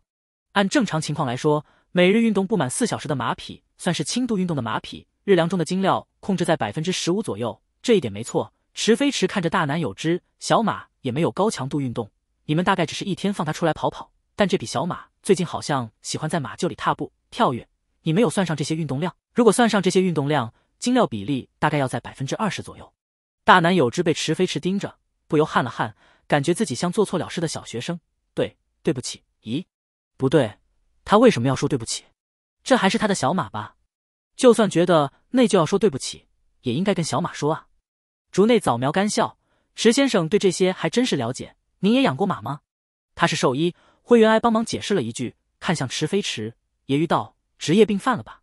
有点。池飞驰坦然承认了，诊断和外科我比较擅长一点，至于内科、细胞、寄生虫之类的，他就不是那么了解了。原来是这样。竹内早苗失笑，又忍不住问道：“那您看利普夫人的状况怎么样？她的身体恢复的还算好吧？”恢复情况算是比较好的。池飞驰点头，随即也发现不对劲，他又不是来看诊的。大南先生，你报一下价格吧。啊，抱歉。大南有之也反应过来，人家是来谈马匹买卖的，将一份表单递给池飞驰，想了想，小马，我收取您十万日元。寄养的话，草料就有很多种，您可以具体看看。另外，我们还可以代为办理保险手续。池飞驰看了看，成马和小马都划分开了，饲养和价格都还算合理。表单上有基础饲养，另外还有一些额外账目。灰原哀凑到一旁跟着看，他是不太懂。池飞驰决定就行，不过饲养一年的费用比马匹贵，贵得多。哎，有种养个闺女真不容易的既视感。要不要找人来训练盛装舞步？池飞驰转头问灰原哀。灰原哀考虑了两秒，摇了摇头，先不用。我们又不需要他去参加比赛，每天训练也会很枯燥的。让他再玩一段时间，要是发现他喜欢，那再让他学也不迟。你可以试着自己训练，训练成什么样无所谓，可以培养感情。池飞驰说了一句。又跟大男友之沟通饲养方案，基础饲养套餐不用说，选个最好的，先寄养一年，不行还可以换其他牧场。另外还有定期体检，每天运动训练，必要时运送到东京，指定好的马蹄铁、指定马厩垫料等附加项目，再加上投保，最后算下来，小马十万日元，寄养费用一年就是五十五万日元。养马确实比买马还烧钱。将协议都整理好，池飞驰将笔递给灰原哀，小哀签字。灰原哀犹豫了一下，你签吧。算是你送给我的礼物，怎么样？灰原哀这个身份经不起查。虽然日本不需要身份证，有人证明他的存在，那他就是存在的。但他不能说自己的出生地、父母等情况，始终有种自己是黑户的感觉。而且，要是他以后变大了，灰原哀可就不存在了。再说，搞不好他哪天就被组织清理了呢？小马没什么出色的地方还好，要是值钱了，说不定还会有人冒出来添堵。让小马归下他的名下，绝对不是好选择。换成是池飞驰送他的，就算哪天灰原哀消失了，那小马也在池飞驰名下，不至于变成无主的马。好，算我送你的礼物。池飞驰给大南有之转账，签字。你给小马想个名字，让大南先生改天帮忙去办理一下手续。大男友之开的价格都算良心，赚是肯定要赚一点，但没把他当傻子宰，他也懒得去争那点价格。有那点时间和精力，还不如写份节目策划，十匹马的费用都能赚回来了。嗯，灰原哀想了想。叫三日月怎么样？行。池飞驰在一份文件上把名字填上去，之后把一摞文件递给大男友之。三日月的意思就是月牙，只不过是日本这边的叫法而已。剩下登记、投保之类的手续就交给大男友之去办。大南有之做成了一笔生意，心情也十分舒畅。池先生，已经快中午了，我让。咔哒，门直接被人从外面打开。大南先生，有客人上门，外面居然没有招待。我看你这牧场。一个穿着深蓝西服、身材发福的男人带了一个人直接进门，看到坐在大南有之对面的池飞驰和灰原哀后，愣了一下。虽然池飞驰穿了身简便的、适合骑马的衣服，但一身沉着气势就足够人重视。原来你有客人啊！我还想找你谈谈我们的事呢。我们不是约好了上午十点半见面吗？大南有之脸色有些难看，不过确实是因为池飞驰买马的事，他忘了时间，也忘了让竹内早苗在外面招待客人，自己理亏，将其中一份签好的合同递给池飞驰。抱歉，池先生。你们谈吧。池飞驰接过合同，起身将一张名片递给大南有之，凑近后压低声音道：“如果因为利普夫人的事资金出现问题，需要投资，可以联系我。”大南有之低头看到名片上“真池集团顾问”的字样后，怔了一下，感激的点了点头。见有其他人在，也不便说牧场的情况。早苗，你带池先生去看马吧。池先生，上次你让我们准备的标靶和弓箭，我们也已经准备好了。池先生，请跟我来。竹内早苗带两人离开房间。灰原哀听身后的门关上，回头看了看，又继续跟着竹内早苗往马厩去。飞驰哥，你刚才跟大南先生说了什么悄悄话？带路的竹内早苗也有些好奇，放慢了脚步，转头看池飞驰。池飞驰没有直接回答。小安，你判断一下刚才进去那个人的身份，还有他是来干什么的？某企业的老板吧。灰原哀说着，仔细回想了一下，他身后跟着的人像是律师、秘书之类的人，应该是来找大南先生谈生意的。不过他看上去有些耀武扬威、阴阳怪气。不像 OK 牧场的合作人，至少不像是谈互利互惠那种合作生意的人。之前竹内小姐说过，牧场资金有点紧张。池飞驰提醒：“不动产开发商。”灰原哀道：“竹内早苗现在对小孩子的培养已经需要到这种程度了吗？难怪这个小女孩一副成熟稳重的样子，这是本身聪明又被磨练出来的吧？上次接待这两个人，他了解过，似乎是兄妹。虽然没具体问，但能来这种地方骑马娱乐，家境应该很好。”人家还这么锻炼小孩子，还真是让人敬佩又无奈。都领先起跑线了，还这么越阶培养，让他们这些人怎么追啊？还是那种手段不怎么光明的地产商？池飞驰确认了灰原哀的猜测，有的人直接把我不是好人这几个字写在脸上了。所以我刚才告诉大南先生，如果资金出现问题，需要投资的话，可以联系我。换了酒店、旅馆之类的地方，他或许还要考虑一下。不过真池集团最近往动物这一块发展，投资个牧场也算对版。只要好好经营，亏不了。竹内早苗看着两人的淡定脸，有点发懵。好，好厉害！灰原哀仰头问竹内早苗：“大南先生是打算卖掉牧场吗？”竹内早苗回神，连忙解释道：“不，大南先生不打算卖牧场，至少不会卖给那种家伙。他是打算买下牧场后卖掉所有的马，用来开发度假区。要是有人投资，我想大南先生也不会拒绝。”池飞驰没再说什么，就算投资也用不着他操心，只是投资一个不算大的牧场，大山迷都不会亲自跑一趟，随便安排两个人过来，完全能谈得妥妥的。到了马厩，竹内早苗将小马牵出来，这匹小马比灰原哀要高出一些。整体灰色，头上有个月牙白印，尾巴和鬃毛颜色灰白交杂，显得有些杂乱，但眼睛大而明亮，看起来很萌。灰原哀满意看着自家的小马，自家宠物那就是最好看的。你的名字叫三日月。池飞驰伸手摸了摸小马的头，以后它是你的主人，要听话。小马迷茫懵懂，主人听话。池飞驰重复了几遍，又试着用呼唤名字等方式加深小马的印象，确定小马明白三日月是叫他。灰原哀是主人这两点之后，又解释了主人的意思，就是要听话，不能让他受伤等等。教灵性不够的动物是件让人头疼的事，就算他有三无金手指，也得反复沟通。三日月还算是牧场里比较有天赋的马，另一匹就是利普夫人，但利普夫人的年龄可比三日月大得多。但愿以后随着成长，三日月能再有灵性一点。池飞驰突然想到，还宿醉的飞驰，不有灵性的动物也够让人头疼的。灰原哀站在一旁。没有打扰池飞驰。三日月，池飞驰唤了一声，三日月奶声奶气的嘶鸣了一声。灰原哀也试着出声，三日月，三日月又叫了一声，踏步走进灰原哀身边，低头去蹭灰原哀。灰原哀踮起脚，伸手抱住三日月，又笑弯了眼。他家三日月真是太可爱了。最近先让他适应名字，过段时间我再教他盛装舞步。池飞驰摸了摸三日月的头，带你主人走走。三日月挣脱灰原哀的怀抱。蹭了蹭灰原哀，往前走了两步，转头嘶鸣：“主人，走走，好厉害！”竹内早苗在一旁看了一会儿，惊叹道：“有您在，根本就不需要找专业的训练师来训练了吗？”灰原哀跟上三日月，心里莫名自豪，努力维持着脸上的淡定。飞驰哥驯兽确实厉害，动物都很喜欢他。竹内早苗笑了笑，将一个装弓和箭矢的袋子递给池飞驰。对了，箭靶已经准备好了，按您上次说的，我们买了复合弓和箭，还有一些护具。池飞驰拿出弓和箭看了看，复合弓拿在手里比一般弓沉，开弓考验臂力也够烧钱，不过很适合骑射。箭矢应该也是专门的商城买的，质量都算顶尖，细节也处理的很好。马场另一边的跑道上已经立上了一排箭靶，远远看上去做工不错，质量应该也差不到哪里去。很多国家都有骑射传统，在热武器时代开启前，骑兵都有骑射训练。日本传统的马上弓术叫骑射三物，有留低马、犬追物。力旋三种，留低马是间距大约二百米的直线马场里，在骑手前进方向的左手边准备三个箭靶，骑手驾驭全速奔跑的马，将三支箭矢射中靶心。犬追物就是在四方马场里将人分队，在场中放出狗，最后比哪队射中的多。力旋则是将大小、高低、左右不一的箭靶立起来，骑手同样骑快马，让箭矢命中靶心。各国骑射比赛的方式大同小异，就只是叫法不同。上次来的时候。他留下一些钱，让大南有之帮忙买弓箭。看来大南有之人还算实诚，也就只收了他一些跑腿费，剩下的都给他买东西了。他让 OK 牧场准备的是大小、高低、左右不同的箭靶，算是力旋。另外还有三个今年出的战术箭靶，就是模拟歹徒挟持人质的人像立牌。歹徒和人质都算标靶，不过以计分方式来说，射中人质要扣除相应分数。您觉得怎么样？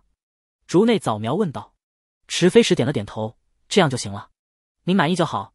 箭矢我们一共买了五百支，帮您收在仓库里，不会让别人随便乱碰的。竹内早苗笑了笑，又问道：“您还要去挑马吗？”“不用，上次那匹。”池飞驰道。“那我去牵过来。”竹内早苗转身去牵马。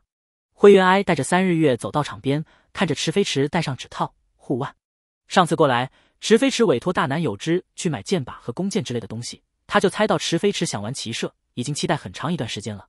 池飞驰戴好指套，护腕后，将箭矢放进箭袋，上前一段距离，左手拿弓，右手取箭，搭箭，抬弓瞄准一个战术箭靶，拉弓。灰原哀趴在后方护栏边，眼睛眨也不眨的看着。三日月看了看灰原哀，也站到旁边，指路一个头，学灰原哀的样子，直勾勾盯着池飞驰。池飞驰左手稳稳抬起，盯着剑靶的目光锐利如鹰，一剑飞出，命中人质心脏。紧盯着的灰原哀无语，看向池飞驰背影的目光有些茫然。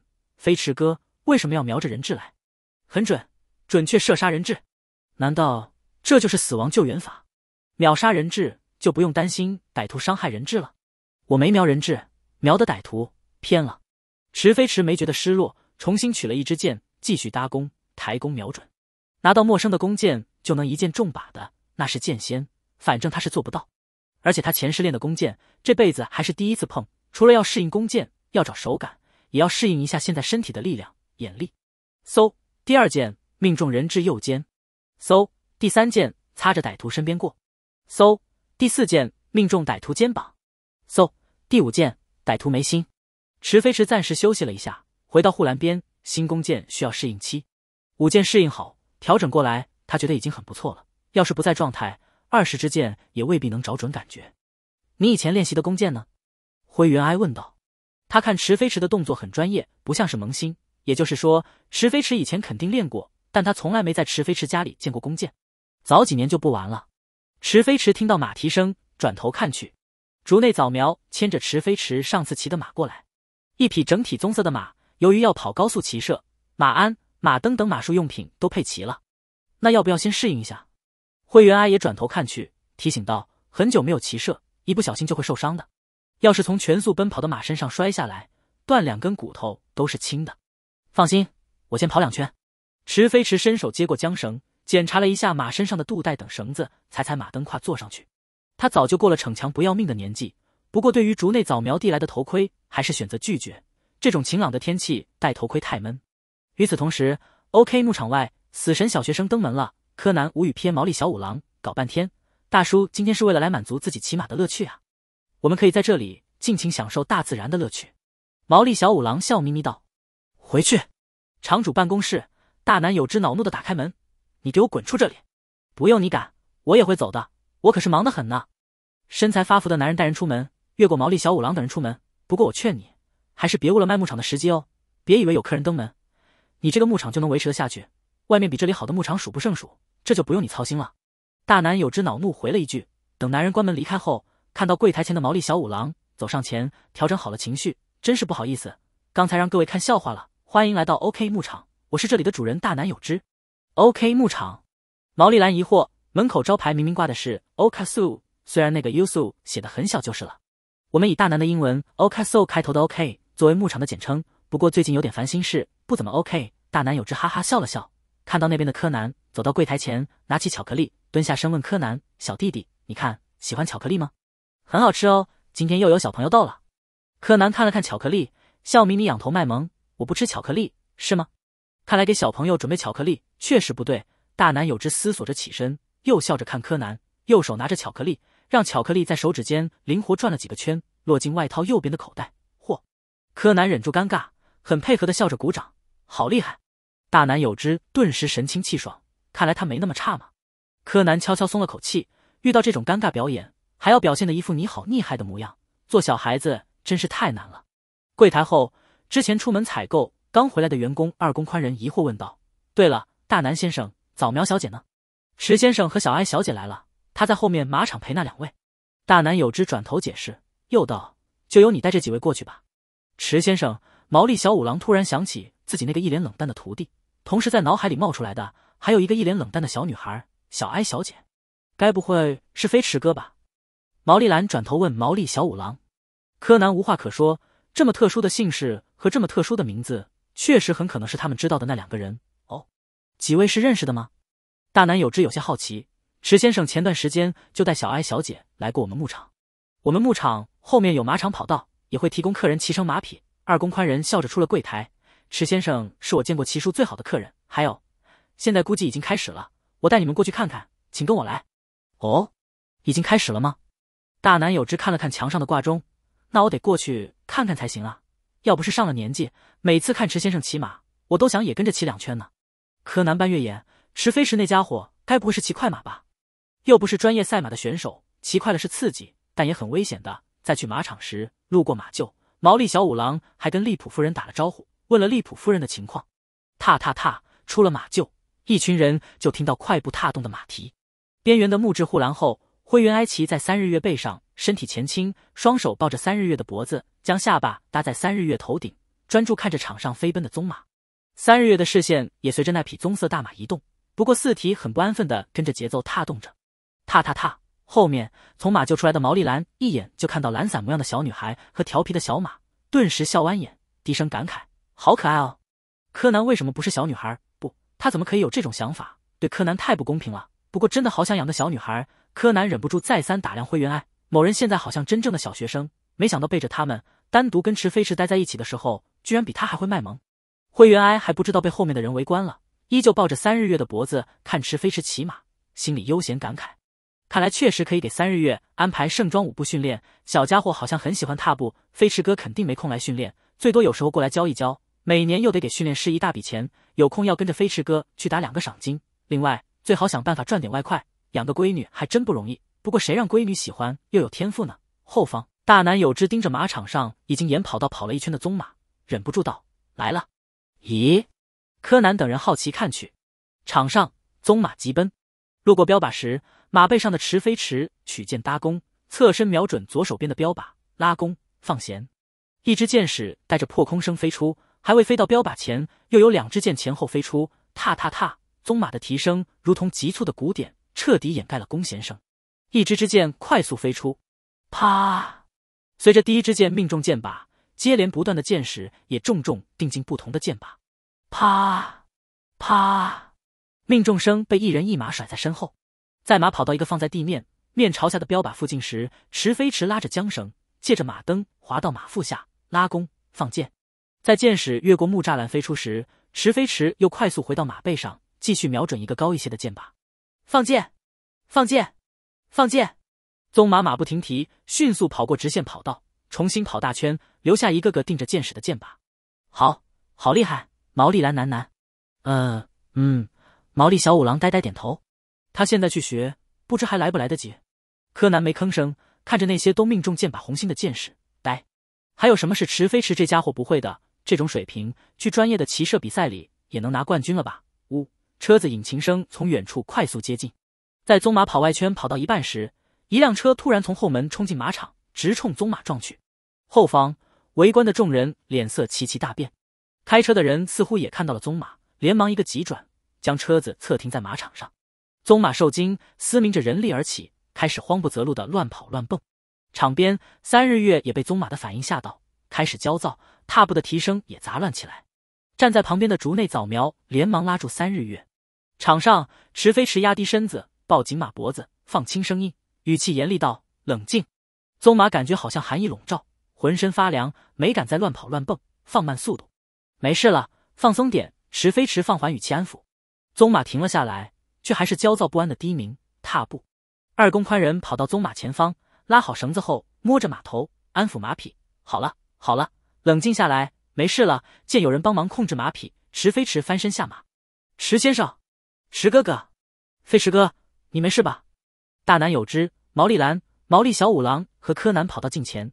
心脏还在砰砰加速跳动，马受惊会四处乱跑，疯狂蹦跳，特别是在背上有人的情况下，通常都会先把人甩下来。虽然这匹棕马没闹腾多久，但刚才那架势也够吓人的。灰原哀在竹内早苗的帮助下，下了三日月的背，也跟着跑到了近前。飞驰哥，我没事。池飞驰看了看脸色煞白的一群人，目光在柯南身上着重停留了一下。柯南是什么时候冒出来的？可以啊，这小子这次差点一来就直接把他送走。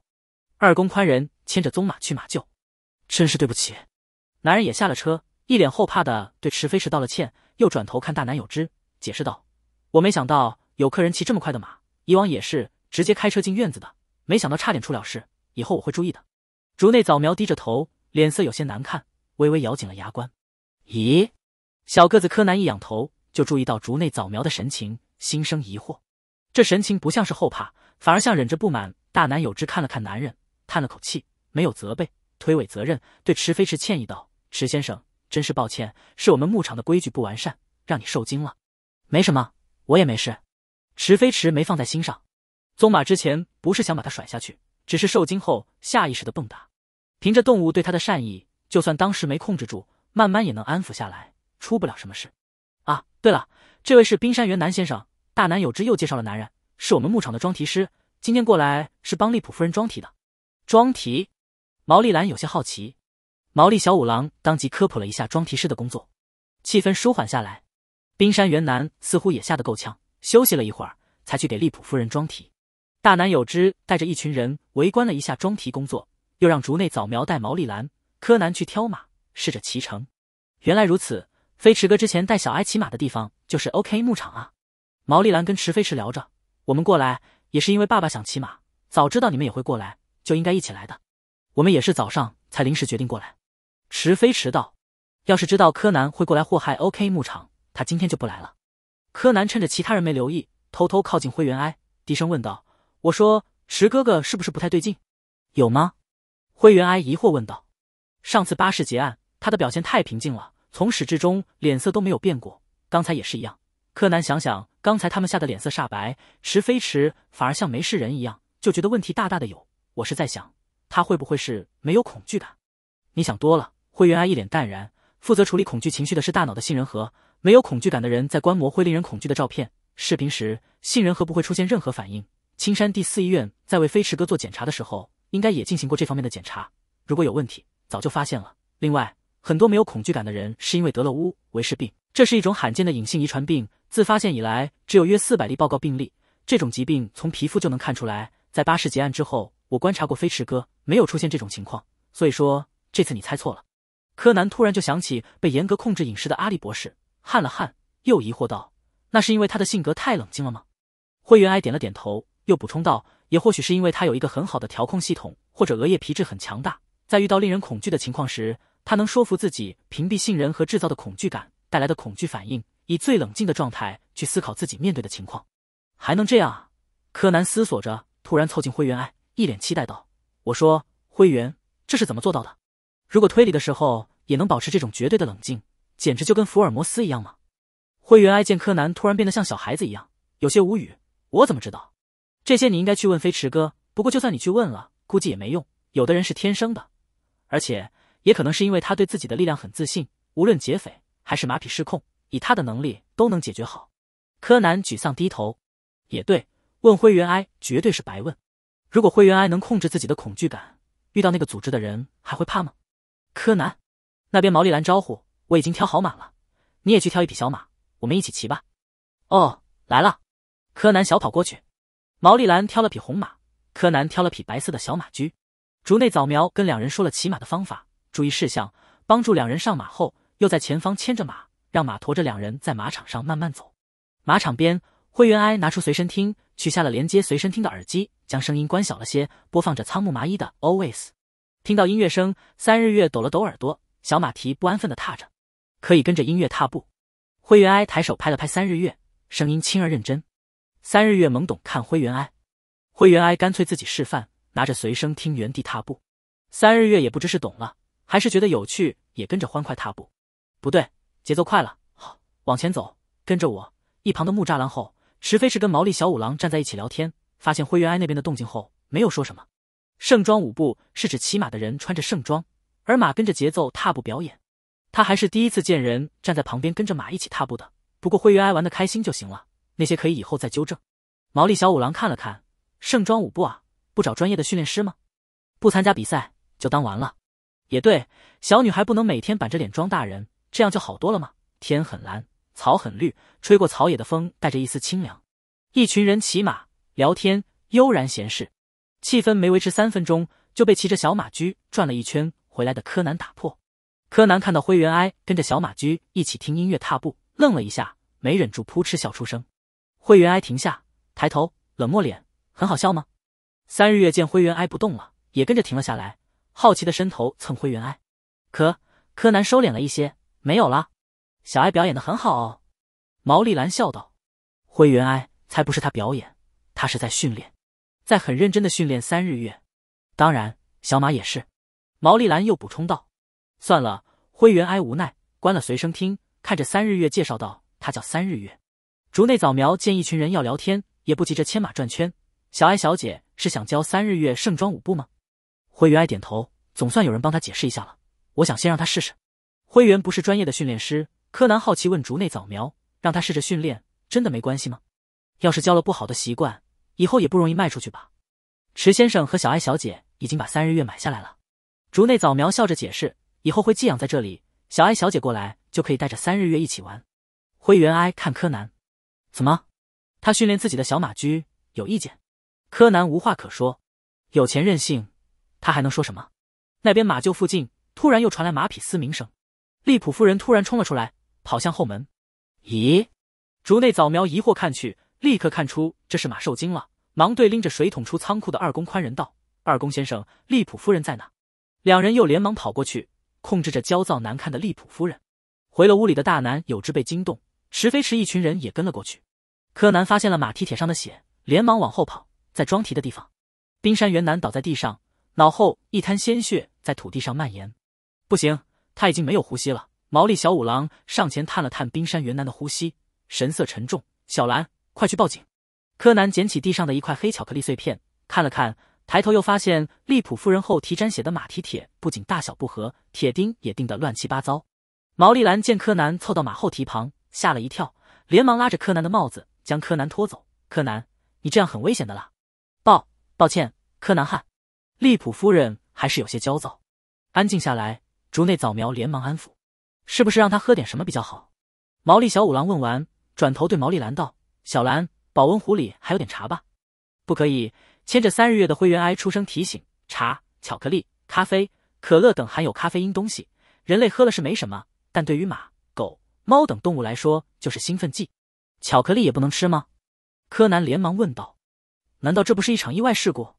灰原哀看向池飞驰：“上次来的时候，飞驰哥跟我说的。”池飞驰点了点头，又道：“利普夫人后蹄上的马蹄铁大小不合。”嗯，感觉到手机震动，池飞驰顿了一下，拿出手机看了看，转身朝角落走：“抱歉。”我去接个电话。喂，母亲。哎，柯南有些好奇的转头看了看池飞驰的老妈。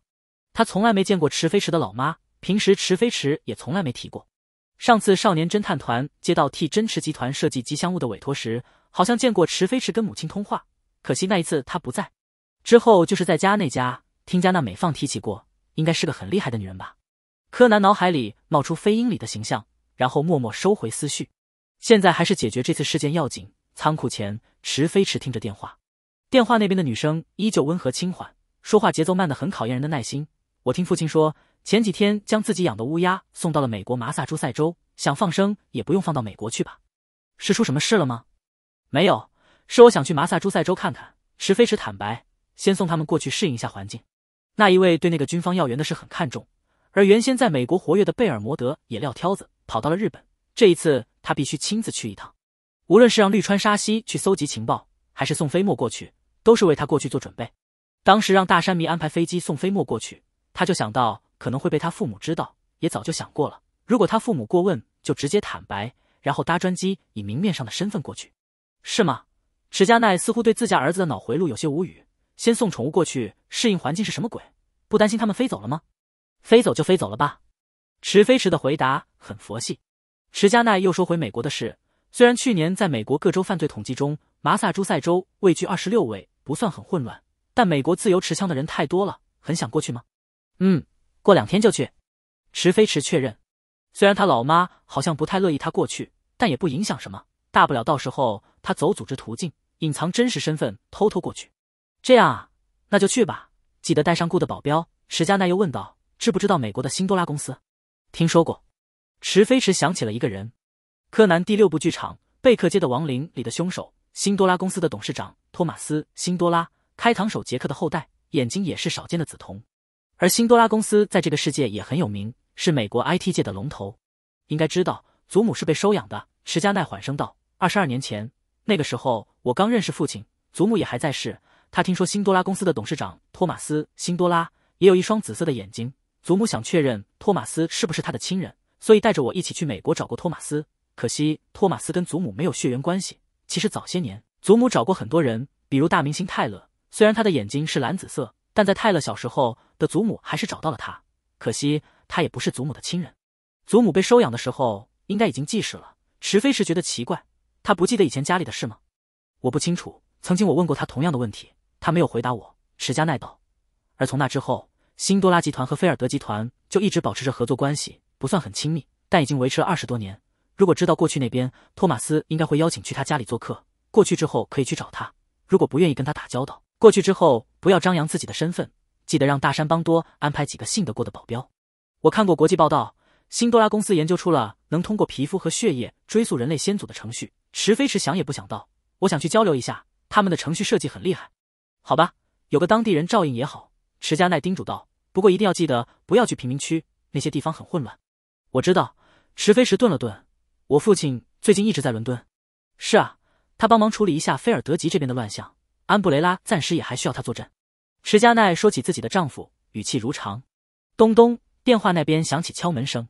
过去的时候，让大山帮联系托马斯，他有托马斯的联系方式。池加奈道：“就这样，我有事想跟您谈谈。”池飞驰第一次打断自家老妈的话。再不打断，估计电话得被挂断。下次再打过去，估计又找不到人了。飞驰，妈妈，现在关于遗传基因病的事，那边静了一会儿，是不是英国这边有人跟说了什么？池加奈问道。找个时间，我们见面谈。池飞驰道。池加奈沉默了片刻，等从美国回去吧，我也要回去一段时间。好，电话挂断。池飞驰盯着手机屏幕看了看，才收起手机。之前说到辛多拉公司。他老妈居然说，如果不愿意跟他打交道，这种话，合作了二十多年的合作伙伴，要是没什么原因的话，他老妈应该会直接告诉他，可以去找托马斯·辛多拉，有他照应，我比较放心。但他老妈的意思正好相反，分明是想说，考虑一下，别去找他，咱多带几个保镖。辛多拉公司和菲尔德集团的关系似乎有些微妙，换作是其他人，不打交道也就不打交道，他一个人还乐得自由自在，方便行事，不用应酬。不过托马斯·辛多拉不一样。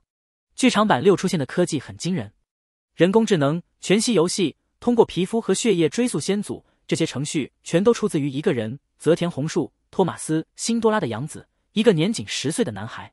前世有人说泽田宏树不如灰原哀天才，这些当做粉丝的狂热言论来听就行了。这两个人的成就都很惊人，无论是缩小身体药物，还是人工智能，不仅现在不该存在，在发展二三十年都未必能够存在。但是别忘了。抛开两人的真实年龄差距不谈，灰原哀开发的药物有一部分药物资料是自己父母留下的，而泽田宏树完全是自己开发出了人工智能，自己开辟出来的道路。两人在各自的专业领域里都有着普通人难以想象的天赋，但泽田宏树的天赋明显要强一点。一个十岁的男孩用了不到两年时间开发出成长一年，相当于人类学习五年的人工智能，天才都不足以形容，根本就是个妖孽，是老天都不允许存在的妖孽。要是泽田宏树继续活下去，继续研究下去，不出十年，这个世界绝对会发生惊人的变化，完全脱离了正常科技发展的变化。必须要接触泽田宏树。原本他还不抱什么希望，因为泽田宏树被托马斯·辛多拉看管的太严了，别说其他人难以接近，那孩子连一点自己的空间都没有，这才导致了泽田宏树自杀，将自己的意愿寄托在人工智能诺亚方舟上。除非他能把人直接绑架，但绑架并没有意义，只会让泽田宏树厌恶。反正最后，泽田宏树也会和人工智能诺亚方舟一共消散，他也不是很在意，接触与不接触都一样。而现在有这层关系就不一样了。最好的结果是保下泽田宏树，把这孩子拉到自家这边来。就算不能将泽田宏树拉过来，他也可以过去交流学习一下，哪怕是讨论一下最简单的编程思路，对他都是有帮助的。令他觉得有趣的是，自家老妈不管是说到辛多拉公司，还是说到他外祖母的事，语气一直保持着温和轻缓。完全听不出欢喜还是憎恶。这么说起来，他老爸也很沉得住气，还真是不是一家人不进一家门。警车鸣着警笛从后门开进来，停在马场里。警方开始调查现场，了解情况。柯南见池飞驰打完电话回来，悄悄晃到池飞驰身边，伸手将手帕包裹的东西递给池飞驰。池哥哥，我在尸体旁边发现了这个。池飞驰接过看了看，又闻了一下，递还给柯南。这个案子他已经记不清了，不过不是很难分析。有人给利普夫人吃了巧克力，让她兴奋暴动。柯南接过自己的手帕，点了点头。这不是一场意外。刚才大南先生将利普夫人后蹄上那个大小不合的马蹄铁卸下来了。不仅马蹄铁大小、形状不合，钉子也钉得乱七八糟，还有马蹄铁内部贴合马蹄那部分有血，呈半干状态。有人用马蹄铁打死了死者，又将马蹄铁钉了回去，是一个不会钉马蹄铁的人。池飞驰低声道：“据我了解，大南先生曾经是一个优秀的装蹄师，他不会连怎么钉马蹄铁都不懂。要是他作案，也有时间将罪证全都带离现场，不用故意把马蹄铁钉得乱七八糟。而竹内小姐一直陪着何小兰，也不会是他，那就只剩下一个人了。二宫先生，他就是凶手。”柯南笃定接过话。不过巧克力应该是大南先生的。之前他拿起过放在柜台上的巧克力，问我要不要吃。我谢绝之后，他就将巧克力装进了口袋里。也就是说，大南先生发现二宫先生杀人，为利普夫人吃了巧克力，想伪装成一起意外，掩护二宫先生。池飞驰看着柯南，证据，不管是之前为了黑熊士兵卫杀人的老猎人，还是现在为了保住员工而让马背锅的大男有知，他觉得都可以理解。有人会为了动物而伤害同胞，而有人为了保护同胞而牺牲动物。这是交情和观念的原因，没什么值得争辩的，也争辩不出个结果来。人和人本来就不一样，观念分歧也会一直存在。能理解就理解，不能理解就不去理解。别觉得世界只有我这种观念是对的就行了。柯南笑眯眯，仰着头：“这个我已经发现喽。二宫先生的裤子打湿了，也就是说他在行凶时见了血的裤子没有更换，只是洗掉了血迹。但只要警方用卢米诺试剂检查，就能从裤子上发现血液反应。”池飞驰见柯南一副求夸奖的模样。很配合的抬手拍了拍柯南的头顶，很厉害，赶紧推理去。柯南感觉自己被敷衍了，瞥了池飞驰一眼，还是乖乖去找了个角落，用麻醉针把毛利小五郎放倒，心里有些感慨。明明池飞驰也可以来推理的，非要偷懒。大叔被扎那么多针，主要责任确实在他，但池飞驰也脱不了干系。听沉睡的小五郎说出了推理证据，二宫宽人也不再狡辩，扑通一下跪到地上。我原本没打算杀他的，但是我实在没办法原谅他。他背叛了对他有恩的大南先生。之前利普夫人流产，就是要收购牧场的望月让他做了手脚。而且牧场好不容易有了客人，但又因为他突然开车闯进来，害得池先生骑的马受惊。所以我忍不住去质问他，问他昨天和望月先生来往是怎么回事，问他是不是故意让利普夫人流产，问他是不是故意让池先生骑的马受惊。灰原哀看向池飞驰，难道那家伙真是故意的？池飞驰微微摇了摇头，表示自己也没看出来。马受惊之后。冰山原男跟其他人一样，一脸不安，很难分析是被突发情况吓到，还是害人没成功之后的后怕。不过他也很无奈就是了，这都能跟他扯上关系。他被我戳穿之后，就拿出匕首说要杀了我，还说可以嫁祸到利普夫人身上。二宫宽人跪在地上，双手捂住脸，眼泪顺着指缝流淌。就在我们打斗的时候，他的头不小心磕在了马蹄铁上，很快就没了呼吸。我很害怕，就将那块马蹄铁胡乱钉到了利普夫人马蹄上。他承认他之前想害飞驰哥坠马了吗？灰原哀问道：“二宫宽仁轻声道，他只说是又怎么样？反正这个牧场再维持下去也没什么用。这样的话，池飞驰没去想冰山原男是不是故意的。现在冰山原男都已经死了，怎么说都是二宫宽仁一句话的事。要是二宫宽仁给了个肯定的答案，他说不定还会怀疑真假。眼见都不一定为实，更别说这种一面之词。二宫先生啊！二宫宽仁抬头看池飞驰，这里没有监控摄像头。”但也能验证你有没有说谎。如果你说的是真的，警方会找到冰山先生企图用来行凶的匕首。另外，用马蹄铁将人打死和打斗时人摔倒，头部不小心磕在马蹄铁上所溅射出的血迹不一样。只要检查现场和你裤子上的血迹反应，就能推断出来。池飞驰盯着二宫宽人，发现二宫宽人脸色没有变得难看，心虚后心里有了结论，收回视线。如果是他先动手，你就不是过失杀人，而是防卫过当。柯南偷偷走出了毛利小五郎身后。有些意外的看向池飞驰，这些他都没想到，应该说没想过。正当防卫和防卫过当的界限很模糊，就要看律师怎么样了。池飞驰继续道：“我认识不少优秀的律师，可以帮你安排。”池先生，二宫宽人正正看着池飞驰，如果被判为正当防卫，他就可以无罪释放。只要律师够优秀，哪怕没办法争到无罪的程度，也可以帮他免除刑事处罚，只需要赔付一些钱。站在一旁的警察笑道：“好了，我们还是先确认一下。”二宫先生的言论是否属实吧？我二宫宽人擦了擦眼角再次流下来的眼泪，低下头，十十分感谢。还有，我很抱歉。之后，警方展开了调查，找到了冰山原男打算用来行凶的匕首。通过血迹的痕迹，也基本可以确定二宫宽人没有说谎。池飞驰没有食言，联系了在真池集团做法律顾问的一个律师，顺便让大山米找人过来谈投资牧场的事。柯南远远看着池飞驰去打电话的背影，有些走神。一旁。灰原哀轻声问道：“怎么？你觉得飞驰哥在包庇犯人？”不，柯南忽然失笑，目光依旧停在池飞驰身上，有些感慨，只是觉得你的感觉还蛮准的，确实是个很温暖的人啊。他以前觉得侦探的责任就是找出凶手，怎么宣判那是检方的事，这样也没错。但他想到了一个侦探，他最喜欢的那个侦探。对于福尔摩斯而言，真相很重要，但还有比真相更重要的东西，到底是人心的救赎还是包容？他暂时还不太明白。不过刚才恍惚间，他好像看到了福尔摩斯。我的感觉，灰原哀疑惑，这跟他又有什么关系？没什么。柯南收回视线，当然，他确实是在包庇二宫先生。不过这一次，我想做福尔摩斯，只要是冰山原男有意行凶在先，他也不想去追究是正当防卫还是防卫过当。灰原哀，名侦探突然变得神神叨叨的。另一边，毛利兰等池飞驰挂了电话，才走上前。飞驰哥，其实可以联系我妈妈的，不用麻烦飞律师。集团里擅长刑事辩护的律师也没什么事做。池飞驰面不改色的找了个理由，想要二宫宽仁被判正当防卫，有一个漏洞必须要考虑，就是二宫宽仁之前说的冰山原男要拿匕首杀死他，并嫁祸给马。匕首杀死的人怎么嫁祸给马？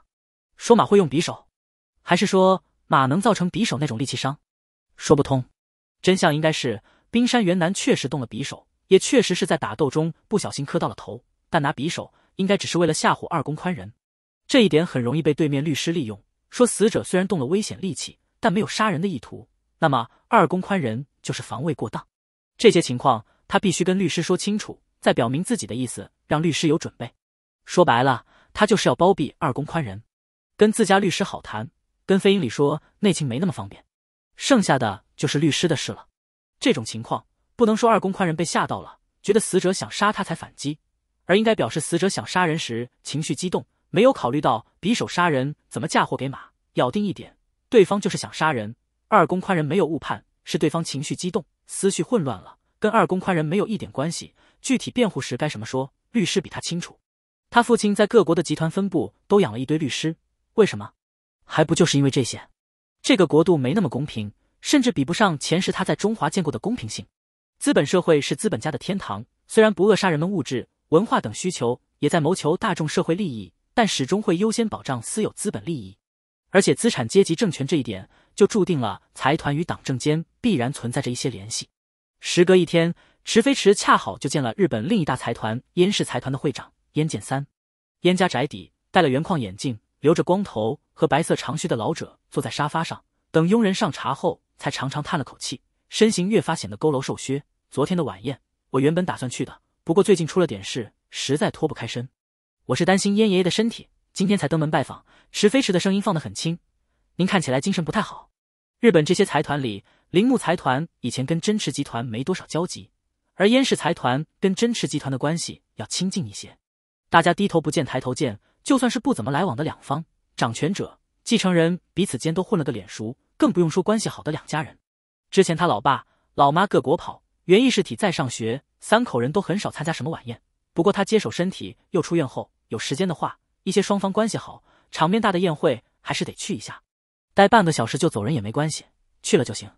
这是一种态度，表达一下对主办方的善意。燕家的情况有点特殊，燕家财团的会长燕剑三今年已经七十岁了，在去年，燕剑三的独子、儿媳都在意外事故中身亡，就只剩下一个五岁的小孙子。他们池家好歹有三口人。燕家就只剩一老一小爷孙俩，也很少出席晚宴。但昨晚是正方组织的纪念晚宴，规格大的惊人。白天就开始安排安保，更是在三天前就已经开始了对会场内危险物品的排查。各大财团、司法要员、边防高官到场的步伐很多平时见不到的人。他跟认识的、不认识的人打招呼，混脸熟，又跟铃木原子凑了堆。面对着一个布置庄重的会场，无聊的熬了三个多小时，半夜才散场回家。无聊归无聊。那一位估计都会赞同他去参加晚宴，丢下组织的急事也值得去。不说搜集什么情报，至少能让他了解到一些平时见不到的人，以后说不定就用上了。这样一个晚宴，燕氏财团能去的高层都去了，但主事人一家居然没到场，实在有些不合理。出于双方的交情，他有必要登门拜访，关心一下是不是老爷子身体不适。今天一看，老爷子的精神确实比前两年差多了。唉，燕剑三又叹了口气，欲言又止。大山迷静静坐在一旁，眼观鼻，鼻观心，没有多话。池飞驰垂了垂眸，秋夫出事了。要是燕氏财团遇到麻烦，不到即将崩塌的地步，燕剑三不会这么愁。而如果是燕氏财团出了什么大事，不可能没有一点风声。在那些记者不知道之前，他们恐怕就已经知道了。那就只可能是燕剑三的小孙子燕秋夫出事了。燕秋夫得了重病，不那样的话，燕剑三应该会在医院里，甚至聘请名医去坐诊，医学界也会被惊动。燕剑三这么不声不响的大事，那应该是绑架。燕剑三迟疑了一会儿，起身去旁边桌上拿了一个纸质文件袋，递给池飞驰。是昨天早上的事。秋夫幼儿园老师打电话过来，说秋夫没有去幼儿园。而在昨天下午，这些塞到了大门口的信箱里。池飞驰接过文件袋，打开，里面除了两张蜡笔画的画，还有一张纸，纸上贴了报纸上剪下来的字。小孩的价值是十亿日元。小丑上，这这是大山迷惊讶，下意识的转头看池飞驰，却发现自家少爷依旧一脸平静，又默默收回视线。秋夫很喜欢画画，这些应该是他在绑匪那里画的。燕剑三拿起那两张画，手指摩擦过蜡笔痕迹，叹了口气，放下画后，从怀里拿出一张折叠起来的纸，递给池飞驰。这是今天早上被塞进信箱里的。池飞驰将恐吓信放到身前的茶几上，接过纸，纸上还是用报纸剪下来的字拼成了一个瑞士方科贝尔银行的账户。想从瑞士银行查用户信息，根本不可能。瑞士作为一个银行国家，就是靠用户保密制度恰饭的。严格对客户信息保密，国际组织出面都不好使。燕爷爷，绑匪有没有打过电话？一共打过两个。燕剑三道，一个是在昨天下午四点左右收到恐吓信的时候，对方打电话过来说不许报警，不许走漏风声，否则秋夫就会有生命危险。一个是今天下午两点左右，对方打电话过来说写了账户信息的纸在信箱里，如果我同意支付赎金，就准备好一百万日元现金，他会在一个小时后打电话过来。池飞驰转头看墙上的挂钟。现在已经下午三点三十一分了，十亿日元搬运起来很麻烦。对方既然有瑞士银行的账户，肯定会要求打到瑞士银行账户上去。这一百万日元，对方很可能不会去拿，只是为了观察燕氏财团有没有诚意，以及是否报了警。燕剑三注意到池飞驰的举动，也转头看向时钟。一百万日元我已经让人准备好了，对方也应该快打电话过来了。电话能不能让我来接？池飞驰从口袋里翻出录音笔，我带了录音笔，可以顺便录下来，说不定能发现什么线索。您应该知道，就算不报警，也不能将希望全部寄托在劫匪身上。燕剑三考虑之后，还是点了点头。好。大概三分钟后，屋里座机电话的铃声响起。池飞驰打开录音笔，接通了电话，又按了免提。用了变声器的男生机械怪异：“钱已经准备好了吗？”“准备好了。”“我想先确认秋夫的安全。”池飞驰道。“你是谁？”能听出对方情绪明显紧张起来。燕剑三比绑匪更紧张，盯着电话，大气不敢出。真池集团的继承人秋夫平时会叫我哥哥。池飞驰继续道：“今天我登门拜访，发现燕先生愁眉苦脸。追问之下，他就告诉我这件事。这是只有我和集团东京分部负责人知道。我们就在燕家，没有人报警，赎金也可以给你。不过只有两张画，不足以确认秋夫的情况。这也可能是秋夫以前画的。我想听秋夫说说话。可以。”电话那头的男人道：“现在让人将一百万日元送到米花泉地公园后门，平铺放在通往后门的地上。”只准一个人过去，不许报警，不许派人跟着。等看到了你们的诚意，我会再打电话过去，让你们听听小孩的声音。嘟嘟，电话被挂断。池飞驰拿起录音笔，关了录音。燕剑三转头看向身后的秘书介重吉，重吉，你将钱送过去吧。您放心。介重吉正色点头，拿起沙发上早就准备好的一纸袋钱，转身出门。池飞驰看了看桌上的画，拿出手机发邮件让米花町的乌鸦出发。去米花泉地公园去找一个跟小丑有关的人，找到后注意追踪。画上有一个像是马戏团小丑一样的人站在一个孩子身旁，两人似乎电视机前在打游戏。画是燕秋夫画的，这一点燕剑三应该不会认错。那这幅画很可能是燕秋夫在画这两天的经历，跟小丑一起打电玩。飞驰，燕剑三看向池飞驰，您别担心。池飞驰放下手机，秋夫之前有没有说在其他地方看见过小丑？燕剑三想了想。前几天他好像说过，幼儿园外有个小丑给小朋友们发气球。池飞驰思索了一下，看着燕剑三，低声道：“刚才电话那边有风声和树叶声，绑匪应该已经到了米花泉地公园附近。而他说等确认我们有诚意之后，再让我们听秋夫的声音，说明秋夫现在不在他身边。再加上他没有提到我们这类字眼，只说了我。绑匪很可能只有一个人。现在有三个选择：第一，我绕路过去将他抓住，逼他说出秋夫的下落；第二，将希望放在绑匪身上。”破财免灾，指望他拿到钱后会放了秋夫。第三，一边锁定绑匪的位置，让人去追踪，一边想想秋夫可能会被关在哪儿，等摸清情况之后直接救人。您觉得呢？燕剑三闭了闭眼，第一个选择不行，我不敢赌；第二个选择看似稳妥，但绑匪拿到钱后直接撕票也不是不可能。第三个选择看起来是好，不过要是跟踪劫匪被发现了，邱夫会不会有危险？他们又怎么去找邱夫的所在地？每个选择都有风险。池飞驰没有勉强，看向桌上的画，指着纸页一角的奇怪图案。上次邱夫给我看的画，刘署名的地方好像是东京铁塔，这次为什么是这种图案？邱夫会把画画时周围最醒目的建筑当做署名画上去。燕剑三解释。大山迷凑近看着，也就是说，邱夫少爷在这建筑附近。不过这是什么建筑？东京好像没这种奇怪的建筑吧？画上的图案确实很奇怪，像是一个肚子上长了只大独眼的外星人。小孩子眼里的世界本来就千奇百怪，跟常人不太一样。池飞驰看着那个建筑图案，想了想，也没什么头绪。飞驰将头搭在池飞驰衣领上，好奇探头看去，吐着的蛇信子顿了一下，才收回口中。咦，主人，这个建筑我好像见过。池飞驰低头看了看飞驰探出的头，不动声色的站起身，对燕剑三道：“燕爷爷，我去买张地图来看看，说不定能想起哪里有这类建筑。”去吧。燕剑三叹道。还让你们跟着着急上火，真是不好意思。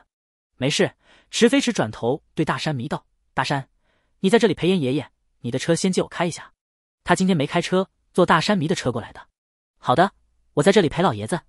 大山迷将车钥匙递给池飞驰，池飞驰没再多说，接过车钥匙后，直接出门上车，发动车子出了大门之后，才低声问道：“飞翅，你在什么地方见过这个图案？”飞翅从池飞驰的衣服下溜出来，跑到副驾驶座去。背户挺一丁目，就是那天主人跟英曲一起去看新的地下训练场，房子还没盖好，我们就去附近转了几圈，了解地形。就是那个时候啊，池飞驰回想着，飞驰一直跟他待在一起，飞驰都说看到了，那么他应该会有印象才对。那个信号塔，原来那是信号塔呀！飞驰道：“秋夫画上那个外星人的肚子上的眼睛，就是塔中间挂的时钟吗？”嗯，池飞驰将车往背户艇一丁目开去，半路停车，去一旁的便利店买了张背户艇的地图。顺便买了一支油性笔，坐在车上整理头绪。燕秋夫前几天在幼儿园见到过小丑，昨天也是在去幼儿园之后被绑架。由于这是自己唯一的小孙子，燕剑三每次都会让人将燕秋夫送到幼儿园门口。那么绑匪的整个行动应该是之前就扮成小丑接触燕秋夫，让燕秋夫觉得小丑是好人。昨天早上九点左右，燕秋夫被送到幼儿园，在司机开车离开后，看到认识的小丑在叫他，再次出了幼儿园。小丑诱骗燕秋夫跟他离开，用的方式是小孩子喜欢的电玩。这一点燕秋夫的画上也有表现出来。那个小丑陪燕秋夫打了电玩，为了不被人发现，尽快离开幼儿园。绑匪应该有车子。上午九点半到十二点左右，小丑带燕秋夫去了某个隐蔽的地方。为了哄秋夫，应该陪秋夫打过电玩。之后，秋夫应该提出想要画画。小丑之前不可能想到准备蜡笔和纸，而中午两个人要吃饭，小丑就去便利店买食物。顺便帮燕秋夫买蜡笔和纸，吃饭看秋夫画画。到了下午四点，不，对方打电话的时候明显不知道他，以为他是警察，说明不知道他和大山迷的车进了燕家。也就是说，绑匪所在的地方不在燕家附近，也观察不到燕家的情况。那么，昨天送信到燕家之前，绑匪应该还观察过燕家一段时间。三点半左右将信塞进信箱，到了安全的地方，一边打电话一边确认燕家将信拿回去，而抵达燕家的时间要更早。最晚也得是三点。秋夫画两幅画，还是小孩子认真画，至少要一个小时。绑匪要等秋夫画完一起将画送到燕家，对方只有一个人，可以通过活动时间分析出位置信息。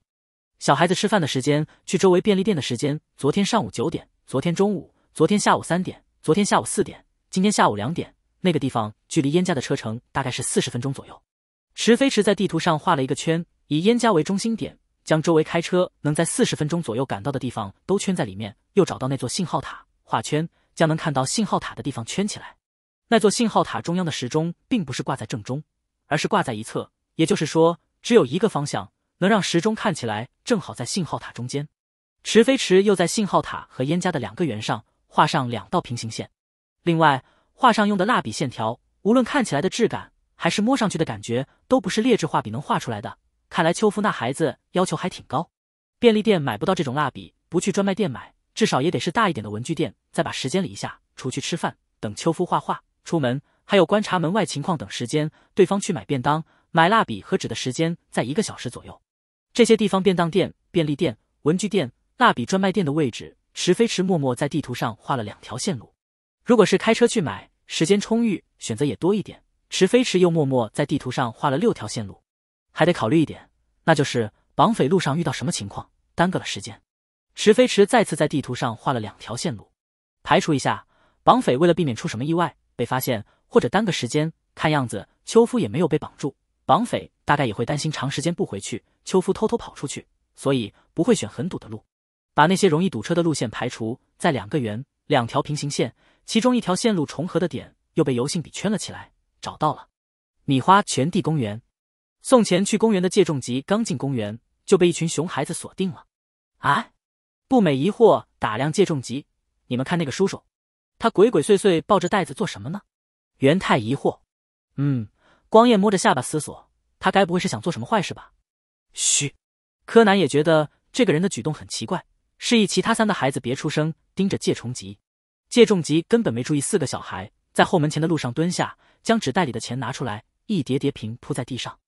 你们看，元太被那一叠叠钱吓了一跳，好多钱，不美道，而且都是万元大钞。光彦惊讶补充，柯南一愣，顿时反应过来，连忙转头看附近的高处，绑架，这应该是绑匪想看对方有没有诚意。那么，绑匪应该在附近观察，找到了那边的一栋楼顶，望远镜隐隐闪过反光。大叔，你站住！你该不会是小偷吧？元太、光彦、步美三个孩子已经冲了出去。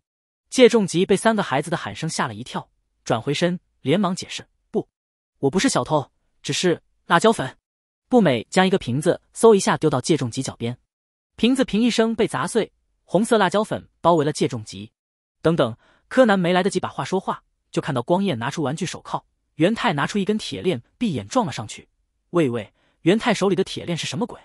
借重吉被辣椒粉呛了一下，下意识的闭上眼，突然感觉后背被狠狠撞了一下，跌倒在地。元太直接跳到借重吉身上坐下，将铁链绑上借重吉的脚，拿出锁锁上。咔嚓，光彦也将借重吉的双手铐住。步美拿出手帕，认真问道：“要不要把他的嘴堵上？”“可以哦。”光彦和元太齐齐点头。追到旁边的柯南一个踉跄，无语问道：“那是不是还要准备一辆车？”把他丢到车上之后，我们赶紧离开。借重吉被辣得一脸眼泪，鼻涕的趴在地上，内心是崩溃的。现在的小孩子这么可怕吗？都已经开始学人抢劫、绑架了。准备车。元太左右看了看，我们没有车啊！我说你们啊！柯南看三个孩子还真的考虑车的事，一头黑线的咆哮。池哥哥让我们准备这些是为了自保，你们又是考虑堵嘴，还考虑什么车子？当这是绑架吗？三个孩子被吼得一愣。元太低声道。可是车子是你提议的，爷。柯南，好气！快快放开我！借重吉被元太和光彦坐在身下，手脚被绑住，铐住，动弹不了。被地上的辣椒粉刺激的眼泪，鼻涕横流。不然少爷就危险了。这个世界怎么了？他为什么要受这种罪？他受罪就算了，要是劫匪生气伤害秋夫少爷，可怎么办？他对不起老爷和秋夫少爷，他有罪。他他不想活了。二十分钟后。木木十三带队伪装成维修水电的人，开着一辆面包车进了燕家的院子。下车后压低帽子，抬着梯子进门。柯南、元太、步美、光彦四个孩子也下了车，跟着介重吉悄悄溜进门。客厅里，大山弥陪燕剑三坐了半天，安慰着燕剑三。见警察进门，转头一看，就看到四个眼熟的小鬼头。咦，啊！柯南四人也认出了大山弥，之前在双塔大楼还见过。大大山叔叔。元太一脸我被你吓一跳的表情，光彦还好，反应没那么夸张，不过也很惊讶。大山叔叔，你怎么会在这儿？那步美左右看，寻找某个熟悉的黑衣人。木木十三疑惑看了看两方人，你们认识？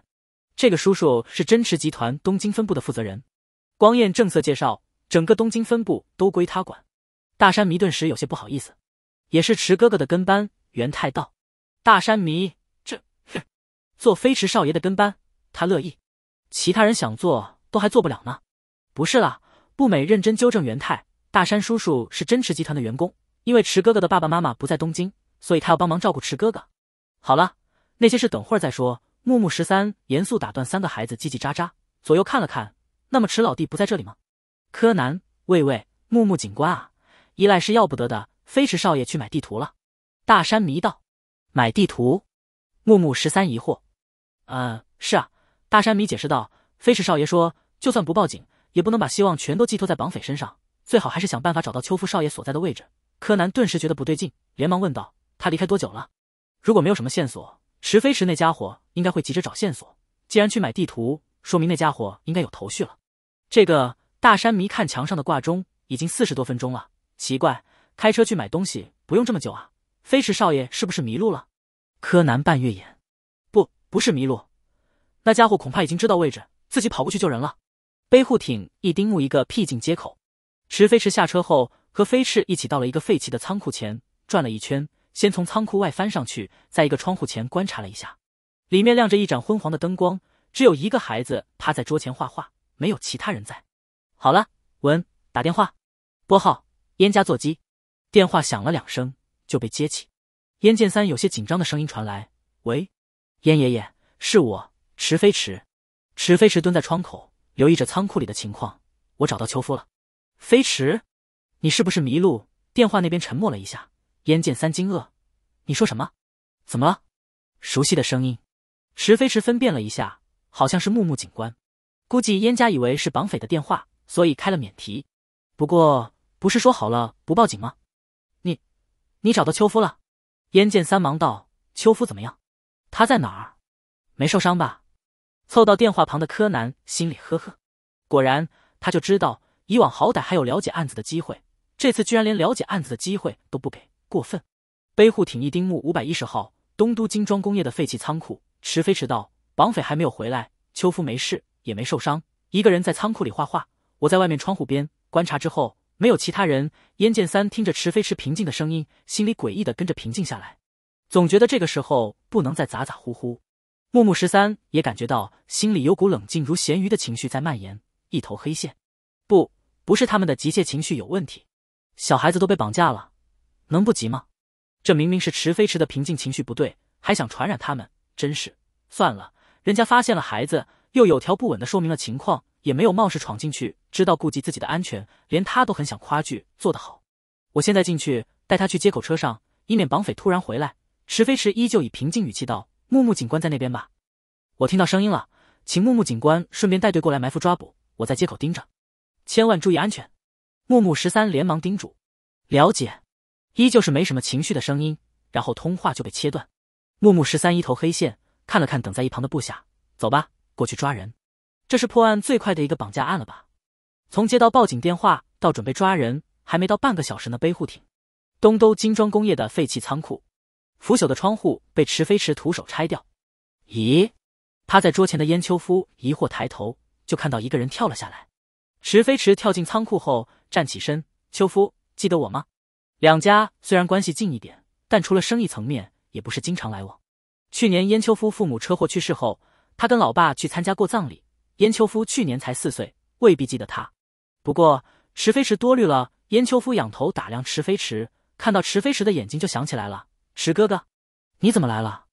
你爷爷叫你回家吃饭。池飞驰走上前，背在身后的右手将沾了麻醉药的手帕塞回口袋，走上前。如果燕秋夫没认出他，哭闹不肯走，他就先将人放倒，尽快带离这里，没毛病。我爷爷。燕秋夫站起身，摸了摸肚子，可是秋夫还不饿。你爷爷一直等你回去吃饭。池飞驰走到燕秋夫身前，将人抱起，他早饭还没吃。啊！燕秋夫担忧道：“那可不行。”他身体不好，老师说过一定要按时吃饭，身体才会好。我带你回去，你把老师说的话告诉他。池飞驰低声说着，抱着燕秋夫到窗户前，一手抱孩子，一手抓窗框，翻了出去。我会告诉他的。燕秋夫回头看着窗户，迟疑道：“可是我答应小丑叔叔要在这里等他回来的，那让你爷爷过来这边吃饭怎么样？”我已经打过电话给他了。池飞驰听飞驰说附近没人，抱着燕秋夫往巷口走去。他说想带人跟小丑叔叔玩捉迷藏，我们去巷口车上等他们。嗯，燕秋夫笑着点头。半个多小时后，绑匪还没回来，警方先到了。两辆车刚在街口停稳，燕剑三就迫不及待的打开车门下车。池飞驰也开了车门，把燕秋夫送下去。秋夫，燕剑三跑到近前蹲下，抱住燕秋夫，一时间老泪纵横。你没事真是太好了，爷爷，我没事啊。小丑叔叔还陪我打电玩。燕秋夫高兴说了一句，幼稚声道：“听池哥哥说，你没有吃早饭。老师说，按时吃饭身体才会好。你以后一定要按时吃饭，不可以再这样了。不过也是我不好，我玩的太高兴，忘记了回家吃饭的时间。燕剑三擦着眼泪，是是，以后爷爷一定按时吃饭，秋夫也要按时回家。木木十三上前，池老弟，绑匪人呢？还没回来。池飞驰拉开后座的车门，燕爷爷先上车吧，别让绑匪跑了。好。燕剑三牵着燕秋夫的手上了大山迷的车。木木十三立刻转身安排埋伏抓捕，两队守在外面，一队去仓库里。临离开前，还把柯南那四个小鬼头也丢上车。池老弟，孩子们就交给你了，你带他们先离开这里。为什么啊？元太不甘心道：“我们也想看看警察是怎么抓绑匪的。”是啊，光彦点头：“我们不会捣乱的。”不美道：“不行。”木木十三一头黑线的拒绝。秋夫也想看大家和小丑叔叔玩捉迷藏。燕秋夫道：“啊！”木木十三有点懵：“捉迷藏？”燕秋夫看向上了驾驶座的池飞驰，认真道。池哥哥说：“跟爷爷过来的人想跟小丑叔叔玩捉迷藏。如果小丑叔叔先进去，就是其他叔叔去找他；如果其他叔叔先进去，那就是小丑叔叔去找他们。秋夫不可以提示，只要静静坐在车上看就行了。”柯南干笑：“池飞驰这家伙哄小孩子还真有一套。不行，木木十三一头黑线。总之，你们看一会儿也行，大家都不会出声的。”池飞驰道：“对了，木木警官，如果他跑出来了，我能不能直接开车撞？”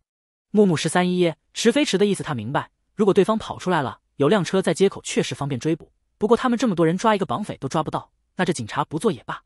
太看不起他们了。还有，能不能直接开车撞又是什么鬼？不能，堵住他就行了。木木十三黑着脸，转身往巷子走，压了压帽子。不过池老弟，你应该没这个机会了，你也要相信我们警方才对啊。抱歉，我没那个意思，是我考虑过多。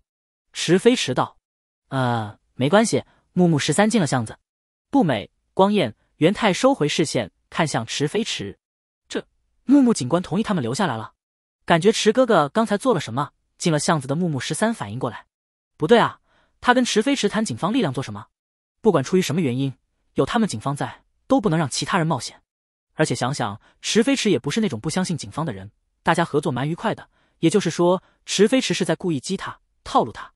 木木十三刚想转头去让池飞驰赶紧开车走人。不过想到绑匪随时会回来，惊动了对方，说不定真就让人跑了，只能默默进了仓库。哼，过分！巷子口，池飞驰将车往后挪了一点，低声道：“记得别出声，等会儿趴下去。”柯南占了副驾驶座，反正没有某只灰原，副驾驶座就是他的。一群孩子齐刷刷点头。嘘，柯南回头看了看神经兮兮的一群孩子，探过身子凑近池飞驰，低声问道：“你那么激木木警官，让大家留下来，真的好吗？”绑匪有车，池飞驰低声回道。柯南一愣，刚想问什么，就被打断。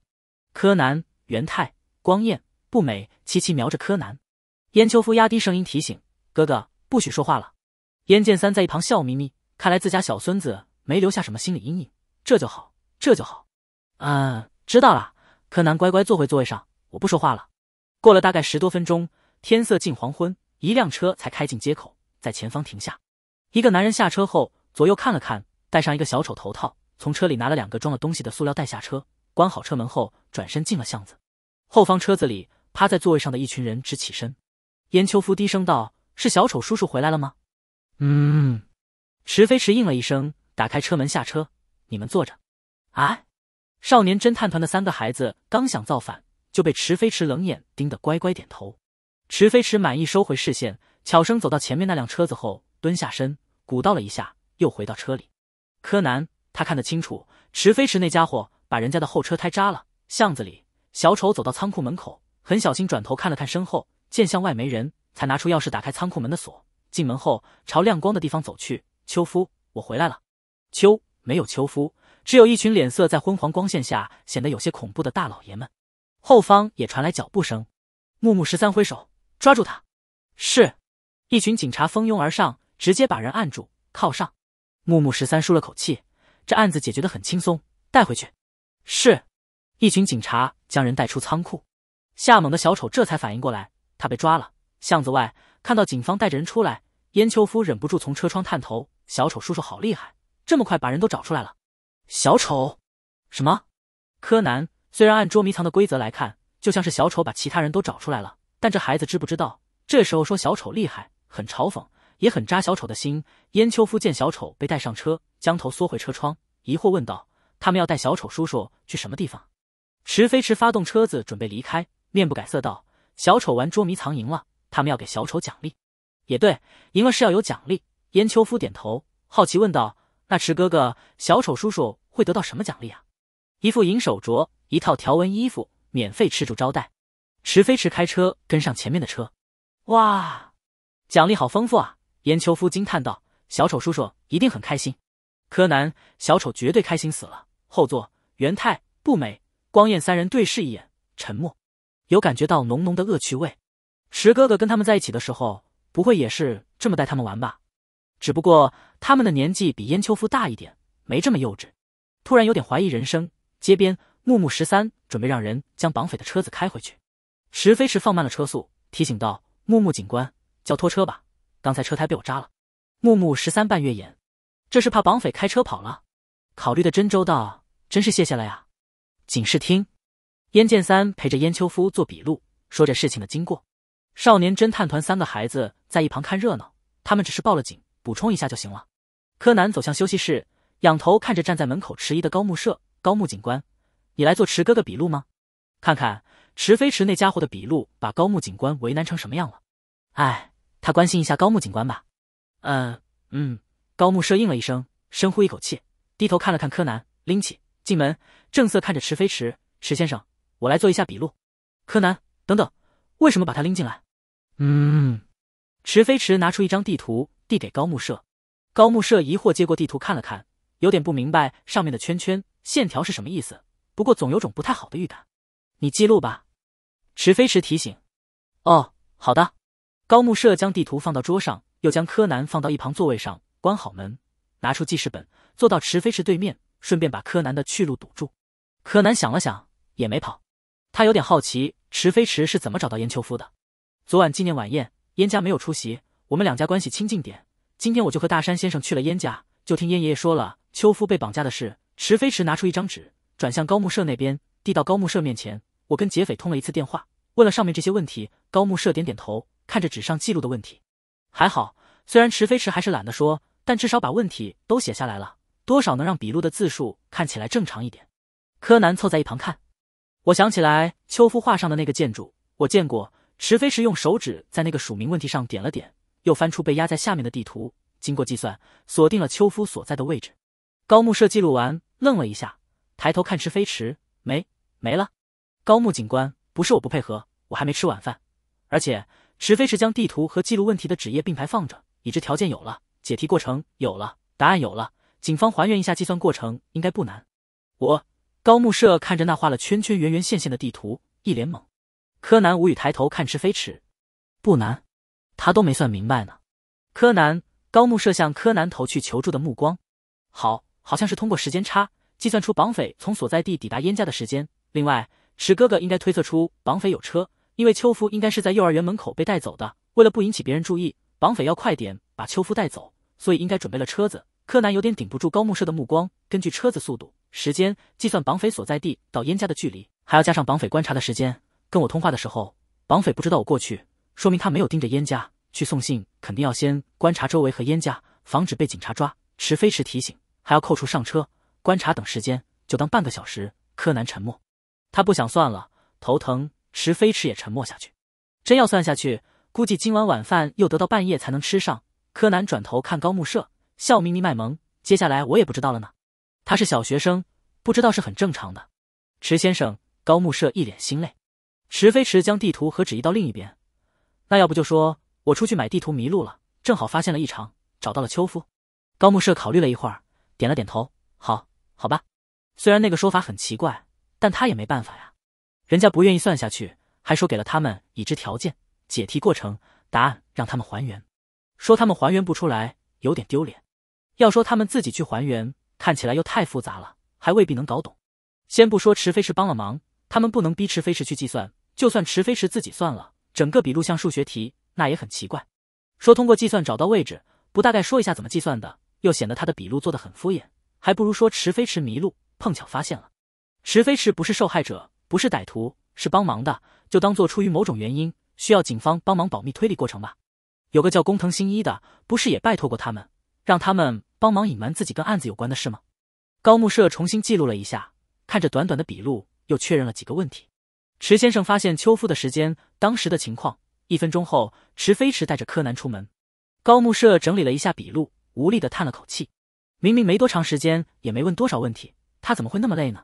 外面，燕秋夫的笔录还没做完，不过小孩子吵着要吃饭，做笔录的白鸟人三郎就加快了一点速度，确认了几个重要的关键。燕剑三提出一起去吃饭，顺便也邀请了警视厅的警察，在被拒绝后，帮忙在另一个饭店安排了几桌，自己则和池飞驰、大山迷带一群孩子一起出了警视厅。池飞驰打电话给灰原哀：“小哀，吃过晚饭了吗？要不要叫上博士出来吃一点？柯南他们现在和我在一起，我们都准备睡觉了，你们还没吃饭吗？”灰原哀突然了然：“你们又碰到什么事件了吧？”“算是，我就知道我和博士就不过去了。你们去吃吧。那你明天要不要过来吃饭？明天再说。好。”等池飞驰挂了电话，燕剑三走上前，诚恳道谢：“飞驰，这次真是谢谢你了，真不知道该怎么感谢你才好。”可以送我点鱼，池飞驰道。燕剑三一愣，鱼？之前看到我的宠物，我才想起在哪里见过那个信号塔的。池飞驰把飞驰拎出来，名义他可以站，但奖励要给飞翅争取。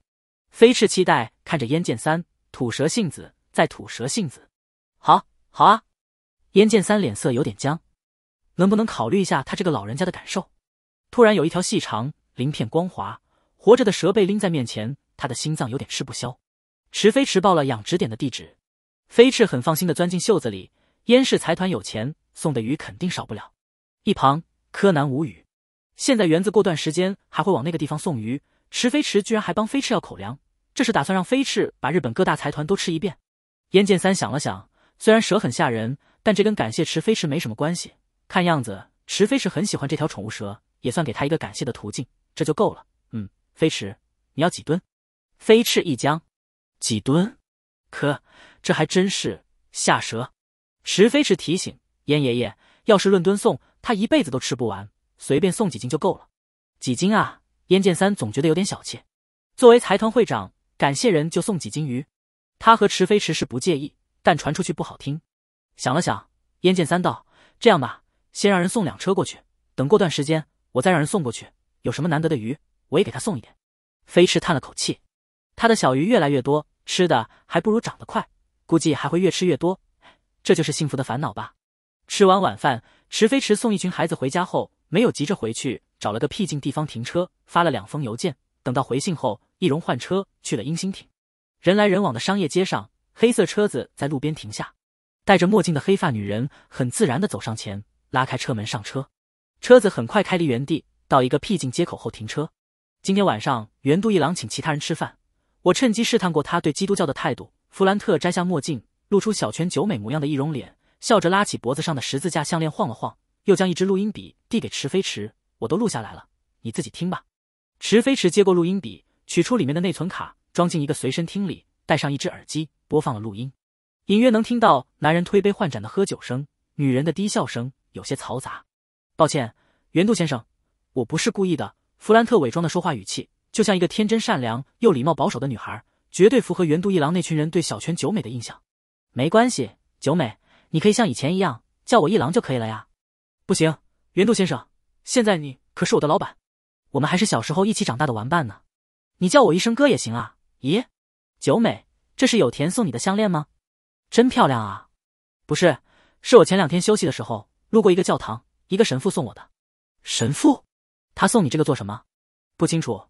那是个很和善的老人，他说将会有黑暗降临，希望真主能保佑我。噗，九美，你相信这个呀？我也不知道，你呢？元度哥，你是基督教徒吗？我，我可不是。那你觉得基督教怎么样？好像都是些温和又有礼貌的人呢。那个教父不会拉你入教吧？是啊，所以我想问问你怎么样？我以前不太了解这些。元度哥跟美国人有生意往来，应该了解一些吧？基督教徒是不是都很好相处啊？我想想该怎么说呢？相处起来是还好，不过有时候也没有表面上看起来那么好了。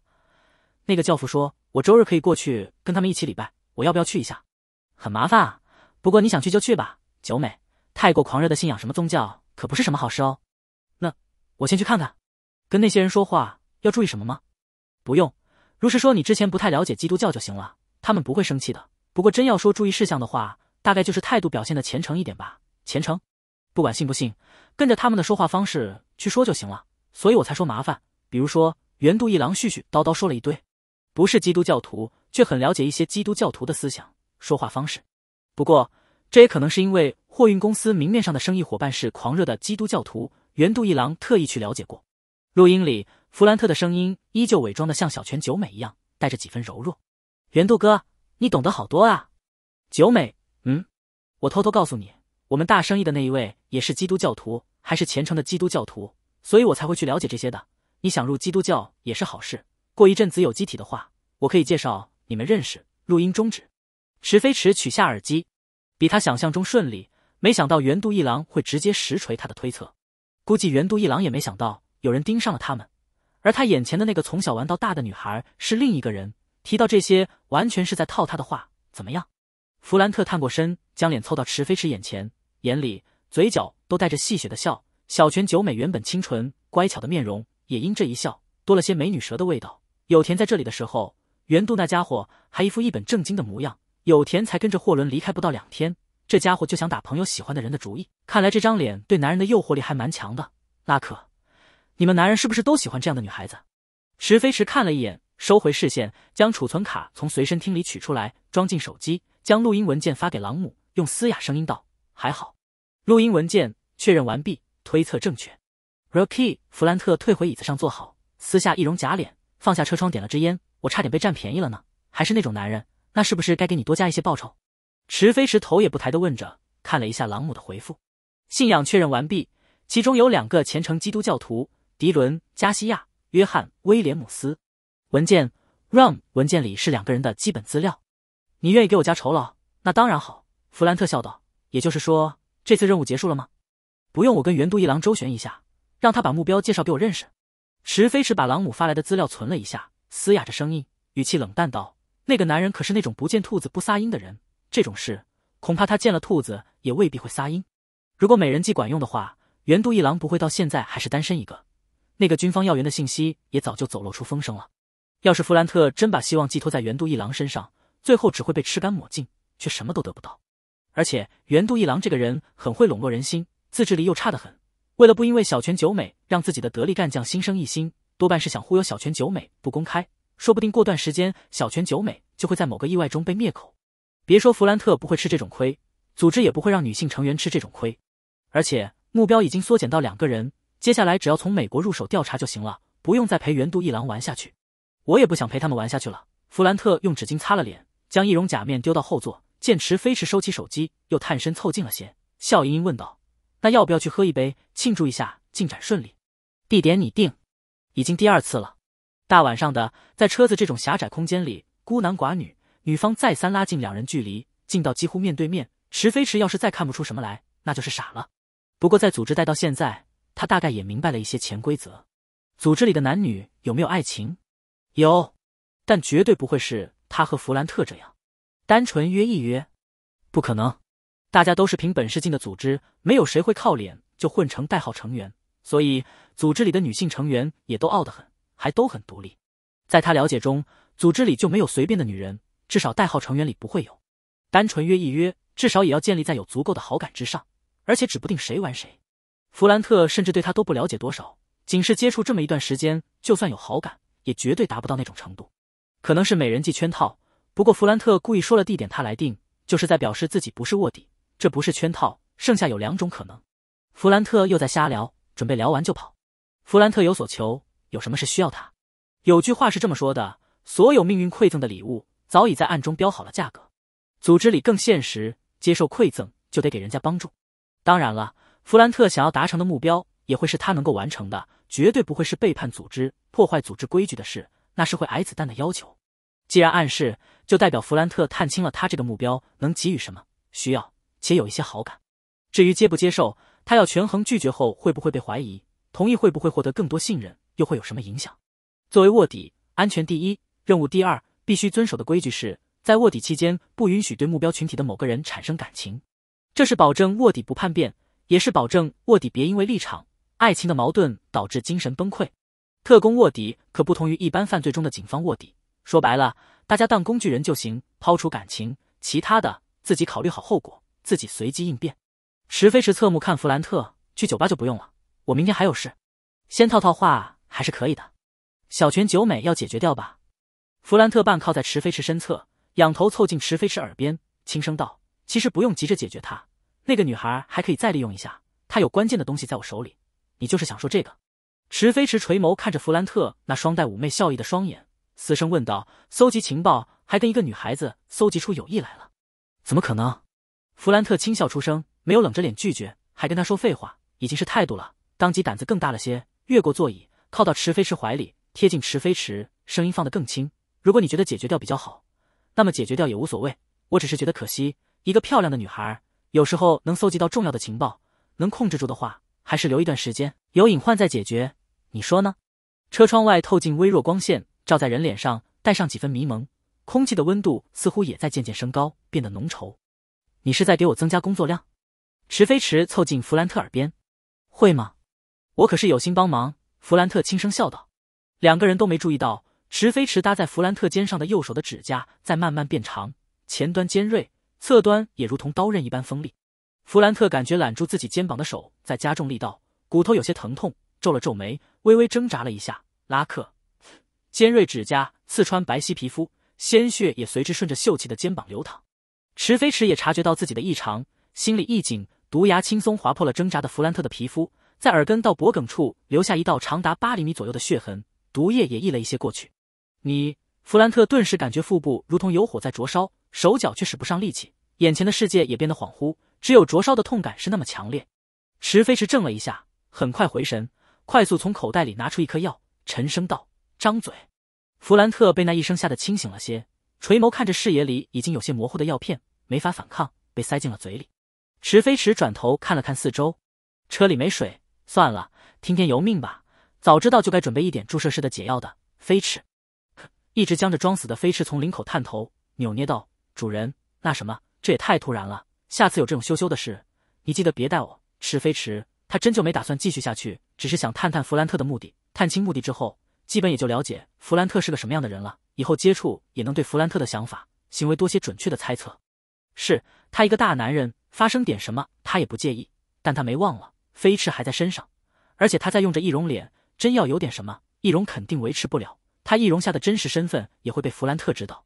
弗兰特接下来必然会被严密监视，确认是不是卧底，有没有泄露他身份的可能。有危险就会被铲除掉。没危险的话，经过这次确认，再加上能力也不差，还真有可能接触到一些以前接触不到的事。不过对于他而言，因为这种事暴露身份，只会在那一位那里减印象分。适当暴露一些虚假的小缺点可以，但要是让那一位觉得他会因为欲望而罔顾自身安全和保密制度，那一位考虑他的年纪，心里或许会表示理解，但那也不是小缺点了。原本他能接触到的事，可能也会因为这个缺点，因为那一位不放心而错过接触的机会。权衡之后。今晚他也不能接受这份馈赠，暗中标注的代价太大了，接受不起。该有自制力的时候就得有自制力。前世他不是没见过女人，相反，见得太多，碰得太多了。有为了感情在一起的，有为了需求在一起的，也有互相利用而在一起的。一时冲动，他一直觉得有感情基础才值得冲动，而他跟弗兰特的感情还真没到他管制不住自己的地步。飞翅持续扭捏，我刚才都不知道该提醒你一下，我还在，还是不该动，以免吓到你们。哎很为难的，看看他的体温。池飞驰打断飞翅，没急着解释，探了弗兰特的呼吸，又伸手试了脉搏，有点微弱，不过还好，没死。体温很低，比正常人低得多。内脏、心脏和大脑处温度不算太低，应该没受什么损伤。飞驰看了看昏迷过去的弗兰特，又看了看池飞驰脸侧弗兰特身上的血，纠结了一会儿，觉得还是要告诉一下自家主人。可主人，那什么，这个时候不应该咬人家，会死掉的。嗯。反正你这样不对。池飞驰一头黑线，将手抬起来，让飞驰看到手掌上将近五厘米长的尖锐利爪。我被吓到了，他真不是故意下毒的，这个要解释清楚。飞驰呆了呆，主人，你又长奇怪的东西了呀？嗯。池飞驰将弗兰特扶起，放到副驾驶座上，准备先开车离开这里。虽然池飞驰已经尽量避开指甲，但还是在弗兰特手臂、腰后留下几道血痕。而且池飞驰瞥见弗兰特肩膀衣服下的一抹青紫。让弗兰特的头靠到车窗上后，拉下弗兰特肩膀上的衣服，看了一眼，又默默拉上去。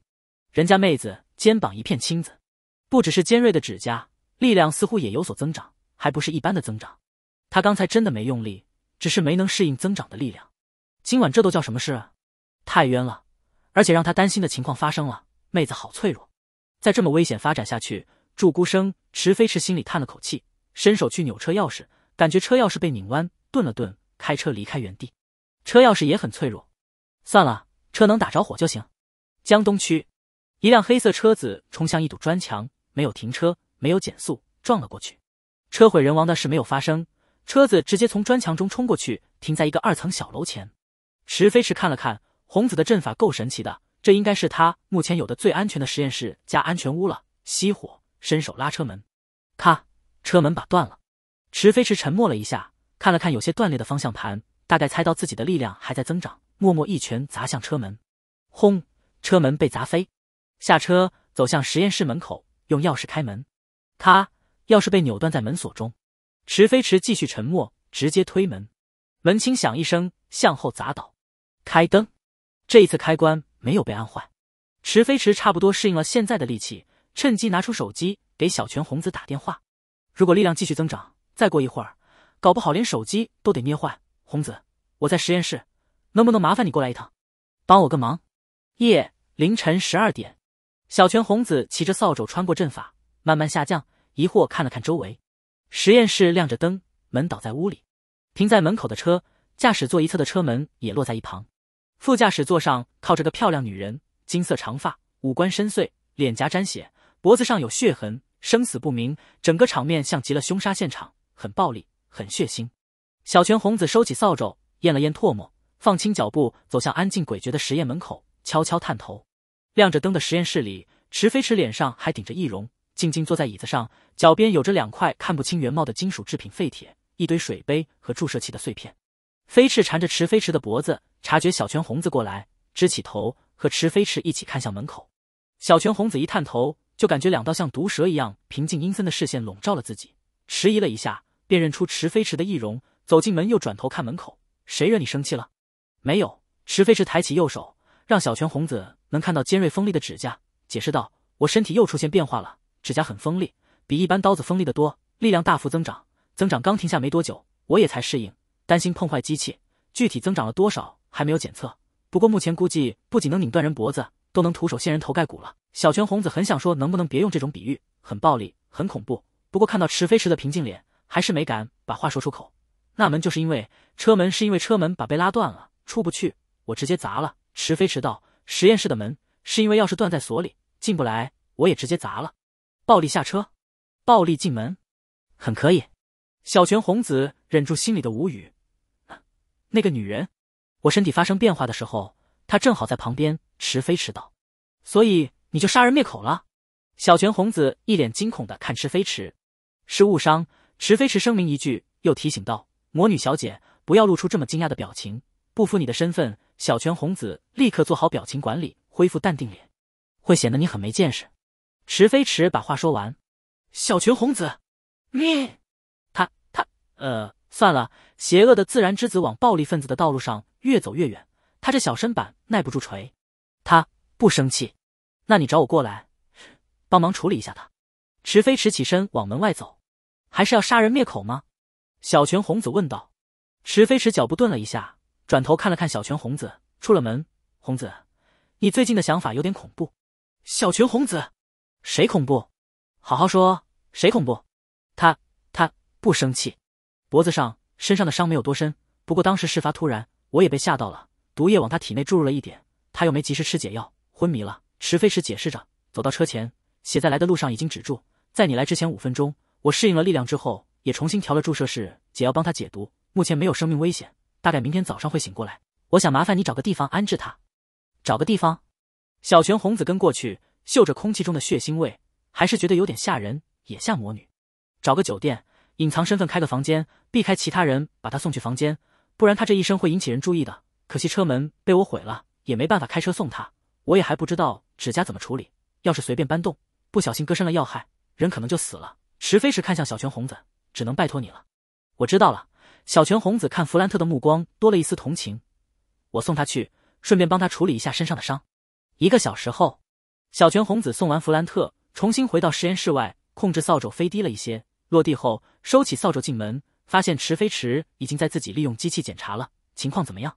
这个变化应该来自于熊。池飞池从机器前转身到休息处的桌上倒了两杯茶，具体变化原因不明。现在晚了，天亮我再去确认。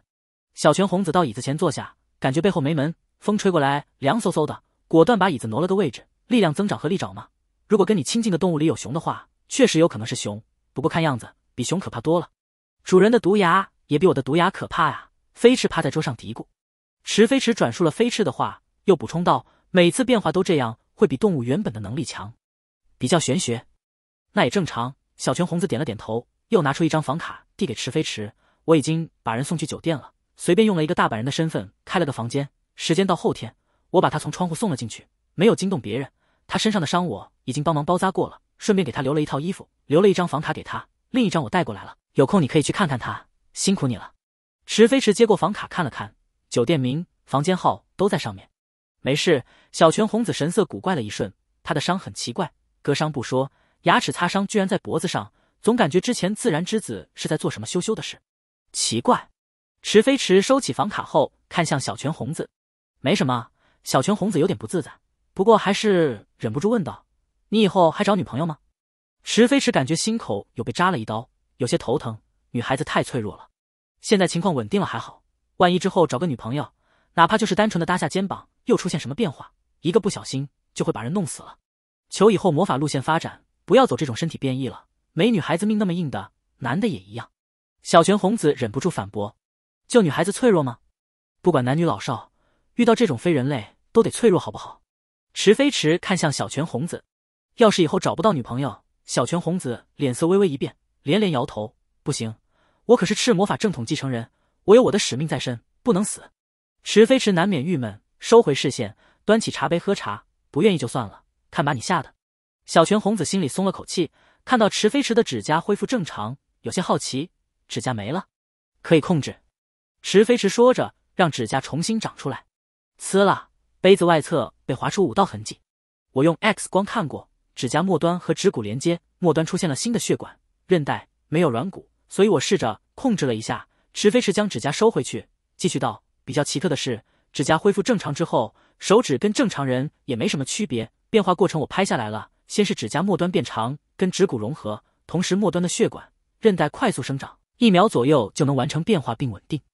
科学研究玄学还是有用的，虽然解释不清这种变化，但至少能看清骨头、韧带、血管的变化过程，让他能快一点掌握这种变化。他用了十多分钟才让指甲收放自如，灵活控制。”但要是看不到变化过程，估计至少得一个多小时。要是一直摸索不到关键，要花上一两天时间去练习都有可能。还有一个好消息，之前的毒牙变化，磕到毒牙，心情激动都有可能控制不好，导致毒液渗出。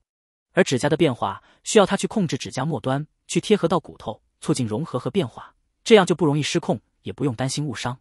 也可以说，毒液算是半个被动技能，遇到某种特殊情况就可能会触发。而指甲则完全是主动技能，有没有检测过你的指甲是什么材质？小泉红子好奇问道。跟正常人的指甲也没什么不一样，没有变成别的颜色，但太锋利了。有没有金属成分？金属有光泽，具有富有延展性，容易导电、导热等特质。不过指甲完全没有类似的特性，当然也可能是其中蕴藏的金属成分少，所以一些特性没能检测出来。迟飞迟到，目前我也没办法确定材质。原本想抹点粉末下来看看。不过没能成功，墨头都磨平了，都没能磨下来。小泉红子居然还打算抹点粉末检测，这种研究精神他服。我还检测过耐腐蚀性、抗腐蚀性很高，指甲触碰到腐蚀性试剂一点痕迹都没有。另外高温我也试过，同样没有留下什么痕迹。迟飞迟到，如果我死之前把指甲转变成利爪状态，等我化成灰之后，指甲大概也能一直保存下去。小泉红子死了化成灰，又是一个古怪的比喻，当然。也可能在我死的一瞬间，指甲就恢复原样了。池飞驰补充：“那就没法研究下去了。”小泉红子总结一句，又问道：“那力量的增长呢？”他和池飞驰没个固定的研究课题，有的事也研究不清楚，只是尽量收集信息，希望能总结出一点规矩。需要研究不下去的，就先丢一边去。之前在研究指甲，我只拍了个片，手臂肌肉和骨骼看起来没什么异常。池飞驰顿了顿，也不算没有异常，左右手臂的肌肉。骨骼变得完全一致了。小泉红子思索了一下，也就是说，左右手的力量也变得一样了。池飞驰点头，我试过，左右手力量灵活度完全一致，练习一下就不存在惯用手的问题了。人的左右手力量、灵活程度不可能一致，不过三无外挂直接让他的左右手完全一致了。要是我也能这样的话，就可以左右手同时画阵法了。小泉红子左手和右手同时悬空画了个符号，遗憾叹气，不行，左手画出来的还是有点不对。那具体增长了多少力量？我的力量增长只在双手，腿部力量并没有增长，而且实验室里的力量测试机器不够专业，具体增长数值无法确定。迟飞迟道，小泉红子低头看地上被捏得看不清原样的金属制品，有些无语。一般机器也很难检测出来吧？嗯，那个先不管，我再练习一下控制。池飞时右手微微用力，手里的杯子碎了，不太好控制。接下来的时间，小泉红子去换了消毒的白大褂，像模像样的按流程给池飞驰采血，带着两管血去研究。池飞池就待在休息处，拿各种东西适应力量的增长。如果不是原先有过锻炼经验，突然力量增长，要适应也得需要很久。而且他还不能保证跟人接触时不伤到人。十分的力气要用出一分很容易，但十分的力气突然变成一百分，要用出一分就困难的多了。一直到早上七点多，小泉红子才离开机器前，转头看了一下挂钟，打了个哈欠，去打印报告，顺手将剩下的一管血放进冷藏箱。都七点多了。有东西研究，时间过得还真快。你适应的怎么样了？差不多了。池飞驰站起身，坐了一整晚，他的骨头也有点发僵，还需要熟悉。熟悉？不是已经适应了吗？小泉红子疑惑。有意控制的情况下是不会出什么问题了。池飞驰平静解释。不过心情激动起来就不好说了，需要一段时间熟悉，等不需要刻意控制也能用出合适的力道的时候，才算没有隐患。小泉红子见报告打印好，整理一下收到抽屉里。突然发现大家都不容易，像自然之子这种躺着就能获得力量的怪胎，也需要时间去掌控增长的力量。那么毒液怎么办？要是你激动，还是会渗出来吧。我找时间再熟悉一下，不行的话，想办法用外力控制一下。池飞驰伸手去拎飞翅，不用。飞翅没等池飞驰的手指碰到自己，快速嗖一下钻进池飞驰的袖子。主人，我自己来。看到那一根根被池飞驰轻松捏扁的铁管，他觉得自己可不比铁管耐捏。最近还是避开主人的手比较安全。池飞驰也没说什么，飞翅避一避也好。要是不小心把飞翅捏死了，可这种情况不能有。那我也帮不了什么忙了。小泉红子将白大褂脱下，放到椅子上。我要回去睡觉了。你呢？要不要先去看看他？去看看。然后我要去确认一下变化的原因。池飞驰出门，变化应该是熊，不过不确定是因为石兵卫小熊，还是因为团子。确认，搜集这些信息。也能帮他了解三无外挂的特点。没个说明书真是太难了。你不睡觉吗？不睡了，今天有不少事。嗯，那我睡醒过来把门换了。你的车怎么办？我会开出去让人处理。半个多小时后，英曲严南开车飙到江东区，在一个码头前看到池飞驰后停了车。池飞驰已经重新易了容，之前的易容脸上有血迹，等会儿又要去找弗兰特，他干脆重新把那张雀斑欧洲青年脸重新易容了一遍。英曲严南戴上墨镜，稍微挡了挡容貌，打开车门下车，将带来的面包递给池飞驰。老板，早啊！早。池飞驰打了个招呼，接过面包后，带头往一个仓库走。日本的早餐几乎是由家里的女性准备，就算家里没女性，也都是在家随便吃点，很少有人会出去吃。除了一些招待外宾的酒店供应早餐，外面几乎没什么早餐店，他都懒得去找了。到了仓库，英曲严南一眼就看到没了一道车门的车，走近之后。才看清座位上已经干涸的血迹，血。嗯，池飞驰撕开面包袋，低头吃面包。东西带来了吧？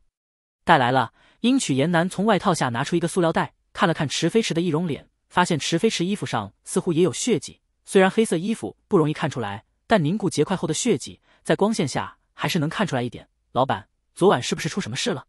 没事。池飞驰冷漠脸。昨晚那破事真的说不出口。英曲严南没再问下去。将塑料袋里的三个炸弹分别安置好，保证能引爆车子，销毁车内的痕迹后，又将车牌拆了下来。好了，走吧。池飞驰也把面包吃的差不多了，把塑料袋丢进车子里，送我去个地方。车子里面有弗兰特的血迹、头发，还没了一道车门，丢给别人清理维修太麻烦。而英曲严南就算能修，也不值得把时间耗费在这种事情上。反正这辆车不算贵，不如直接炸了，然后再找组织再申请一辆同款。两人离开后，炸弹引爆。炸毁车子，路上池飞驰找了家开门的店，买了套自己换的衣服。等到了酒店，打发英曲严南去买东西。等乌鸦盯好外面后，上了十九楼，拿出房卡，开门进屋。房间里的窗帘拉着，一道光线从窗帘缝隙里透进来，隐约能听到轻微的呼吸声。池飞驰没开灯，去房间看了看，见弗兰特还没醒，转身去浴室洗澡。现在还早，别指望能跟组织那些夜猫子商量行动计划。昨晚这个锅估计甩不掉，还是先清理一下他身上的血迹比较好。在听到水声时，弗兰特惊醒，猛然睁开眼，下意识要起身坐起，却发现自己手脚乏力，肩膀、后腰、手臂、脖子阵阵刺痛，浑身骨头像是被粉碎了一样，动一下都很艰难。昨晚的点点滴滴浮现脑海中，暧昧的氛围，握住右肩突然加重的力道，肩膀上突然被冰冷利刃划伤的疼痛，脖子上流出的温热又很快冰冷的血液渐渐充斥空气中的血腥味。接下来，这一切很快在疑似中毒的症状中模糊，视线模糊，手脚沉重，心跳在灼烧感变得缓慢。他能清楚的感觉到生命在一点点流逝，世界也在一点点将他剥离出去。印象最深刻的是那张脸颊长着小雀斑、轮廓明朗的年轻脸，依旧冰冷嘶哑的声音像是命令，让他把一颗不明药片吃下去。之后发生了什么，全然没有记忆，只是昨夜迷迷糊糊中，他好像又回到了童年那个阳光温暖的下午。漂亮的母亲在院子里收拾东西，迷蒙的阳光在母亲身上镀上了一层柔和的明亮。停在花上的蝴蝶被惊动了，飞向院角。他看到了自己伸出的手，那只手还很小，很柔嫩，直直指向飞着的蝴蝶。有着胖胖的大肚子的父亲追了过去，踢坏了母亲的盆栽，也没能追上那只蝴蝶，歉意的朝母亲扮了鬼脸，然后回来抱起她安慰着，说着说着又眉飞色舞起来。然后光线一点点暗淡下去。他父亲整洁崭新的衣服渐渐变得老旧，他母亲打理的干净齐整的头发变得油腻散乱，不得不把一头长发剪短。父亲瘦了，没了大肚子，脸也小了一圈，眼眶常常带着黑眼圈凹陷着，以往写满欢快情绪的蓝色眼睛也透着焦虑、苦恼。他没再笑过。母亲胖了，原本纤细有致的身材变得臃肿，漂亮的手也慢慢粗糙，短发下的脸被晒得跟手一样粗糙。他也没再笑过。漂亮的院子没了，变成一个狭窄逼仄的房子。还不会走路的小弟弟趴着，啊呀啊呀的说着话，圆圆的小脸蛋特别好看，跟他一样的蓝色眼睛，就像世界上最干净的宝石。他讨厌外面那些家伙，半夜打斗，谩骂的声音常常会把他的小弟弟吓醒。每次出门，总会听到一些恶心的言论。贫穷真可怕呀！他能改变一切，他让他父亲为了生存丢下了他们，为了前去得罪那些恶棍。他能让他母亲饱受欺辱，疯疯癫癫的带着他和他弟弟跳入河中。弱小也很可怕。面对恶心的调侃言论，他只能低着头快速走过；面对被外面动静吓得哭闹的弟弟，他只能小心翼翼的哄着，害怕那些人闯进那个没有大人在的小屋里；面对溺水时临死的困境，他只能任由母亲将他拖拽下去。弟弟不再哭闹，他依旧睁着无辜的大眼睛，可爱的脸在河水中发僵。他挣扎着爬回岸上时，抬头看到那个街区里讨厌张扬的男女们在悠然看戏，在戏谑嘲笑。那一天，他以为自己新生了，但冲上去。还是被一脚踢倒在地，那怎么办呢？忍下去，离开那里，让自己变得强一点，更强一点。等他回去的时候，绝对能将利刃捅进讨厌的家伙的心脏。那一走就是八年，生活很辛苦，讨厌的贫穷如影随形。一直到二十二岁那年，他加入了组织，他才发现原来他也不算弱小，他可以用脑子赚很多很多钱，可以过上好生活，也能慢慢将那群讨厌的家伙通通送进地狱。咔嗒。浴室门打开，弗兰特的心骤然一紧。他不惧怕死亡，但他惧怕组织。跟他记忆中强大的那群家伙不同，组织里的人不会说恶心言论，他们张扬都带着足够的底气。他们大多有着一般人所没有的能力，却也有着更加狠毒的心肠。让他明白，以前强大的那群家伙只是恶心，根本称不上强大。他不再把曾经的强大放在眼里，却永远无法对组织升起一丝反抗的心理。那是一个真正强大的存在，里面是一群疯子。拉克更是个疯子。昨晚记忆里那张脸上垂眸的专注神情，竟然透着些许温柔和歉意，就像在拯救他一样，扭曲的令人毛骨悚然。池飞驰洗完澡，重新易了容，出洗手间后，用嘶哑声音道：“衣服在床边。”弗兰特收回心神，缓了缓情绪，不想动，浑身都疼。我想躺着。池飞驰也没说什么，到外面客厅坐下，拿出手机给那一位发邮件：“日本针对原度一郎的调查结束。” Rookie 让弗兰特先过去美国配合调查，他对波士顿有一些了解。他被我弄伤了，这次行动没法参与。Rookie 那一位弄伤了，又一个，这小子是来灭自己组织的吧？算了，好歹是调查完成之后再下手，没影响任务。弗兰特也早就被当成可以舍弃的验证物。自己处理好后续。OK，我打算提前去美国。那个研发出人工智能的泽田红树，我有途径接触。Rookie 池飞驰没有隐瞒要泽田红树的事，他要用明面身份过去，这是瞒不了。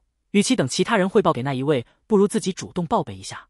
那个军方要员的情报调查交给朗姆，你负责行动。另外，尽量收集泽田红树的情报，注意方式不要惊动泽田红树和其他人。明白。Rocky 等了片刻，秦九的电话打过来。弗兰特怎么了？秦九问的直接。受了点伤。池飞驰没有细说。秦九打电话问这个。他也不意外，组织安全、成员安全都由秦九负责，弗兰特的安全情况自然也在内。估计是那一位让秦九配合他安排弗兰特，人家才完成了一个重要任务，没出什么纰漏。这个时候总不能丢着不管。情况怎么样？他大概需要休养一段时间，暂时活动困难。我们这边安全。你那边有没有合适地方？有，不过我的车里留了血迹，我让人炸了，帮忙送一辆黑色捷路驰 Zealous 过来，车牌我留下了。行，我让人送过去。具体位置呢？江东区梦岛酒店，一个小时。要是会留在车上，你自己确认安全。嗯。挂断电话，池飞驰继续发邮件，给英曲岩南发，给在东京的乌鸦发，给在美国的飞沫发，给在美国的绿川沙西发，给在英国的安德卜格发，给朗姆发。邮件来往发的飞起。大概半个小时后，门铃被按响，片刻后又被接连按响两次，池飞驰这才起身开门。门外。英曲岩南穿了酒店工作人员的工作服，帽子压得很低，将餐车推进门，确认监控室的位置。半个小时后，清理监控录像，切断监控电源。池飞驰接过餐车，英曲岩南点了点头，转身出门。池飞驰锁上门，转身去了房间。感觉怎么样？弗兰特伸手摸了摸脖子上的绷带，声音有些虚弱。好一些了。出来吃饭。嗯，拉克，要换地方吗？你想住酒店也可以，目前还安全。算了，换个地方吧。两人若无其事的吃了饭，等英曲岩南清理了监控录像，切断监控电源后，才出了门。弗兰特转身看了看，到处是他的指纹、头发，想清理也清理不了。好在这也不是什么犯罪行动，留下痕迹也没什么。看了看池飞驰手掌上明显有着薄膜的细微反光，轻声失笑：“拉克，你还真够小心的。要不要清理一下头发？”不需要。池飞驰抱起弗兰特，这妹子都虚成这样了，还有心情笑。弗兰特僵了一下，没挣扎。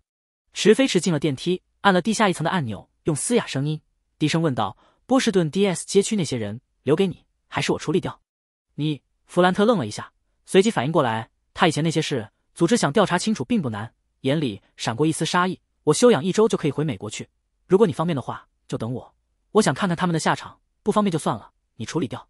你掌握的关于小泉久美的情报，等会儿发给我。池飞迟道：“还有那些人的名单。”好，弗兰特轻应了一声，心里松了口气。D.S 街区那群讨厌的家伙终于可以铲除掉了。他可以在搜集情报时利用组织去清理那些人。不过他担心组织调查过他以前的经历，看穿了他的小心思。现在看来，谨慎一点果然没错。之前拉克问留着还是他处理，是问他昨晚所作所为到底要求什么，也是表明提条件，以后不再有感情牵扯。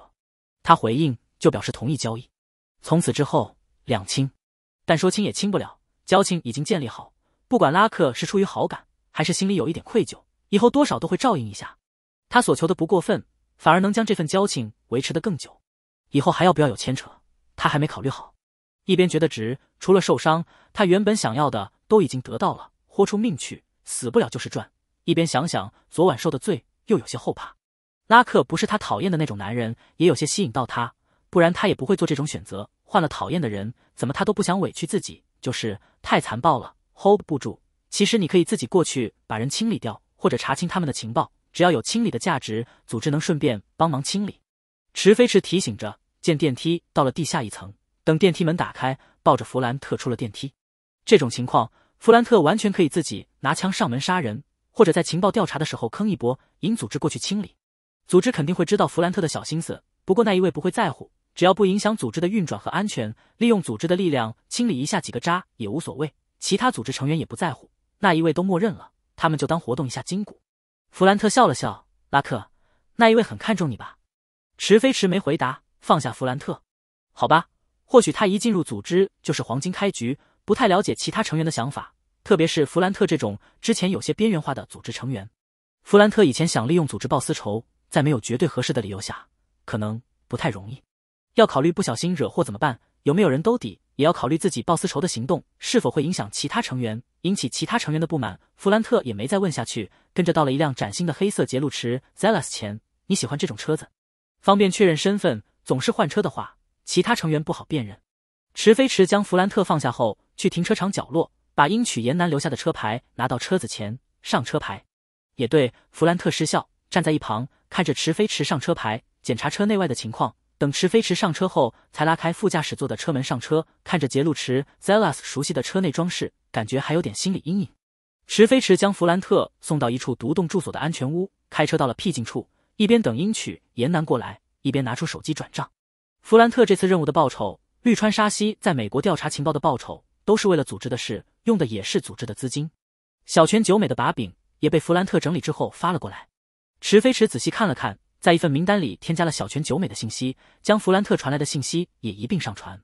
一辆白色车子在前方停下，英曲严南戴着墨镜，拎着两个袋子下车走来，将袋子放进后备箱，上了车。池飞驰找英曲严南过来，是让英曲严南帮忙换着开车的。先要去关押小泉久美的森林，再转到去黑熊石兵卫在的森林，之后还要转回东京。他昨晚一夜没睡。一个人开那么久的车不安全。森林深处依旧是那个破旧的小木屋。你在车上等我。池飞驰交代一声，下车敲门。穿黑西服、戴墨镜的男人开门，看到池飞驰那张欧洲易容脸后，收好枪，让开路。拉克，人在里面，没出什么意外。池飞驰进屋，等男人打开一道上锁的门后，伸手推开门。小泉久美抱着膝盖坐在墙角，听到有人进门，抬起头看向门口，眼里没什么神采。又很快低下头去，那张脸他不陌生，仅是帮弗兰特易容那么多次，就足以他记住了。不过真正的小泉久美精神状态可没那么好，比虚弱状态的弗兰特还要差一些。池飞驰转头看身后的两个男人，用嘶哑声音问道：“他最近都这样？”这些家伙虽然是外围成员，但都是聪明人，自然明白一个规矩：组织指定关押的人不能乱来，等命令可以杀，不可辱。谁知道关押的是什么人，以后会是什么样？为了以后不被送上断头台。这些人不敢乱来。两个男人对视一眼。大概两周前，他恳求我们放他出去，或者让他出去走走。我们当然不可能答应他。最近一周就一直是这样。池飞驰上前在小泉久美身前蹲下，伸手抬起小泉久美的下巴，让小泉久美看着自己。想出去吗？算了算时间，这次关押时间确实够久，大概是被关的有些崩溃了吧。小泉久美眼里的身材亮了亮，拼命点头。对方嘶哑难听的声音，此刻在他耳朵里像是天籁。还好。这姑娘没被关傻了。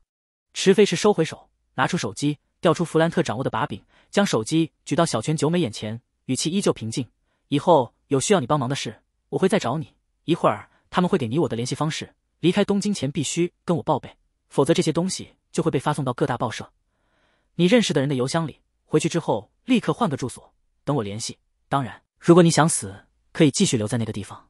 明白了吗？”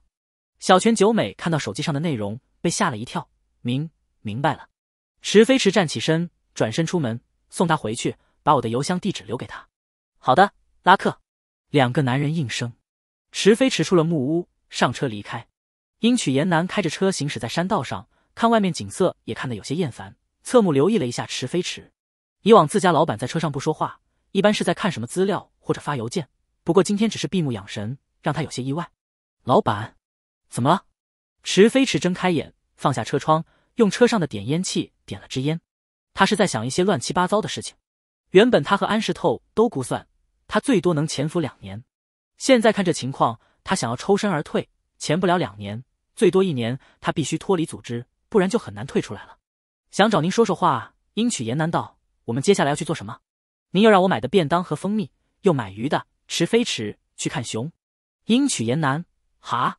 太阳渐渐偏西，往山后落去。一辆车停在森林边，两个人拎着袋子下车，一路往森林深处走。英曲严南拿出手电筒，打开开关，照了照有些昏暗的树林深处。刚想转头跟池飞驰说话，就看到自家老板衣领处冒出一条蛇，嗖一下窜向丛林。老板还随身带蛇呀？呃，不对，现在的问题是，老板，你的蛇跑了。手电筒光柱再度照向丛林，一只高大的黑熊人立站着，身形壮硕，瞎了一只眼睛，看起来很凶很残暴。旁边还有一只小一些的黑熊，看起来憨厚一些，不过那锋利的爪子和张开的嘴里的牙齿也让人不敢轻视。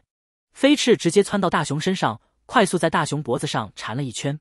大熊哼哧哼哧嗅了嗅飞翅的气息，迈着大步子朝两个人走去。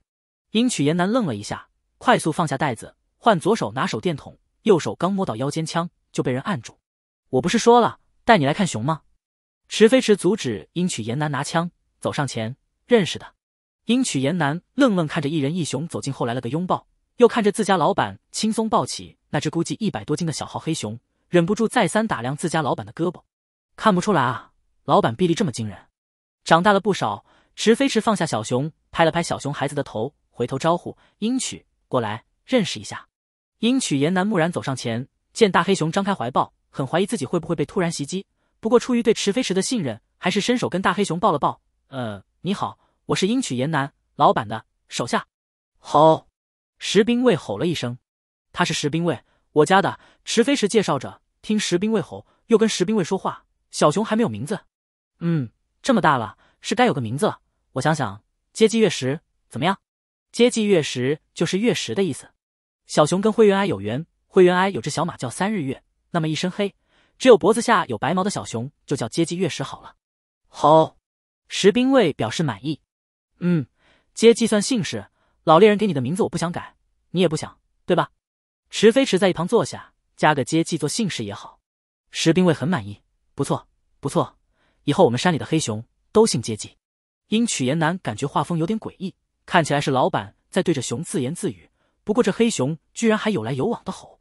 二十分钟后，一个山洞里。大小黑熊抱来柴火，池飞驰拿出打火机烧着树枝，架了一个篝火，把袋子里的几罐蜂蜜给大熊、小熊打开，又拿了便当递给一盒给鹰曲岩南。谢谢老板。鹰曲岩南心情很微妙，接过便当后，跟着池飞驰在一旁坐下。两个人跟两只野熊一起围着篝火吃饭，人不时说话，熊也不时吼吼。还有比这更怪异的事吗？嘶！某种爬行生物鳞片摩擦地面的声音络绎不绝。飞翅再一次窜了出去。鹰曲岩男眼皮一跳，这次又是什么？篝火照亮的光圈边缘，一条条蛇快速游动着，向两个人靠拢。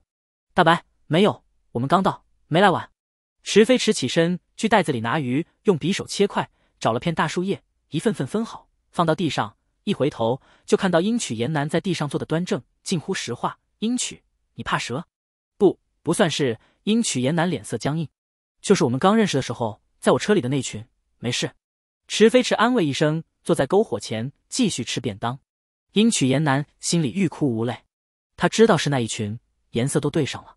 不过一看到这群蛇，他就想起自己那天晚上被挟持上车，车里一堆蛇无情围观他的悲惨经历，一辈子的心理阴影。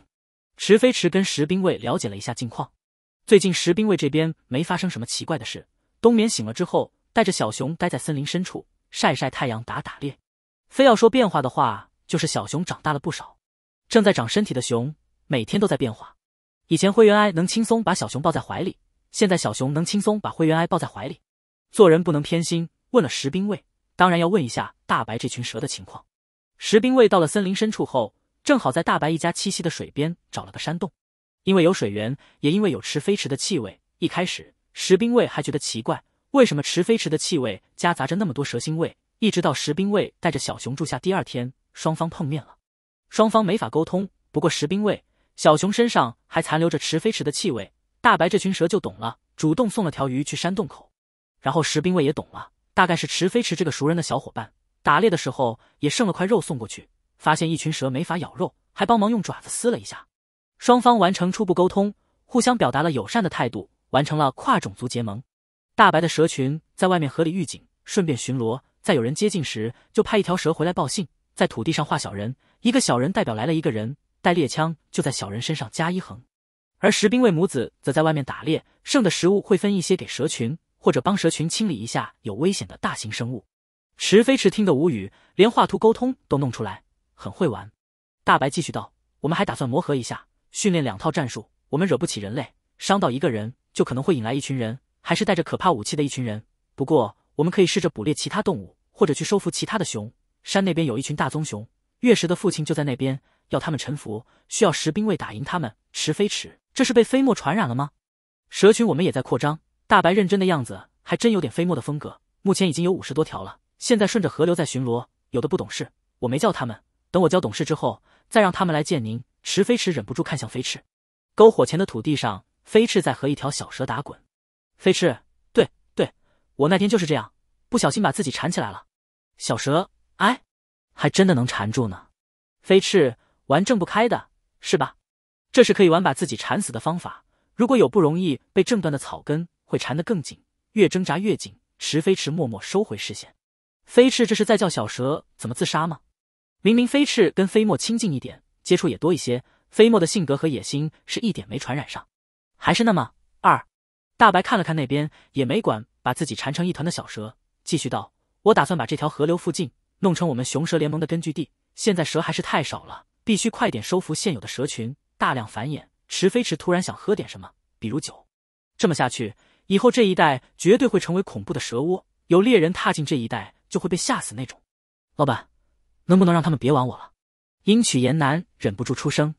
一群小蛇看到了鹰曲岩南这个熟人。很高兴的往鹰曲岩南身上凑，鹰曲岩南端坐原地，任由一条蛇从头上滑落，从眼前掉下去，面无表情道：“我以前不怕蛇，以后可能会怕，现在特别怕。”啊！这群蛇真的好恐怖，包围他不说，还往他身上钻，害怕瑟瑟不敢抖，生怕哪条蛇被吓到，给他来一口，或者每条蛇都给他来一口。池飞驰这才注意到石化姿势的鹰曲岩南，帮忙把一条往鹰曲岩南脸上爬的小蛇拿开。好了，你们别闹他，他有点怕你们了。他不喜欢有蛇在他身上爬。一群小蛇渐渐散开，又凑到池飞池那边。站住！飞驰缠住团，急道：“我主人只能我爬，主人帮忙解一下，我解不开了。”池飞池无语上前将打结的飞翅解开，顺便帮旁边一起犯二打结的小蛇也解了一下。飞翅嗖一下钻进池飞池袖子里，霸占地盘，宣示主权。一群小蛇遗憾，又往石兵卫和月石身边凑，爬。爬，篝火跳动，两只黑熊身上很快爬了一条条白的、灰的蛇，场面十分诡谲。两只黑熊也不在意，用爪子在罐子里沾了蜂蜜，举在身前给同盟小伙伴分享好吃的。一群蛇立刻在熊身上游动，往熊爪处汇聚。因曲岩南看得头皮发麻，点了支烟，平复了一下心情，面无表情道：“老板，我现在觉得熊也挺可怕的。这两只身上爬了蛇的熊，看起来真的好可怕。”当晚。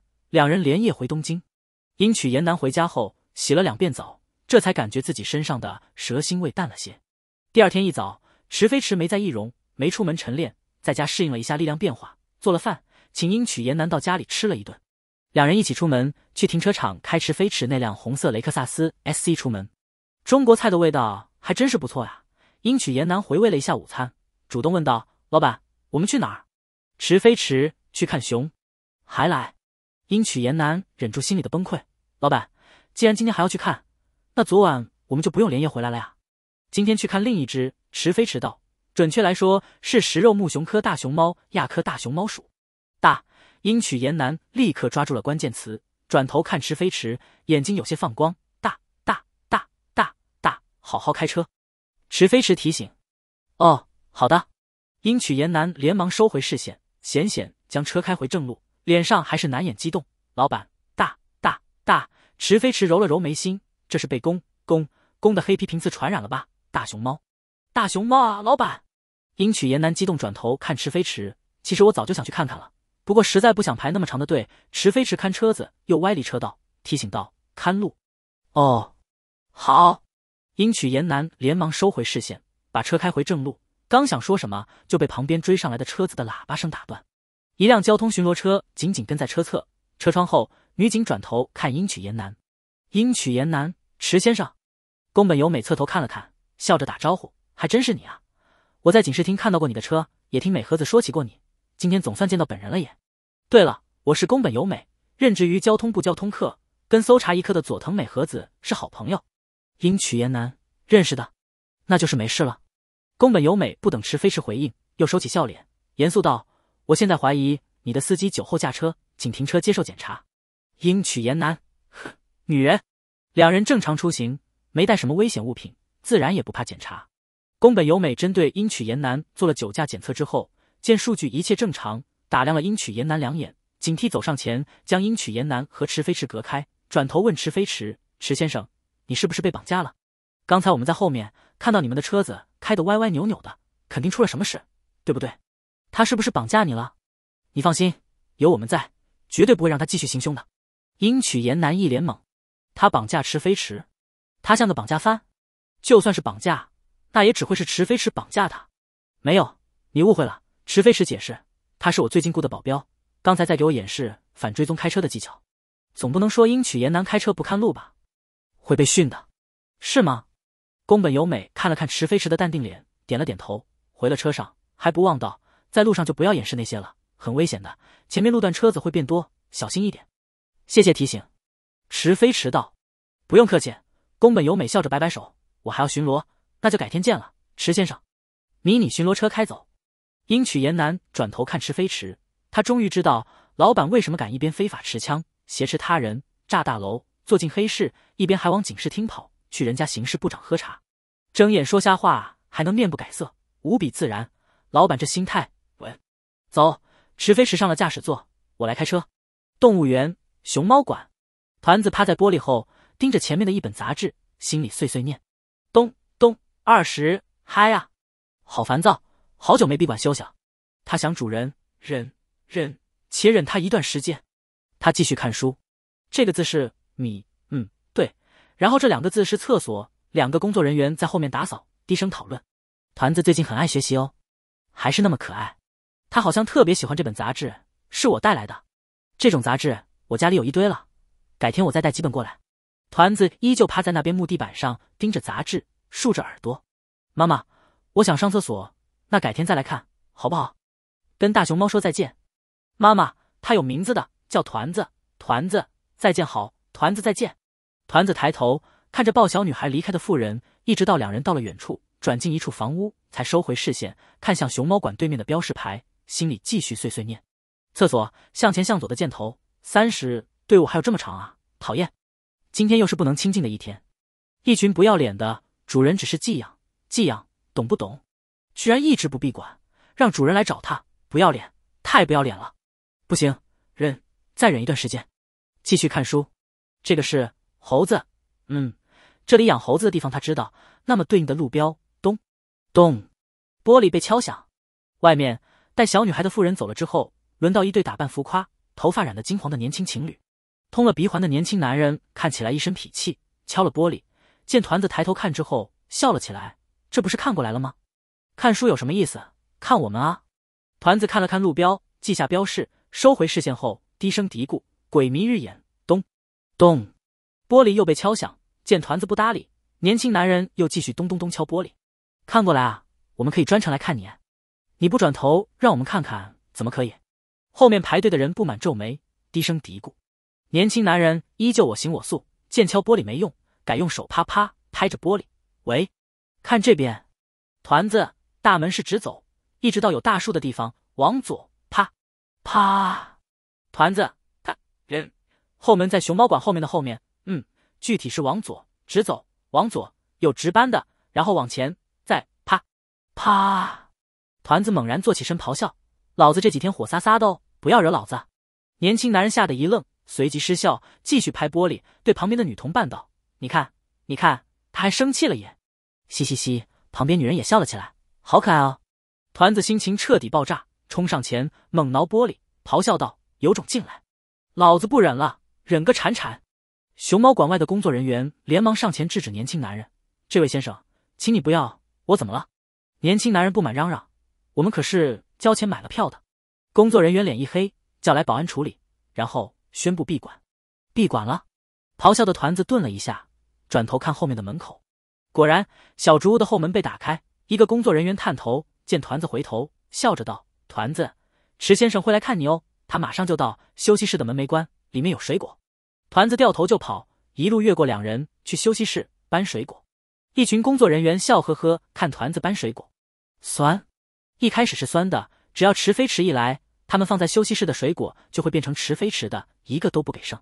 等池飞池吃够走了，剩下的才归他们。不过酸也没用，酸着酸着就不酸了。大熊猫抱水果真可爱啊！他们还不如比比谁买的水果会被团子挑中，荣幸。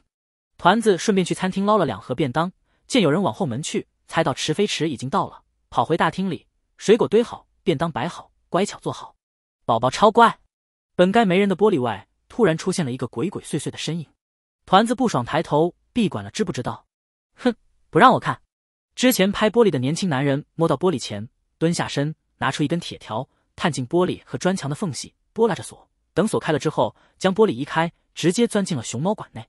团子全程看着，低头看了看自己的爪子，又低头看了看自己的身体，那里居然有锁。他以前不知道，锁在里面，扒拉一下就开了。他能做到，钻出去，他好像也能做到。别看他胖，那是虚胖，虚胖。出去之后，直走，不不，不能走大门，还是转向厕所那边，走树林，爬树适合他。嗯，机会果然是留给有准备的熊猫的。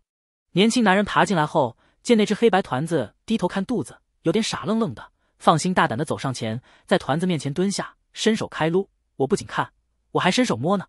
一群小气鬼！团子抬头看了看男人，没动弹。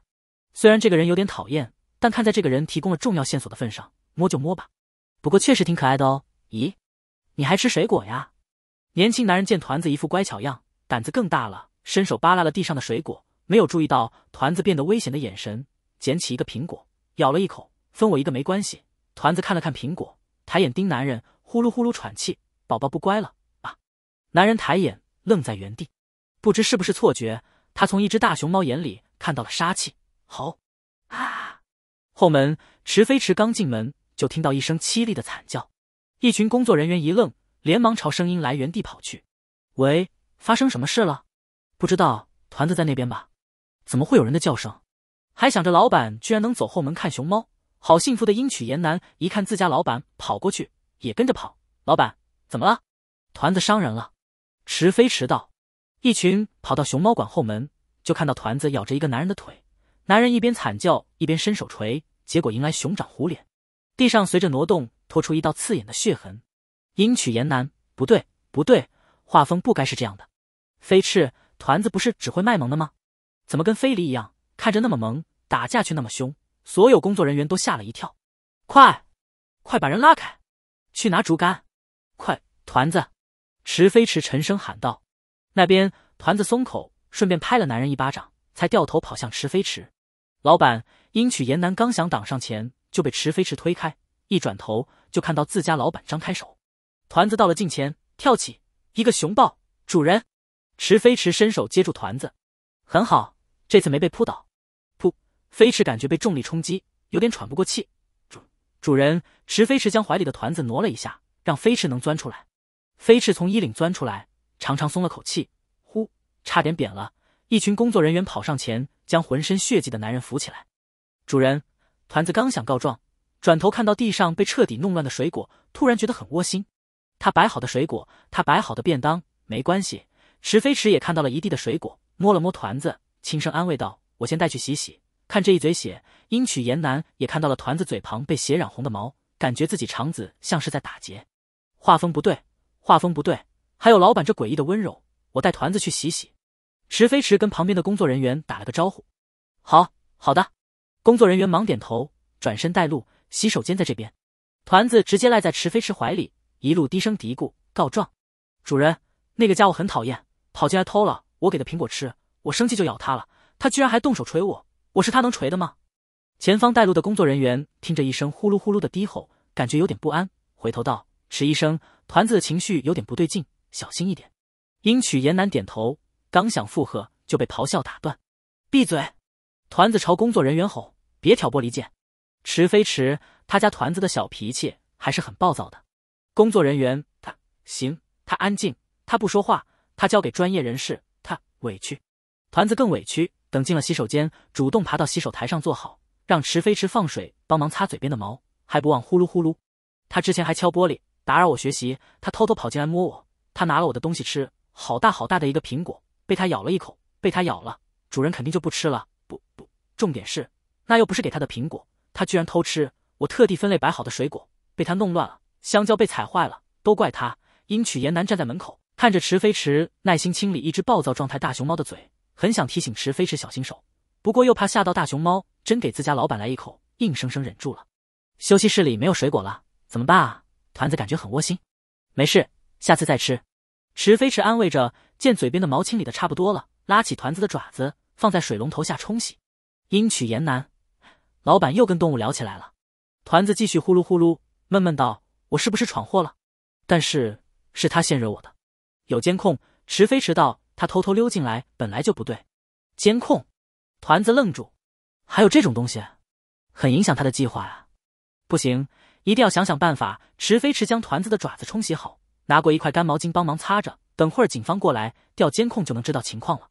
团子往池飞驰怀里倒，算了，以后想慢慢想。飞驰迅速溜到池飞驰脖子上缠好，好险，好险，差点又被重击。由于发生了伤人的事，警方很快赶到，调监控了解着情况。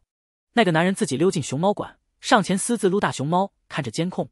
动物园的工作人员都气得不轻，看到男人居然拿团子堆好的苹果，更是全部气炸。警官是他私自溜进熊猫馆的，熊猫馆前面明明有大熊猫的介绍，介绍了大熊猫的力量、咬合力都很惊人，禁止游客私自进入。那些水果是团子给他的医生准备的，他居然自己拿起来吃，团子肯定会生气啊！那些水果我们都不能吃的，不要说团子。如果是我给其他人准备的水果，突然来了一个陌生人，拿起来就吃，态度那么恶劣，还把水果弄乱，我也会生气。是啊，团子还分了类，看他摆的那么认真，结果被人弄得一团糟，看得出来团子已经忍他很久了。警官，我怀疑他想偷大熊猫，如果大熊猫出了什么意外，可不只是我们动物园的事。池飞驰没管外面的吵闹。带着英曲言南跟团子待在休息室，对外的说法是他要安抚团子的情绪，没毛病。池飞驰靠着一个大熊猫玩偶坐在地上，用毛巾帮团子擦熊掌。团子趴在池飞驰腿上，懒洋洋伸了伸爪子。主人真的不会有事吗？旁边的英曲言南低头看了看离自己很近的熊掌，正襟危坐，惹不起，惹不起，没事。池飞驰帮团子把毛擦干，把毛巾放在一边，动手撸大熊猫，揉脑袋。再揉脑袋，团子最近在做什么？学习。团子没说出自己心里的小盘算，说出来就不惊喜了。听主人的，学日语，听听人类聊天，每天都能观赏到很多各种各样的人类，挺有趣的。就是比较想，他们又老不闭馆，让我有点烦。观赏到各种各样的人类，池飞驰总觉得这话听着怪怪的。不过看得出来，团子的状态还不错。这两天有没有发生什么特别的事？特别的事？团子装模作样的想了想，没有。还是老样子啊，这两天确实没发生什么特别的事。他的计划早就开始制定了，肯定是老样子。池飞驰垂眸，继续揉熊猫脖子，揉熊猫头。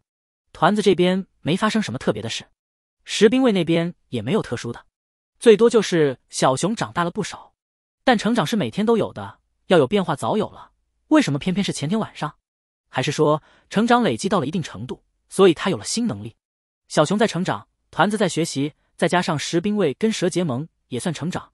三只熊累积出来的结果吗？好像也只有这种解释了。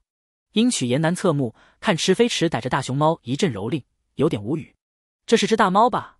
团子突然坐起身。对了，主人们吃过饭了吗？没有。池飞驰的话刚说出口，团子就直接往门外跑。餐厅有好多便当，我去给门啊！鹰曲言南被突然窜出门的团子吓了一跳。老板，没事，他去拿东西了。池飞驰看向鹰曲岩南，想摸就下手摸，团子一般不咬人，一般啊。鹰曲岩南抓住了重点，很想问问，不一般的时候是不是就会咬人了？那什么算一般的时候？什么又算不一般的时候？团子很快风风火火跑回来，将捞在怀里的两个便当盒放下，又风风火火跑出去，去拖了两根竹子回来。池飞驰把一个便当盒递给英曲言南，筷子在里面，他给我们的。英曲言南接过便当，有点受宠若惊。仔细看了看坐一旁抱起竹子啃的团子，突然觉得画风又正常了。对，肯定不是大熊猫的错，人家还是那么萌，能把这么萌的大熊猫惹毛了，那就是个混蛋。两人吃饭，大熊猫啃竹子，不时聊两句，不过都是池飞驰和团子在聊，英曲言南就默默听着池飞驰自言自语：“嗯，新伙伴，他叫英曲言南，一会儿就来。他们还没放学，味道还好，不过我不太喜欢吃鱼类便当。”有段时间接连吃了几天鱼类便当，没事。英曲言南吃完便当，再三侧目，想摸就摸。池飞驰将便当盒收到一边，将团子抱到英曲言南旁边，别偷偷摸摸看。团子把竹子放倒，就地打滚。卖萌，他是专业的。英曲言南试着伸手，见团子不排斥，再上手帮忙顺毛。至于像池飞驰那种狂揉撸熊猫的方式，就算了吧，他怕熊猫转头给他一口。将近半个小时。团子就翻着身，让鹰曲岩南帮忙把身上的毛都顺了一遍，眯着眼打呼噜。突然感觉鹰曲岩南停了，疑惑睁开眼。他有事要去做。池飞驰拿出手机看了一下时间，改天再过来。哦，团子看英曲言南辛苦了，按摩很舒服。英曲言南又忍不住摸了摸团子的脑袋，跟池飞驰打招呼：“老板，那我先过去了，取了东西直接走，注意别被人盯上。”明白。英曲言南走了，团子又挪到池飞驰身边，让池飞驰帮忙顺毛。到了下午三点，五个小学生背着书包走后门进熊猫馆，一个工作人员把五个小孩领到休息室。步美惊喜放下书包，跑上前抱住工作人员，看得眼皮一跳。见团子只是懒洋洋啃竹子，松了口气，笑道：“池医生，看来团子的情绪恢复的还不错。这孩子怎么了吗？”灰原哀放好书包后走上前，伸手摸了摸团子。之前有个家伙偷偷溜进了熊猫馆，工作人员有些恼火道：“偷吃了团子给池医生准备的水果，还把团子辛苦摆好的水果扒拉的一团糟，好过分！”步美依旧抱着团子。光彦摸着团子的毛，他一定很难过。工作人员挠头干笑，难不难过他不清楚，生气了倒是真的。元太一脸气愤的挽袖子：“那家伙在哪儿？我们去揍他一顿。”不用，团子已经揍过了。迟飞迟到，人没事吧？柯南不知什么去外面晃了一圈，又晃了回来，转头看大厅的方向，有工作人员在冲洗展厅里的血迹血。元太吓了一跳。警察刚走，工作人员解释，听医院那边打电话过来说。那个人腿上骨头被咬断了，脸上、身上被挠伤，有点轻微脑震荡，目前没有生命危险。元太咽了咽唾沫，有点害怕。灰原哀摸着团子背上的毛，这孩子好歹也算是熊科生物，那家伙居然想不开来找他打架。柯南干笑了一声，又仰头问工作人员：“叔叔，那接下来会怎么处理？”外面告示牌已经警告过游客不许私自进入熊猫馆，他在闭馆之后偷溜进来，又再三挑衅招惹团子。工作人员道：“被团子咬了也是活该。”我们不会帮他承担医疗费用的。那团子呢？步美问道。跟团子没关系。工作人员还有些愤愤不平。他自找的。池飞驰突然想起一句话：他是被大熊猫咬的，跟团子有什么关系？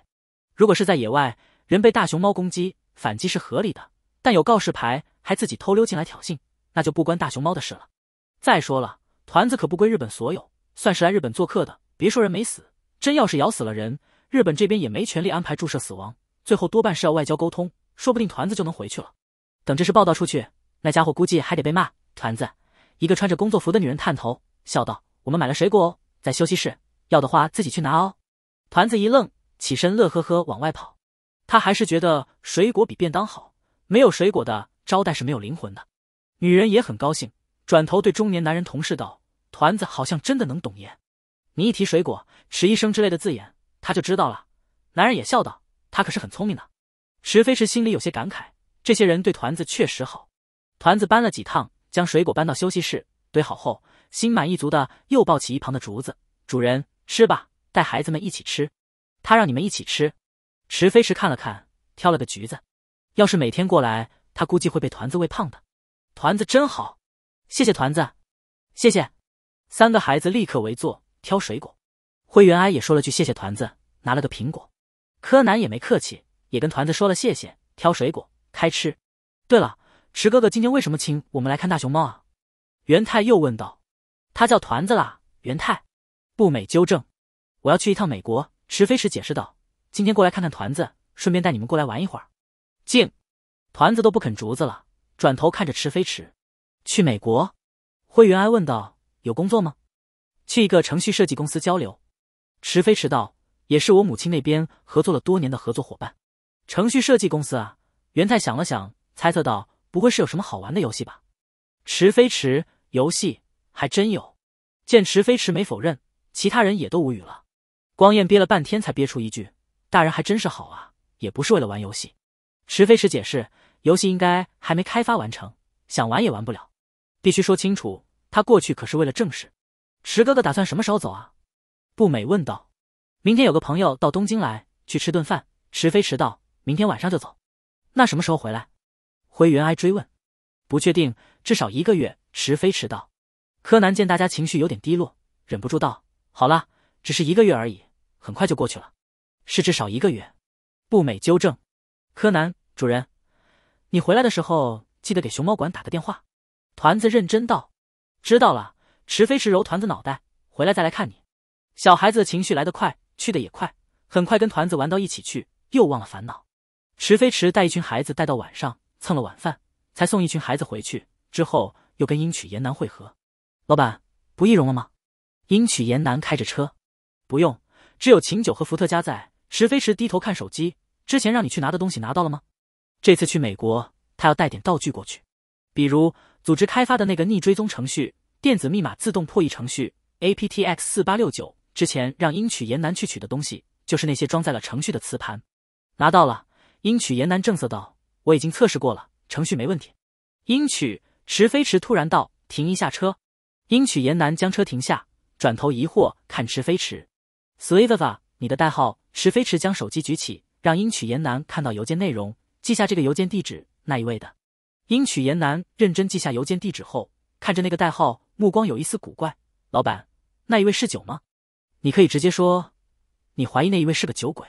池飞驰收回手机，低头回复：“他以前还怀疑那一位是卖酒的呢，拿酒做代号，有效促进酒水市场销售。”英曲言南尴尬摸了摸鼻子，虽然他确实想这么问，他以前喝的最多的饮品是咖啡，还真不知道有这么多酒，也就喝一喝常见的威士忌、葡萄酒。认识老板之后，开始喝拉克酒，但老板说话也不用这么直接吧？可老板，斯利佛瓦这种酒，蓝里白兰地，果香突出。酒味浓郁，微苦，一般是四十四度左右。石飞驰依旧发着邮件，头也不抬道：“别问我为什么是这个代号，我也不知道。”英曲言南重新打着火，将车子开离原地。那一位到底是？别问，别查，会闯祸的。池飞驰回了邮件，然后等结果。就算意外知道了些什么，说不定也会没命。英曲言南哑然失笑：“那也太不讲理了吧？”可以这么说，池飞驰没否认不讲理这一点。明天跟我去美国，这一次。你以代号成员的身份接触其他人，英曲言南问道：“去多久？”不清楚。池飞驰盯着手机看邮件，任务完成就回来。车子开到一个公园前，在一辆黑色保时捷三六五 A 旁停下，驾驶座车窗被放下。秦九没下车，将两个盒子递出车窗，声音沉冷道：“带多了容易丢失，有需要会有人送过去。”池飞驰接过盒子，打开看了看，两个盒子里都是 aptX 四八六九，关上盒子收起来，两颗足够了。贝尔摩德在追查雪莉的下落。秦九道：“这次行动他没法参与，没事。池飞驰不意外。情报方面，朗姆能处理。之前在日本需要易容调查，贝尔摩德又跳票，他才跟着情报线跟了这么久。等到了美国，情报就交给朗姆，他只等结果。当然了，如果有需要，他还是要参与情报调查。他和贝尔摩德说是有自由行动权，其实也就是哪里需要补哪里，情报和行动都跑不掉。这一次，秦九不会过去。”原度一郎装有炸药的货轮已经从美国出发，大概半个月后就会抵达日本。要劫炸药，只能在日本，而那个时候，美国那边针对那个军方要员的行动恐怕还没有结束。要么一人负责一边，要么舍弃一边。不巧，他和秦九都是贪心的人。商量之后，秦九会留在日本负责劫那批炸药，他去美国负责处理那个军方要员的事。那一位不管这些，只看结果。人手方面也需要他们调配。他今晚和秦九碰面，除了拿药。也是为了确认行动方面的事。